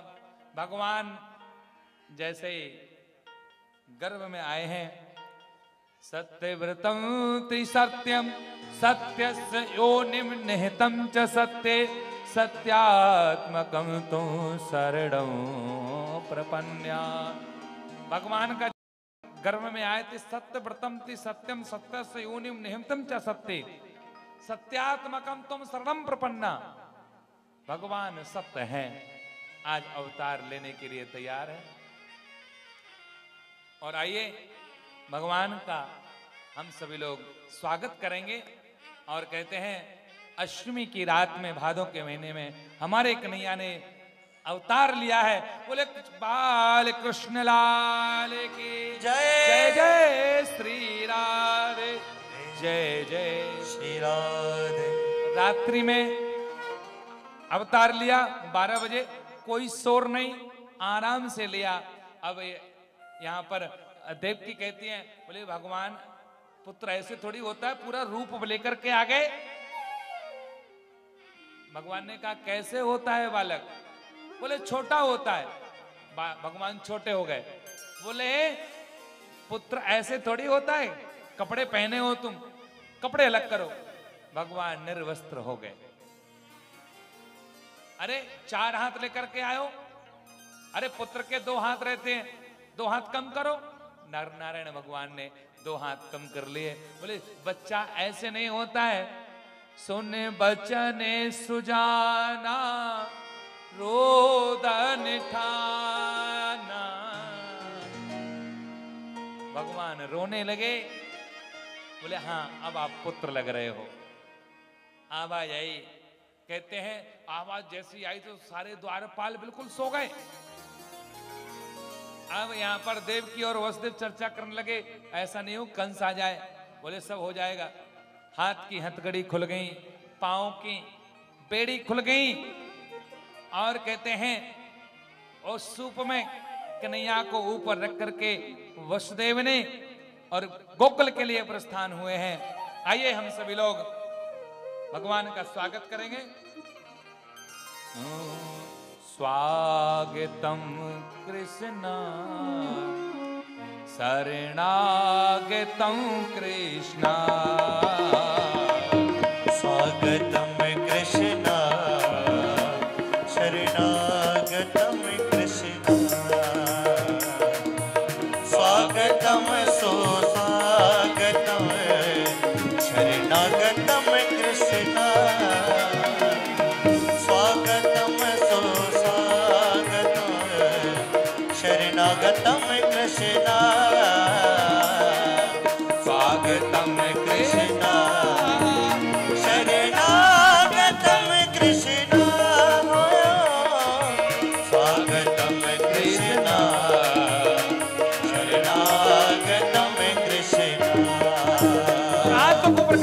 स्वागत करेंगे। हरि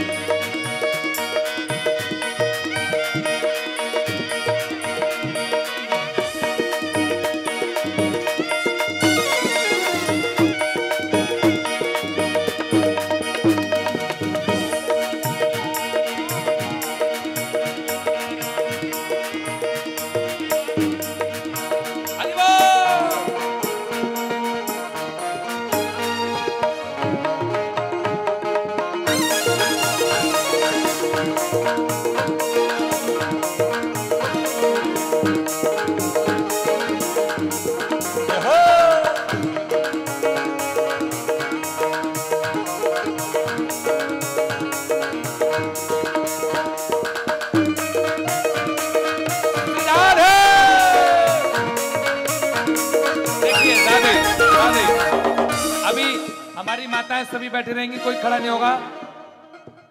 ऐसे नहीं तो हाथ ऊपर कीजिए।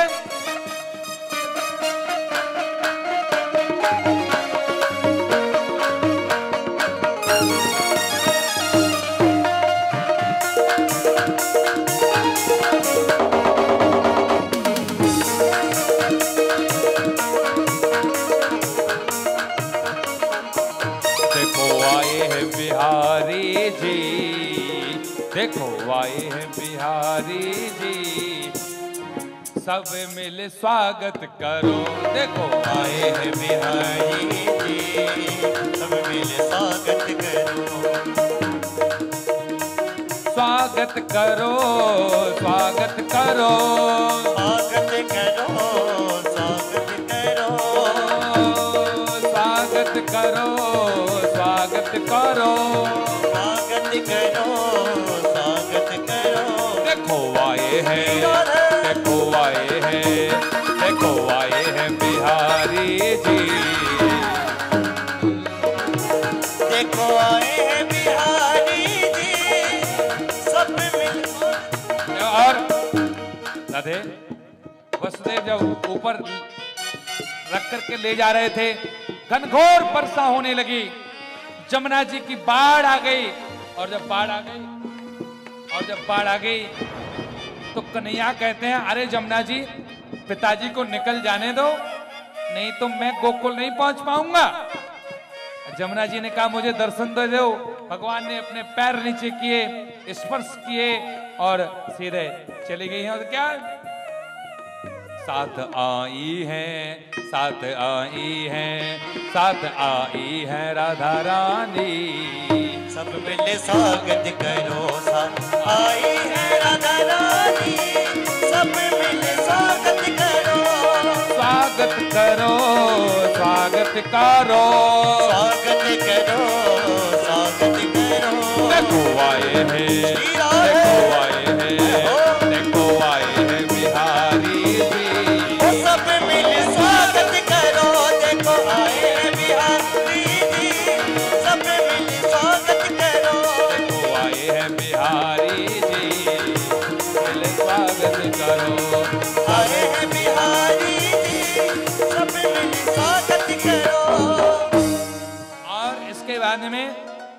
वसुदेव गए हैं गोकुल गोकुल में जाकर के जो कि नंद बाबा के यहाँ, यशोदा के यहाँ जो कन्या ने जन्म लिया था, उसको लेकर के आ गए हैं और लाला को वहाँ पर छोड़ करके आ गए हैं।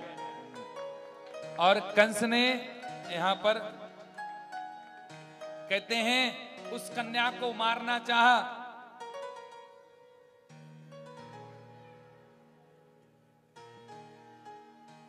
कंस ने कन्या को मारना चाहा तो कन्या आसमान में उड़ गई। बोले, तुम मुझे क्या मारोगे? तुम्हें तो मारने वाले ने जन्म ले लिया है। और अब भैया, नम बाबा जाप कर रहे हैं, अभी तक तो भयो ना है। अभी तक तो भयो ना बोले, अभी तक नहीं हुआ। बहुत देर हो गई, नंदा गई हैं यशोदा के कक्ष में कपड़े को धीरे धीरे हटा रही हैं। क्या ऐसा नहीं कि छोरा की जगह छोरी है जाए तो सोने का नवलखा हार चला जाएगा। अब कपड़े को धीरे धीरे धीरे धीरे धीरे धीरे किया है और दौड़ती वही गई, बाबा, अरे बाबा बाबा, बधाई हो बधाई हो बधाई हो। बाबा ने कहा, अरे का बात की बधाई है? अरे बाबा, छोरा भयो है, छोरा भयो है। बधाई हो बधाई हो। बधाई हो। सभी लोग बोलो ज़ोर से बधाई हो। बधाई हो। ऐसे नहीं पहले मैं कहूँगा बधाई हो तो आप कहेंगे बधाई हो। ज़ोर से बोलो बधाई हो। ऐसे काम में मान चलेगा। एक काम यहाँ माताओं की संख्या ज़्यादा है तो पहले माताएँ काना को बधाई देंगी सबसे पहले पुरुष बाद में। देखते हैं कौन जीतता है कौन हारता है। तैयार है माताएँ हमारी? इन पुरुषों से जीत जाएँगे आप? पक्का? कौन कौन चाहती है कि जीत जाएँगे? ज़ोर से बोलना। बोलो, मैया बधाई हो! ऐसे बोला जाता है, मैया बधाई हो! ऐसा नहीं कि घर में जाकर के पिटाई हो जाए कि मेरे से जीतना चाहती थी।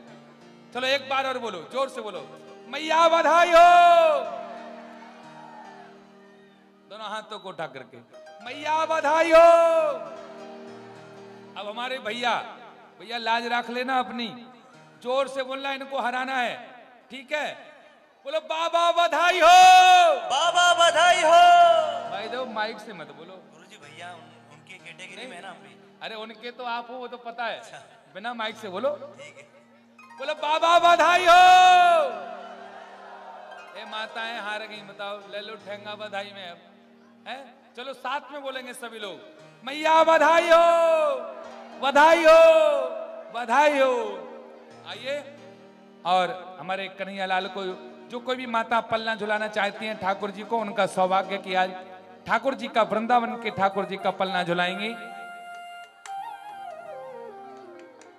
ज़ोर से बोलना पड़ेगा। ज़ोर से बोलिए, राधे राधे। राधे राधे।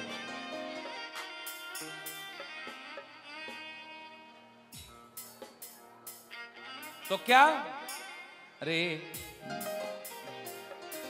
अरे नंद जू के अंगना में बज रही आज बधाई। नंद झुके अंगना में बज रहे आज बधाई। नंद झुके के अंगना में बज रही आज देखिए राधे। जय श्री राम। आराम से आएँगे बाकी पीछे रहे। पंडाल बहुत बड़ी है मस्ती भी तो करना है। ठाकुर जी को जो कोई भी भेंट देना चाहती है, पल्ले में डाल देंगे। दोनों हाथ ऊपर कीजिए।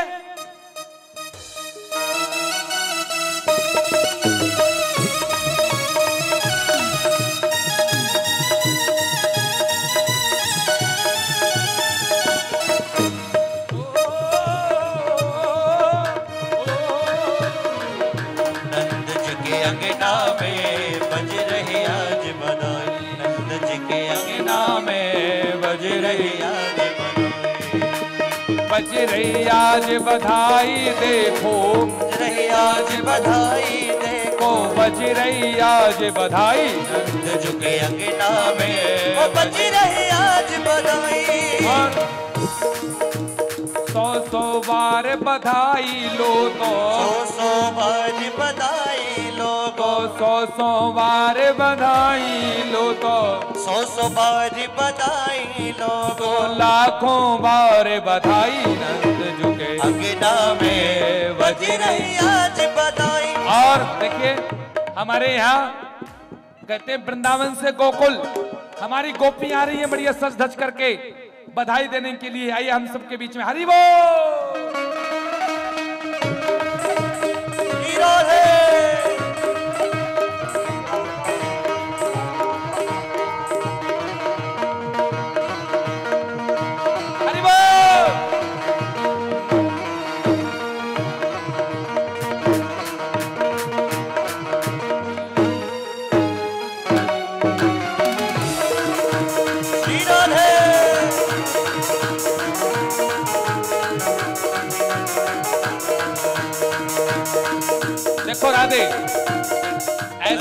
आएगा आज भगवान का जन्म है।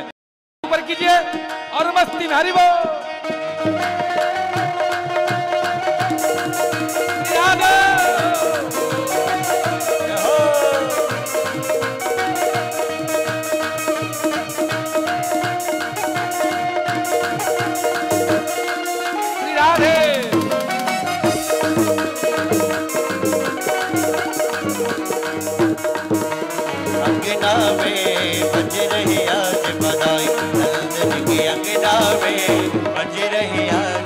गोपी आई है और चमत्कार सा हो गया लोग हो गई बात निराली।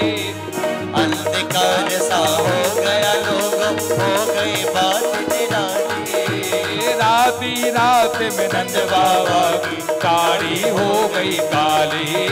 और रात में रात में नंद बाबा की साड़ी हो गई काली। नंद जी के क्या? अंगना में बजे रही आज बधाई। नंद जी की अंगना में राधे, और बधाई देखिए ये बधाई देने के लिए आई है।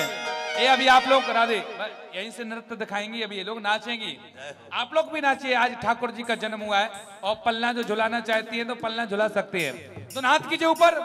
ओ नंद झुके अंगना में बजे रही आज बधाई। नंद जी के अंगना में बज रही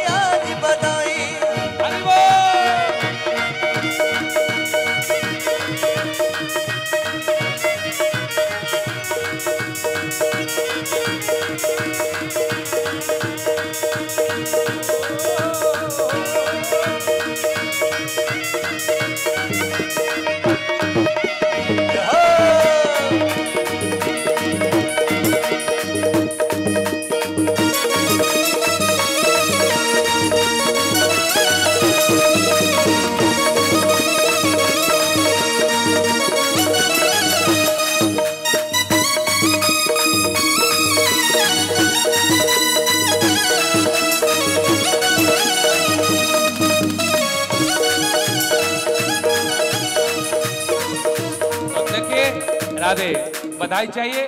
किस किस को चाहिए? चाहिए? ऐसे नहीं देंगे। पहले नाच के दिखाओ, तब देंगे। ओ नंद जो के अंगना में बजे रही आज बधाई। नंद जी के अंगना में बज रही आज बधाई। बधाई हो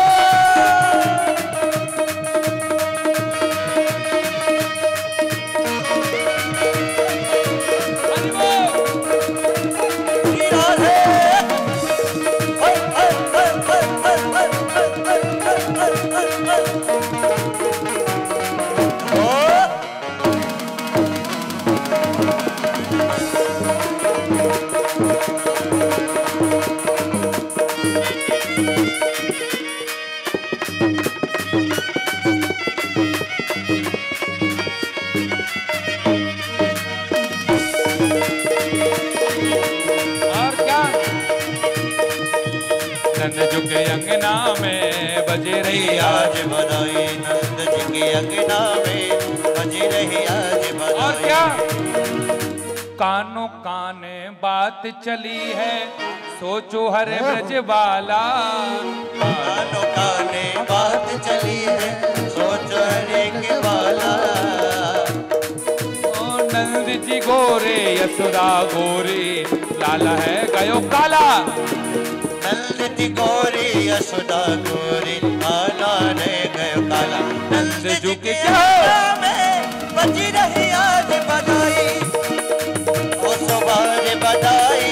लाखों ये बताओ एक किसको चाहिए? चाहिए?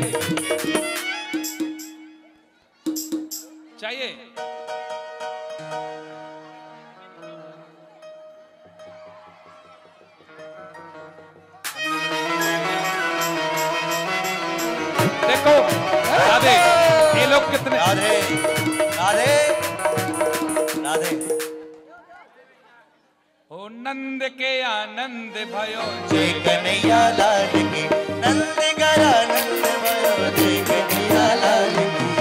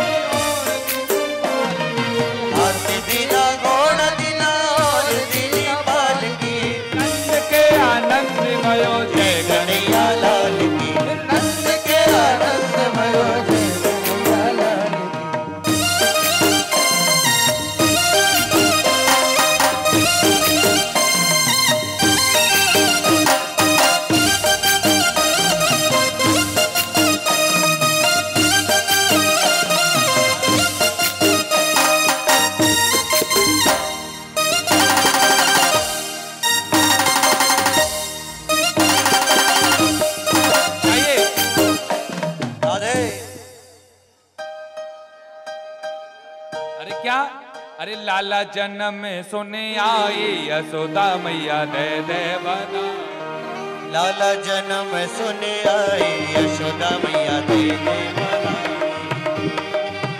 सुने आई यशोदा मैया दे दे बधाई दे दे बधाई मैया दे दे बधाई। दे दे बधाई मैया दे दे बधाई। बधाई मैया दे दे बधाई। लाला जन्म सुने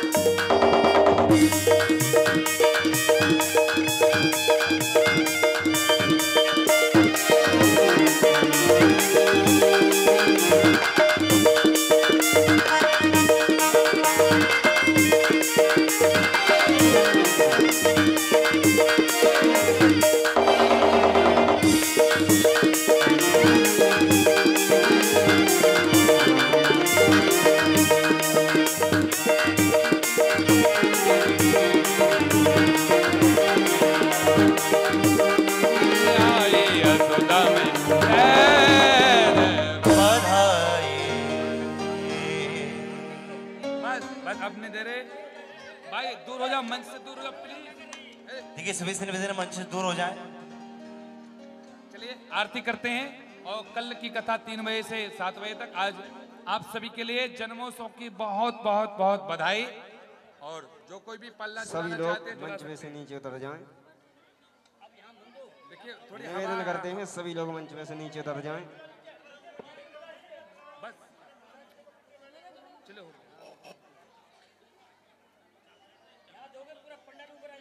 बस बस बस रहने दो अब नहीं दे सकते।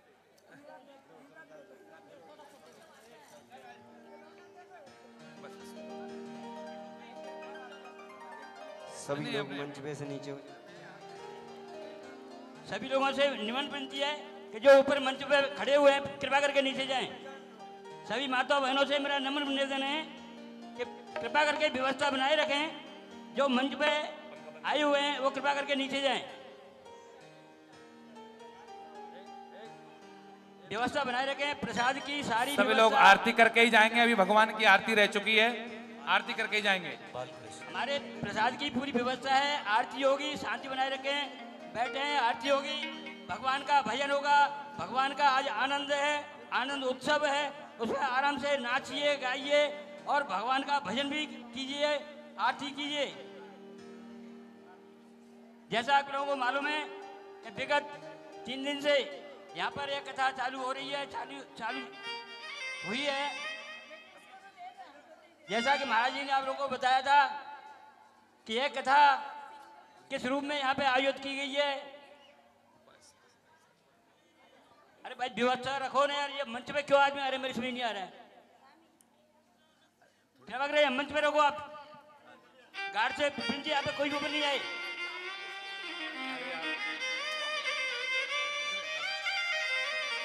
खड़े रखो इधर, कोई नहीं आएगा। बाल कृष्ण लाल की जय। जैसा कि आप लोगों को बताया गया कि यहाँ पे प्रतिदिन परीक्षा बनने के लिए नाम दिए जा रहे हैं। कल के लिए जो हमारे पास नाम आए हैं, उसमें कोई नाम नहीं है। हमारे जो पाँच दिन के, प्रतिदिन के जो ईमान हैं, वही कल यहाँ पर बैठेंगे। कल के लिए यदि कोई अपना नाम देना चाहता है, नाम देना चाहता है, यदि पास में कल के लिए पैसे नहीं है तो कल के लिए वो अपना नाम यहाँ पे हमारे पंडाल के सामने बैठे हुए हैं पर अपना पंडाल के सामने हमारे कार्यकर्ता बैठे हुए हैं, वहाँ अपना नाम लिखा सकते हैं। जैसा कि महाराज जी ने कल अनाउंसमेंट किया था कि हमारे भंडारे की भी व्यवस्था की गई है, जो अपना अन्नदान के लिए अपना नाम लिखाना चाहते हैं, इस मंडल को आर्थिक सहायता देना चाहते हैं। उसके लिए हमारे मंडल के श्री वारिक जी हैं, हमारे शर्मा जी हैं, हमारे बिरला जी हैं, वो वहाँ पर बैठे हुए हैं, कृपया अपना नाम लिखा सकते हैं। जैसा कि आप लोगों को बताया है कि कल मैंने जिन लोगों ने अन्नदान के लिए अपना सहयोग दिया है, वो अन्नदान के लिए भागी बने हुए हैं। उनका तो मैंने कल नाम लिया था, लेकिन कल से जो आज हमारे पास में नाम आए हैं, मैं ऐसे उन अन्नदाताओं का, ऐसे उन महान भावों का, जिसमें जो आज हमारे पास नाम है, श्री प्रवीण जोशी जी 501 विमल शर्मा जी 1101 एक भक्त ने गुप्त दान दिया है, उनका ग्यारह सौ नाम नहीं लिखने बोलने के लिए बोले हैं। बाबूलाल चेजारी जी ग्यारह सौ रुपये। श्री आत्माराम शर्मा जी, पाँच सौ एक। श्री मनोज तिवारी जी, पाँच सौ एक। हरदेव शर्मा जी, पाँच सौ एक। श्री पुष्पा शर्मा, एक हज़ार। महावीर प्रसाद नेमानी जी, ग्यारह सौ। एक गुप्त दान आया हुआ है। उन्होंने अपना नाम नहीं बोलने के लिए विनती किया है। उन्होंने पाँच हज़ार दिया है। ऐसे महान भाव के लिए हमारे दोनों हाथों से तारी देनी चाहिए, जिन्होंने अपना दिल खोल करके इस मंडल के अन्नदान के लिए पाँच हज़ार रुपया दिया है।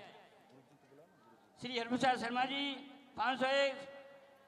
आरती वर्मा जी, पाँच सौ एक। रामानुज उपाध्याय जी, पाँच सौ एक। एन के अग्रवाल जी, एक हज़ार एक। गुलाब लल्लू प्रसाद पाल जी, पाँच सौ एक। लक्ष्मी देवी पाँच सौ एक। विजय सक्स- सक्सेना जी, ग्यारह सौ एक राघव प्रसाद सिंह जी, ग्यारह ग्यारह सौ। इस प्रकार से हमारे पास में आज जिन्होंने पाँच सौ एक और एक हज़ार के ऊपर जिन्होंने सहायता की है, मंडल उनका आभारी है। इसी प्रकार से यदि आप हम लोगों को सहायता करते रहे तो हमारा यह कार्यक्रम अपनी चरम सीमा पर पहुंचेगा। आप लोगों से नम्र विनती है। यह जो पुण्य का काम चल रहा है, जैसे महाराज ने बताया कि पित्र जो दोष लगता है, उसकी शांति के लिए ये सबसे बड़ा उपाय है। इसलिए यदि आप पितृ शांति के लिए, वास्तु दोष के लिए, यहाँ पर यज्ञ वेदी बनाई गई है, जिनकी पूजा की जाती है सुबह दो घंटे, आप लोग यदि इसमें भाग लेना चाहें तो आप भाग ले सकते हैं। आगे से आगे का कार्यक्रम में महाराज जी को सौंपता हूँ। महाराज जी, कृपा करके चलिए, आरती करते हैं।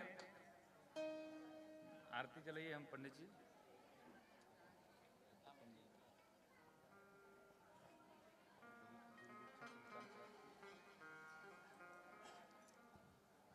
आरती।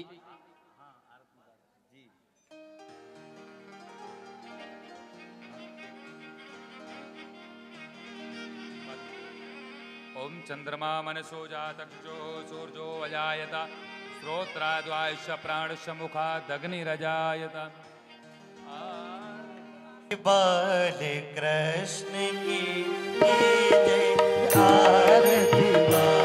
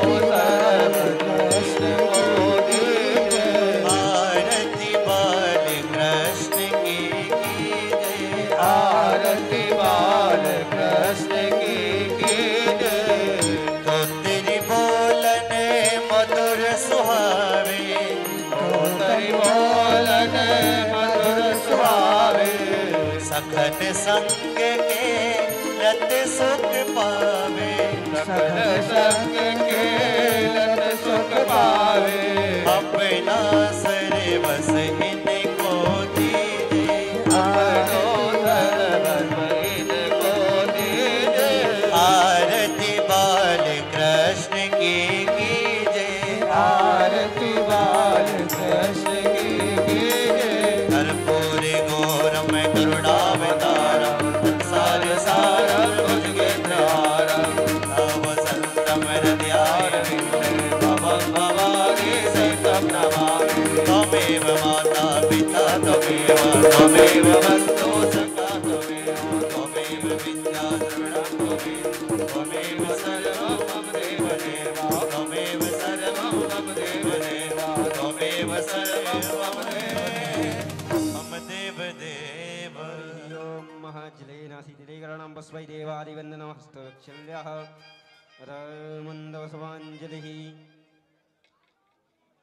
हरिः ओं जिज्ञेनाज्ञमय जन्ददेवास्तानि धर्माण प्रथमान्यासन्नादेहनाकं महिमानः सचन्दरपूर्वे साध्याः सन्ति देवाः नवचरणारवन्दयोः वैरकमन्दवसवाञ्जलिः समर्पयामि। और ये श्रीमद् भागवत महापुराण की जय हो। बोले बांके बिहारी लाल की। धर्म की धर्म की, अधर्म का अधर्म का प्राणियों में प्राणियों में विश्व का विश्व का सनातन धर्म की सनातन धर्म की गौ माता की, अपने अपने गौरव गोविंद की। जय जय श्री राधे। सभी लोगों से नम्र विनती है कि प्रसाद की व्यवस्था की गई है, सभी लोग प्रसाद लेकर के जाएँ। आज कृष्ण जन्म हुआ है? उसके लिए हर प्रकार के प्रसाद की व्यवस्था की गई है। माखान, मिश्री का भी भोग लगाया हुआ है। हमारे कार्यकर्ता बाहर, आप जब बाहर से निकलेंगे, कृपया शांति करके वहाँ पे प्रसाद की व्यवस्था की गई है। आप प्रसाद लेकर के ही जाएँ। कल जैसा कि आपको मालूम है, गोवर्धन लीला है। गोवर्धन छप्पन प्रकार का भोग लगेगा। जो भक्त लोग ये माता बहनें कल के लिए अपना भोग लगा सकती हैं, वो अपना सामान लेकर के यहाँ आए। कल गोवर्धन लीला की जाएगी। आप लोग बड़े उत्साह से कल गोवर्धन लीला का आनंद लेंगे, दर्शन लेंगे। और उसके लिए जो छप्पन भोग की व्यवस्था की गई है, मंडल तो करेगा ही, लेकिन आपके घर से ये थोड़ा भी कोई सामान आएगा, आपको पुण्य लाभ मिलेगा, इसलिए आप अपने घर से थोड़ा थोड़ा थोड़ा भी जो जो भी सामान होगा, वो यहाँ पर अर्पित किया जाएगा और उसका भोग लगाया जाएगा।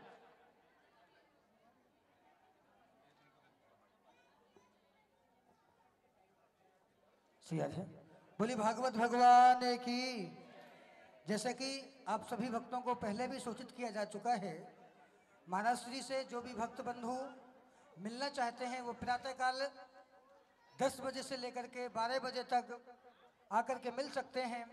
कुंडली वगैरह, जो भी आपको, यदि कोई कष्ट है, शनि दोष है या सर्प दोष है पितृ दोष है सभी दोषों का निवारण हो सकता है। और यदि नंबर लेना चाहते हैं तो कार्यालय में संपर्क करके नंबर प्राप्त हो सकता है। और जो भी बंधु, यदि महाराज श्री को अपना गुरु बनाना चाहता है तो उसके लिए भी आप कार्यालय में संपर्क कर करके समस्त जानकारी ले सकते हैं।